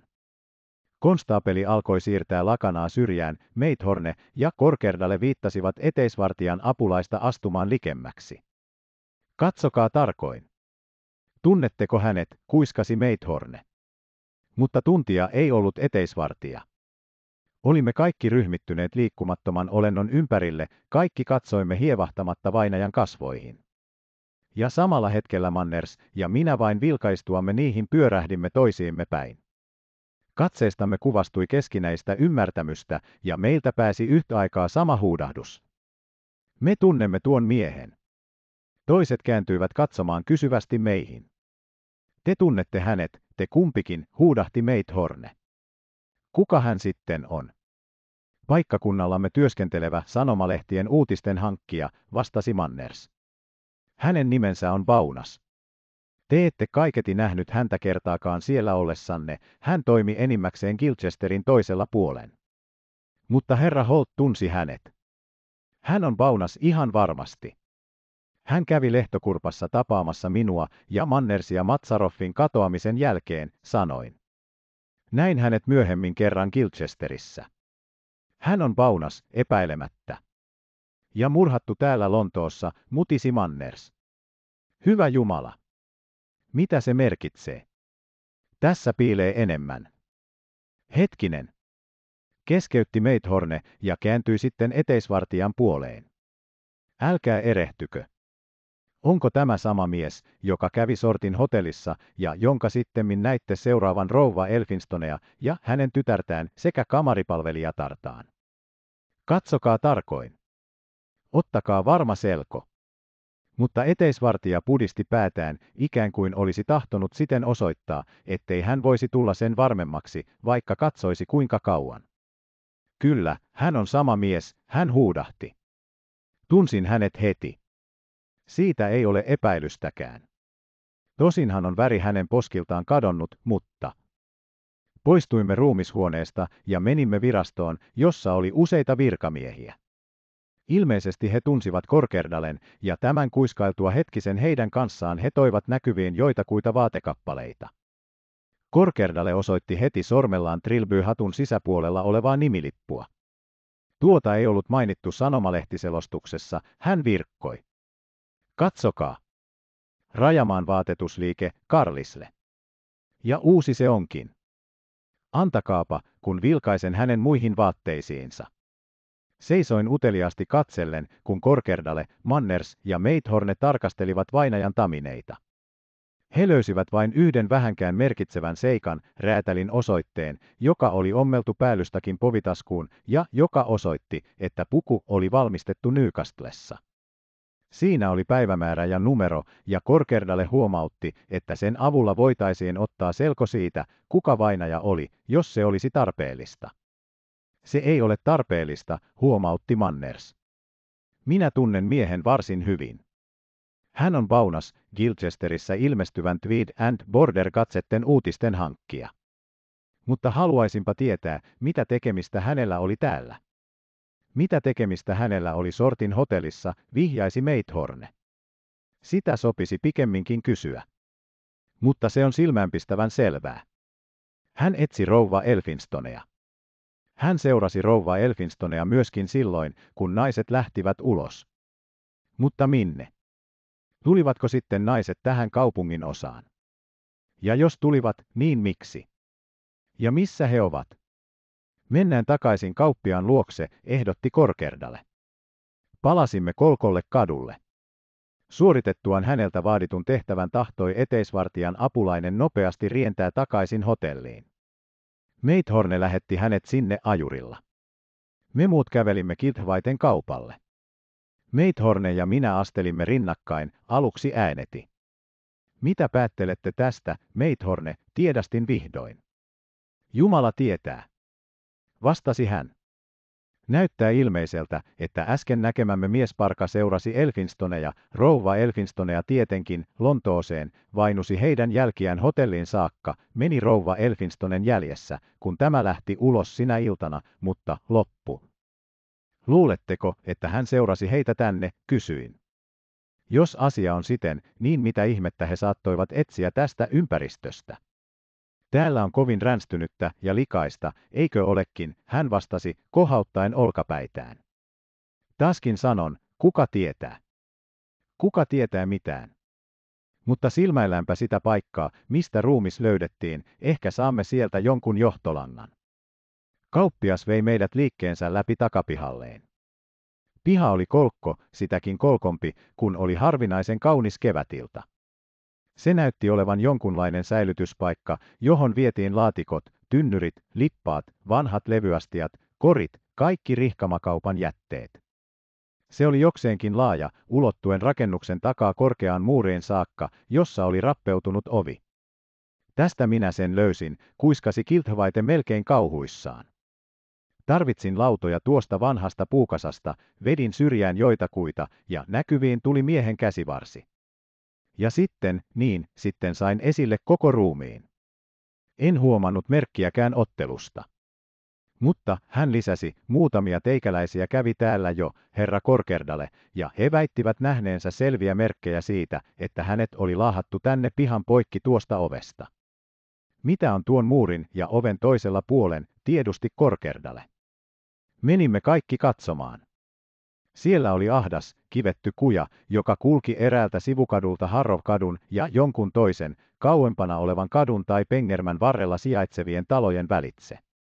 Sitä rajoittivat pitkin koko sen pituutta korkeat muurit, vain kaksi himmeätä kaasulamppua valaisi sitä, se oli pimeä, hiljainen, sen synkkyys yksin tuntui johtavan mieleen murhia.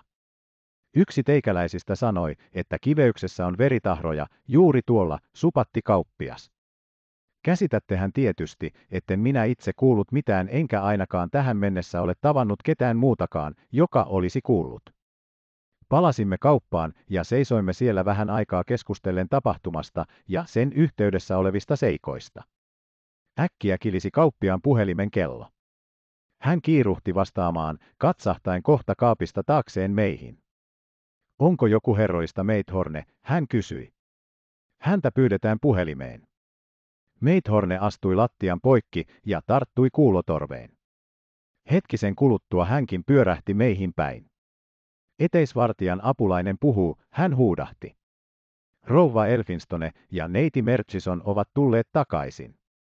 27. luku. Syytettynä. Olin siihen saakka ollut jotakuinkin toimettomana katselijana ja tarkkailijana, mutta heti Meithornen mieltä kuohuttavan ilmoituksen jälkeen muutuin vireän toimeliaksi. Olin puolitiessä kaupan ovella, ennen kuin viimeinen sana oli lähtenyt hänen huuliltaan. Mutta hän oli yhtä ripeäliikkeinen, ja hänen kätensä oli käsivarrellani, kun olin astumassa kynnyksen yli. Minne aiotte, huudahti hän. Minnekö? Sortin hotelliin tietysti. Vastasin. Ettekö te lähde? Kyllähän toki, hän sanoi.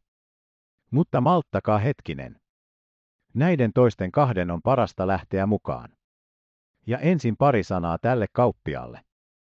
Odotin kärsimättömänä kaupan ulkopuolella, kunnes toiset kolme tulivat luokseni. Meidän oli hiukan vaikea löytää ajuria, niitä ei ollut runsaasti tässä synkässä kaupungin osassa. Kun vihdoin olimme ahtautuneet rattaille, tuskittelin koko ajan niiden vieriessä miellyttävämpään ympäristöön. Kolme kumppaniani oli jättäytynyt äänettömyyden valtaan, kukin heistä näytti hautovan omia mietteitään. Ei kukaan virkkanut mitään, ennen kuin olimme lähellä sortin hotellia, sitten Manners äkkiä lausui ääneen, mitä hän ilmeisesti oli ajatellut. Tuon Baunasrukan on täytynyt saapua Lontooseen samalla junalla kuin Elfinstonetkin. Hänen äänensävynsä osoitti, että hän luuli tehneensä hämmästyttävän havainnon. Ilmeisesti. Huomautti Meithorne suoraan tapaansa. Ilmeisesti, koska hän kävi sortin hotellissa hyvin pian heidän saapumisensa jälkeen. Tarkoitan sitä, selitti Manners, että jos asia on niin, kuten sen täytyy olla, niin hän seurasi heitä tahi jotakuta heistä. Myöskin se tuntui ilmeisen selvältä, yhtyi Meithorne. Minä väittäisin, että hän teki niin, erikoisesti sen nojalla, että hän meni noiden kolmen naisen jäljessä, kun he lähtivät hotellista. Mutta minkä tähden, kysyi Manners. Miksi? Sitä minä en jaksa käsittää. Sen jälkeen syntyi lyhyt äänettömyys. Sitten puhkesi Korkerdalle puhumaan. Mainitsittehan, että hän on sanomalehtimies, uutisten hankkija. Ne vekkulit tunkevat nenänsä sellaisiin paikkoihin ja sellaisiin asioihin, mihin heillä ei ole oikeutta kajota. He ovat eräänlaisia salametsästäjiä. Useammin kuin kerran he ovat pilanneet minulta pelin. He ovat saaneet päähänsä, että he tekevät mainiosti, jos toimivat vähän etsivän ammatissa sanomalehtensä laskuun. Se avaa heille tien toimituksensa suosioon. Minä luulisin tämän miekkosen kulkeneen omaa latuaan murhasta saakka, ja nyt näette, mihin se on hänet vienyt. Hän itse on murhattu. Ahaa, äänsi Meithorne äänessään ivallinen värähdys, joka jäi kumppaneiltamme huomaamatta. Minua ei ihmetyttäisi, jos olisitte oikeassa, Korkerdalle. Mutta mikä vahinko, ettemme mekin osuneet hänen ladulleen.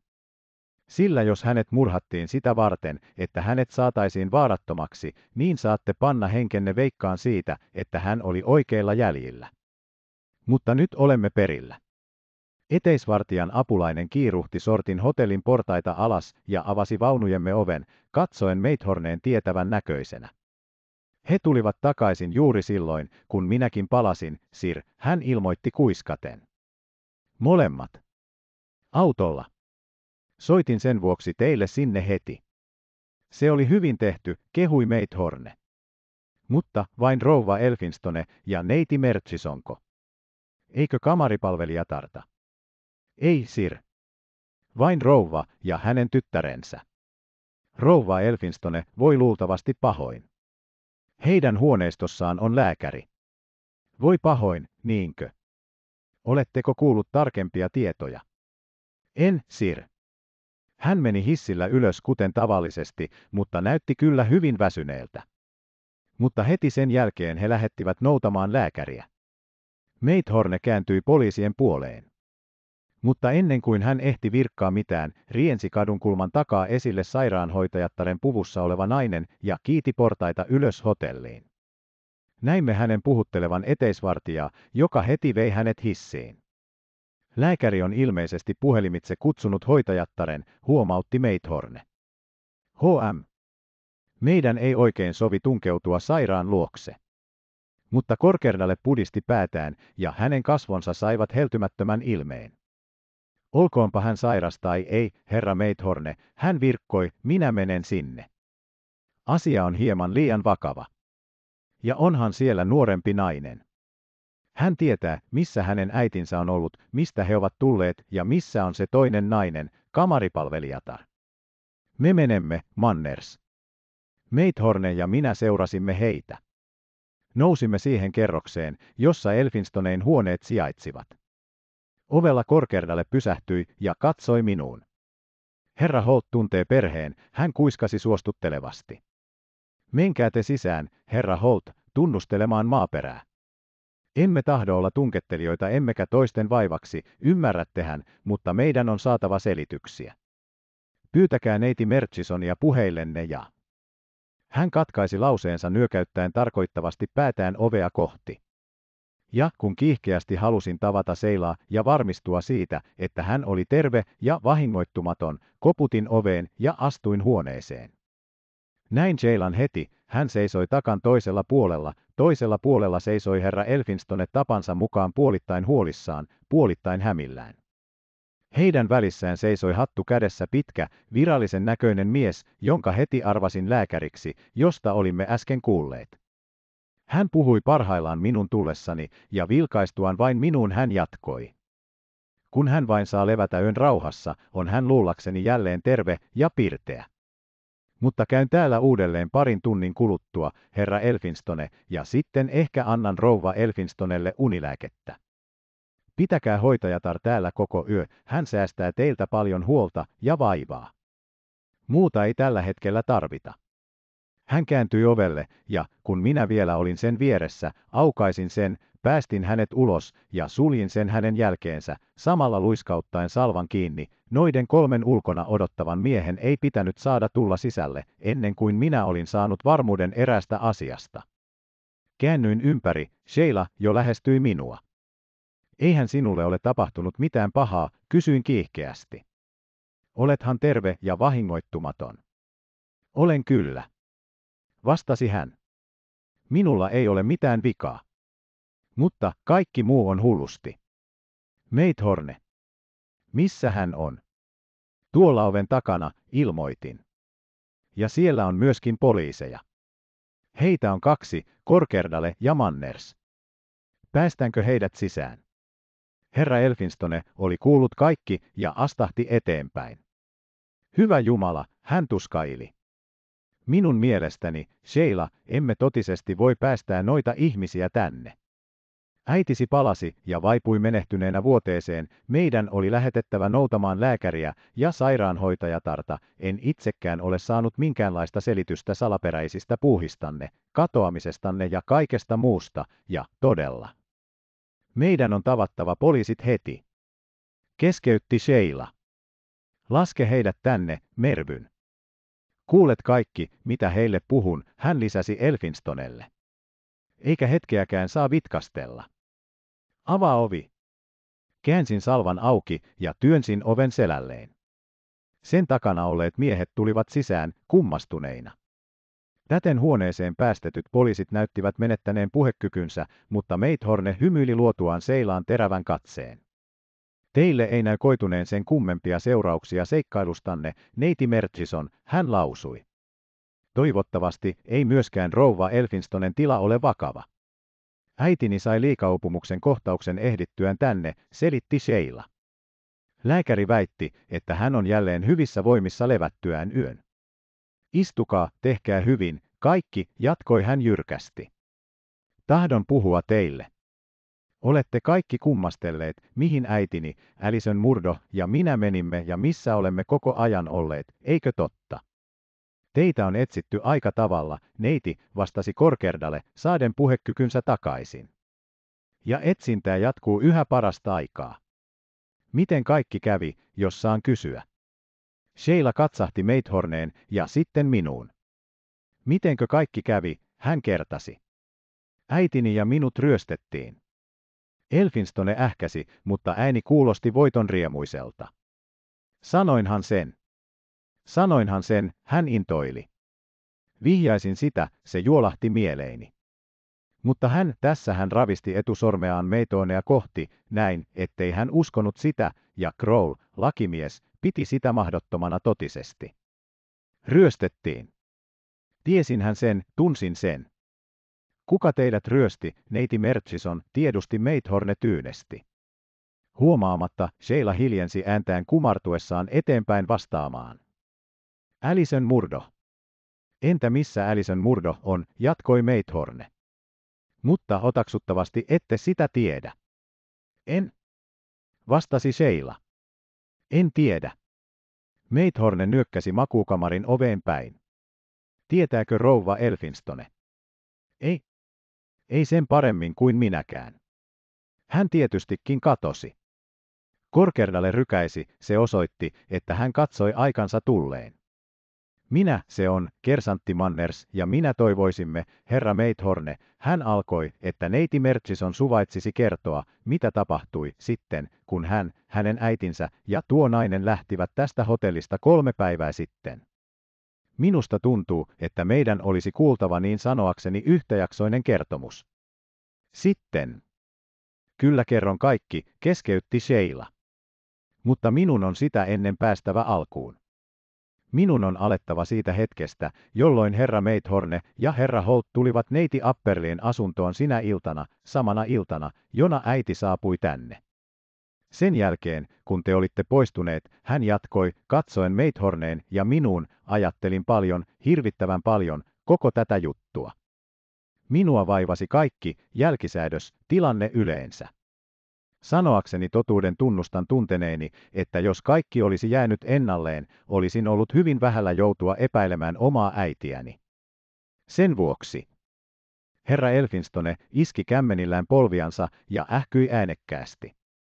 Mutta Sheila vain vilkaisi häneen ja kertoi edelleen. Sen vuoksi sanoin vihdoin neiti Apperleelle meneväni sortin hotelliin ja koettavani saada äidiltäni kaikki selville, jos se suinkin kävisi päinsä. Tulin tänne ja tapasin äidin tuolla makuukamarissa. Yksinkö, kysäisi Meithorne. Yksin. Aluksi sukeutui välillämme hieman kiivas sananvaihto, hän oli luonnollisesti vihastunut minuun, ensiksikin, koska olin anastanut jälkisäädöksen hänen hallustaan, ja toiseksi, että olin karannut Lontooseen, tuoden sen muassani ja antaen sen herra Holtille. Mutta lopulta hän tyyntyi, ja solmittuamme jälleen ystävälliset suhteet keskenämme hän vihdoin huomautti minulle, ettei minun olisi tarvinnut olla niin hätäinen, sillä hän oli varmasti aikonut jo seuraavana päivänä lähettää jälkisäädöksen joko sen valmistajalle herra Postlethwaitelle taikka herra Krollelle ja liittää mukaan selostuksen siitä, miten se oli joutunut hänen huostaansa. Sanoinhan sen, sanoinhan sen, riemuitsi herra Elfinstone. Tiesin, että asia voitiin selvittää täysin sopivasti. Miten oli jälkisäädös joutunut rouva Elfinstonen haltuun, tiedusti Meithorne. Se kävi seuraavalla tavalla, vastasi Sheila. Olen kertonut teille ja herra Holtille, että äitini oli ulkosalla myöhään illalla kahtena päivänä peräkkäin ja että kuultuani hänen toisena iltana palaavan hiivin portaita alas ja hänen tietämättään näin hänen tarkastavan asiakirjaa, joka sittemmin osoittautui jälkisäädökseksi. Hän selittää, että tultuaan sinä iltana kotiin hän tapasi kirjastossa yhden lasioven avoinna, ja matolla parhaiksi oven sisäpuolella oli kuori, joka sisälsi jälkisäädöksen.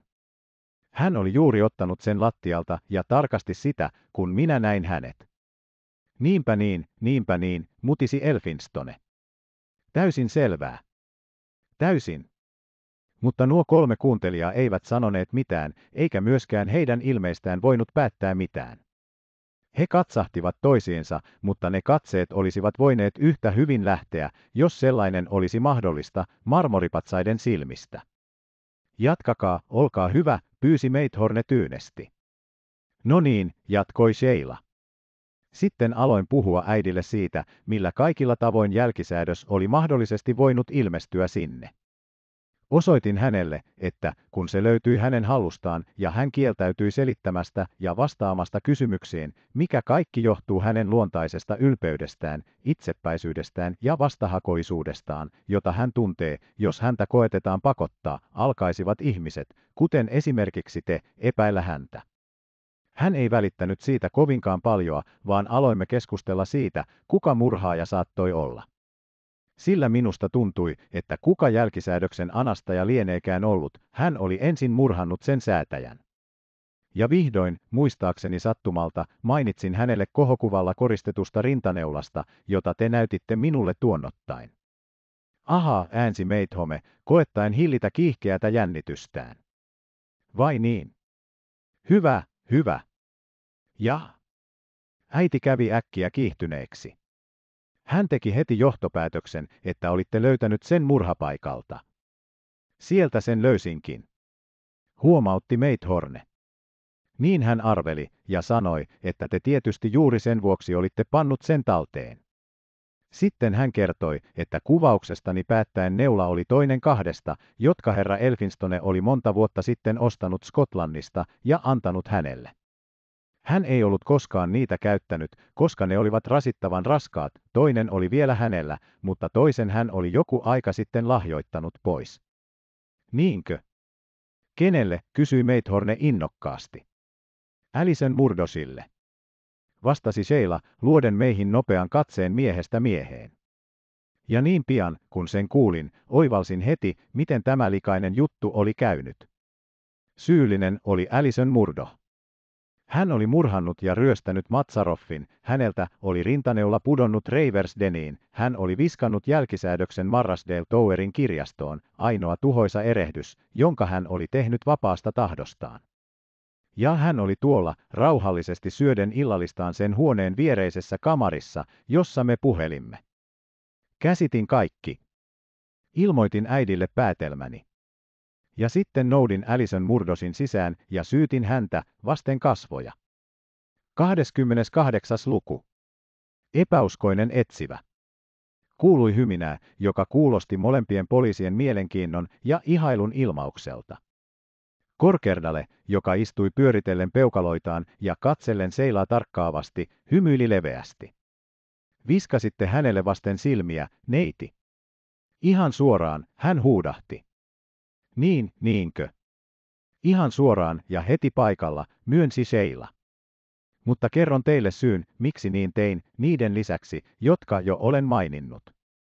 Äitini ja minun välisen keskustelun viimeisten minuuttien aikana olin ajatellut ankarammin ja nopeammin kuin milloinkaan.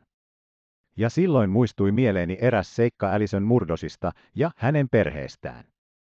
Vaikka äitini hyvin harvoin on ottanut sellaiset asiat puheeksi minun kuulteni, tiesin kuitenkin Marrasdalesta ja isäni sikäläisistä suhteista enemmän kuin äitini aavistikaan, olin koonnut koko joukon tietoja ja juoruja ympäristömme vanhoilta ihmisiltä. Tiesin, että isäni Andrew Merchison oli ennen avioliittoaan hyvin tunnettu niillä seuduin ja että hänen perheensä oli ollut arvovaltaista väkeä siellä. Tiesin myöskin, että Alison Murdosin perhe oli samoin ollut sillä paikkakunnalla kauan ja että hänen ja isäni perheitten välillä vallitsi verivihollisuus, joka oli aiheutunut. Maareidasta pisti herra Elfinstone väliin. Merchisonit riistivät Murdoseelta tilkun maata aikapäiviä sitten. Se oli ilkeä lainvääntelytemppu, mutta se oli tapahtunut. Eikä sellainen tietenkään ikinä unohdu näiden rajamaalaisten mielestä. Riita, Maariita. Sellaiset asiat muistetaan iön kaiken. He äityivät vihaamaan toisiaan, virkkoi Sheila. Vertakin vuoti sen johdosta aikoinaan, muuan Merchison ampui erästä murdosia, vaikkakaan ei hengenvaarallisesti. Kaikki se tunnetaan hyvin, herra Elfinstone tietää koko jutun. Siitä Pakistaan maaseudulla vielä tänäkin päivänä, myönsi Elfinstone. Marrasdalessa on miehiä ja naisia, jotka muistavat sen. No niin, jatkoi Sheila. Päähäni pälkähti, että Alison Murdo, joka oli vaitelias, juro, itseensä sulkeutunut, päättäväinen nainen, sekä otaksuttavasti muisti sen, että lisäksi oli sellainen henkilö, joka kostaisi empimättä, jos saisi siihen tilaisuuden. Kuvittelin kaiken tapahtuneen seuraavaan tapaan. Kun Matsarov, joka tietenkin oikeastaan oli Andrew Merchison, saapui lehtokurppaan, oli Alison Murdo siellä apuna keittiöhommissa ja muissa semmosissa tehtävissä. Hän näki vieraan ja tunsi hänet. Kaiketi hän tutustui Matsaroffin tapoihin ja tiesi hänen liikkuvan nummella pimeän tultua. Hän ei asunut lehtokurpassa, vaan omassa majassaan Burnsideen vievän tien varrella. Ajattelin, että hän päätettyään kostaa vanhan riidan Andrew Merchisonille vahti sopivaa tilaisuutta. Murhailtana hän näki vihamiehensä lähtevän kävelylle ja kääntyvän Reivers Denin vievälle polulle. Hän sieppasi Muskraven pyssyn salaa salin naulasta ja hiipi jäljessä ja ampui hänet. Ja... Hetkinen! Keskeytti Meithorne katsahtaen poliiseihin. Korkerdale ja Manners käsittävät sen kysymyksen merkityksen, jonka esitän teille. Se on seuraava, muistuttaako tämä Alison Murdo missään suhteessa äitiänne rouva Elfinstonea? Hyvin paljon, vastasi Sheila. He ovat yhtä pitkiä, heillä on samanlainen rakenne ja vartalo, ja he tekevät hyvin samanlaisen yleisvaikutelman. Jos he nimittäin olisivat samalla tavoin puetut, kaiketi, virkkoi Meithorne. Heillä on usein samanlaiset puvut, selitti Sheila, siitä yksinkertaisesta syystä, ettei Alison Murdo ole käyttänyt mitään muuta kuin äitini vanhoja pukuja. Heistä saattaisi ehkä helposti erehtyä pimeässä. Huomautti Meithorne. Sanoisin hyvin helposti, vakuutti Sheila. Olenhan itsekin heistä erehtynyt. Meithorne kääntyi poliisien puoleen. Se selittää sen, mitä Ecclesiar ja Parslev näkivät, tai luulivat näkevänsä, hän supatti. Vai mitä? Siltä minusta näyttää, vastasi Manners. Niin, kyllä se niin on. Mutta Korkerdalle ei virkkanut mitään, hän silmäili yhäti seilaa. Mitä aioitte sanoa, neiti, hän tiedusti. Niin, ajoin sanoa, että se tuntui minusta olevan hyvä syy epäillä häntä, kun otetaan muut seikat huomioon, jatkoi Sheila. Mutta minulla oli toinenkin peruste. Oli hyvin tunnettua, että lehtokurpassa asuva herrasmies oli rikas, siitä oli jo alettu puhua. Hän oli varomaton näytellessään omaisuuttaan, kuulin itsekin, kuten maaseudulla yleensä kuullaan kaikki, että hän jätti suuria rahasummia, jopa timanttejakin näkyviin päivällispöydälleen. Ja minä tiedän, että Alison Murdoch on ahnas ja saaliinhimoinen nainen, itara ihan äärimmäisyyteen saakka. Jos hän murhasi Andrew Merchisonin kostaakseen, niin hänenlaisensa nainen oli kyllä valmis ryöstämään uhrin ruumiilta kaikki pelkästä ahneudesta. Hän on tosiaan sellainen. Saituri, jupisi herra Elfinstone. Neljännespennyjen kokooja, siinä olet mielestäni aivan oikeassa, Sheila. Mutta murha. Hyvä Jumala. No, siihen päätelmään johduin, sanoi Sheila, ja esittämistäni syistä. Niiden muutamien minuuttien aikana, joina kaikkea tätä ajattelin, kehittyi minulle se ehdottoman varma vakaumus, että Alison Murdo oli ampunut Andrew Merchisonin, ryöstänyt hänen rahansa, arvoesineensä ja paperinsa, ja että juuri hän oli viskannut jälkisäädöksen herra Elfinstonen kirjaston avoimesta lasiovesta sisälle, minkä jälkeen äitini oli sen löytänyt. Ja kuten jo alussa mainitsin, kutsuin heti johduttuani siihen päätelmään hänet äitini huoneeseen, tuohon huoneeseen ja syytin häntä murhasta. Taskin soi Elfinstone meille ähkäisyn. Huomaamattaan siirsi Korkerdalle tuolinsa lähemmäksi seilaa. Ja juuri nyt alkaa todella mielenkiintoinen kohta, neiti, hän virkkoi. Te syytitte häntä. Mitä hän sitten vastasi? Hän luonnollisesti väitti syytöksiä vääräksi ja kiukustui, kertoi Sheila. Hän aikoi syöksyä huoneesta valittamaan herra Elfinstonelle.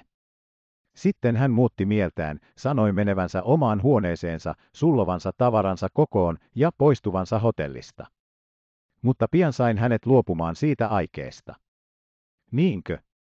Miten, neiti, kysyi Korkerdalle entistä innokkaampana. Ilmoitin hänelle, että jos hän yrittäisi poistua huoneesta ennen kuin minä olin lopettanut puheeni, soittaisin kelloa, kutsuisin poliisia ja käskisin pidättää hänet ja sen olisinkin tehnyt, mikään ei olisi voinut pidättää minua. Se sai hänet rauhoittumaan, hän tunsi minut. Sitten puhuin hänelle. Esitin tosiseikat toistensa yhteydessä. Kerroin hänelle, että hänen kameaneulansa oli löydetty murhapaikalta. Millainen hän oli kuullessaan sen, pisti Meithorne väliin. Hän kävi hyvin kalpeaksi. Mutta melkein samassa silmänräpäyksessä hän tokaisi, että äidilläni oli aivan samanlainen rintaneula, miksi ei häntä epäilty. Vastasin, ettei äitini milloinkaan sitä käyttänyt, mutta hän, Älisen, ilmeisesti käytti omaansa. Sitten aloin esittää hänelle asiaa oikeassa karvassaan ja peloittelin häntä minkä osasin. Äitini puolestaan rukoili häntä kertomaan kaikki, mitä tiesi. Kun lopulta sanoin hänelle, että jollen saisi selitystä, jättäisin hänet heti paikalla vangittavaksi, tunnusti hän tietävänsä, jonkun verran. Aha, äänsi Meithorne. Jonkun verran. Jonkun verran, toisti Sheila. Ja sen myönnettyään hän teki kummallisen tarjouksen, vaikka minun täytyykin sanoa, ettei se sillä kertaa tuntunut niin kovin kummalliselta. Hän huomautti olevansa yksin Lontoossa, jossakin määrin minun armoillani. Sitten hän johti mieleemme, että hänellä oli täällä Lontoossa veli, joka poistui Marrasdalesta monta vuotta sitten ja jolla hänen sanojensa mukaan oli liike Harroftiellä. Niinpä tosiaankin, mutisi Korkerdalle. Harroftiellä. Ja hän teki meille tarjouksen, jatkoi Sheila. Hän ilmoitti, että jos suostuisimme heti lähtemään hänen kanssaan hänen veljensä luokse ja sallisimme hänen ensin neuvotella veljensä kanssa, niin hän kertoisi meille ehdottoman totuudenmukaisesti kaikki, mitä tiesi. Olimme kyllin typeriä suostuaksemme ja lähdimme heti virkkamatta kellekään mitään. Otaksuimme tietysti ehtivämme takaisin varsin lyhyen ajan kuluttua. Mitenkäs kävi, neiti, tiedusti Korkerdalle. Poistuimme hotellista ja saimme ajurin lähimmän kadunkulmauksen takana. Alison Murdo ilmoitti ajurille osoitteen. Tiedän, missä Harroftie yhtyy Edgware-tiehen Paddington Greenissä, ajoimme pitkän, hyvin pitkän matkan sen toiselle puolen.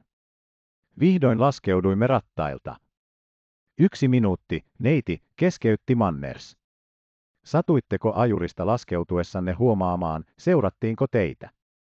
Tuliko jäljessänne joku toinen ajuri? Näin toisen ajurin seisahtuvan kadun vastaiselle laidalle hieman kauemmaksi. Panin sen merkille sillä aikaa, kun äiti maksoi kyyditsiällemme. Manners hymähti ja kuiskasi ammattitoverilleen niin, että kaikki kuulivat. Se oli tietysti hän. Seurannut heitä. Suokaa anteeksi, neiti, että keskeytin. Kävelimme katua pitkin vähän matkaa, kertoi Sheila edelleen. Sitten käännyimme sivukadulle ja sitten vielä kapeammalle kadulle, joka lähti edellisestä, pimeälle, synkälle kadulle. Erään talon edustalla Alison Murdo pyysi meitä odottamaan muutamia minuutteja, sillä aikaa, kun hän kävisi sisällä. Teimme niin. Hän viipyi poissa ehkä viisi minuuttia ja tuli sitten noutamaan meitä sisälle. Se oli pimeä, kolkkotalo, yhtä kolkko kuin se katu, jonka varrella se sijaitsi. Hän opasti meidät alakerrassa olevaan makuukamarilta näyttävään huoneeseen, jota kaasulamppu himmeästi valaisi, ja pyysi meitä taaskin odottamaan muutamia minuutteja. Hän meni ulos, ja sen jälkeen emme häntä enää nähneet. Korkerdale, joka yhä pyöritteli peukaloitaan, siirsi ensi kerran silmänsä pois Sheilasta. Hän loi katseensa kattoon ja tuijotti miettivänä sinne, mitä hän lieneekään siellä nähnyt. Mutta Manners lausui terävästi yhden sanan. Satimessa. Niin, tietenkin olimme satimessa, yhtyi Sheila. Ja sen ansaitsimmekin, ainakin minä. Emme olleet viipyneet huoneessa viittä minuuttia, kun jo tiesimme sen. Kuulimme, että ovi kierrettiin lukkoon ulkoa päin ja äänestä päättäen pantiin sen eteen telkikin. Juoksin heti ikkunalle ja vedin verhot syrjään. Silloin näin, että ikkunan edessä ulkopuolella oli paksu ristikko ja huomasin, että ikkunan työntökehyskin oli naulattu kiinni. Olimme tosiaankin satimessa. Hirveätä, mitä sitten tapahtui, tiedusti Meithorne lempeästi. Lyhykäisesti. Niin, lyhyesti, virkkoi Sheila. En mistään hinnasta tahtoisi syventyä sen kauhujen yksityiskohtiin, en ainakaan nyt. Jyskytin ovea, mutta en saanut vastausta, kaikki oli hyvin hiljaista. Noin tunnin kuluttua liukui äkkiä syrjään luukku, jonka olin pannut merkille yhdessä seinässä, samanlainen, tiedättehän, joita käytetään yhdistämään keittiöitä ruokasaliin, ja sisään työntyi käsivarsi, laskien vuoteelle ison kopan. Sitten luukku pamautettiin jälleen kiinni, ja kuulin, että se teljettiin. Kopassa oli ruokaa, runsaasti ja hyvää, ja pari pulloa viiniä, oivallista kleotia, ja lasit ja korkkiruuvi. Meitä ei siis aiottu piinata nälällä. Mutta satimessa saimme olla tähän iltaan saakka kaksi yötä ja kaksi päivää. Emme koskaan nähneet ketään. Joka ilta pistettiin sisään uusi koppa niin äkkiä, ettemme mitenkään ehtineet tarttua sitä ojentavaan käteen emmekä vilkaista viereiseen huoneeseen. Koko aikana emme nähneet emmekä kuulleet mitään. Entä miten pääsitte sieltä ulos, kysyi Meithorne. Tänä iltana ollessamme melkein menehtyneitä raittiin ilman puutteesta, vaikka totta puhuen olin aikoja sitten rikkonut ikkunan, kuulimme äkkiä ääniä oven takaa. Sitten kiskaistiin telki syrjään, avainta kierrettiin, ulkopuolella juoksi joku tiehensä ja ulkoovi pamahti. Lähdimme heti ulos. Koko talo oli pimeä ja hiljainen. Poistuimme talosta ja kiiruhdimme etsimään ajuria. Ja olenpa varma, neiti, huomautti Korkerdalle, hiukan hihittäen, ettette katsonut talon numeroa, ette kadun nimeä ettekä vielä senkään kadun nimeä, johon se yhtyi, eikö niin? Emme katsoneet, myönsi Sheila. Olimme hupsuja ilosta päästessämme pois hirveästä ympäristöstä. Mutta nyt.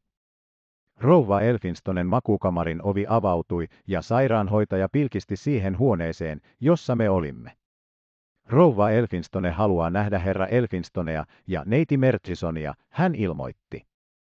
Hetkisen kuluttua Meithorne, minä ja poliisit olimme yksin.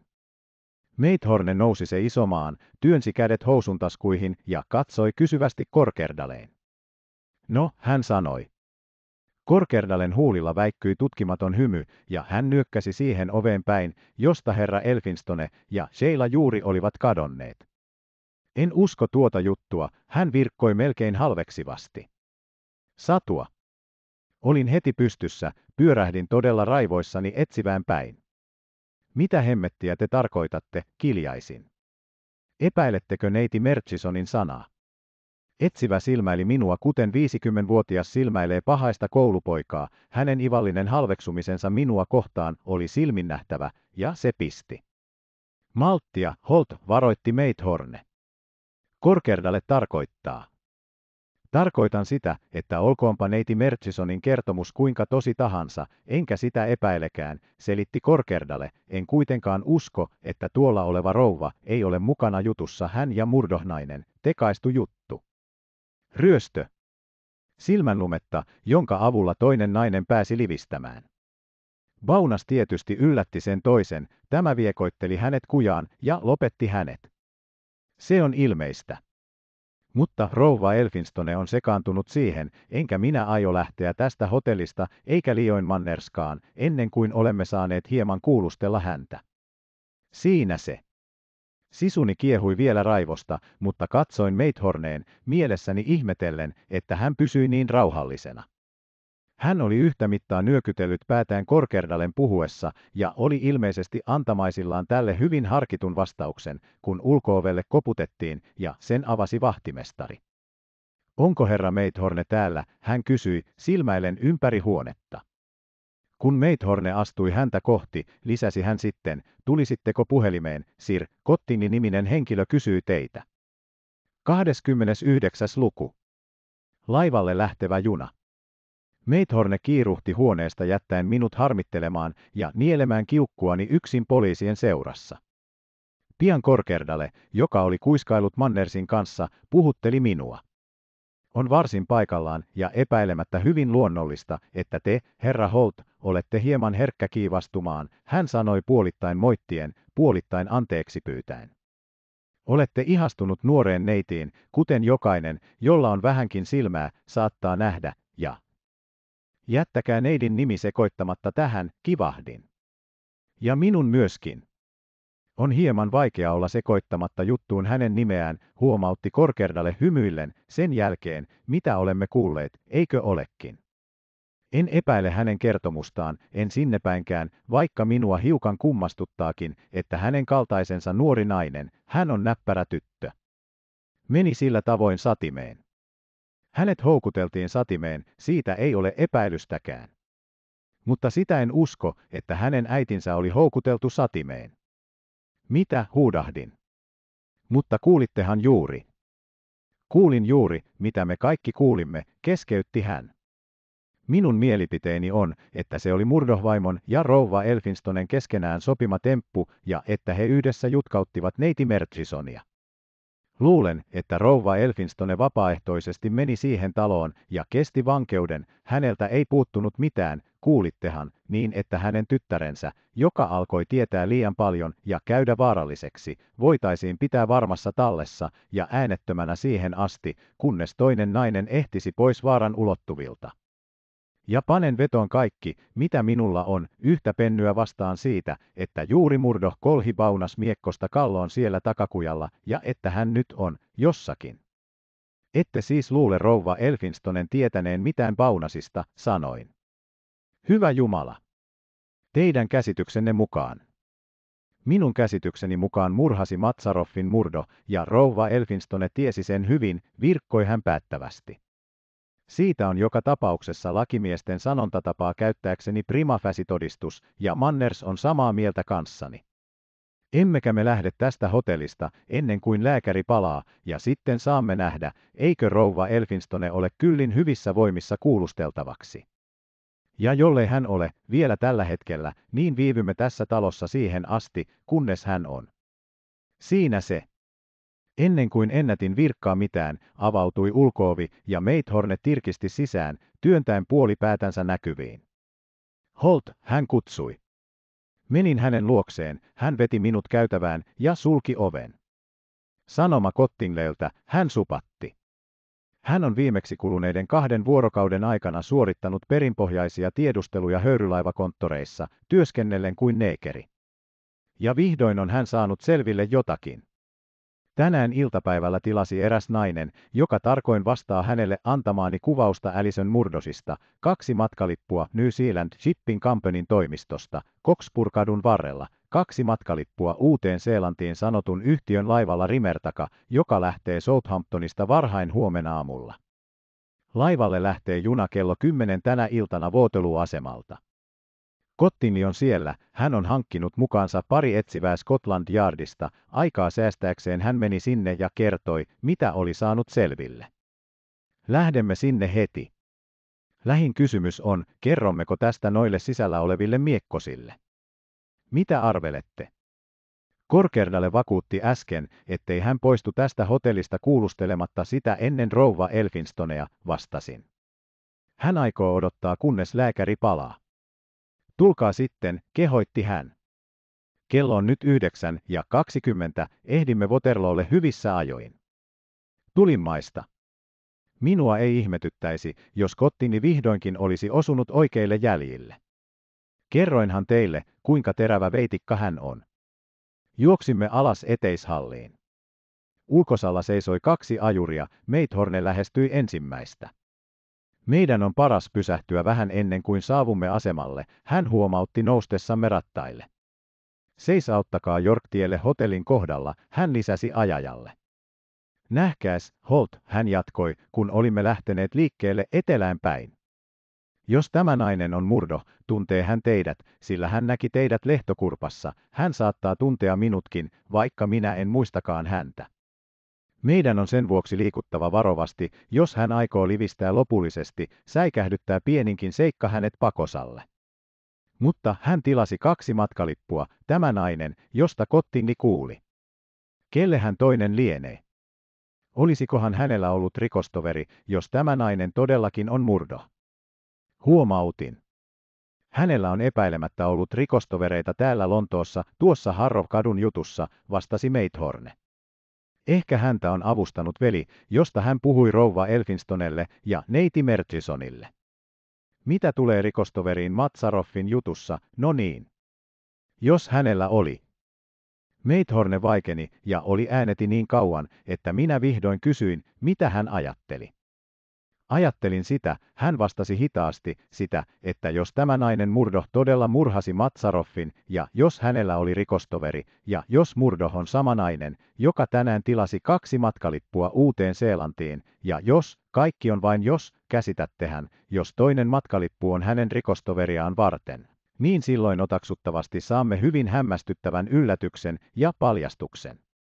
Mutta, kuten sanoin, kaikessa siinä on jos. Laskeuduimme ajurin rattailta Jorktien kulmassa ja astelimme ripeästi suurelle asemalle. Ennen kuin olimme ehtineet rinteen puoliväliin, kohtasimme Kottinglein.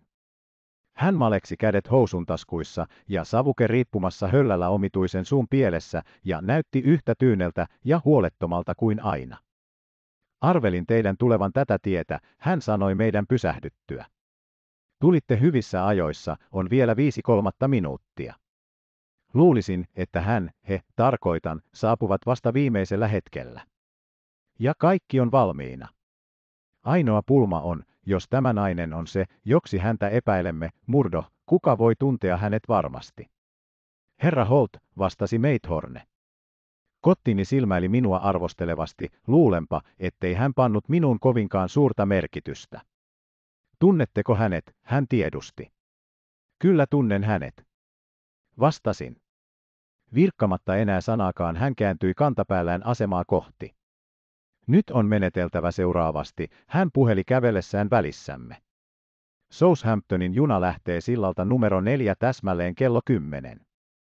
Muassani on kaksi ehdottomasti luotettavaa miestä Scotland Yardista, minun oli tietysti käytävä siellä kertomassa kaikki, jos minun oli mieli saada mitään kunnollista aikaan, ja he ja minä olemme sillalla. Hän ei tunne meitä. Onko pelättävissä, että hän tuntee jommankumman teistä? On hyvin otaksuttavaa, vastasi Meithorne, että hän tuntee meidät molemmat. No niin, virkkoi Kottingni. Siispä teemme näin. Minä ja etsivät olemme jo vihjaisseet rautatieviranomaisille, että saattaa tapahtua tärkeä vangitseminen, ymmärrättekö? Aion sijoittaa teidät molemmat juuri sulkupuomin sisäpuolelle, jossa olette näkymättömissä. Pysyttelette siellä, kunnes matkustajia alkaa tulla portista junaan. Minä olen lähellänne, etsivät ovat metriä tahi paria kauempana, kosketuksissa minun kanssani, saapuvilla on myöskin pari, kolme rautatiepoliisia siltä varalta, että syntyy häiriötä. No, jos herra Holt tuntee tämän murdosin, antaa hän minulle merkin nostamalla hattuaan juuri naisen kulkiessa ohitse, ja loput saatte jättää meidän huoleksemme. Sitten ei ole muuta kuin se, että jos pidätämme hänet, niin olen sopinut asemaväen kanssa, että etsivien on kiireisesti vietävä hänet pieneen sillalla olevaan toimistoon, te seuraatte sinne. Selvä on, sanoi Meit Horne. Käsitämme järjestelysi, Kottinni. Kottini viskasi pois savukkeensa. Eteenpäin sitten hän komensi vilkaistuaan isoon kelloon. Sulkupuomit avataan minuutin kuluessa. Jäljessäni. Menimme avaralle, kirkkaasti valaistulle asemalle. Näinkin myöhäisenä iltahetkenä oli siellä paljon väkeä. Kottini liikkui nopeasti edellämme ihmisryhmien välitse, vei meidät sulkupuomin ohitse kuiskattuaan sanan sitä vartioivalle miehelle, poikkesi äkkiä vasemmalle ja opasti meidät korkean, puisen väliseinän taakse, muutamien metrien päässä portista, jonka luona matkaliput leimattiin. Siellä oli pimeä luolamainen onkalo, hän antoi meille merkin astua sinne. Muistakaa, hän teroitti vielä. Jos näette etsimänne naisen, niin hattu ylös. Mutta, toimikaa varmasti. Hän pyörähti kantapäällään ympäri, siirtyi asemasillan kohdalla palavien isojen lamppujen valopiiriin, otti esille savukekotelonsa ja alkoi poltella, vetelehtien laiskasti sinne tänne. Muutaman metrin päässä hänestä seisoi yhtä laiskan näköisenä kaksi vankkatekoista miestä, heitä olisi saattanut pitää perin kunnioitettuina kansalaisina, jotka palasivat kotiin esikaupungeissa oleviin asuntoihinsa sitissä uurastamansa päivän jälkeen. Mutta panin merkille, että heidän pakinoidessaan heidän silmänsä eivät pitkäksi ajaksi suuntautuneet pois Kottingleystä, eivät sulkupuomista eivätkä siitä pimeästä piilopaikasta, jossa Meithorne ja minä odotimme. Se odotus koetti hermojani yhtä ankarasti kuin mikä muu tapahtuma hyvänsä sen jälkeen, kun kuulin viimeiset laukaukset Flanderissa. Väkeä tuli asemasillalle virtanaan, kantajia meni ohitsemme, kantaen röykkiöttäen matkatavaroita, siellä näki ja kuuli kaikkea sitä kiirettä ja hälinää, mikä on tavallista suureen satamaan lähtevän pitkän pikajunan valmistautuessa matkalle. Mutta henkilö, jota odotimme, minä pinnistetyin silmin ja värähtelevin hermoin, ei hätäillyt. Asemarakennuksen leveällä seinällä, jonkun kaukaisen junasillan yläpuolella riippui kello, en malttanut olla silloin tällöin vilkaisematta siihen. Varmaankaan eivät kellon osoittimet ole milloinkaan liikkuneet niin hitaasti. 20 minuuttia vaille 10. 15 minuuttia vaille. 10 minuuttia vaille. 5, 4, 3. Holt kuiskasi Meithome. Vireänä nyt. Onko se hän? Sulkupuomin sivuitse tuli parhaillaan nainen, pitkä, hoikka, suora ja joustava vartaloinen nainen. Hänen vierellään käveli toinen nainen, lyhyempi, täyteläisempi, paksu harso kasvoillaan. Hänen kasvojaan en voinut eroittaa, mutta pitemmän naisen kasvot olivat samat, jotka olin kaksi tahi kolme kertaa lehtokurpan tilavassa keittiössä nähnyt. Sekuntia myöhemmin hän ja hänen seuralaisensa, kummallakin kädessään melkoisen iso matkalaukku, olivat sivuuttaneet lippujen leimaajan ja tulleet kirkkaaseen valaistukseen. Silloin en enää lainkaan epäillyt, ja käteni kohosi hatun reunaan ikään kuin koneen nostamana. Eteenpäin huudahti Meit Horne. Joutuin nyt. Mutta kukahan tuo toinen on? Jo maltittomiksi käyneet asemavahdit hoputtivat naisia kolmannen luokan vaunuosastoon, kun heidän ympärilleen muodostui piiri, jossa olivat molemmat etsivät, muutamia rautatiepoliiseja, Kottingli, Meithorne ja minä. Toinen etsivistä laski kätensä pitemmän naisen käsivarrelle. Ensimmäisen kerran eläessäni näin silloin vangitsemisen ja minua hämmästytti, kuinka vikkelästi, kätevästi ja hätäilemättä se kävi. Olimme vieneet naiset lähellä olevaan pieneen toimistoon, ovi oli suljettu ja ikkunaverhot vedetty eteen, ennen kuin oikein käsitin mitä tapahtui. Avaimen kiertyessä kuulin junailijan pillin ja veturin vihellykset, kun kello kymmenen pikajuna lähti kiitämään matkaansa. Ja sitten käännyin. Vastaamaan kysymykseen. Tuo on Alison Murdo, kyllä, vakuutin. Niin, siitä ei ole epäilystäkään. Vanhempi etsivä kääntyi toisen naisen puoleen. Tämä nojasi pöytää vasten hän hengitti lyhyin, nykivin vetäyksin ja koko hänen ruumiinsa vapisi. Riisukaa pois tuo huntu, ärähti etsivä. Joutuisasti. Seisoimme jännittyneinä tuijottaen, kun nainen nosti kättään ja irroitti paksun hunnun, joka oli tyyten piilottanut hänen piirteensä. Se putosi pois, ja ensimmäinen kiihtymyksen huudahdus luiskahti Meithornelta, joka tavallisesti oli niin kylmäverinen ja hillitty. Hyvä Jumala! Rouva Muskrave! Rouva Muskrave purskahti itkemään ja kääntyi Alison Murdosiin päin, joka seisoi hänen lähellään tuikeana ja uhmaavana. Sinä sanoit, että kaikki sujuisi hyvin, hän valitti moittivasti. Vannoit minulle, että olimme turvassa tällä tavoin. Vakuutit vakuuttamistasi, ettei ollut pienintäkään mahdollisuutta kiinni joutumisesta. Suusi kiinni, tomppeli, sähähti Alison Murdo. Katselin vastenmielisen ihmetyksen vallassa, kun kottini etsivien valvonnan alaisena aukaisi naisten matkalaukut ja otti esille niiden sisällön. Siellä oli rahaa hämmästyttävän paljon, seteleitä, jotka tietysti olivat olleet Matsaroffin omaisuutta, timantteja ja Matsaroffin arvoesineitä. Ja Alison Murdosin matkalaukussa oli kultainen taskukello, johon kaiverrettu omistuskirjoitus osoitti, että sen oli James Baunas saanut lahjaksi ammattitovereiltaan.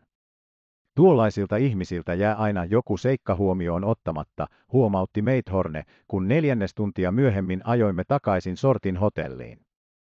Tai pikemmin he tekevät aina jonkun perinpohjaisen typerän erehdyksen.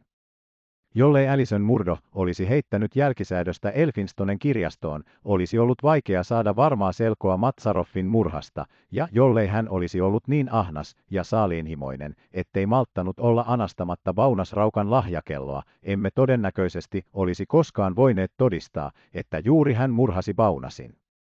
Hän teki kuitenkin ne molemmat. Mutta rouva Muskrave.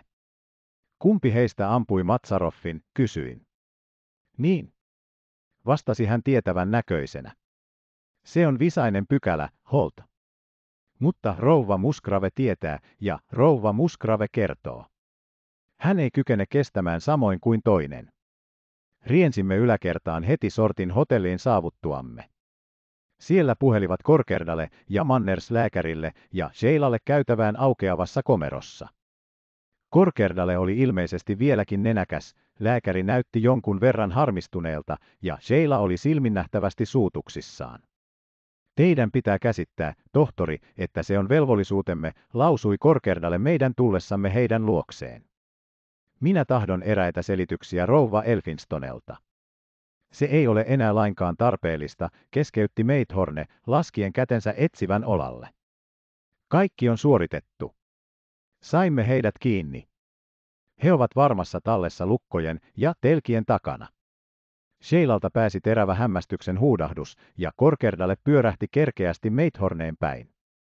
Saitte heidät kiinni, hän kummasteli. Kuka heidät sai?